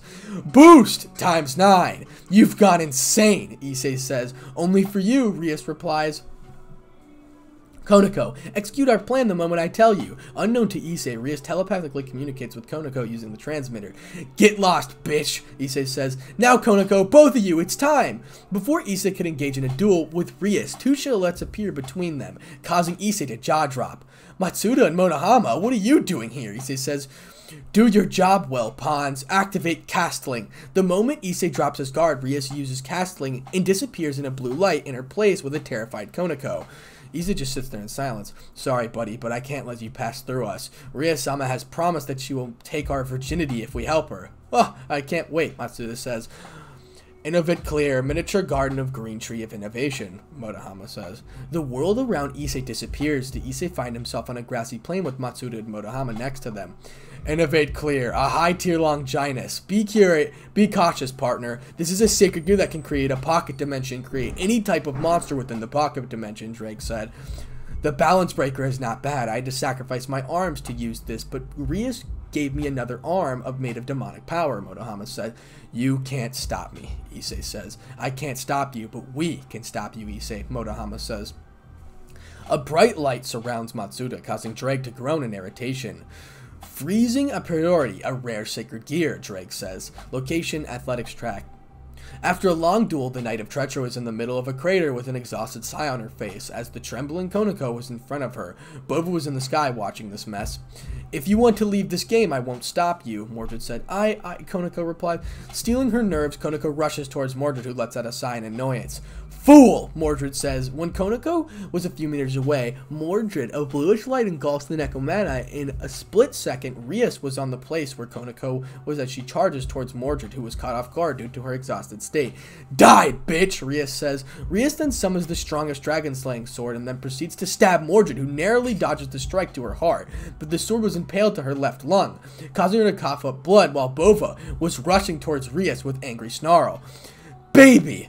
That's what you get for trying to take what's mine, Rias said. You crazy bitch, Bova said. Rias has noticed the delinquent of a dragon flying back towards them and drops Mordred with the sword embedded on her lungs and backs off. Damn, you're crazy, Mordred says. Bova lands next to the injured Mordred and kneels down and inspects the stab wound. No, stay awake. Look at me. If you close your eyes, you'll die, Bova said. The whole audience at the Capitol were speechless at the fight possessed by Xenovia and Mordred. This was unexpected. Grayfia, retire Rias' knight immediately, Sirzechs said. On it, Lord Lucifer. What in the name of Satan? How could a devil wield such holy aura? Even ultimate class devils won't be able to escape that attack alive, Lorganus says. A few devil nobles elders scream at the sight before causing Sirzechs to sigh. Calm down, gentlemen, Sirzechs says. This is really interesting, Azazel replies. The screen shifts to the So Issei brutally eliminating Asia. That'll hurt, Azazel said. Bishop of Rias Gremory, retired. Time skip. After a few minutes, everyone at the castle, including Sirzechs and Grayfia, stare at the screen displaying Mo Motohama activated his sacred gear, and soon the screen goes blurry. What the fuck is this? Azazel says. Innovate clear is the hands of my sister in freezing Sirzechs says. This will cause an uproar within the devil faction as well as the other pantheons, Grayfia said. The screen shifts to Mordred, who was impaled by Ascalon in her lungs by Rias, who had informed castling to transfer to play. What the fuck? Grayfia, teleport them out of there now! Sirzechs says, Lord Lucifer, the balance breaker of Innovate clears, interfering with our teleportation system. That sword is Ascalon. She will die if we don't do anything, Azazel says. Sirzechs grits his teeth and summons Gremory Glyph and tries to teleport, which fails. Get Ajuka here now, Sirzechs says. Cut the feed! Our citizens are watching this, Circum says. The oldest devil alive manually cuts off the feed with the enraged look on his face. Location, pocket dimension, clearly innovated. The sounds of huge explosions were all over the air due to the Red Dragon Emperor destroying Council's monsters while keep respawning. Rias told us everything, Hyodo. How dare you betray us and find a girlfriend for yourself, you bastard. Fuck off, Motohama. I am not the same pervert you knew. A beam of e uh, ice hits Issei, freezing his arms. The beam was a giant 15 elsewhere breaking Matsuda. Rias-sama also promised to hand over your blonde bitch to us after we defeat you. We are gonna have a lot of fun breaking that bitch into a mindless slut, Matsuda says. Issei lets out a loud roar and soon a green orb in his hands. Spewing a huge of fire, the bird eyes destroying it. The monsters nearby also reduced to cinders by the devastating attack making Matsuda tremble at the attack, but Motohama was maintaining his composure, perhaps due to his arrogance of wielding an Innovate Clear. Pathetic! You guys are just mid-class in power, except the fucker with Innovate Clear is a high-tier, high-class, at best with his limited-time balance breaker. You are fucked, Issei says. Instantly, Issei stops his speech and averts his gaze to the ground. The balance breaker activates.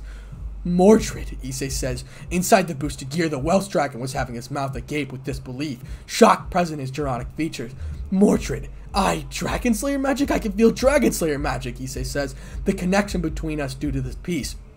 It's almost undetectable. This means my Mordred is fatally injured. Rias performed castling with Koneko, and I think Koneko is fighting. Mordred. Rias, that bitch! No! The Welsh dragon checked on his partner's state. He found nothing, not a shred of emotion or concise. It's as if his partner just shut down. Ddraig tried to enter his mindscape but forcefully rejected. That's not good, partner. Can you hear me? Ddraig said. She took my saving grace from me, Ddraig. It is wrong that I want to kill her. Issei says, Ha! I am really a fool. She doesn't deserve death. What she deserves is pain, Issei says. My thinking was wrong until now. I finally understand. Whispers those words, causing a chill go down their spine. Those golden eyes, devoid of any emotion, really did scare the perverted Duro. Release restraint too. Reality marble. Total release. Issei says. That perverted duo knew they were fucked by the look on Issei's face. Location unknown. The night of treachery, Groggly's eyes open and finds herself inside a majestic tower surrounded by endless field of flower petals. On the flower petal, there was a person whom Mordred never expected to see. It was a blonde woman with eyes experienced warrior and the aura of a king. The woman flashes a small sad smile at Mordred before, It's been 700 years, my child. It's amusing to finally see you, Mordred. Mother, Mordred says, and that is the end of chapter 22 that is where we're going to stop for now, right at the end of chapter 22, and we will pick up on chapter 23 later. Thank you guys. This chapter is getting really intense. We only have two more chapters after this, so the next part will be the final part. And this was part 9. Thank you guys so much for the support. If you guys want to see what ups on more things on my other channels, go ahead and uh, subscribe to Fallen DxD and Anpal Palski down in the description below, along with if you just scroll over to channels and you can click sub on that. Let's try to hit 300 to 400 likes on this video. Thank you so much for the support. Seriously, I can't thank you enough. Thank you again so much to my balance breakers. Like, seriously, a special thank you to the boys. Like, I cannot thank you enough. Hold on, let me just, like, I'm trying to open this up, but, um, it seems to be the Google document will not. Alright, so thank you guys so much for the support. A special thank you to my balance breakers, Rob the King, Jorge Alvarez, Lachlan Yates, Atomic Warlord 58, Quetzalcoatl Toltec Sun God, Badly Wolf 333, Daybreak, VR Wolf hashtag 2347, Sinmar Q, Jordan Pachow, Mazaku, Dr. underscore MLG underscore is the bomb, and Asamotus. Thank you so much for becoming a balance breaker. I can't thank you enough. What if Naruto obviously dropped earlier today or earlier two days ago? This video is being recorded because I will be on a little bit of a trip on a hiatus for as you will, but you won't really notice because I'll have this upload schedule. So this is the second to final part. The final part will be next time. Thank you guys so much for the support. Without further ado, Spartanic Artz DxD out. What's up guys, it's your host Spartanic Artz DxD back with another high school DxD related video. And today we have what if Issei was betrayed and became a god part 10 or the finale. So let's try to hit 400 and 500 likes for this big finale. Thank you guys so much for the support. And before I start the video, a special thank you to my balance breakers. Rob the King, Jorge Alvarez, Lachlan Yates, Atomic Warlord 58, Quetzalcoatl Toltec Sun God, MadlyWhoop333, Daybreak, VRWhoop hashtag 2347, Sinrar Q, Mazaku, Dr. underscore MLG underscore is the bomb, and Asamotus. Thank you so much for becoming a balance breaker, which is the highest membership team of membership tier of the balance breakers. So thank you so much. I can't thank you enough. And I'm sorry for once again not uploading completely consistently. It's just that finals are coming up. I have some things to do. Your boy has some problems that I need to settle, and I don't talk about my life on YouTube. So once again, thanks for all the support. Uh, yeah, without further ado, let's go ahead and get right into it. Chapter 23. Third POV, location, Biel City Capital, the Underworld. It was a busy night at the capital of the city of Biel territory. The raiding game between Rias and Issei was being escalated. Dude, the high class devils are freaking powerful. I can't even blow up a house, Devil 1 says. Hey, the dragons are more powerful than us, Devil 2 says. This world is freaking scary. Only 1 out of 10,000 devils is a high class devil, and only 1 in 10 million is an ultimate class devil, Devil 1 said. The giant screen displays Mordred being stabbed in her lungs by Rias, causing the crowd to yell in disbelief. What the fuck? Devil 3 says. My Satan, Devil 1 once. The champion of the dragon is going to be pissed. The dragon faction may wage wars with the devils. We are going to die, Devil 2 says. Location, underworld, unknown. Byoka was staring right at the glimp in front of him in disbelief while ignoring the moans of pleasure on the air. Holy motherfuck, Byoko says. Location, sixth heaven, layers of heavens. The King of Angels was watching the screen displaying Motohama activating his Sacred Gear balance breaker. Dear Lord, Innovate Clear has found a new host, Michael says. The screen shifts to Ria stabbing Mordred on her lung with Ascalon, making him break a table nearby in shock. Fuck you, Rias Gremory, Michael says. Dear Lord, forgive me. I have committed a sin, Michael says. Brother, is something wrong? The most beautiful woman in heavenly innocently questions Michael, with an expression dipping with innocence. Everything's fine, Michael said. Mount Kailash, India. In a dote of god Shiva, who resided there along with his consort goddess Parvati and their children, the god of Shiva was on his meditation. Shiva was in the appearance of a teenage boy with black spiky hair and his wife Parvati. The Hindu goddess of love, marriage, beauty, and power, she was one of the top 30 beings in the world. Hey, husband, the evil creatures of the Bible are holding a war, and a group of dragons are participating in it. You should take a look, Parvati said. They are known as devils. They are not holding a war. It is called a raiding game, and I am taking a look at my, the game. My wife, Shiva says. The Hindu god of destruction speaks without opening his eyes, but then the child of King of Knights has reached the ever distant utopia, which holds the key to all about her. The red dragon unleashing its fury, a land of infinite swords. I a concept, Shiva says. The true manifestation of destruction is his identity, for he is God of all gods, and the usurper of gods who shall bring harmony and destruction. Shiva says, Parvati looks at her husband's face in curiosity, but then a third eye appears on his forehead and opens. The third eye of destruction. Parvati says, My dear wife, I just found out an interesting development which my clairvoyance foresaw. Truly curious, Shiva says. Location, pocket dimension, created an infinite clear. My thinking was wrong up until now, but I finally understand. Issei whispers those words, causing a chill down their spine. Those golden eyes, devoid of any emotion, really did scare the perverted duo. Release restrain. Hashtag number two. Reality, marble. Total release. The perverted duo knew they were fucked by the look on Issei's face. What can you do, bastard? Motohama says the perverted glasses tries to act unaffected by a sudden turn of events by creating a huge 10 meter giant black monster with a huge eye. I am the bone of my sword, Issei starts. The single sentence itself brings fear upon the feeble souls of the two fools. It was an incarnation of something deadly, and the two perverts felt it. Quit trying to intimidate us, you bastard, Matsuda says. Fools, run away or you will die, Ddraig says. The Welsh Dragon of Domination words the perverted duo, who were shocked with a deep voice. Who the hell are you, sucker, Motohama says. The custom bow of Issei manifests on his hands, causing the duo to raise an eyebrow. Seriously, a bow? What can you do with a bow which lacks an arrow? Hound of the Red Plain, Hrunting, Issei says. Huge quantities of mana accumulates around Issei, taking shape of a black weapon with a few small edges coiling around the thin core, spiraling around it and somewhat curving outward. The perverted duo pales at the sight of the sword due to their survival instinct, screaming to get away from the weapon. Perish! Issei says. The magical arrow was released from the bow and it reaches the speed of Mach 10, causing a sonic boom. The arrow was invisible to the naked eye. In a second, a huge explosion erupts onto the place where the perverted duo was.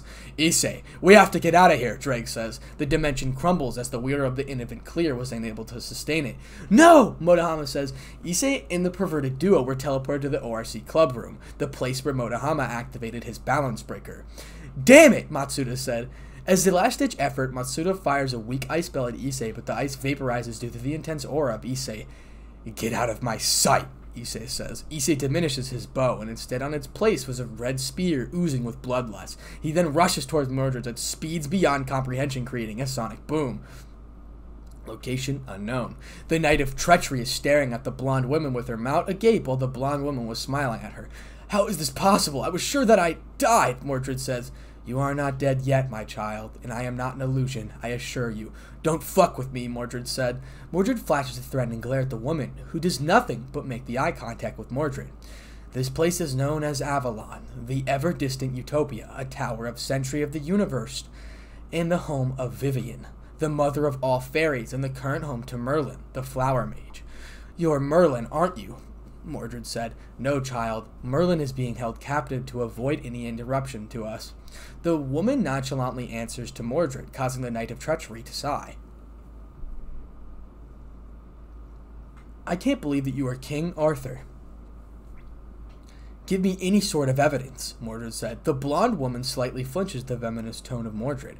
Very well, the history doesn't know this, but the affair between Lancelot and Guinevere was brought up to the public by Morgan, the blonde woman whispers those words with a solemn smile on her face, causing Mordred to take a step back in shock. I. Mother, Mordred said. The blonde woman now identified as Mordred's mother, King Arthur, or Artoria Pendragon. I am proud of you, Mordred. You lived your life filled with happiness, even if you deny it, Arthur says. You are proud of me? Don't lie to me, Arthur. I am no fool, because the last time we met you stabbed me in my guts using Maragatang. The Knight of Treachery recalls a few bad past between them, causing Artoria to avert her gaze to the ground. I was burdened with the purpose of a king, and you were a threat to my people. I had no choice but to do it, Artoria said. Ha! How could I forget? The King Arthur does not understand feelings, Mordred said. Letting out a bitter sigh, Mordred throws a glare at Artoria, who gains a sad smile upon hearing those words. Truly the Knight of Treachery and Rebellion, Artoria says. You were the one who pushed me to such extents. I never wanted Camelot to be reduced to ruins, Mordred said. You were not meant to be wielding Caliburn. I have also learned that Caliburn has chosen another wielder, Artoria says. The King of Knights blatantly mentions a touchy subject, earning a death glare from Mordred. I have no desire for Caliburn, Mordred said. Hearing those words, Artoria's eyes widens in surprise before a visible smile appears on her face. I, Artoria said, before that, I want answers, Mordred said. Location, Kuoh Academy, replica. A fast blur races across the replica of Kuoh Academy in search of Mordred and finally finds Mordred on the ground unconscious with an Ascalon impaled in their lung. Hey, Mordred, it's me! Issei, you're gonna be fine. Mordred, can you hear me? Issei says. The red dragon lets out a roar of pain and breaks down crying. Soon the rest of Issei's prods were with the shock and sadness on their faces. Invigald, use your sacred gear and strengthen their demonic aura. It may repel Ascalon's magic, Issei says. Big sis, I'll help her, Invigald says. Gremory, I'll find her and make her suffer, Bova says. The delinquent dragon roars in anger, but Issei pays no attention to him. I'll be back, Issei says. I'll also try to heal her, Tamiyo replies. Thank you, Issei says. The red dra- No, the hunter of the red plains extends his aura to sense the location of Rias and second finds her location. Found you, Issei says. Again, Issei sprints away from speed, surpassing ultimate class beings. Location, Capital Castle, Lucifaad, the underworld, one or two hours after the incident. The atmosphere around the castle was reeking of anger and rage. Inside the observation room, a few devil nobles were screaming insults at Rias and the Gremory clan. We should have executed that vermin when we had the chance, Largares said. Indeed, the foolish little girl has clearly gone insane. I'll personally hire mercenaries to eliminate her, along with the filthy Gremory clan, Lord Biel says. Touch my mother and I'll show you real pain. Lord Biel, Sirzechs says. The Super Devil gives the Biel clan a head glare and releases part of his aura, which destroys all nearby furniture, which shut the Biel head. Is that a threat, Lord Lucifer? Zircum says. It's a warning, Lord Zircum Bell, Sirzechs replies. The Gremory has risked war with the Dragon faction. Our clan will no longer remain as an ally of the Gremory clan, Lord Phoenix says. Dear lords, can you quit yelling? Ajuka said. The green haired super devil was really irritated by the noble's antics, but there were hints of worry in his eyes. How long will it take, Ajuka? Sirzechs says. 55 minutes, give or take. She will be dead before that, Azazel replies. Sirzechs stomps his foot on the floor so hard that the floor was in pieces and the entire castle rumbled for a moment. My daughter, Invigald Leviathan, can use her sacred gear to strengthen the knight's aura, which will buy us a couple of minutes' time, Ajuka says. You have a daughter? Lord Biel replies. Everyone except Sirzechs were shocked at the discovery. Adopted daughter, the last descendant of the Leviathan clan, the granddaughter of the original Leviathan, Ajuka says. It took it looks like the citizens of the underworld are undertaking protests in Billidonorast. Fuck, Sirzechs said. Location, Tower of Avalon. Before that, I want answers, Mordred said. Very well, Artoria replied. The King of Knights averts her gaze towards the endless skies of Avalon and begins to answer her daughter's questions. How are you still alive? Mordred says. During the Battle of Camelot, as we fought against each other, you managed to disarm me and threw my Caliburn away. When you did that, I used the Holy Lance to pierce you, and, and you mistook that, that you were dead. But you were able to live thanks to my long-lost Sabard, Avalon, which was implanted inside your body by Morgan. I was caught off guard and was forced to use Excalibur, but you used that thing to fight on equal terms with me. I lost to the final clash because my light was not pure enough. Excalibur is as strong as its wielder's intentions, and my thoughts were not pure. At that instant which weakened my Excalibur, and you shattered the sword of my victory, my light lost to your darkness, but before that thing's attack overpowered Excalibur's and reduced my body to ashes, as a desperate attempt I removed my soul and placed it inside my Sabar, which was inside your soul. I watched your life for the past 700 years without being able to communicate with you. Artoria completely loses her composure and lets out all of her emotions, which were restrained for nearly all her life. What? Mordred said. I'm not finished yet. Are you aware what that thing is? Artoria says. I know a bit about it, Mordred replies. You craved power so much that you actually fell that low to become a wielder of it. You did exactly what I feared for. The sword is the manifestation of the prodromal darkness. I am very much disappointed in you, Mordred. You sealed your fate when you took the sword. Where is it now? Artoria says. The King of Knights raises her voice in anger and disappointment, along with a hit of sadness. This earns a sigh from Mordred. It's locked up inside a pocket dimension. I never used it after the fall of Camelot. Mordred said. Good, Artoria replied. Since when do you care for me? Mordred said. The Knight of Rebellion yells at her mother with rage and so many other dark emotions in her voice. I am your mother. I raised you when Morgan left you with me, Artoria said. Yeah, you raised me like a bastard child, and when I wanted to be by your side, you broke my heart and then impaled me to near death. What a nice parent you are, Mordred said. Mordred lets out a dark glare with an unadulterated fury, making the once perfect king feel something. Am I feeling sad? It's been so long that I forgot these feelings, Artoria said in her head. Invigold's POV, location, replica of Kuoh Academy. The situation is worse. Big Sis Mordred is fatally wounded by a dragon slaying sword, and Big Brother Issei wants revenge against the Gremory. Let me pull the sword out of her body, Bova said. Is this guy a fool? Removing the sword will kill her in seconds. No, if you remove the sword, then she will die, Imigold said, but the sword's dragon slaying ability is killing her slowly, Tamayo says. The fox has a valid point, but removing her sword will cause her life to force to escape from her body. The life force is force binding, a soul to a physical body. The manifestation of a life force in a physical body is called as aura or magic reserves. If an aura, opposing nature, connotates a magical reserve, it will drain their life force at the incredible rate. I can use my sacred gear to strengthen her demonic aura, so that the aura dominates the dragon slaying nature, Invigold says. Moving towards Mordred, I place my hands near the stab wound and activate my sacred gear. This is everything I can do to stabilize her, but then, healing flames of the sun god, Tamayo says. I watched in awe as Tamayo-san activates a spell which produces a small flame around Mochan, accelerating her healing. Get well, Blonde, Bova says. I hope Big Sis Mordred will get well soon. Third POV, location replica of Kuoh Academy. After committing an atrocious attack on Mordred, the ex-heiress of the Gremory was hiding inside a building with a satisfied smile on her disgusting face. At last! I did it! I killed her! There's no way she can be alive after taking a stab from Ascalon.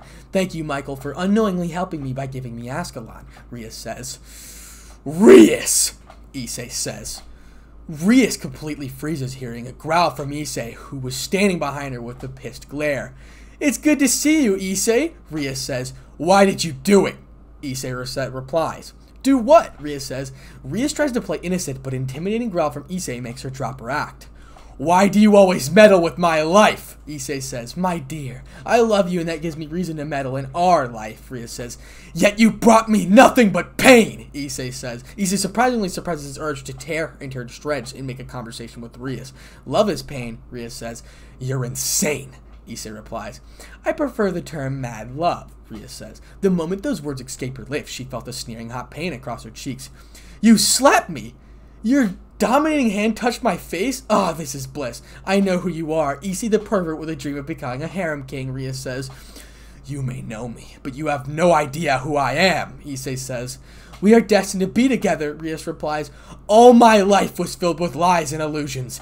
People manipulating me with sweet words. My so called parents, the girls, you, my old friends. You all used me like a toy to satisfy your desires, and when I was no longer needed, you threw me away. I was forced into a cruel unforgiving. I would gone insane if my saving grace, my Mordred, didn't show up. But you, you took her away from me. Issei calmly explains with a stoic expression, which contradicts his previous rage. Issei, you will not go insane. I will take care of you, Rias says.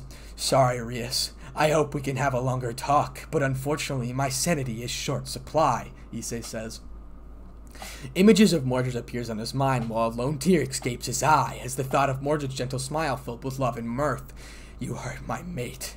You suffer and then the world around them distorted. Reality itself distorted around Issei. Cracks appeared on the isolated dimension due to the sheer amount of energy radiating from Issei. Can you feel it?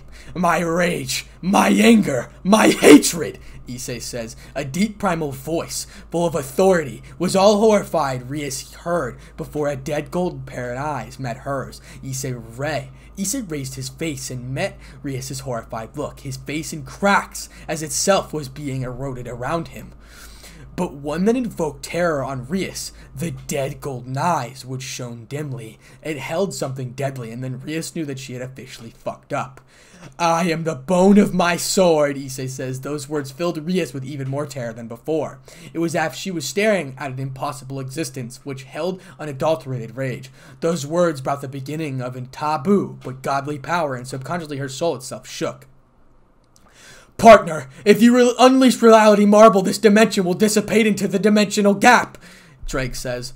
Kill, kill, kill, Issei thinks in his head. Location, Hawaii, Earth. It was four past noon at Hawaii. Aside the seashore was a traditional Japanese building, which is extremely rare at Hawaii.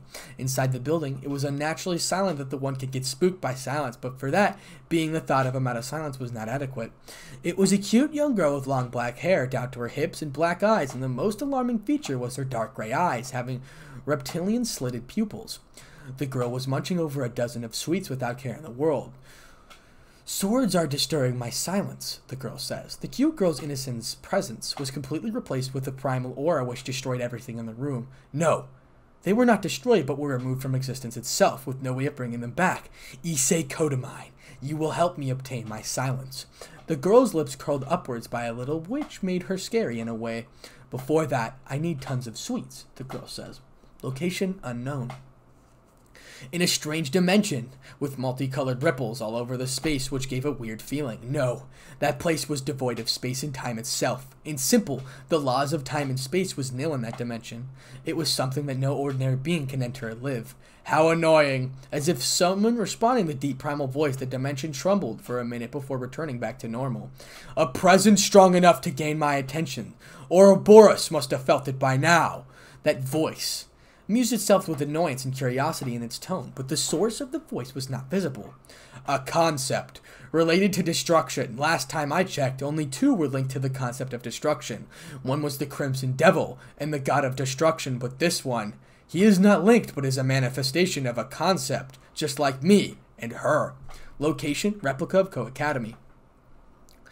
The dimension around Issei was being teared into shreds by an unknown aura. Gremory Devil, run away or you will die, Ddraig says. The Welsh Dragon? Ria says, I sought to blade that terminance into me, Issei starts saying. The aura around the air starts to condense while the dimensions slightly shook at the authority the deep draconic voice possessed. A blade that severs bond, severs certainty, severs karma, the dimension trembled, the might of the chant. Red sparks were flowing around the air, giving horrible sensation. Partner, don't do this, Ddraig says. That is to say, to free one of one's fate. The Welsh dragon, please, fell on deaf ears. Issei paid no attention to Ddraig as his eyes, gaze was fixed on Rias. My dear Satan, you are not my Issei, Rias says. Forging thousands of swords to create a borrow of blades, Issei says. A heavy pressure forced Rias to her knees, bringing despair and fear upon her wicked soul. Issei's golden orbs nearly observed Rias with an emotionless, hollow smile. Many paths converge here, Issei says. Must flee, Rias thinks in her head. A huge tear in space occurred below Issei, giving birth to a pitch black darkness below him. Space time itself was being destroyed despite the self correcting maneuver of the universe. The universe was built in a way that it was almost equal in every aspect to avoid its self destruction. When something threatens that stability, the universe tries to repair itself by wearing the fabric of space time back to its original state. Only a few individuals can affect the metaphysical universe in its very fabric. Enduring desires flow her. Issei says, Stop this, Rias replies. Unjust deaths gather here. Issei continues. Rias desperately tries to move away from him, but her body remains frozen in fear at the beast she's being unleashed. There is nothing that I can falter his spirit now, except your fate, Gremory, Ddraig says. Accept this blow from my Tesmara originless creation of swords, Issei says. For a second, the ominous aura disappears, but soon an even more terrific aura invades the surroundings. I don't want to die, Ria says. The ideal sword of demonic bladesmith which severs karma, destiny itself, the sword forged by a human which reached the level of severing cause and casualty. It was created to perfect copy of the Kensuken no Tachi, the divine sword which was forged from the tail of the dead evil dragon, Yamata no Orochi, a large Japanese katana materialized on Issei's hand, taking a one last look at Rias, the hunter of the Red Plain, disappears in a flash. what? Rias says Ria's confused whimper suddenly comes to a halt as she feels phantom pain across her right arm. Rias tilts her head towards her right arm only to find her limb missing. She screamed in horror while a ghostly smile appears on Issei's face. Ha! Issei starts laughing. A, a lone wail echoed through a surrounding. Time skip, five minutes later. The heavy aura that made the dimension itself shook was nowhere to be found. The land around Issei was heavily created and scorched. Issei was standing tall with his head blocking Rias. The Red Dragon Emperor slowly moved away from the crater of his own making in an almost maniacal manner. His eyes betrayed no emotions except for satisfaction. Never think of meddling with my life. If you do, I won't be merciful, Issei says. Sparing one last glance at the crater, Issei disappeared almost immediately, revealing a gross good sight. At the center of the crater, the Crimson Princess of Ruin was lying on the ground with her crimson blood all over the place, and both her legs and hand were missing from her elbows.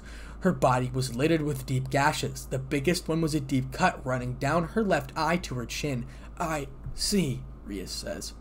I got access, Ajuka says. Now, Grayfia, get them out of there, Sirzechs says. Capital Castle, Lucifaad the Underworld is our new location. Ten minutes ago. Multiple runic symbols were hovering over the green-haired super devil. The others in the room were having a conversation between them. I've got reports from all of the otherworld about the riots and armed protests, Zekram says. The oldest devil, alive, glares at the Crimson Devil who pays no attention to the glare. I have gathered all the Phoenix Tears in our clan, and can, there could be a total of 14 Phoenix Tears to be immediately used, Lord Phoenix says. Thank you, Sirzechs replies. This is a fucking mess. The Dragon faction may break off the alliance and declare war against us, which will drag the Fallen and the Angels to a war as our allies by the treaty. To make things worse, the Chaos Brigade and the old Satan faction may attack us, leading to a full-blown Second Great War, Zekram says. A cold aura erupts from the old devil, breaking the glasses and furnitures nearby. The Dragon faction has severed an ultimatum on us. I just received the official statement from the Elder Dragons. Sirzechs says, Truly we're truly things were grim for the devils. All devils nobles who were present were nervous at the development. The official statement says, Statement of demands by the Dragon faction on the United Devil faction. The United Devil faction has been found guilty of attempted murder on the champion of dragons and the unofficial ambassador to the Devil faction in his peerage.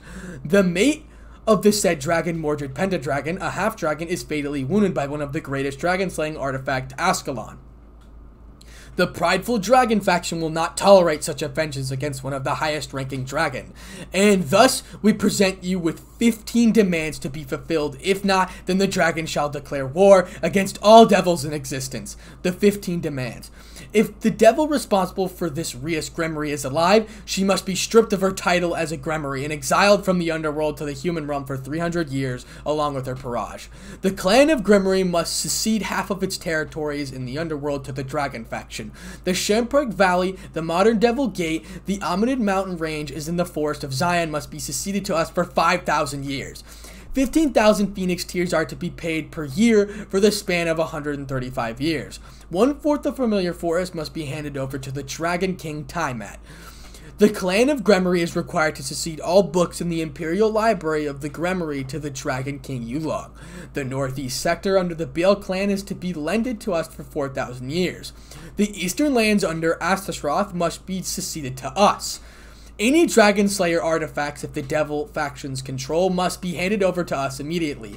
15,000 megatons of Diamondite per year is to be supplied for the Dragon faction for 100 years. The Crystal Lake must be given to the victim, Issei. No devil under the service of the clan of Gremory must enter the city of Kuoh. If the fatally injured Mordred Pendragon is alive, all medical expenses must be taken care by the Devil faction, and the said Dragoness must be the given almost a treatment. The number of dragon soldiers under the Devil faction as per peace treaty must be reduced to one half. Mint Hellblaze under the Phoenix clan must be lent to us for 50 years. If these demands are not fulfilled, we shall obliterate every single devil in existence. The prideful dragon faction are not cowards to back down from war. The room was so unnaturally silent after Zex finishes reading the demands. Why the fuck should I give my land to them? Lord Bael says. Those sly old bastards. They are using this situation to fulfill their goals that they weren't able to. Yulong is known to be a book freak. There were rumors that he wanted the books on the Imperial Library. Tiamat wants to increase the size of her territory in the familiar forest, 15,000 phoenix tears per year for 135 years. Those fuckers are trying to decrease our profits by exporting them to the other pantheons, while they can also use them to their advantage. The Forest of Zion, Sharpfang Valley were once a part of the Dragon faction, but under the first Lucifer, they they were conquered before 4,000 years. They also want the Crystal Lake, a popular tourist attraction in the Sitri territory. The demand for any Dragon Slayer artifacts, treatment of Mordred Pendragon, and stripping Rias off the name of Gremory seems reasonable. 15,000 megatons of diorite ore per year for 100 years, huh? This alone can ruin a quarter of the Bael clan's profit, as they are leading producers of diorite. Says. The old man almost screams at the last part. Zekram never yelled once since the Great War, and this made the Super Devils worried. There's nothing I can do now. The Phoenix clan agrees to the treaty, Lord Phoenix says. I will not cede a chunk of my land for a pompous Gremory's mistake, Lord Bael says. Under the supreme authority of the Satans, I, Sirzechs Luder, order you all to abide my decision, Sirzechs says. The Crimson Satan's voice held immense authority that it made everyone shut up and nod at him.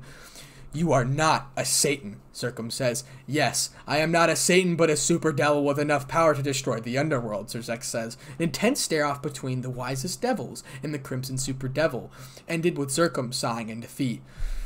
Do whatever you want. I will stay here no longer, Zekram says. I got access, Ajuka says. Now, Grayfia, pull them out of there, Sirzechs says. Location, Tower of Avalon. The sound of giggling and laughing was all around the air and the source of it was Mordred the King of Knights. Ha! Huh, I can't believe that I was this cute when I was young, Mordred says. In the hands of Mordred, it was an old book labeled.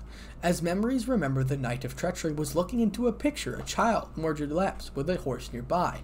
Truly, it was a wonderful picture, filled with warmth. The usual stoic Otora was also having a small upward twitch on her lips. You were adorable and extremely curious for your age, always trying to impress. Atora says. This doesn't mean that I forgive you, Knight of Knights, Mordred said. This picture is my favorite. Completely ignoring Mordred, Atora flips the page revealing that be described as one of the most beautiful things in the world. Was a picture of Mordred asleep on her parent, while the Knight King of Knights was busy adoring her face with contempt smile on her face. Ah, you were narrating me a story and I found it incredibly boring that I fell asleep, Mordred says. The Knight of Treachery was having a huge smile. The story I narrated to you was the Epic of Gilgamesh, and yes, you did find it incredibly boring. she remembers about me, Mordred said. It pains my heart to see this, but I cannot reveal everything I know. I will carry this burden alone and no one else that to think that you were as far as becoming the wielder of the forbidden sword, Atora says, or just sits there in silence. Hmm, I also know that you found yourself a new king and a husband, Atora says. Yeah. Mordred was soon blushing mess, trying to compose herself, while Tora just watched her smug smile and usually stoic face. Inside a tower, a man with hair as white as the snow was tied up to the ground. Someone save me. That's it. I hope you will I hope you all forgive me for the delay and update my mistake. Whew. Okay. And that is the end of chapter 23.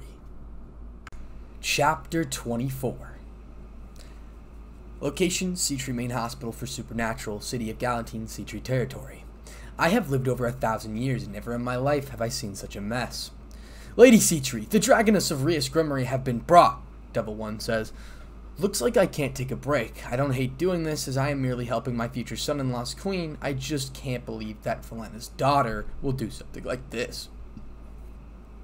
Take the Dragoness to a critical ward, Lady Sitri says. I will, Lady Sitri, Devil One says. The noble doctor bowed down and left two to do his duty. I should also be going as a ward. I am the best doctor in Devil Society along with Aurelius.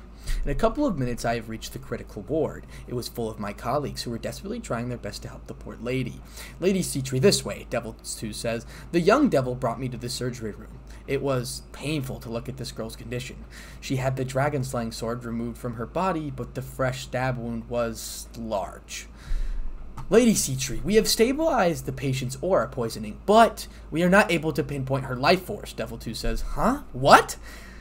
Dr. Lore, are you telling me that she is alive even without her life force, Lady Sitri says? I yelled at a man in shock. The man soon flinched, and he looks intimidated. Ah, I must have subconsciously released my aura. No, what I am implying that there's nothing that is interfering with our life force detector, Dr. Lewis says. Is that possible? Devil 2 says. An interference. It is possible for something or someone to interfere with the life force, but only conceptual weapons can do that. The most astonishing thing is that her body is repelling the Dragon Slayer's aura. This is just impossible. Even a high ranking dragon will find his aura being eaten away by a potent Dragon Slayer artifact, and her body is emitting holy aura, Lady Chuchu says. I can feel it. The uneasiness is in my very being. This girl. Her wounds are also being healed by this unknown energy, but I must say, in my entire life, if I only heard a few artifacts with this much healing power, and all of them are almost lost in time. What do we do, Doc? Devil 3 says. Keep her in observation. Two relatives of a patient are allowed to be on the ward, Dr. Leia says. The good doctor flashes a small smile and walks away to check the other patients with an exhausted sigh. He must have been exhausted by the whole mess. After a few minutes, I too left the ward and went to my own office room to regular duties. What I didn't expect was my beloved Aurelius and Sirzechs on the office waiting for me. Greetings, Lady Sitri. I hope I am not interfering with your duties, Sirzechs says. Of course not, Lord Lucifer, but I wonder what brings you here with my beloved, Lady Sitri says. Sirzechs chuckles at my response, while all Aurelius did was groan in annoyance and a little bit of lust. Dear, now is not the time for your teasing, Aurelius says. He is certainly aroused, I can tell by the look in his eyes, those mesmerizing pearl blue eyes filled with hunger as he...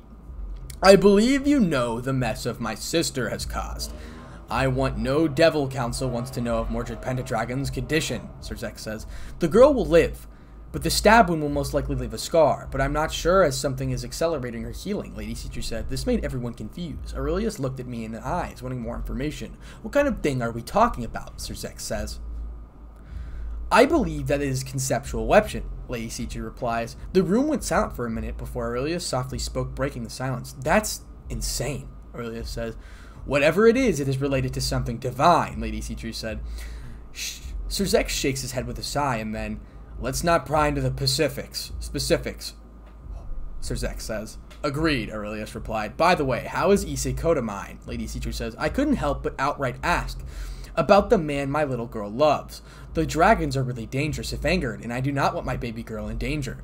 He is in his prior he and his entire peerage are outside the critical ward. He is not in a good state, I'm afraid. He was just staring at the door with a detched look on his eyes.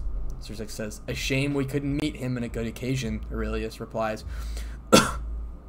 Lord Sitri, do not try to get near him, as he may lash out, Sirzechs says. I couldn't help but agree. With Vanello's son, this could provoke him. Due to this mess, Sarah and I decided to have a meeting with the dragons, and Zex says, Lord Lucifer, the Sitri clan will do whatever we can we could be helpful in this situation, Aurelius says. The dragon faction has served an ultimatum at us, Zex says. I expect an outright declaration of war from those prideful dragons, but it looks like my daughter being engaged to him made things a bit easier. What do you want from us? Lady Sitri says. They mainly demanded the land and treasures from the Gremory Bael and Phoenix clan, but they want the Crystal Lake from your territory. The official statement will soon arrive to you formally. Aurelius lets out a sigh, but complies with the treaty to give away our Crystal Lake. Lady Sitri, how is my sister doing? Sirzechs says. I could practically feel his sadness and guilt, just with the look in his eyes. Shame on you, Rias Gremory. You are the sole reason for a good-hearted clan to suffer. She is, well, how do I say this? Lady Sitri says. Is she dead? Sirzechs replies. No. She is alive, but barely. Her legs and arm have been severed completely. We tried to use the Phoenix Tears to fix them, but a curse is preventing them from reattaching them. She's also lost an eye, and the scar on her face can't be fixed, but fortunately the other wounds on her body are not as severe except a huge gash on her stomach. It will take several months for her to recover, but then even her legs and her head cannot be healed. I'll put it to your blunt. Your sister cannot be fully treated, and she will most likely be crippled, Aurelius says. Arliss explains the Grimoires girl's condition to Lord Doostral with no hint of sadness or remorse. She did deserve this, but the poor Satan did not deserve this. I see. I will take my leave from her. A good day to you both, Sirzechs says. And just like that, he went to Satan knows where. Issei's POV, location, Sitri main hospital for supernatural city of Galen, Sitri territory. I gazed. I gazed upon the unconscious vulnerable body of my love. She'll be fine, I guess, Tamiyo says. I'll fucking kill that bitch! Who did this? Bova said. Bova was sneering in rage at what happened. I feel the same way, but that can wait. My first priority is to make sure my Mordred is alright. But Bova-san, this is a hospital. Do not yell, Mash said. Why? What did I do to deserve this? My light, my sunshine, I... Lord Biel is here to meet with you, Lord Kotomine, Dr. Lore said. The doctor stuttered in front of my presence, breaking me off my thoughts. I must have been staring at Mordred for a long time. Fuck off, Issei says. I'm in no mood for this. The doctor ran away with sweat dripping from his forehead, causing Tamiyo to sigh. Issei, Mordred will be alright, so stop scar scaring the others who wish to help you. Even the mischievous Foxtrot is acting serious. I will fucking kill all of the devils! Issei, look at me, Sona says. She must have felt my anger. My ice princess moved forward and placed her hand on my chin and forced me to look into her eyes. She at the verge of breaking down into tears. This forced me to restrain my anger. Come on, guys, let's give him some space, Tamiyo says. The others left the room, leaving me alone, leaving me and Sona alone on a couch. Sona scooted towards me and placed her cold hands on my hair and started rubbing them, causing me to flinch slightly. You need to be strong, for both of us, Sona said. Leave me alone. Issei replied. I slapped her hand away from my hair and glared at her. I know that I shouldn't do this, but I don't give a fuck. Issei, I know that you want to burn the underworld for what happened to Mordred, but trust me, revenge brings no good, Sona says. Issei sits there in silence. Issei, your mate takes precedence over a twisted bitch, Ddraig says. Ddraig is right, but deep down I can feel all those rage. I can feel confused and it hurts. Sona, Though I saw it coming, it hurts, Issei says. Those words brought tears from her eyes as she wrapped her hands over me and pulled me for a hug. Sometimes you just have to stay silent because no words can explain how you feel, Sona says. I, she is right.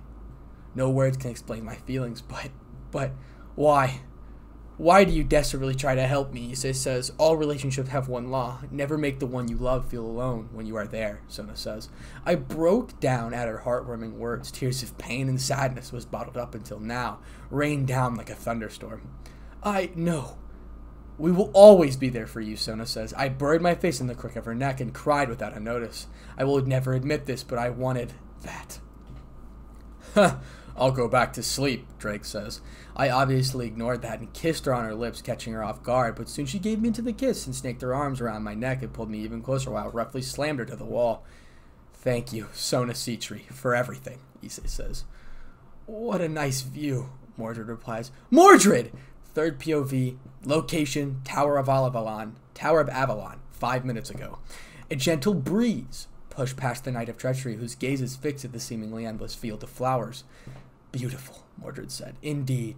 But for me, it is just painful reminder of my past, Atora says. The stoic former king spoke with Mordred with a solemn voice, earning a glare from Mordred. Let's have a battle, King of Knights, Mordred said. I accept your challenge, Atora said. I'll make you bite the dust, Mordred replied. Before they could continue, a strange tugging sensation spread across Mordred, which doesn't go unnoticed by Atora. Your body is pulling your conscience back to your body. It seems like Avalon has healed all your wounds. How unfortunate. I wanted to spend some more time with you, Atora said.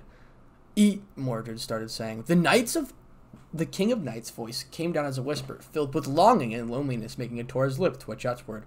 Go ahead, my child. Live a great life with your beloved. I can see the love and loneliness in your eyes. Also, give me a grandchild soon.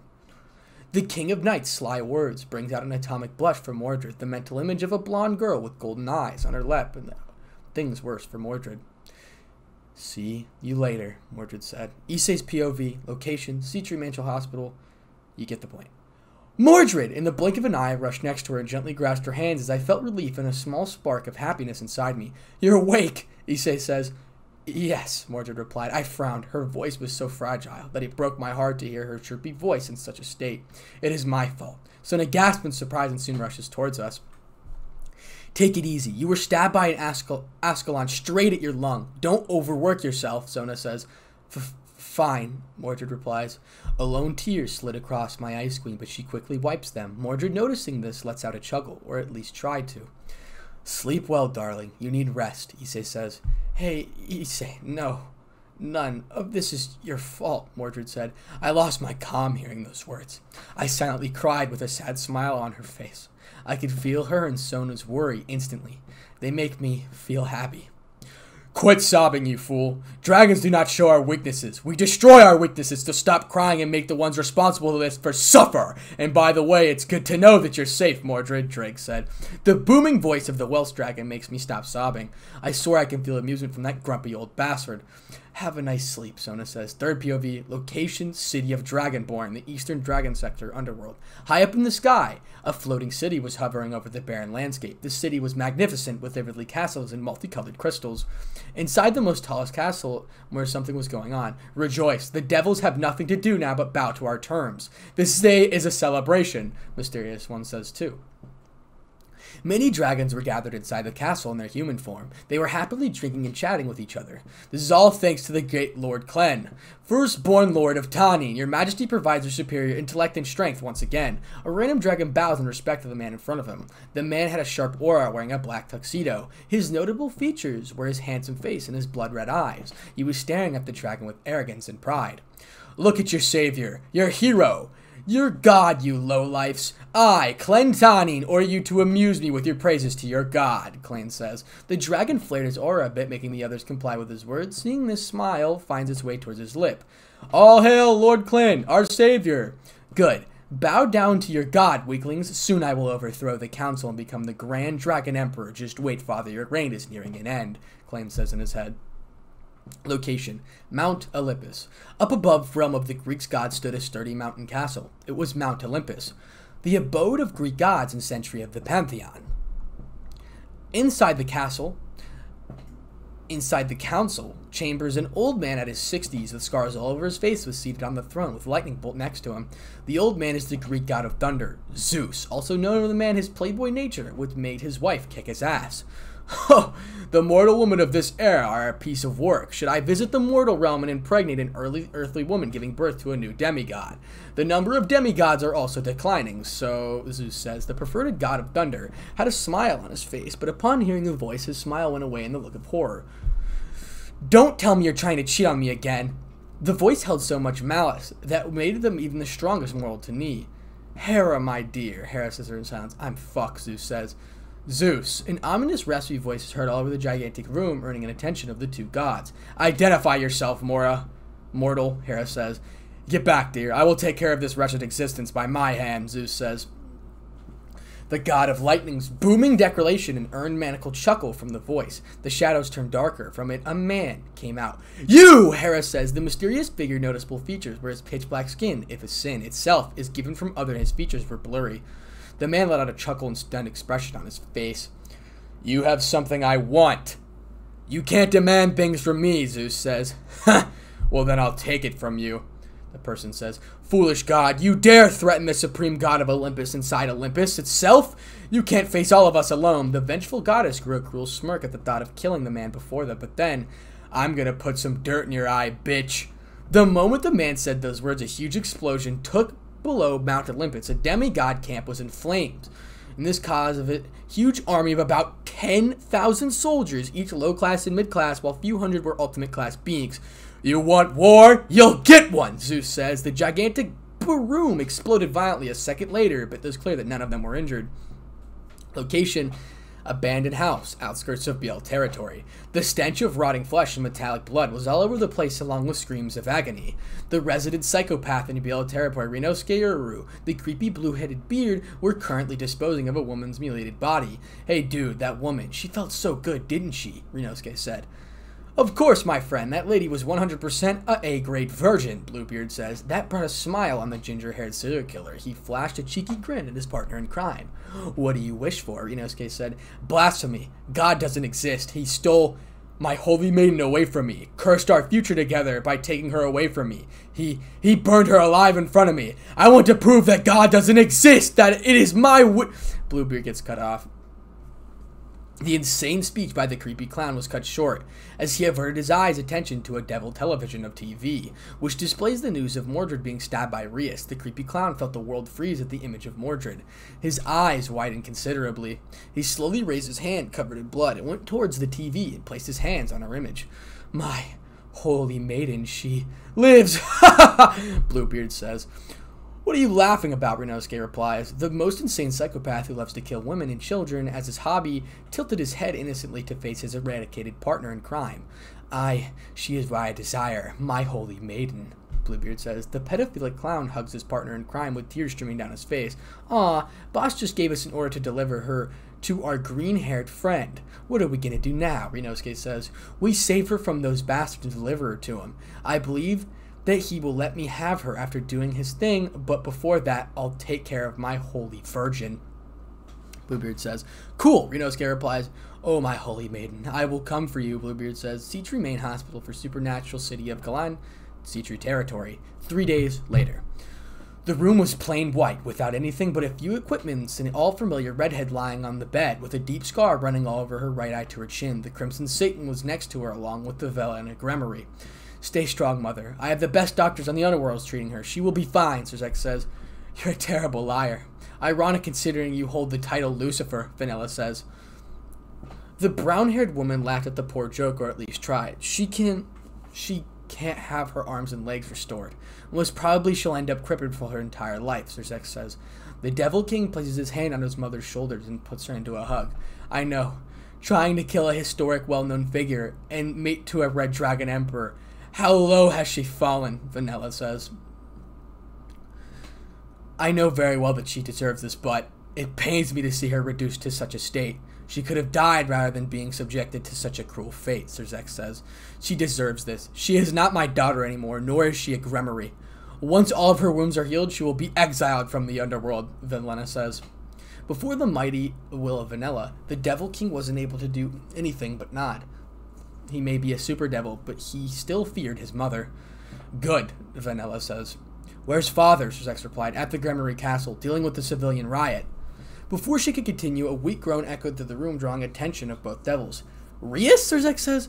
Brother, Rias replies. The raspy voice of the redhead was cut short as her own body went limp except for her mind. Please don't try to speak. Your vocal cords are not so well. What? Rias says. Rias tries to move her hand, but finds unable to do so. Taking a deep breath, she slightly opens her eyes, only to be greeted with a stump where her arms should have been.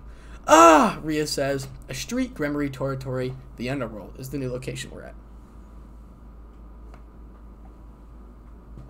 In one of the most popular streets in the capital of the Gremory territory, it was not so regular day as there was a small riot with rogue spells flying at each other. The devil Metropolitan City was crowded with raging protests who were trying to leave the cities with Sitri Main Hospital, with Gremory special forces trying to hold them back. Let us kill the Gremory girl, the random devil said. Yes, death to the traitors, random devil replied. The special forces were trying their best to hold the violent protesters back, but they were being overwhelmed by sheer number of protesters. I need reinforcements. The protesters are pushing back our forces, the guard says. The special force agent, who was a high class devil, gets bombarded by multiple spells, which breaks his barrier. But then, Stop this madness, my citizens, Lord Gremory says. Lord Gremory appears from a teleportation circle, pleading with a look on his face. You cannot control us, the random devil says. The protesting citizens turn their attention towards Lord Gremory, who tries to peacefully resolve the issue. What do you want to accomplish from this? Killing Rias, that girl, is no longer a Gremory. She will be cast aside to the human realm without her legs and an arm. My citizens, do you realize that you are fighting for nothing but meaningless bloodshed and death of our own kin? We are fighting for our future that your daughter ruined by provoking the dragons, Random Devil 2 said. The, the patriarch of Gremory sighs in exhaustion by the roaring crowd. I declare a state of emergency due to the riot which threatens our life and thousands of civilians. For the well-being of our race, I hereby declare all the protesters as rogue devil to be killed or captured, Lord Gremory says. The whole street went up in flames at the aura of the Gremory Partich. It was the aura of a low-tier Satan-class being. A bloodbath was about to begin, which will shake the core of any civilian low-class devil. Location unknown. Underworld. Somewhere at the Underworld, inside a huge base with hundreds of thousands of devils, were equipping themselves with battle armor and weapons.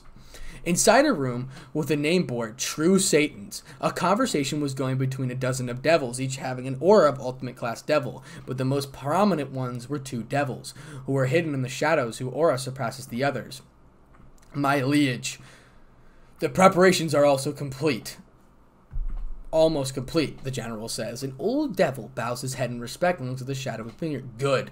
It's a shame that Tomoki betrayed us. A different voice was heard from the shadowy figures. It was a voice of the second man.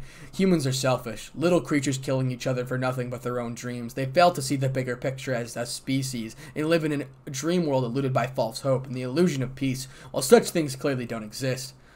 The first voice bellowed at the figure with anger and disgust his words of wisdom beyond a human comprehension. My lord, we've got reports from our spies in the underworld that Elder Gremory has personally decided to eliminate the rioters in the Imperial Gremory capital, Lieutenant says. The youngest devil in the room spoke up with his voice visibly shaking at the beginning. The other devils took the information in with a smile. This makes our plan easier. Beelzebub, do you remember about our wager with Astaroth, don't you? I have already sent Ryosuke and Gilles to Rias to abduct the Mordred girl and deliver her to the freak. Beelzebub said. The man now identified as Beelzebub utters those words with disgust at the thought of a certain Ashtaroth. My lord, the dragon might cause a lot of trouble to try to save her, the general says. We'll use that as an advantage and launch a full-scale assault on them, Beelzebub says. Hell, old Satans, Lieutenant said. Location, Sitri Main Hospital, Supernatural City of Galen, Sitri Territory.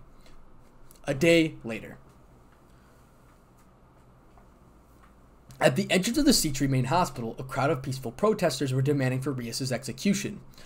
Amidst the crowd, a man whose face was hidden by his hoodie slowly made his way towards the reception desk where a dozen of devils were politely holding out others.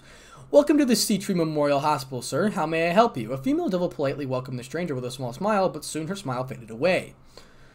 It would be much appreciated if you die. The mysterious stranger removed his hoodie, revealing Ryunosuke Uryu in the blue bearded behind him. The receptionist stared, two, stared at two figures with wide eyes, but before she could do anything, a nauseating pain was felt, for her head was severed from her earning was severed from her body, earning shocked glances from everyone nearby. Everyone get back, the guard says. Rise, my summons, show them that God is no more, Bluebeard says. A few devil uh, security officers rush towards the duo, preparing to launch a few spells, but then from the shadows below a couple of figures appear what the guards saw their bones freeze in horror. What the fuck am I looking at? I may be a closet pervert, but I don't do pedophilia and necrophilia. Two corpses with one missing head and another missing an eye were giggling at horrified expression of the guards in their face. Ah, what the fuck is this? The guard said. The screams of horror, the sound of flesh being ripped echoed through the building. Location room number 777, Sitri Main Hospital. Inside the room, Mordred was having her talk with Tamio seated on the hospital bed. Looks like the artifact in your body can accelerate by the healing factor. It may have any other abilities, but I don't know for sure. Do you know anything about this artifact? No, Mordred said. If I am correct, there are only a handful of mystical artifacts that can increase the healing factor to this extent, and they are, are lost. One such as the artifact is Usich Bretha, but it was destroyed. And then there is Resurrection Fright Hades, which is with Hades. Painbreaker is also capable of explosive healing, and there is Avalon, but it can't be. The fox prince's rambling were cut short by a high-pitched scream, followed by sounds of being of flesh being ripped apart. What? Mordred said. The Knights of Treachery's shout was cut short as she saw Tamio with a terrified expression. No, how is this possible? How could someone use such dark art? What's wrong? Mordred says. Tamio suddenly walks towards Mordred and gives her a golden pendant. This is protection spell against dark arts. It will help you because you are in no condition to fight, but I'll inform Issei and Bova about our situation. Tamio waves her hand and leaves the room with the stupefied Mordred. Time to find out who did this.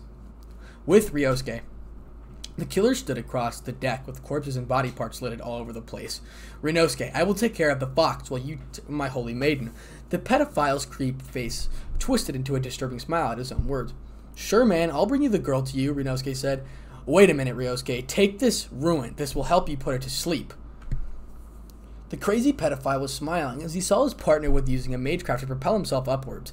I should cast a barrier, Bluebeard said. Bluebeard cast a barrier around the hospital, blocking it from the city and takes the surviving devils in the first floor as hostage. After he tries to go to the second floor, only back orb to narrowly miss his head.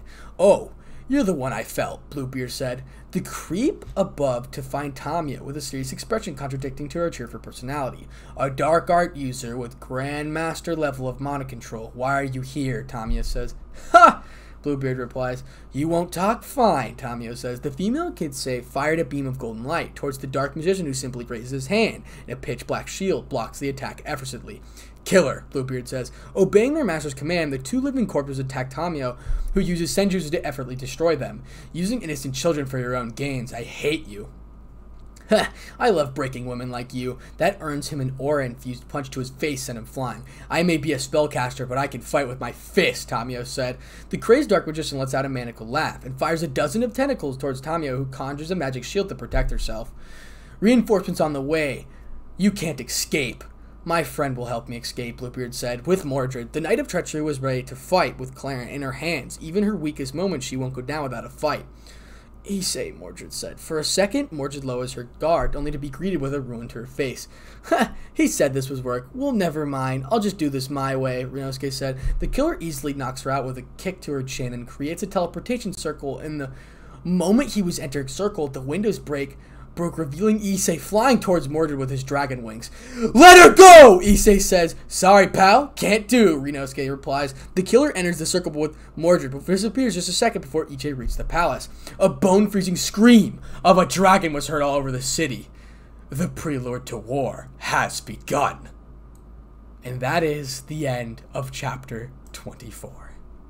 I know you guys are about to be extremely upset, but that is the end of this story as it concludes. The author has not posted the next chapter, but he said he might do one next week as far as I'm concerned or looking on Wattpad here. So I apologize for any Thursday. I might be able to finish the story myself, just pick it up and keep writing it, but I think the author would be pissed if I did that, so out of respect for the author, I will not do that. So I'm sorry if you guys were expecting something. But the movie is going to be, God, I don't know. I think eight hours and like 50 minutes, possibly nine hours of me just talking. So yeah, can't believe that. Um, thank you guys so much for the support on this fucking series. It's been absolutely amazing. I promised myself I would finish this one because I really, really liked it. I just enjoyed reading it myself. I know that was one fucking hell of a cliffhanger, and I seriously apologize. Like, I can't apologize enough for that. And I am continuing to write my own story called Issei the God Killer is Born. So this could probably connect to this story, but I'm actually just going to write it on myself because I really, really want to do it this way.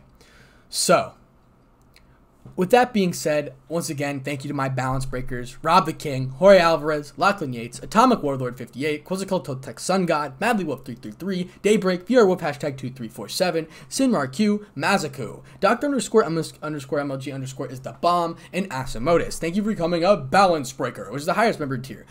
Thank you for also all my Ultra Instinct members as well. You guys are super homies. Thanks to Super Saiyan God and thanks to the Super Saiyans that is just 099. Thank you so much for the support. It's been absolutely crazy. This, I don't even know how long this video is going to be. It's probably really fucking long. It might even be an hour. I'm not exactly sure. But What If Naruto Was Betrayed We'll probably be coming out maybe soon. This is either going to release Wednesday or Thursday whenever I get done with editing it. Because I have a lot of work to do and I have a lot of problems to settle in my personal life as well. So, but I I don't want to get distracted because you guys don't understand. This is like my escape from reality. So this actually helps me cope. And I probably said too much already. But uh thanks for all the support again. If you want to see my second channel, uh, Anpal Palski, it's linked down in the description below. I do what ifs on Goku there. So thank you so much for the support. Without further ado, Spartanic Artz DxD out.